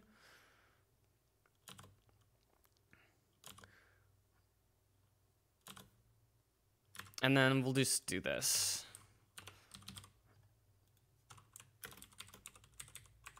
Um, core ID got connections lock.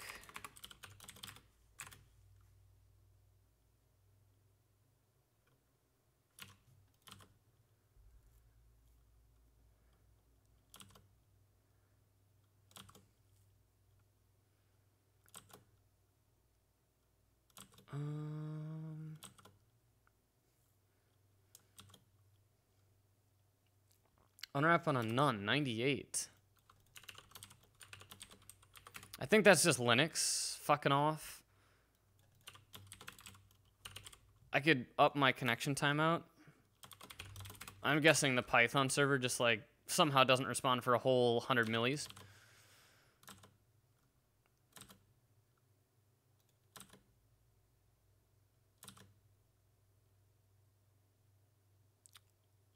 Once, okay. So one of those bugs that adding the prints fixes it. 98, okay. So, like, sometimes we can't connect.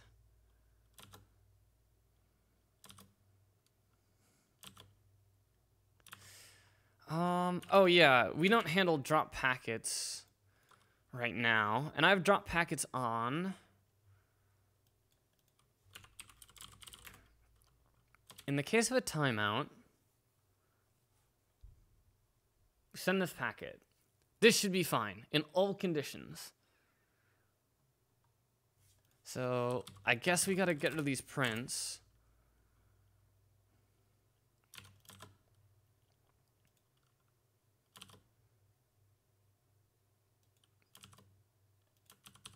Okay, that's bricked. Nice.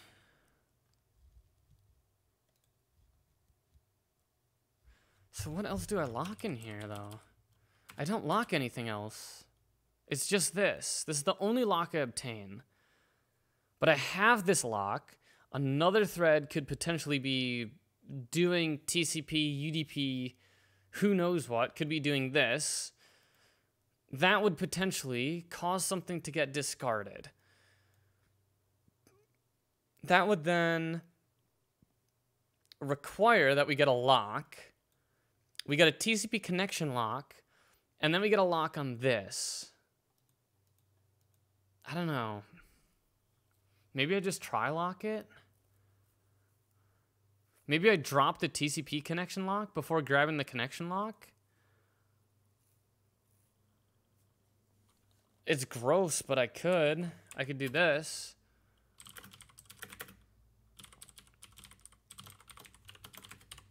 Right?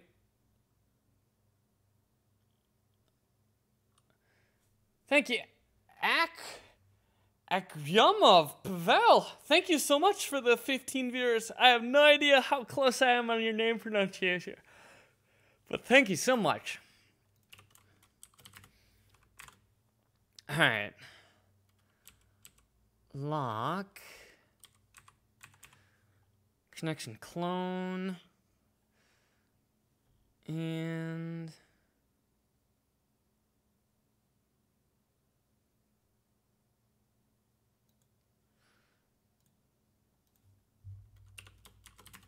Let's see.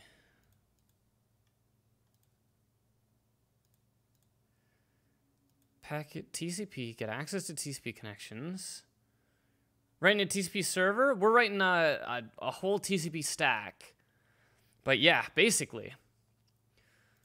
Okay, so we can clone the connection, and then we can do a core mem drop TCP connections. And it's kind of weird, but it basically means that we don't have this lock while having this lock. Which might fix it. We know that it crashes in the current state. I can't touch anything else. But we'll clone that connection. It's really fucking gross. But it, it guarantees that we drop that. So we discard that. So, but yeah, I'm I'm like I think it's a situation where I have this lock. I definitely can have this lock held. I guess someone can try and get this lock. And then we are doing discard discard discard what um we're on probably ARP. This is going to lock the DHCP lease.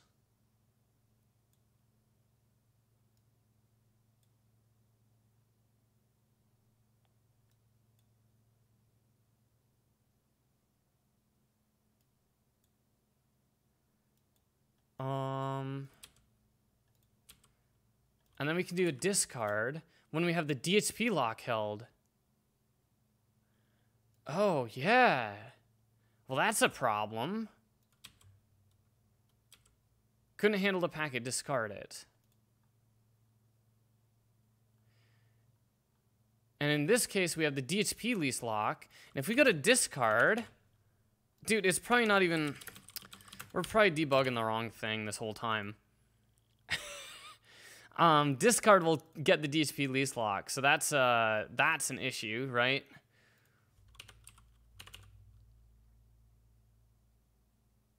Oh, that doesn't have the lock held. No, that ASRAFs unwraps. RIP.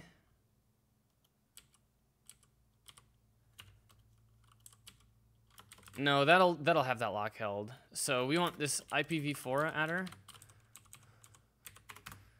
And this is going to fail, but we'll clone that shit. It's literally, no, it's already copying that. Yeah, I don't think that lock is actually held. I don't think that lock is held. Okay, what did we, what did we change? We changed, we dropped that TCP lock. it's fucking dead, dude. God damn it.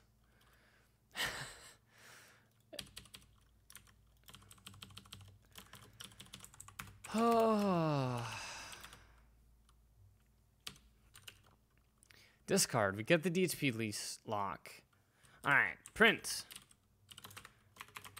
Discarding.